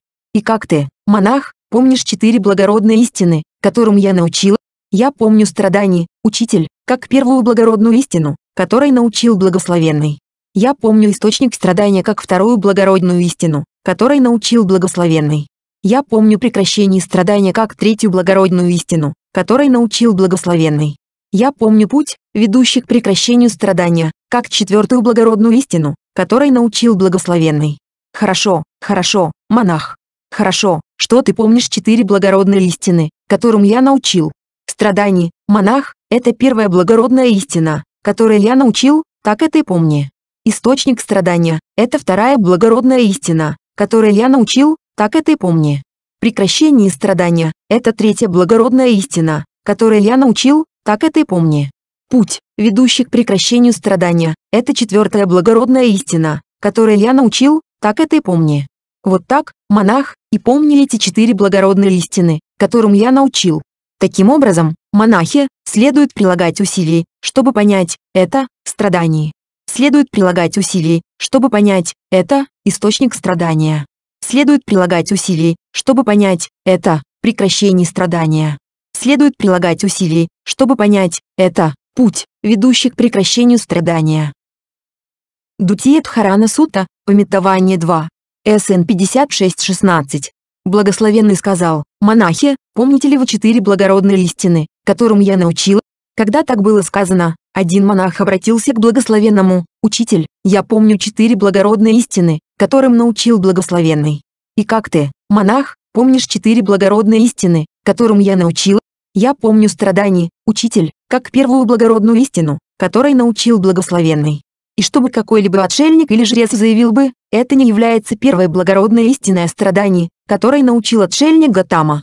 Отвергнув эту первую благородную истину о страдании, я раскрою иную первую благородную истину о страдании, такого не может произойти. Я помню источник страдания как вторую благородную истину, которой научил благословенный. Я помню прекращение страдания как третью благородную истину, которой научил благословенный. Я помню путь, ведущий к прекращению страданий, как четвертую благородную истину, которой научил благословенный. И чтобы какой-либо отшельник или жрец заявил бы, это не является четвертой благородной истиной о пути, ведущем к прекращению страданий, которой научил отшельник Гатама. Отвергнув эту четвертую благородную истину о пути, ведущем к прекращению страданий, я раскрою иную четвертую благородную истину о пути, ведущем к прекращению страданий, такого не может произойти. Вот так, учитель, я помню четыре благородные истины, которым научил благословенный. Хорошо, хорошо, монах. Хорошо, что ты помнишь четыре благородные истины, которым я научил. Страданий, монах, это первая благородная истина, которую я научил, так это и помни. И чтобы какой-либо отшельник или жрец заявил бы, это не является первой благородной истиной о страдании, которой научил отшельник Гатама.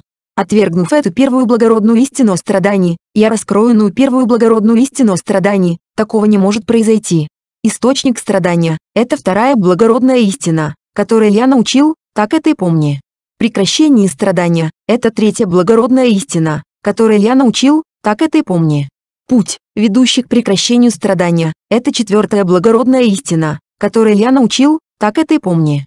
Вот так, монах, и помни эти четыре благородных истины, которым я научил. Таким образом, монахи, следует прилагать усилий, чтобы понять, это, страдание. Следует прилагать усилий, чтобы понять, это источник страдания. Следует прилагать усилий, чтобы понять, это прекращение страдания. Следует прилагать усилий, чтобы понять, это путь, ведущий к прекращению страдания. Авиджи Сута, невежество. СН 5617. Сидя рядом, тот монах сказал благословенному, «Учитель, невежество, невежество, так говорят». Что такое невежество, учитель, и каким образом человек погружен в невежество? Монах, незнание страдания, незнание источника страдания, незнание прекращения страдания, незнание пути, ведущего к прекращению страдания. Это называется невежеством, монах, и таким образом человек погружен в невежество.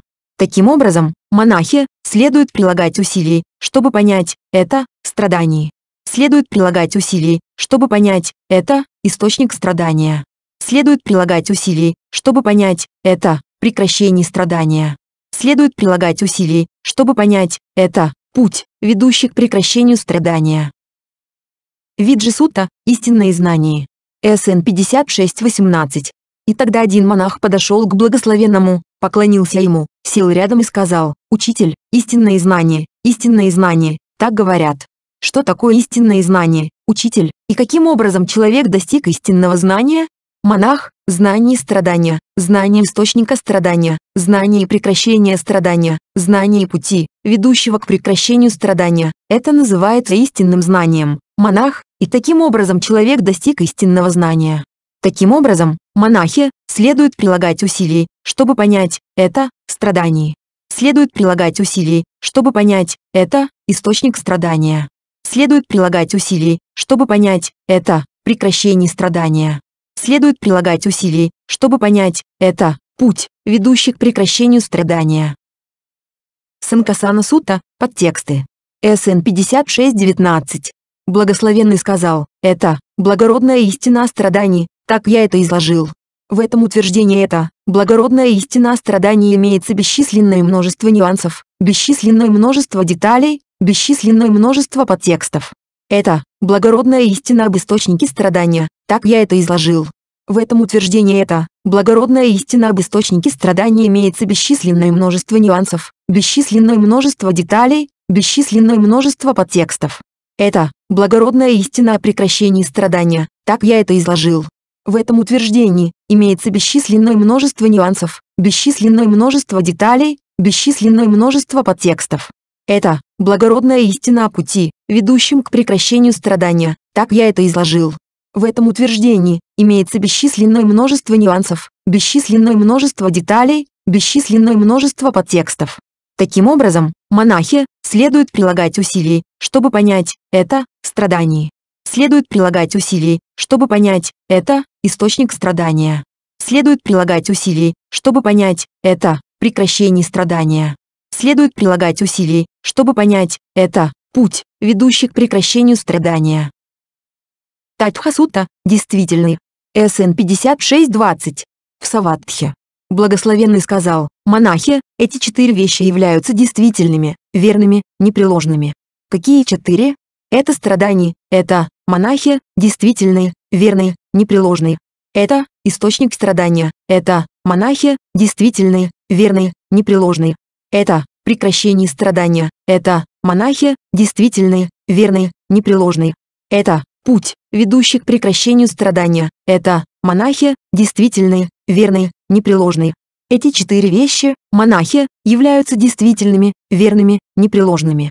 Таким образом, монахи следует прилагать усилий, чтобы понять это страдание. Следует прилагать усилий, чтобы понять это источник страдания. Следует прилагать усилий, чтобы понять это прекращение страдания. Следует прилагать усилий, чтобы понять это путь, ведущий к прекращению страдания. Падхама Катигама Сута, Катигама 1. СН 5621. Однажды благословенный пребывал в стране Ваджи в Катигаме. И там благословенный обратился к монахам так, «Монахи, из-за непонимания и непостижения четырех благородных истин вы я блуждали и скитались в течение длительного времени в сансаре». Каких четырех? Из-за непонимания и непостижения благородной истины о страдании вы я блуждали и скитались в течение длительного времени в сансаре из-за непонимания и непостижения благородной истины об источнике страдания, благородной истины о прекращении страдания. Благородной истины о пути, ведущем к прекращению страдания, вы и я блуждали и скитались в течение длительного времени в сансаре. Эта благородная истина о страдании, монахи, была понята и постигнута. Эта благородная истина об источнике страдания была понята и постигнута. Эта благородная истина о прекращении страдания была понята и постигнута. Эта благородная истина о пути, ведущем к прекращению страдания, была понята и постигнута. Жажда к существованию была отрезана. Источник, ведущий к существованию, был уничтожен. Не будет больше нового существования. Так сказал благословенный.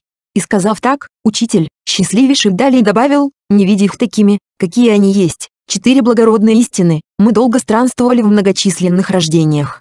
Теперь же истины были увидены, исток существования отделен, и с корнем вырвано страданий, не будет больше нового рождения. Дутия Катигама Сута, Катигама 2. СН 5622. Благословенный сказал, те жрецы или отшельники, которые не понимают в соответствии с действительностью, это страдание. Это источник страдания. Это прекращение страдания. Это путь, ведущий к прекращению страдания. Таких я не считаю жрецами среди жрецов и отшельниками среди отшельников. Эти почтенные не входят и не пребывают в этой самой жизни в цели отшельничества или цели жречества, реализовав это для себя посредством прямого знания. Но, монахи, те жрецы или отшельники, которые понимают эти вещи, таких я считаю жрецами среди жрецов и отшельниками среди отшельников. Эти почтенные входят и пребывают в этой самой жизни в цели отшельничества или цели жречества, реализовав это для себя посредством прямого знания. Так сказал благословенный. И сказав так, счастливейший, учитель, далее добавил, тот, кто страдания не понимает, как и не знает страдания причины, и не того, где оно прекращается, где угасает оно без остатка, как и не знают, к тому же, пути, что к утолению страданий ведет, освобождение ума не имеет, освобождение мудростью также. Он не способен конец положить, старость, рождение ждут лишь его. Саммасамбудхасута, Будда. СН 5623. В Саватхе. Благословенный сказал, монахи, есть эти четыре благородные истины. Какие четыре? Благородная истина о страдании, благородная истина об источнике страдания, благородная истина о прекращении страдания, благородная истина о пути, ведущем к прекращению страдания. Поскольку он полностью пробудился в соответствии с действительностью в эти четыре благородные истины, Тадхагата зовется арахантом, полностью просветленным. Таким образом, монахи следует прилагать усилий, чтобы понять это страдание. Следует прилагать усилий, чтобы понять это источник страдания. Следует прилагать усилий, чтобы понять это прекращение страдания. Следует прилагать усилий, чтобы понять это путь, ведущий к прекращению страдания. Араханта Сута, Араханты. СН 5624. В Саватхе. Благословенный сказал, монахи, какие бы араханты, полностью просветленные, в прошлом не пробуждались бы вещи в соответствии с действительностью. Все они полностью пробуждались в четыре благородные истины в соответствии с действительностью. Какие бы араханты, полностью просветленные, в будущем не пробудятся вещи в соответствии с действительностью. Все они полностью пробудятся в четыре благородные истины в соответствии с действительностью.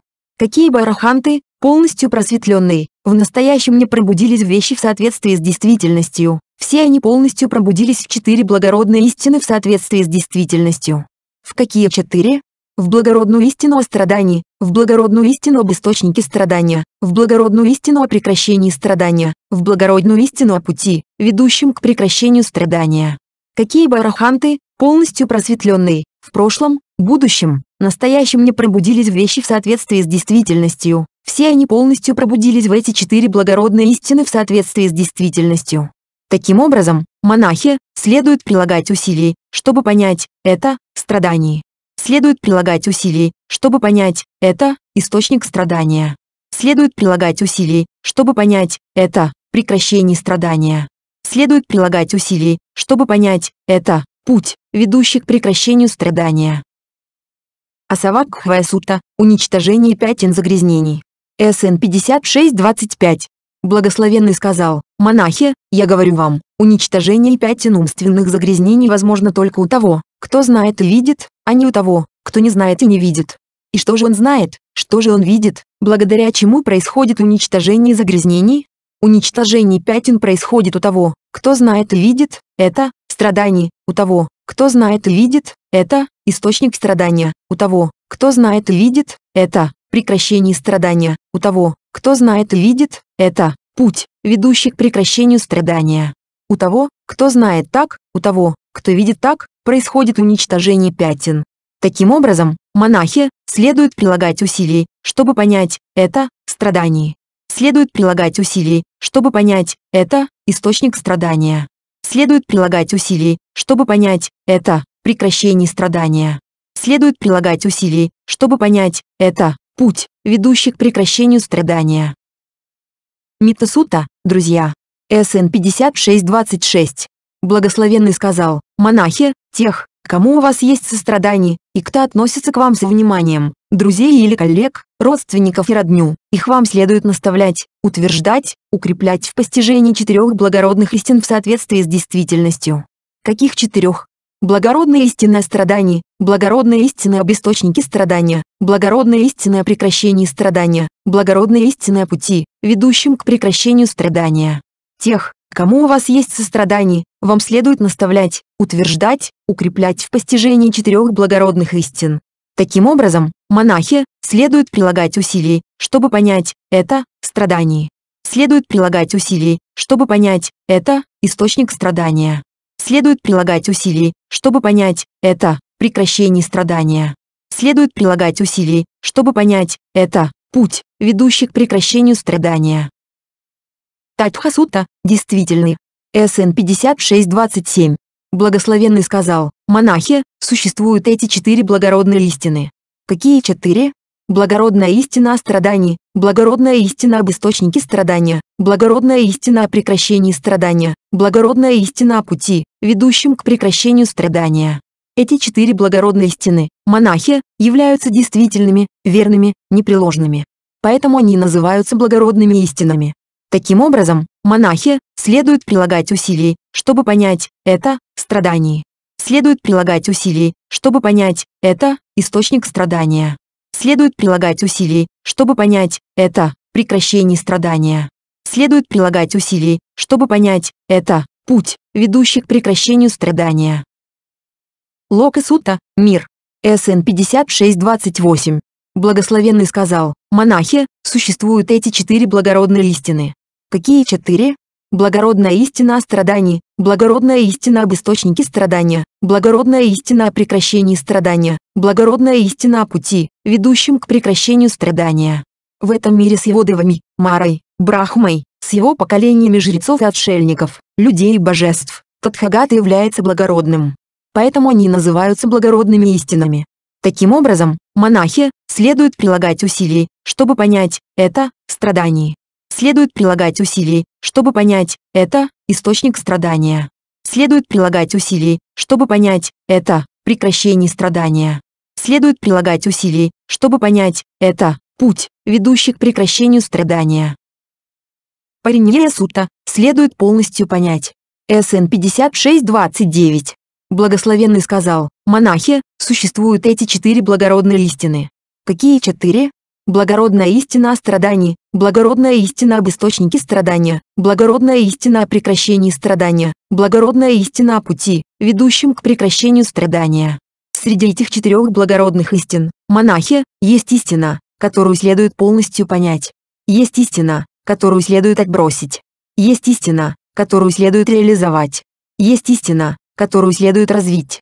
И что же это, монахи, за истина, которую следует полностью понять? Благородную истину о страдании следует полностью понять. Благородную истину об источнике страдания следует отбросить. Благородную истину о прекращении страдания следует реализовать. Благородную истину о пути, ведущем к прекращению страдания, следует развить. Таким образом, монахи, следует прилагать усилий, чтобы понять, это, страдание. Следует прилагать усилий, чтобы понять, это, источник страдания. Следует прилагать усилий, чтобы понять, это, прекращении страдания. Следует прилагать усилий, чтобы понять, это путь, ведущий к прекращению страдания. Гавампати Сута, Гавампати. СН 5630. Однажды группа старших монахов пребывала в стране Читиев в Сахаджати. Когда старшие монахи вернулись со сбора подаяний, после принятия пищи они собрались в павильоне, и, по мере того, как они сидели вместе, возникла такая беседа. «Друг, когда кто-либо видит страдание, видит ли он также источник страдания, видит ли он также прекращение страдания, видит ли он также путь, ведущий к прекращению страдания? Когда так было сказано, достопочтенный Гавампати сказал старшим монахам, «Друзья, из уст самого благословенного я слышал и запомнил так, монахи, тот, кто видит страдание, видит также источник страдания, видит также и прекращение страдания, видит также и путь, ведущий к прекращению страдания. Тот, кто видит источник страдания, видит также и страдания, видит также и прекращение страдания, видит также и путь, ведущий к прекращению страдания. Тот, кто видит прекращение страдания, видит также и страдания, видит также и источник страдания, видит также и путь, ведущий к прекращению страдания.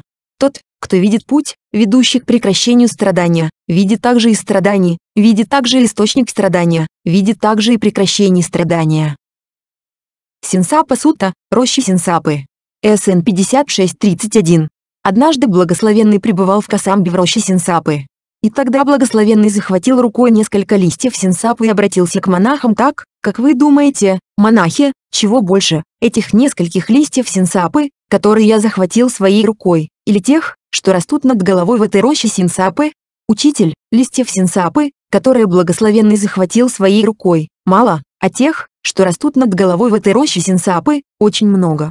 Точно так же, монахи, тех вещей, которые я напрямую познал, но которым не научил вас, очень много, тогда как тех вещей, которым я вас научил, мало. И почему, монахи, я не научил вас тем многим вещам? Потому что они не полезны, не имеют ничего общего с основами святой жизни, не ведут к разочарованию, бесстрастию, прекращению, покою, прямому знанию, просветлению, небане. Вот почему я не научил вас им. Но чему, монахи, я научил? Я научил этому, это, страдание. Я научил, это, источник страдания. Я научил, это, прекращение страдания.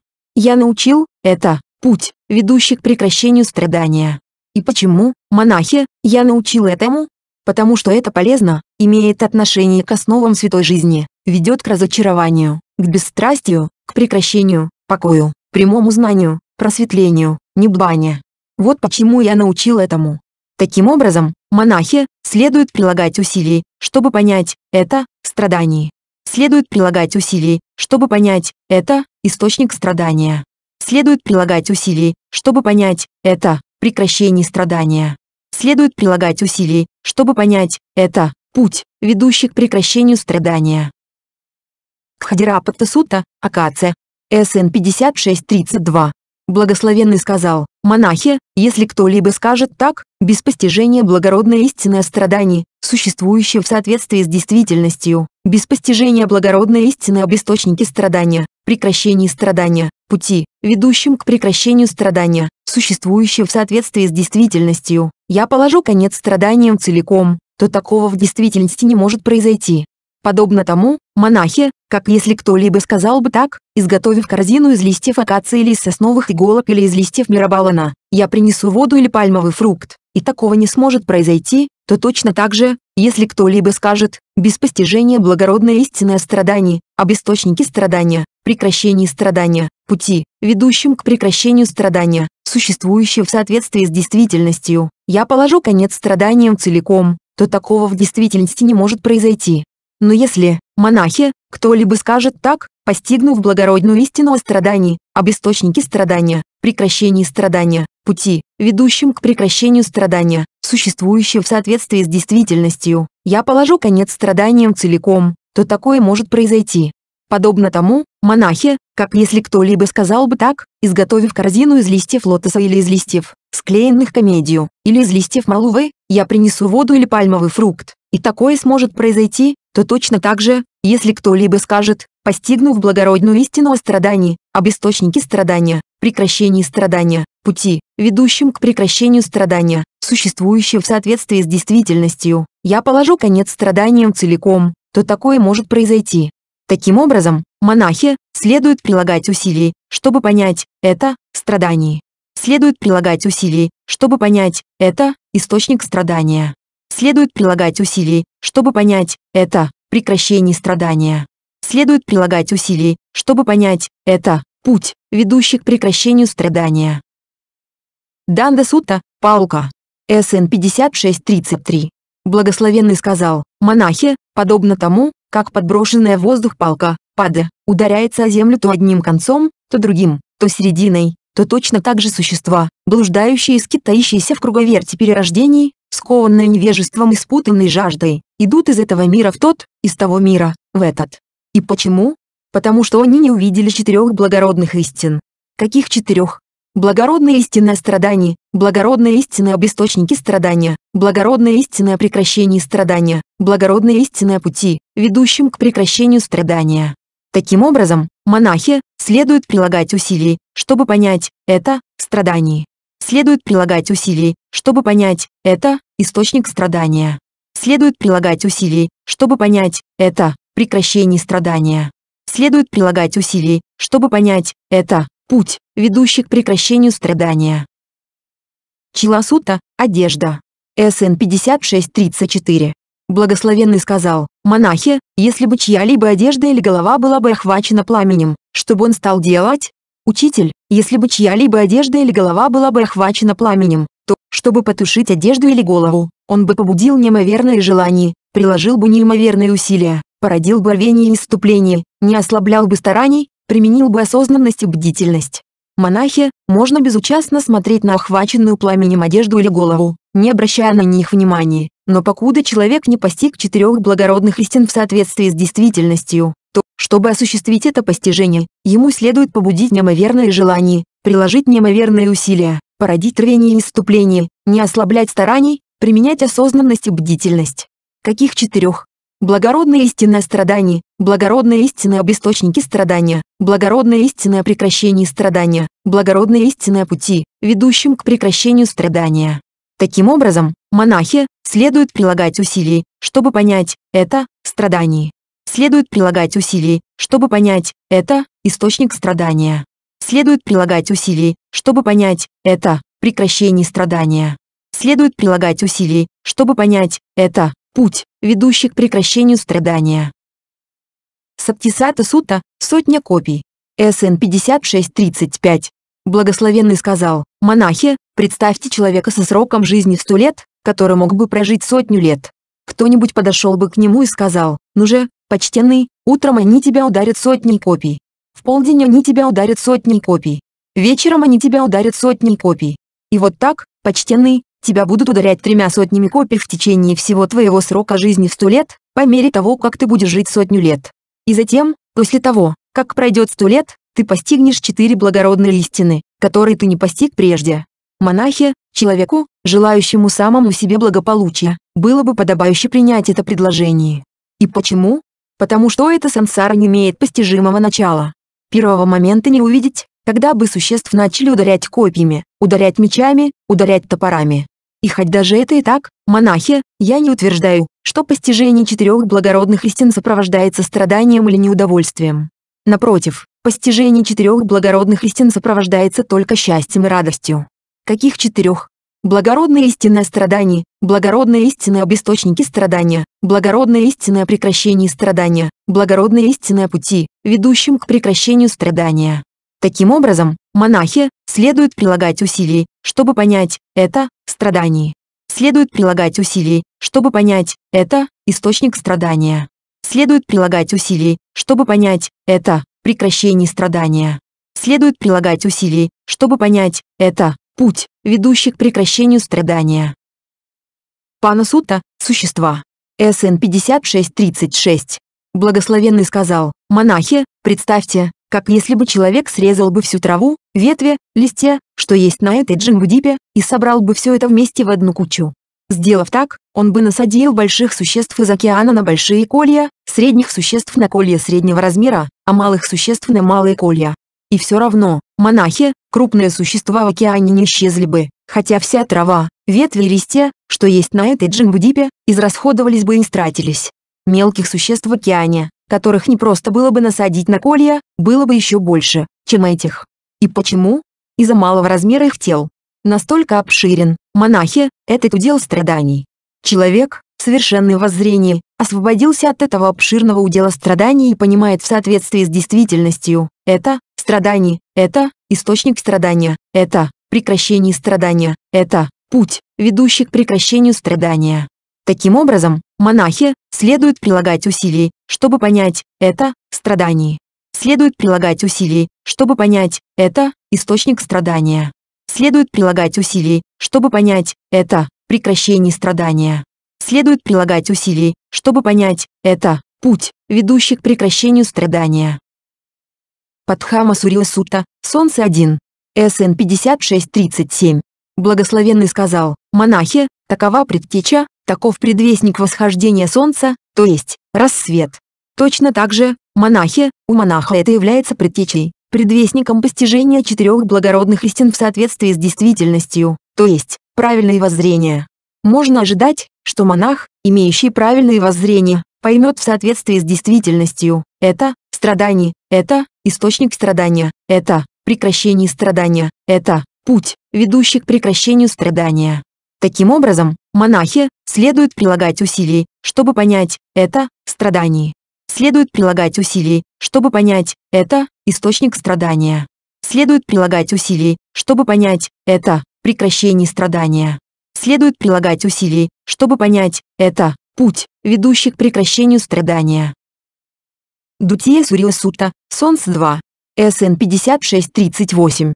Благословенный сказал, монахи, покуда солнце и луна не возникают в мире, в течение этого времени нет проявления великого света и сияния, но преобладает только кромешная мгла, сплошное море тьмы. И в течение этого времени нельзя увидеть ни дня, ни ночи, ни месяца, ни половины месяца, ни сезонов, ни времен года. Но, монахи, когда солнце и луна возникают в мире, то существует проявление великого света и сияния, и тогда нет кромешной мглы, нет сплошного моря тьмы, и тогда можно увидеть день и ночь, месяц и полмесяца, сезоны и времена года. Точно так же, монахи, покуда Тадхагата не возникает в мире, Арахант, полностью просветленный, в течение этого времени нет проявления великого света и сияния, но преобладает только кромешная мгла, сплошное море тьмы. и в течение этого времени нет объяснения, учения, провозглашения, утверждения, раскрытия, рассмотрения и прояснения четырех благородных истин. Каких четырех? Благородная истина о страдании, благородная истина об источнике страдания, благородная истина о прекращении страдания, благородная истина о пути, ведущем к прекращению страдания. Таким образом, монахи следует прилагать усилий, чтобы понять это страдание. Следует прилагать усилий, чтобы понять это источник страдания. Следует прилагать усилий, чтобы понять это прекращение страдания. Следует прилагать усилий, чтобы понять это Путь, ведущий к прекращению страдания. Индекс Хилосута, колонна Индры. СН 5639. Благословенный сказал, монахи, те жрецы и отшельники, которые не поняли в соответствии с действительностью, это страдание, это источник страдания, это прекращение страдания, это путь, ведущий к прекращению страдания, смотрит на лицо другого отшельника или жреца, думая, этот почтенный в самом деле тот, кто действительно знает, кто действительно видит. Представьте, монахи, как если бы пучок хлопка или капока, подхваченный ветром, приземлился бы на ровный участок земли. Восточный ветер нес бы его на запад, западный ветер нес бы его на восток, северный ветер нес бы его на юг, южный ветер нес бы его на север. И почему? Потому что пучок легкий. Точно так же, монахи, те жрецы и отшельники, которые не поняли. Это страдание, источник страдания, прекращение страдания, путь, ведущий к прекращению страдания, смотрит на лицо другого отшельника или жреца, думая, этот почтенный в самом деле тот, кто действительно знает, кто действительно видит. И почему? Потому что они не увидели четырех благородных истин. Но, монахи, те жрецы и отшельники, которые поняли. Это, страдание, источник страдания, прекращение страдания, путь, ведущий к прекращению страдания, не смотрит на лицо другого отшельника или жреца, думая, этот почтенный в самом деле тот, кто действительно знает, кто действительно видит. Представьте, монахи, железную колонну или колонну Индра с глубоким основанием, надежно установленную, неподвижную, непоколебимую. Даже если дует сильный порыв ветра, с востока, с запада, с севера, с юга, эта колонна не поколебалась бы, не содрогнулась, не зашаталась. И почему? Потому что у колонны глубокое основание и она надежно установлена. Точно так же, те жрецы и отшельники, которые поняли. Это страдание, источник страдания, прекращение страдания, путь, ведущий к прекращению страдания, не смотрит на лицо другого отшельника или жреца, думая, этот почтенный в самом деле тот, кто действительно знает, кто действительно видит. И почему? Потому что они ясно увидели четыре благородные истины. Какие четыре? благородную истину о страдании, благородную истину об источнике страдания, благородную истину о прекращении страдания, благородную истину о пути, ведущем к прекращению страдания. Таким образом, монахи следует прилагать усилий, чтобы понять это страдание. Следует прилагать усилий, чтобы понять это источник страдания. Следует прилагать усилий, чтобы понять это прекращение страдания. Следует прилагать усилий, чтобы понять это путь, ведущий к прекращению страдания. Вадатхика Сута, подыскивая аргумент. СН 5640. Благословенный сказал, монахи, если монах понимает в соответствии с действительностью, это страдание, источник страдания, прекращение страдания, путь, ведущий к прекращению страдания, и тут мимо проходит отшельник или жрец, либо с востока, либо с запада, либо с севера, либо с юга, подыскивая аргумент, выискивая аргумент, думая так, я опровергну его тезис, то не может быть такого, чтобы он смог бы заставить этого монаха поколебаться, содрогнуться, зашататься. Представьте, монахи, каменную колонну в 16 ярдов длиной, 8 ярдов ее длины будет утоплена в земле, а иные 8 будут находиться над землей. Даже если подует сильный порыв ветра, с востока, с запада, с севера, с юга, эта колонна не поколебалась бы, не содрогнулась, не зашаталась. И почему? Потому что у колонны глубокое основание и она надежно установлена. Точно так же, монахи, если монах понимает в соответствии с действительностью, это страдание, источник страдания, прекращение страдания, путь, ведущий к прекращению страдания, и тут мимо проходит отшельник или жрец, либо с востока, либо с запада, либо с севера, либо с юга, подыскивая аргумент, выискивая аргумент, думая так, я опровергну его тезис, то не может быть такого, чтобы он смог бы заставить этого монаха поколебаться, содрогнуться, зашататься. И почему? Потому что он ясно увидел четыре благородные истины. Какие четыре? благородную истину о страдании, благородную истину об источнике страдания, благородную истину о прекращении страдания, благородную истину о пути, ведущем к прекращению страдания. Таким образом, монахи следует прилагать усилий, чтобы понять это страдание. Следует прилагать усилий, чтобы понять это источник страдания. Следует прилагать усилий, чтобы понять это прекращение страдания. Следует прилагать усилий, чтобы понять это путь, ведущий к прекращению страдания. Лока Чинта Сута. Размышления о мире. СН 5641. Однажды благословенный пребывал в Раджагахе в бамбуковой роще в Беличьем святилище. Там он обратился к монахам так, «Монахи, однажды в прошлом некий человек вышел из Раджагахи и отправился к лотосовому пруду Сумагадхи, думая, я поразмышляю о мире». Один. И затем он сел на берегу лотосового пруда Сумагадхи, размышляя о мире. А затем, монахи, то человек увидел, как четырехчастная армия входит в лотосовый стебель на берегу пруда. Увидев это, он подумал, должно быть, я сошел с ума. Должно быть, я спятил. Я увидел нечто такое, чего не существует в мире. Человек вернулся в город и рассказал большой городской толпе, должно быть, я сошел с ума, господа. Должно быть, я спятил. Я увидел нечто такое, чего не существует в мире. На что они ответили, но почему, почтенный, ты думаешь, что сошел с ума? Почему ты думаешь, что спятил? Что ты увидел, чего не существует в мире? Так вот же, господа, я вышел из Раджагахи и отправился к лотосовому пруду Самагадхи, увидел, как четырехчастная армия входит в лотосовый стебель на берегу пруда. Вот почему я сошел с ума, вот почему я спятил, и я увидел нечто такое, чего не существует в мире. На что они ответили, вне сомнений, ты сошел с ума, дорогой. Вне сомнений, ты спятил. И ты увидел нечто такое, чего не существует в мире. И все-таки, монахи, то, что увидел этот человек, было действительно реальным, а не нереальным. 2. Однажды в прошлом девы и асуры выстроились на битву. В той битве девы победили, а асуры были повержены. Асуры, испугавшись поражения, вошли в свой асуровский город через лотосовый стебель к полному замешательству девов. Поэтому, монахи, не размышляйте о мире, думая так, мир вечен или мир не вечен, или мир ограничен или мир безграничен, или душа и тело, это одно или душа суть одно, а тело суть иное, или Тадхагата существует после смерти или Тадхагата не существует после смерти или Тадхагата и существует после смерти и не существует после смерти или Тадхагата не существует после смерти, не не существует после смерти. И почему? Потому что эти размышления, монахи, не полезны, не имеют ничего общего с основами святой жизни, не ведут к разочарованию, бесстрастию, прекращению, покою, прямому знанию, просветлению, небане. Когда вы размышляете о чем-то, монахи, вам следует размышлять так, это страдание. Вам следует размышлять так, это источник страдания. Вам следует размышлять так, это прекращение страдания. Вам следует размышлять так, это путь, ведущий к прекращению страдания. И почему?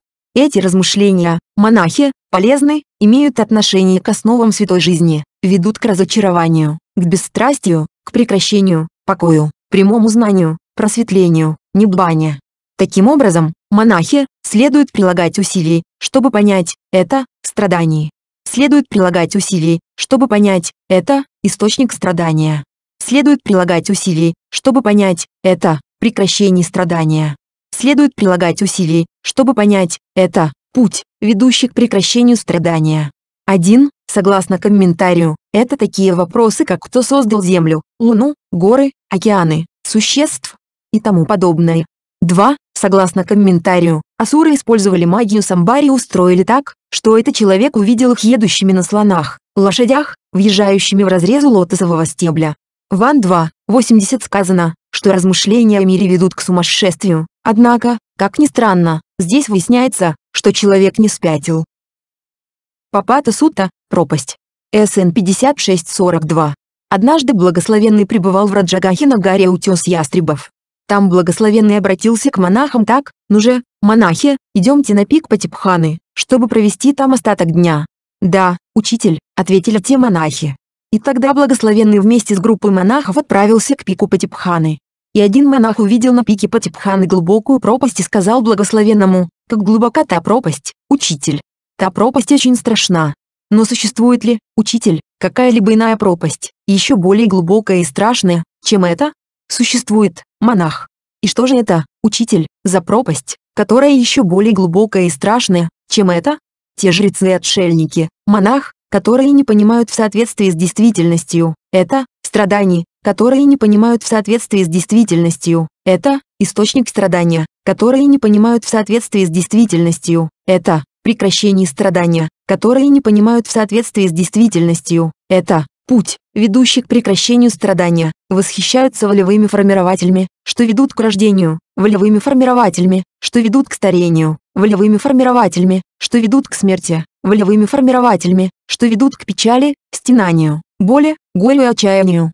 Восхищаясь такими волевыми формирователями, они порождают волевые формирователи, что ведут к рождению, порождают волевые формирователи, что ведут к старению, смерти, к печали, стенанию, боли, горю и отчаянию. Породив такие волевые формирователи, они падают в пропасть рождения, падают в пропасть старения, падают в пропасть смерти, падают в пропасть печали, стенания, боли, горя и отчаяния. Они не освобождены от рождения, старения и смерти не освобождены от печали, стенания, боли, горя и отчаяния. Они не освобождены от страдания, я говорю тебе. Один. Но, монах, те жрецы и отшельники, которые понимают в соответствии с действительностью, это, страдание, путь, ведущий к прекращению страдания. Они не восхищаются неволевыми формирователями, которые ведут к рождению, неволевыми формирователями, которые ведут к старению, смерти, печали, стенанию, боли, горю и отчаянию. Не восхищаясь, они не порождают волевые формирователи, что ведут к рождению, старению, смерти, печали, стенанию, боли, горю и отчаянию. Не породив таких волевых формирователей, они не падают в пропасть рождения, старения, смерти, пропасть печали, стенания, боли, горя и отчаяния.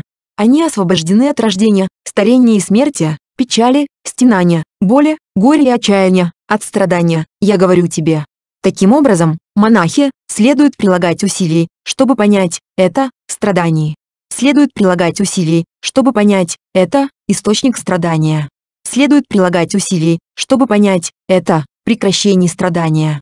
Следует прилагать усилий, чтобы понять, это, путь, ведущий к прекращению страдания. 1. В этом отрывке приводится довольно интересная сжатая версия взаимозависимого возникновения. Непонимание четырех благородных истин является невежеством, авиджа. Фраза «они восхищаются» Абхираманте, волевыми формирователями, что ведут к рождению подразумевает жажду, которая порождает наслаждение, рати, абхирати, когда жажда насыщена. Фраза «они порождают волевые формирователи», что ведут к рождению, джатисанваттаники сангхари абхисангхаранте, совершенно четко указывает на волевые формирователя. Падение в пропасть рождения, старения, смерти, очевидно, означает последние два звена 12-звенной цепи взаимозависимого возникновения. Поэтому здесь у нас сокращенная схема, где невежество и волевые формирователи ведут к новому рождению, старению, смерти, минуя сознание или имя и форму. Махапарила Хасута, Великое Пламя. СН 5643. Благословенный сказал, монахи, существует ад под названием Великое Пламя. Любые формы, видимые там глазом, нежеланные никогда не бывают желанными, некрасивые никогда не бывают красивыми, неприятные никогда не бывают приятными. Любые звуки, слышимые там ухом, любые запахи, обоняемые носом, любые вкусы, воспринимаемые языком, любые ощущения, воспринимаемые телом, любые ментальные феномены, познаваемые там умом, нежеланные никогда не бывают желанными, некрасивые никогда не бывают красивыми, неприятные никогда не бывают приятными. Когда так было сказано, один монах обратился к благословенному, это пламя, учитель, в самом деле, ужасно. Это пламя действительно ужасно. Но существует ли, учитель, какое-либо иное пламя, более ужасное и пугающее, нежели это? Существует, монах. И что же это, учитель, за пламя, еще более ужасное и пугающее, нежели это? Те жрецы и отшельники, монах, которые не понимают в соответствии с действительностью, это, страдание.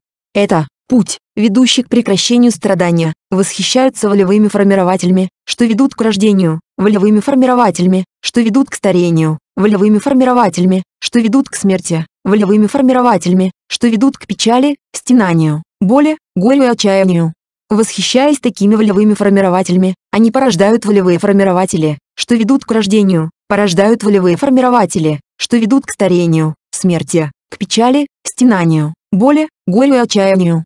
Породив такие волевые формирователи, Они горят в пламени рождения, горят в пламени старения, горят в пламени смерти, горят в пламени печали, стенания, боли, горя и отчаяния. Они не освобождены от рождения, старения и смерти, не освобождены от печали, стенания, боли, горя и отчаяния, не освобождены от страдания, я говорю тебе. Но, монах, те жрецы и отшельники, которые понимают в соответствии с действительностью, это, страдание, путь, ведущий к прекращению страдания. Они не восхищаются неволевыми формирователями, которые ведут к рождению, неволевыми формирователями, которые ведут к старению, смерти, печали, стенанию, боли, горю и отчаянию. Не восхищаясь, они не порождают волевые формирователи, что ведут к рождению, старению, смерти, печали, стенанию, боли, горю и отчаянию. Не породив таких волевых формирователей, они не горят в пламени рождения, старения, смерти, печали, стенания, боли, горя и отчаяния. Они освобождены от рождения, старения и смерти, печали, стенания, боли, горя и отчаяния, от страдания, я говорю тебе. Таким образом, монахи, следует прилагать усилий, чтобы понять, это, страдание. Следует прилагать усилий, чтобы понять, это, источник страдания. Следует прилагать усилий, чтобы понять, это, прекращение страдания. Следует прилагать усилий, чтобы понять, это, путь, ведущий к прекращению страдания. Куттагара Сута, дом со строконечной крышей. СН 5644. Благословенный сказал, монахи, если кто-либо скажет так, без постижения благородной истины о страдании, существующее в соответствии с действительностью, без постижения благородной истины об источнике страдания, прекращении страдания, пути, ведущем к прекращению страдания, существующее в соответствии с действительностью, я положу конец страданиям целиком, то в действительности такого не может произойти.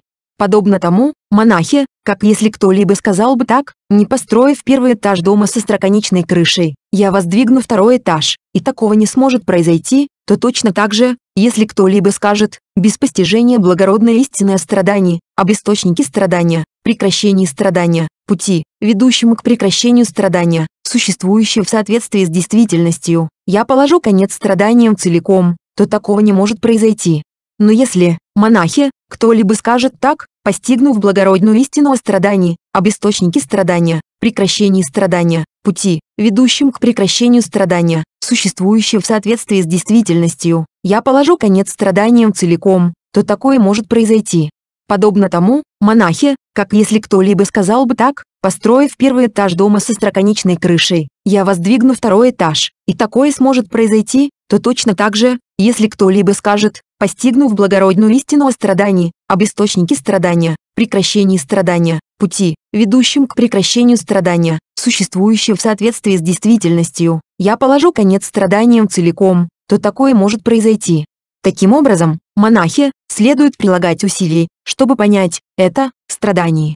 Следует прилагать усилий, чтобы понять, это, источник страдания. Следует прилагать усилий, чтобы понять, это, прекращение страдания. Следует прилагать усилий, чтобы понять, это путь, ведущий к прекращению страдания. Вала Сута, волос. СН 5645. Однажды благословенный пребывал в Висале в Великом лесу в павильоне со строконечной крышей. И тогда, утром, достопочтенный Ананда, одевшись, взяв чашу и одеяние, вошел в Висале собирать подаяние.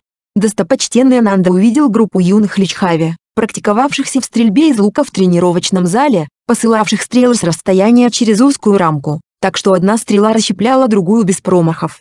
Когда он увидел это, то подумал, эти юные личхави в самом деле искусны. Эти юные личхави действительно хорошо натренированы, так что посылают стрелы с расстояния через узкую рамку, и одна стрела расщепляет другую без промахов. И затем, когда достопочтенный Ананда собрал подаяние в Висале и вернулся, то, после принятия пищи, он отправился к благословенному, поклонился ему, сел рядом, и рассказал о том, что видел. Благословенный ответил, как ты думаешь, Ананда, что более трудно и проблематично, посылать стрелы с расстояния через узкую рамку, так что одна расщепляет другую без промахов, или же пронзить наконечником стрелы кончик волоса, расщепленного на семь частей? Куда более трудно и проблематично, учитель, пронзить наконечником стрелы кончик волоса, расщепленного на семь частей. Но, Ананда, они пронзают нечто еще более трудное, что можно было бы пронзить, когда пронзают в соответствии с действительностью. Это страдание, это источник страдания, это прекращение страдания, это путь, ведущий к прекращению страдания. Таким образом, Ананда, следует прилагать усилий, чтобы понять, это, страдание. Следует прилагать усилий, чтобы понять, это, источник страдания. Следует прилагать усилий, чтобы понять, это, прекращение страдания. Следует прилагать усилий, чтобы понять, это, путь, ведущий к прекращению страдания. Андхакара Сутта, тьма. СН 5646.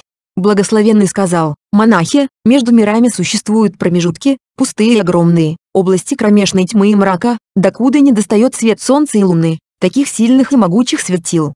Когда так было сказано, один монах обратился к благословенному, «Это тьма, учитель, в самом деле, великая. Эта тьма действительно огромна. Но существует ли, учитель, какая-либо иная тьма, более ужасная и пугающая, нежели это? Существует, монах. И что же это, учитель, за тьма, еще более ужасная и пугающая, нежели это?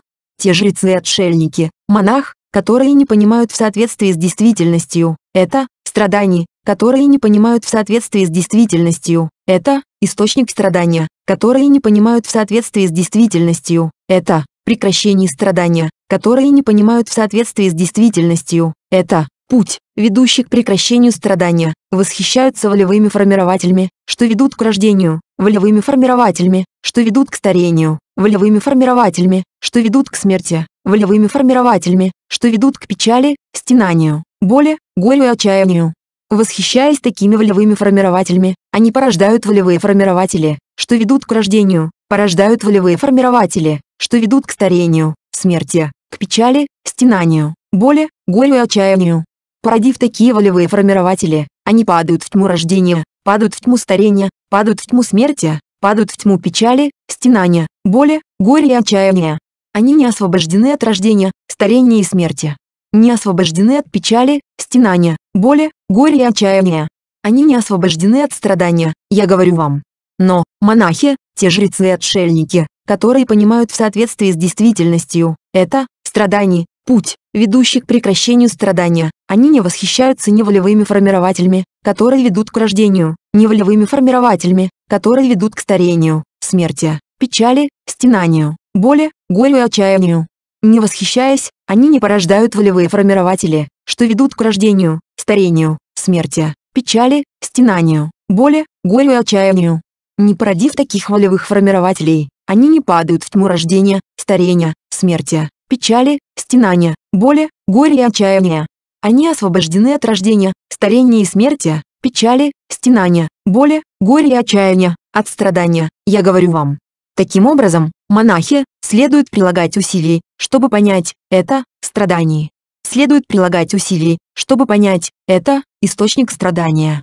Следует прилагать усилий, чтобы понять, это, прекращение страдания. Следует прилагать усилий, чтобы понять, это, путь, ведущий к прекращению страдания. Читгалаюга Сута, ермо с отверстием. СН 5647. Благословенный сказал, монахи, представьте, как если бы человек бросил бы ермо с единственным отверстием в нем в Великий океан, и там была бы слепая морская черепаха, которая всплывала бы на поверхность один раз в сто лет. Как вы думаете, монахи, могла бы эта слепая черепаха, всплывающая на поверхность раз в сто лет, просунуть голову в это ермо с единственным отверстием в нем? Если бы даже ей это удалось, учитель, то это произошло бы через очень долгое время.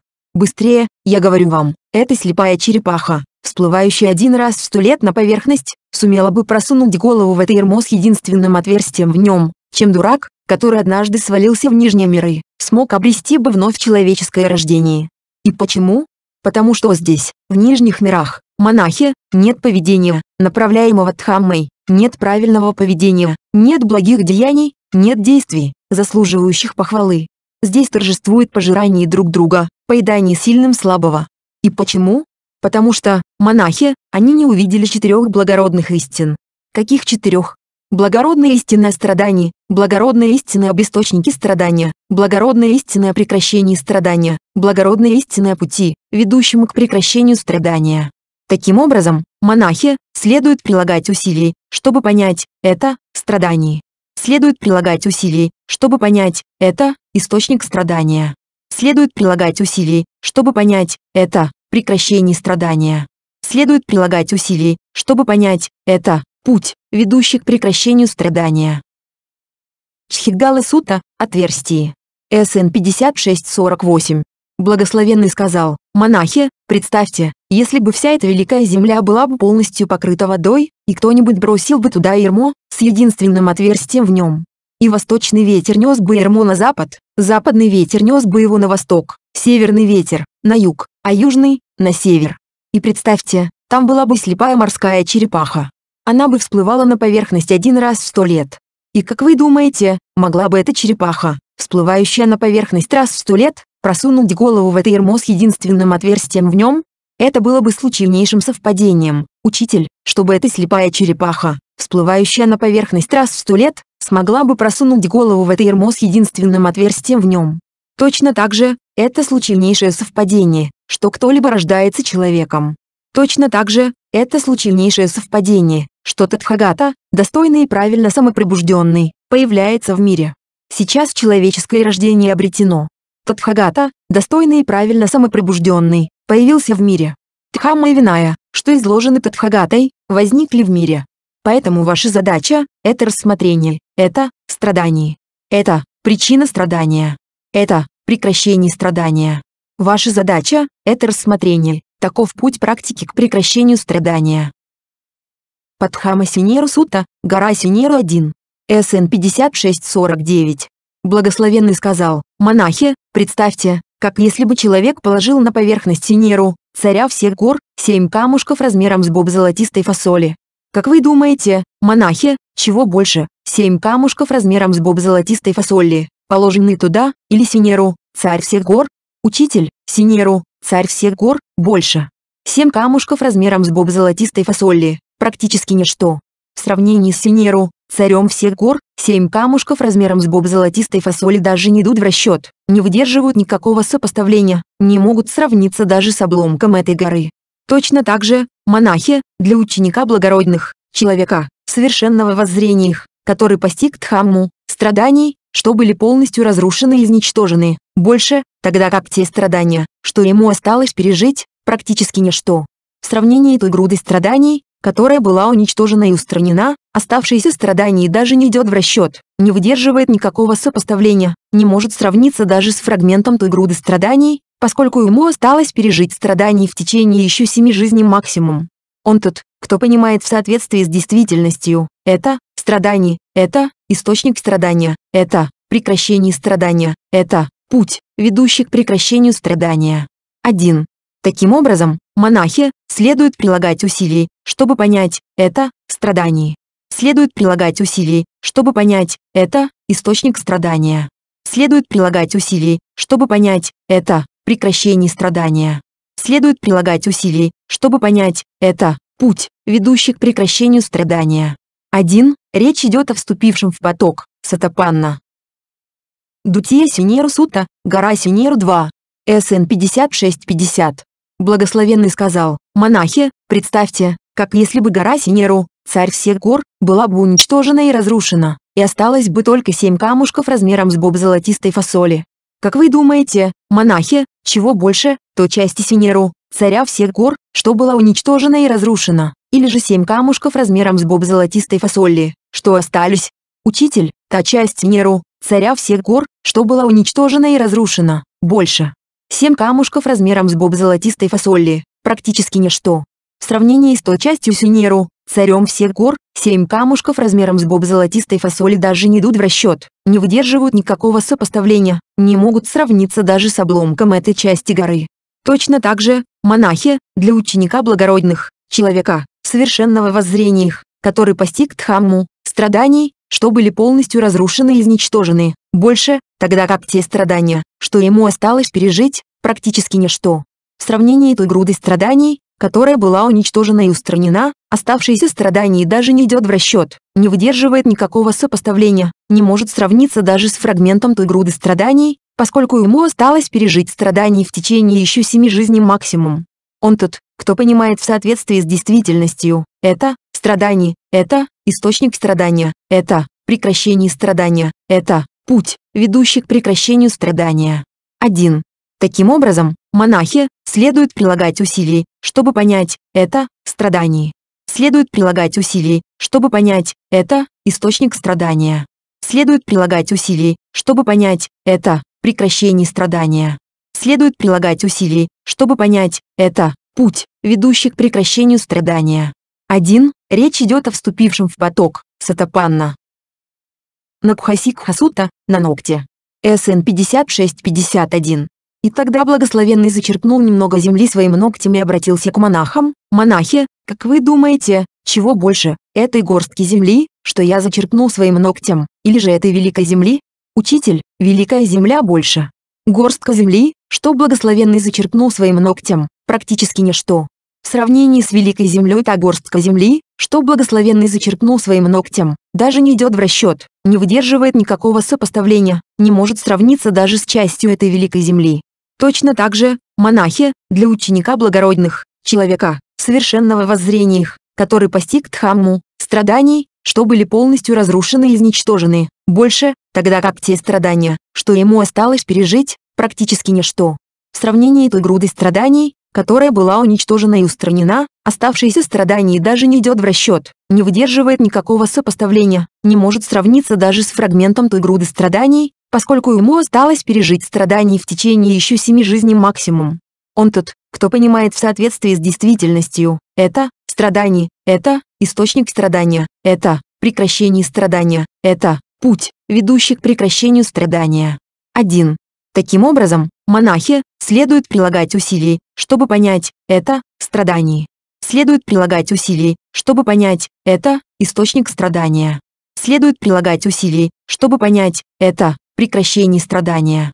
Следует прилагать усилий, чтобы понять, это путь, ведущий к прекращению страдания. 1. Речь идет о вступившем в поток, сатапанна. Пакхарани Сута, пруд. СН 5652. Благословенный сказал, монахи, представьте себе пруд в 50 йоджин длиной, 50 йоджин шириной и 50 йоджин глубиной, полный воды, заполненный водой так, что ворона смогла бы отпить из него и некий человек зачерпнул бы немного воды из него кончиком травинки кусы. Как вы думаете, монахи, чего больше, воды, зачерпнутой кончиком травинки кусы, или же воды в этом пруду? Учитель, воды в пруду больше. Вода, зачерпнутая кончиком травинки кусы, практически ничто. В сравнении с водой в пруду та вода, что была зачерпнута кончиком травинки кусы, даже не идет в расчет, не выдерживает никакого сопоставления, не может сравниться даже с частью воды в этом пруду. Точно так же, монахи, для ученика благородных, человека, совершенного воззрения их, который постиг Дхамму, страданий, что были полностью разрушены и изничтожены, больше, тогда как те страдания, что ему осталось пережить, практически ничто. В сравнении той груды страданий, которая была уничтожена и устранена, оставшиеся страдания даже не идет в расчет, не выдерживает никакого сопоставления, не может сравниться даже с фрагментом той груды страданий, поскольку ему осталось пережить страданий в течение еще семи жизней максимум. Он тот, кто понимает в соответствии с действительностью, это страдание, это источник страдания, это прекращение страдания, это путь, ведущий к прекращению страдания. 1. Таким образом, монахи следует прилагать усилий, чтобы понять это страдание. Следует прилагать усилий, чтобы понять это источник страдания. Следует прилагать усилий, чтобы понять это прекращении страдания. Следует прилагать усилий, чтобы понять, это путь, ведущий к прекращению страдания. 1. Речь идет о вступившем в поток, сатапанна. Падхама Сампхеджисута, вода вместе слияния рек 1. СН 5653. Благословенный сказал, монахи, представьте, как если бы человек вместе встречи и слияния этих великих рек, Ганги, Ямуны, Ачаравати, Сарабху, Махе, извлек бы две или три капли воды.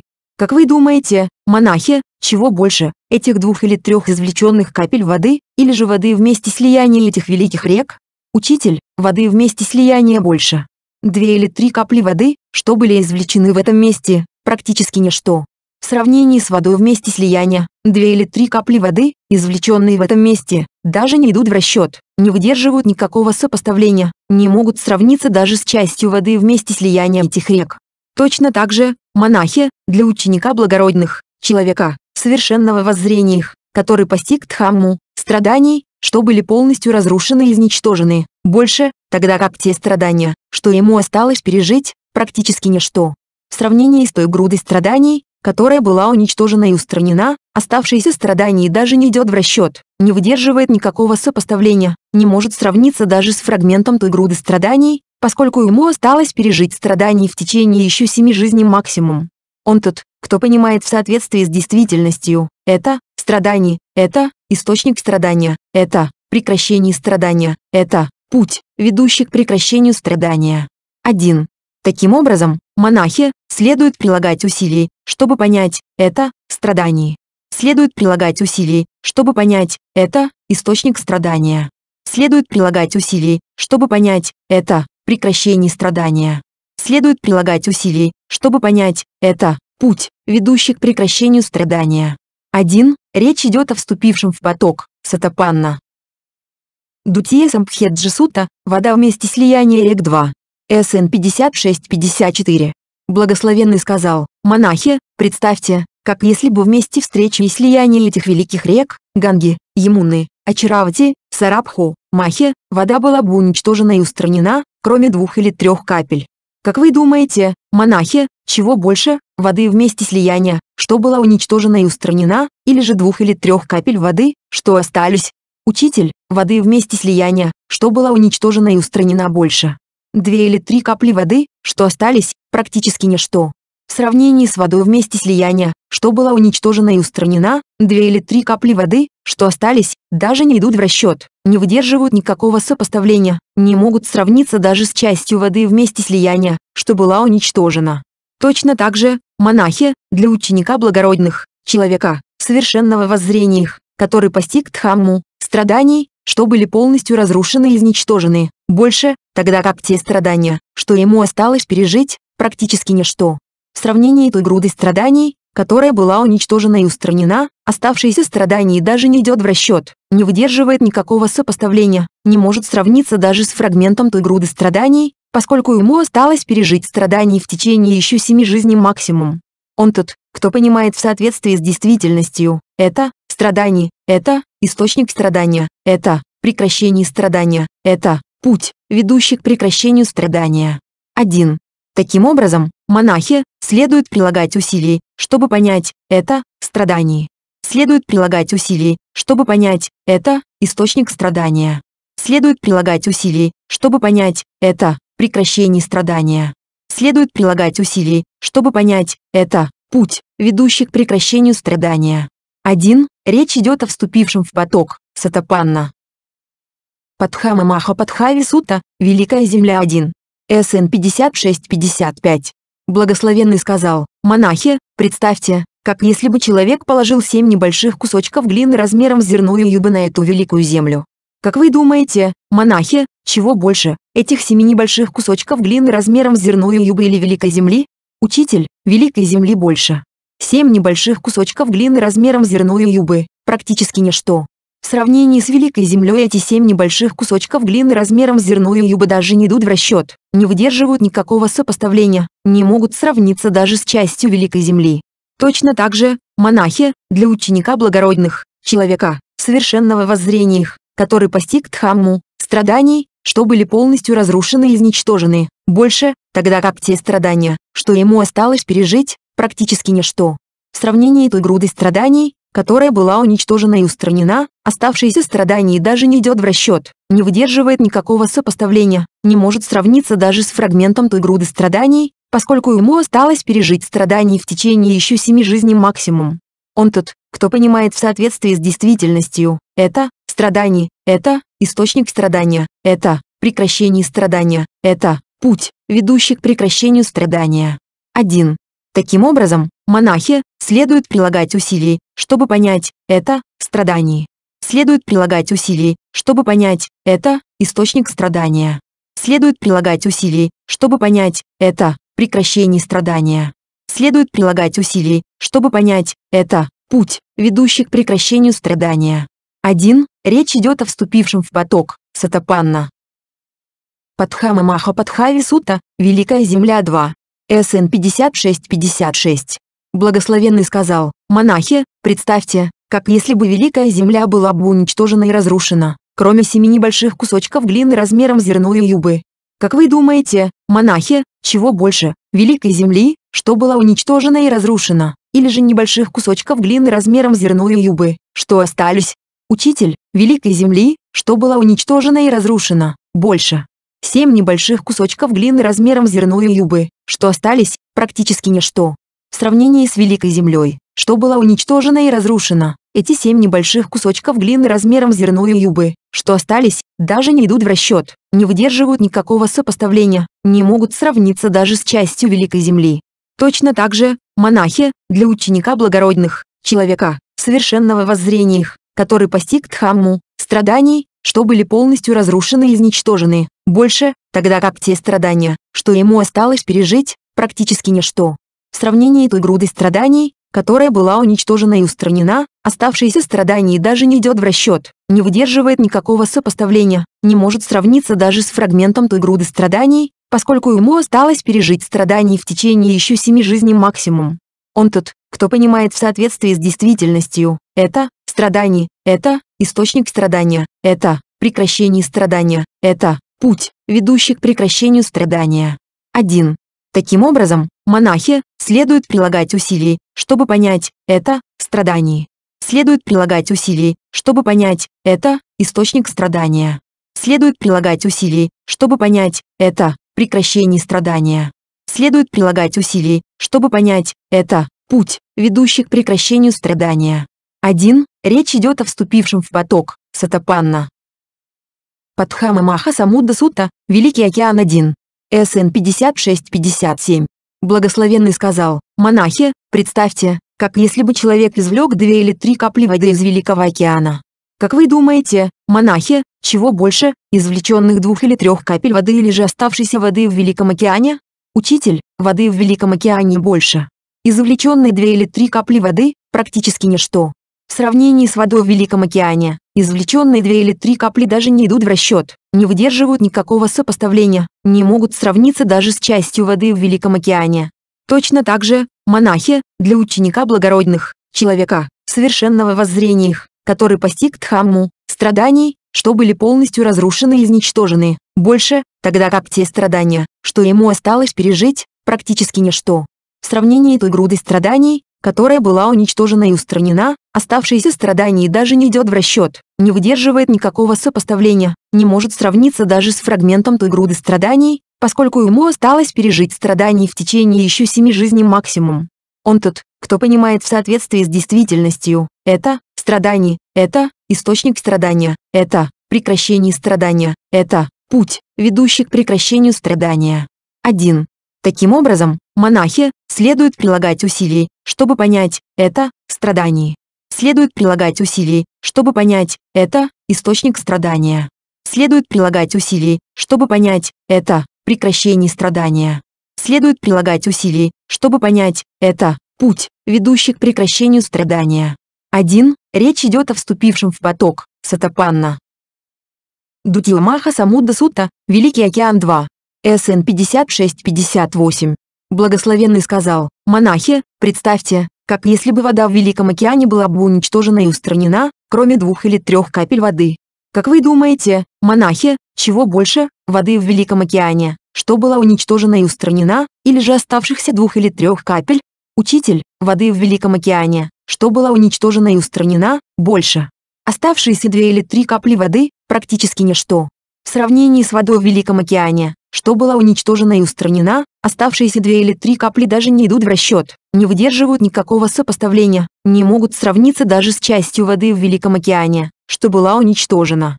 Точно так же, монахи, для ученика благородных, человека, совершенного воззрения их, который постиг Дхамму, страданий, что были полностью разрушены и изничтожены, больше, тогда как те страдания, что ему осталось пережить, практически ничто.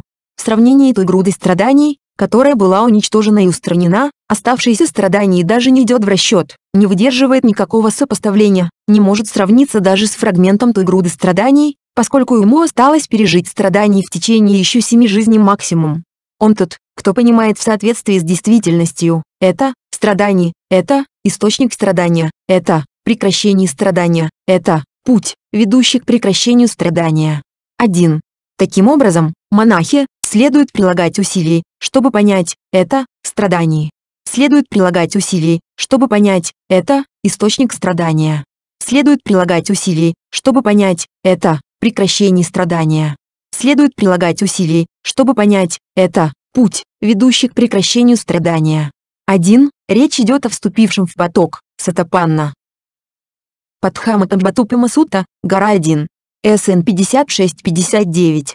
Благословенный сказал, монахи, представьте, как если бы человек положил на поверхность Гималаев, царя всех гор, семь крупиц гравия размером с горчичное зерно.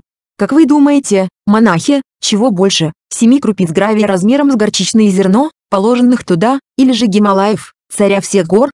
Учитель, Гималаев, царя всех гор, больше. Семь крупиц гравия размером с горчичное зерно, практически ничто. В сравнении с Гималаями, царем всех гор, семь крупиц гравия размером с горчичное зерно даже не идут в расчет, не выдерживают никакого сопоставления, не могут сравниться даже с частью Гималаев.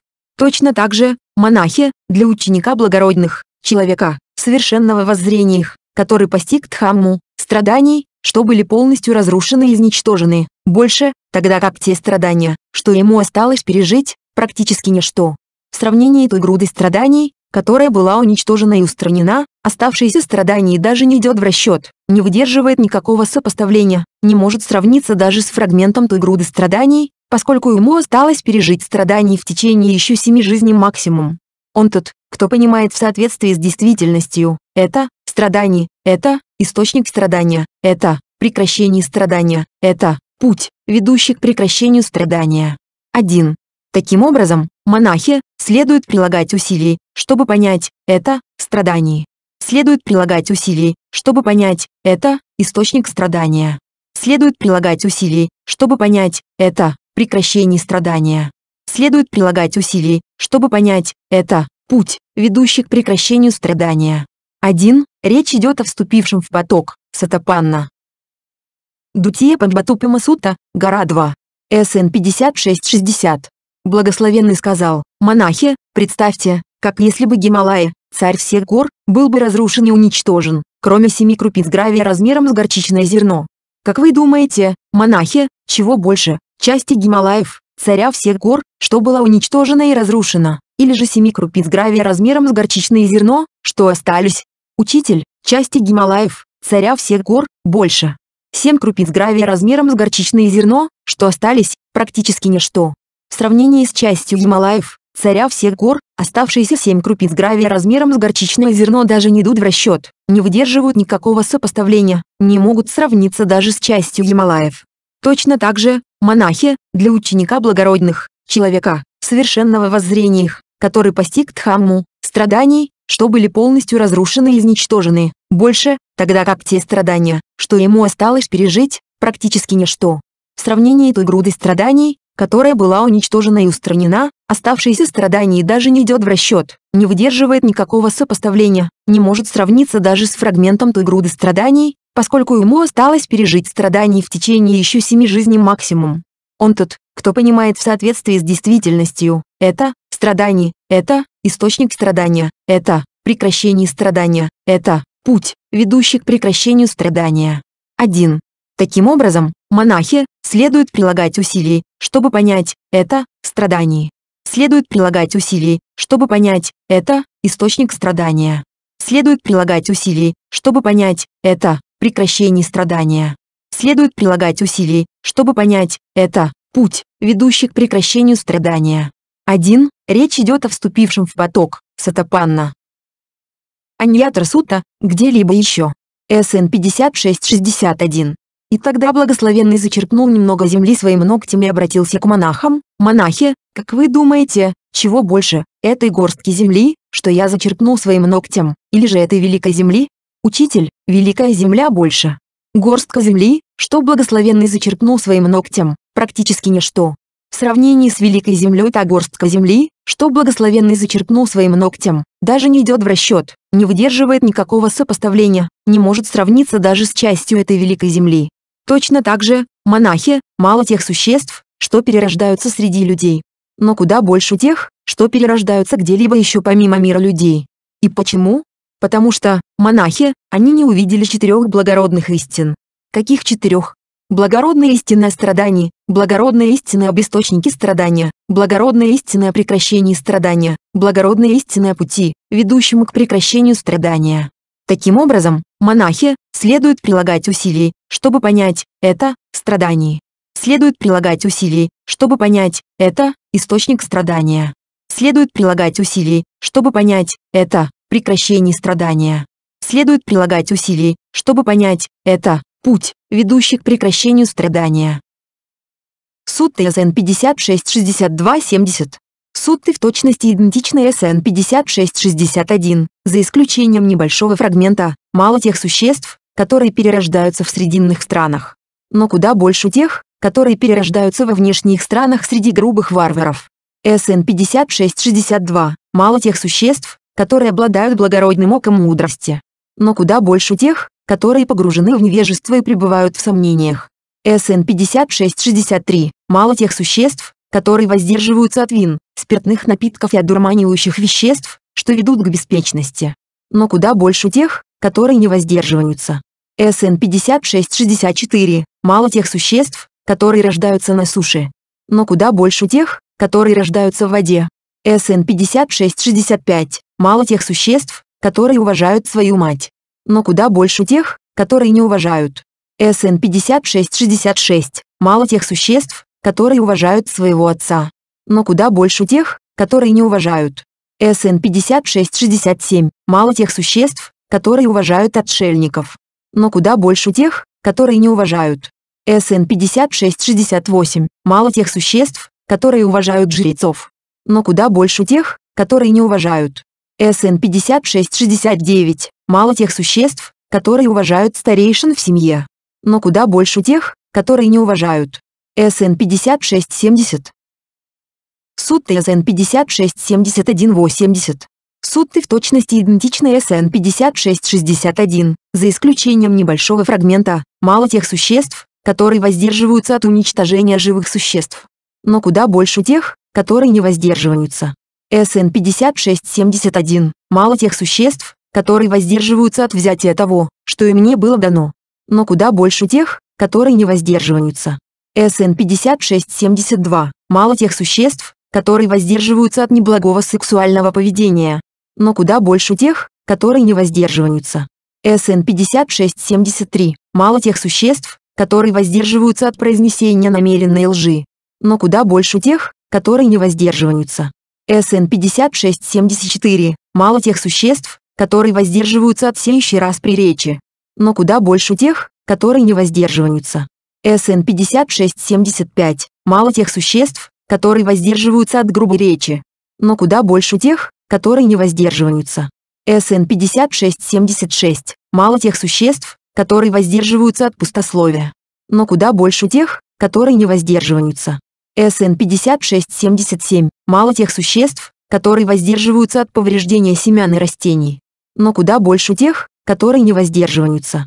СН-5678, мало тех существ, которые воздерживаются от еды в неположенное время.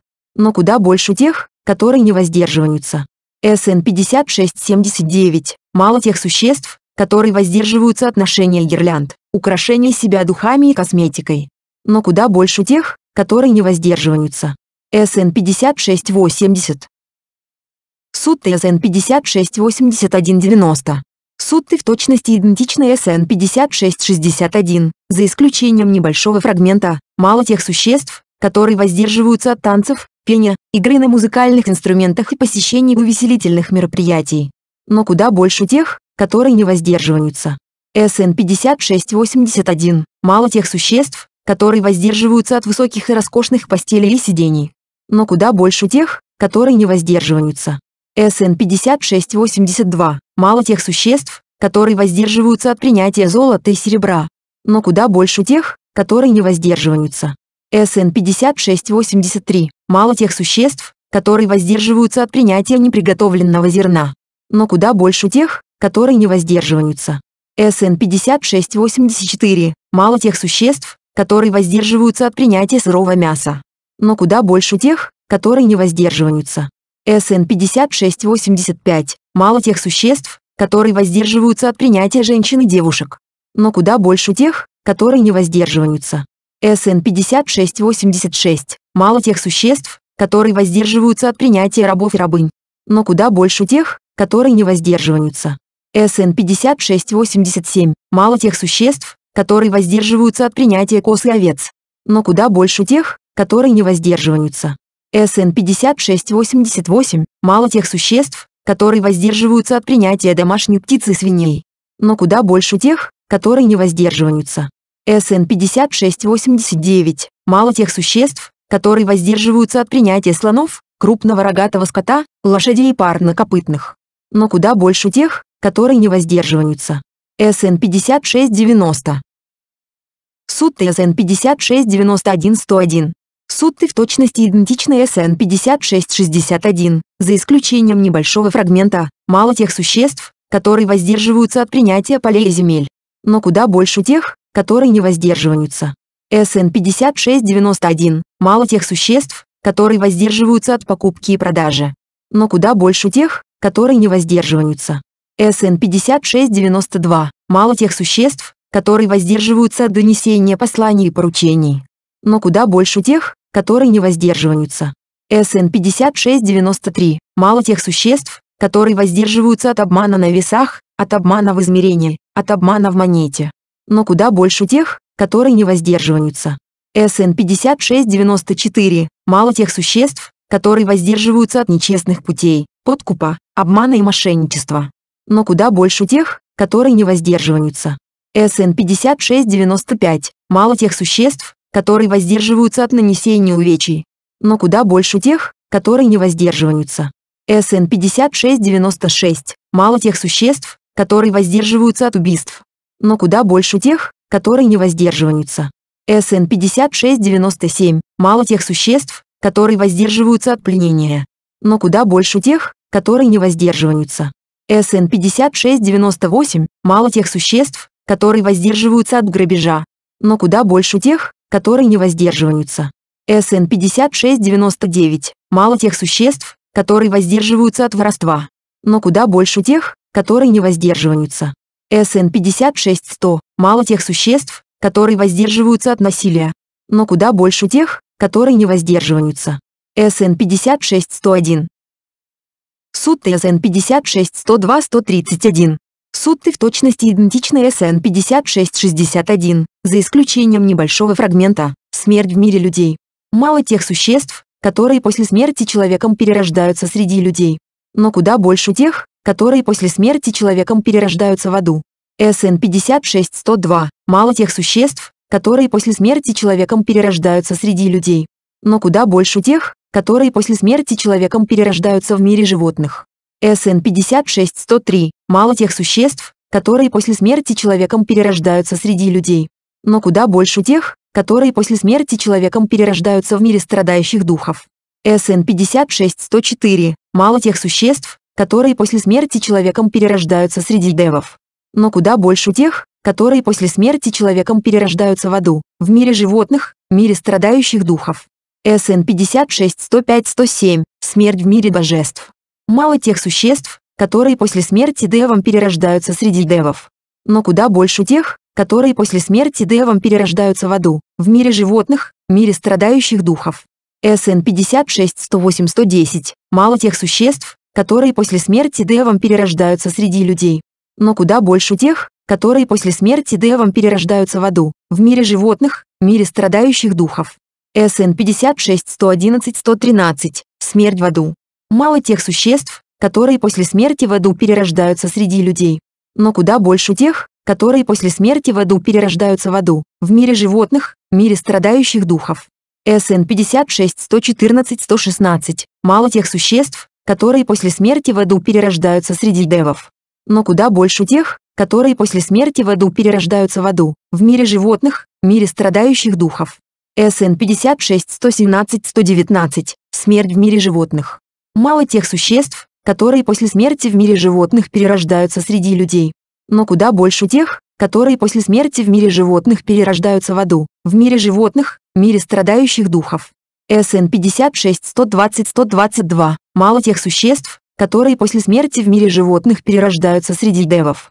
Но куда больше тех, которые после смерти в мире животных перерождаются в аду, в мире животных, мире страдающих духов.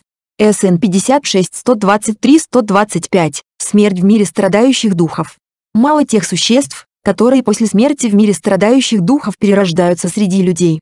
Но куда больше тех, которые после смерти в мире страдающих духов перерождаются в аду, в мире животных, мире страдающих духов. СН 56-126-128. Мало тех существ, которые после смерти в мире страдающих духов перерождаются среди девов. Но куда больше тех, которые после смерти в мире страдающих духов перерождаются в аду, в мире животных, мире страдающих духов. СН 56 129 131.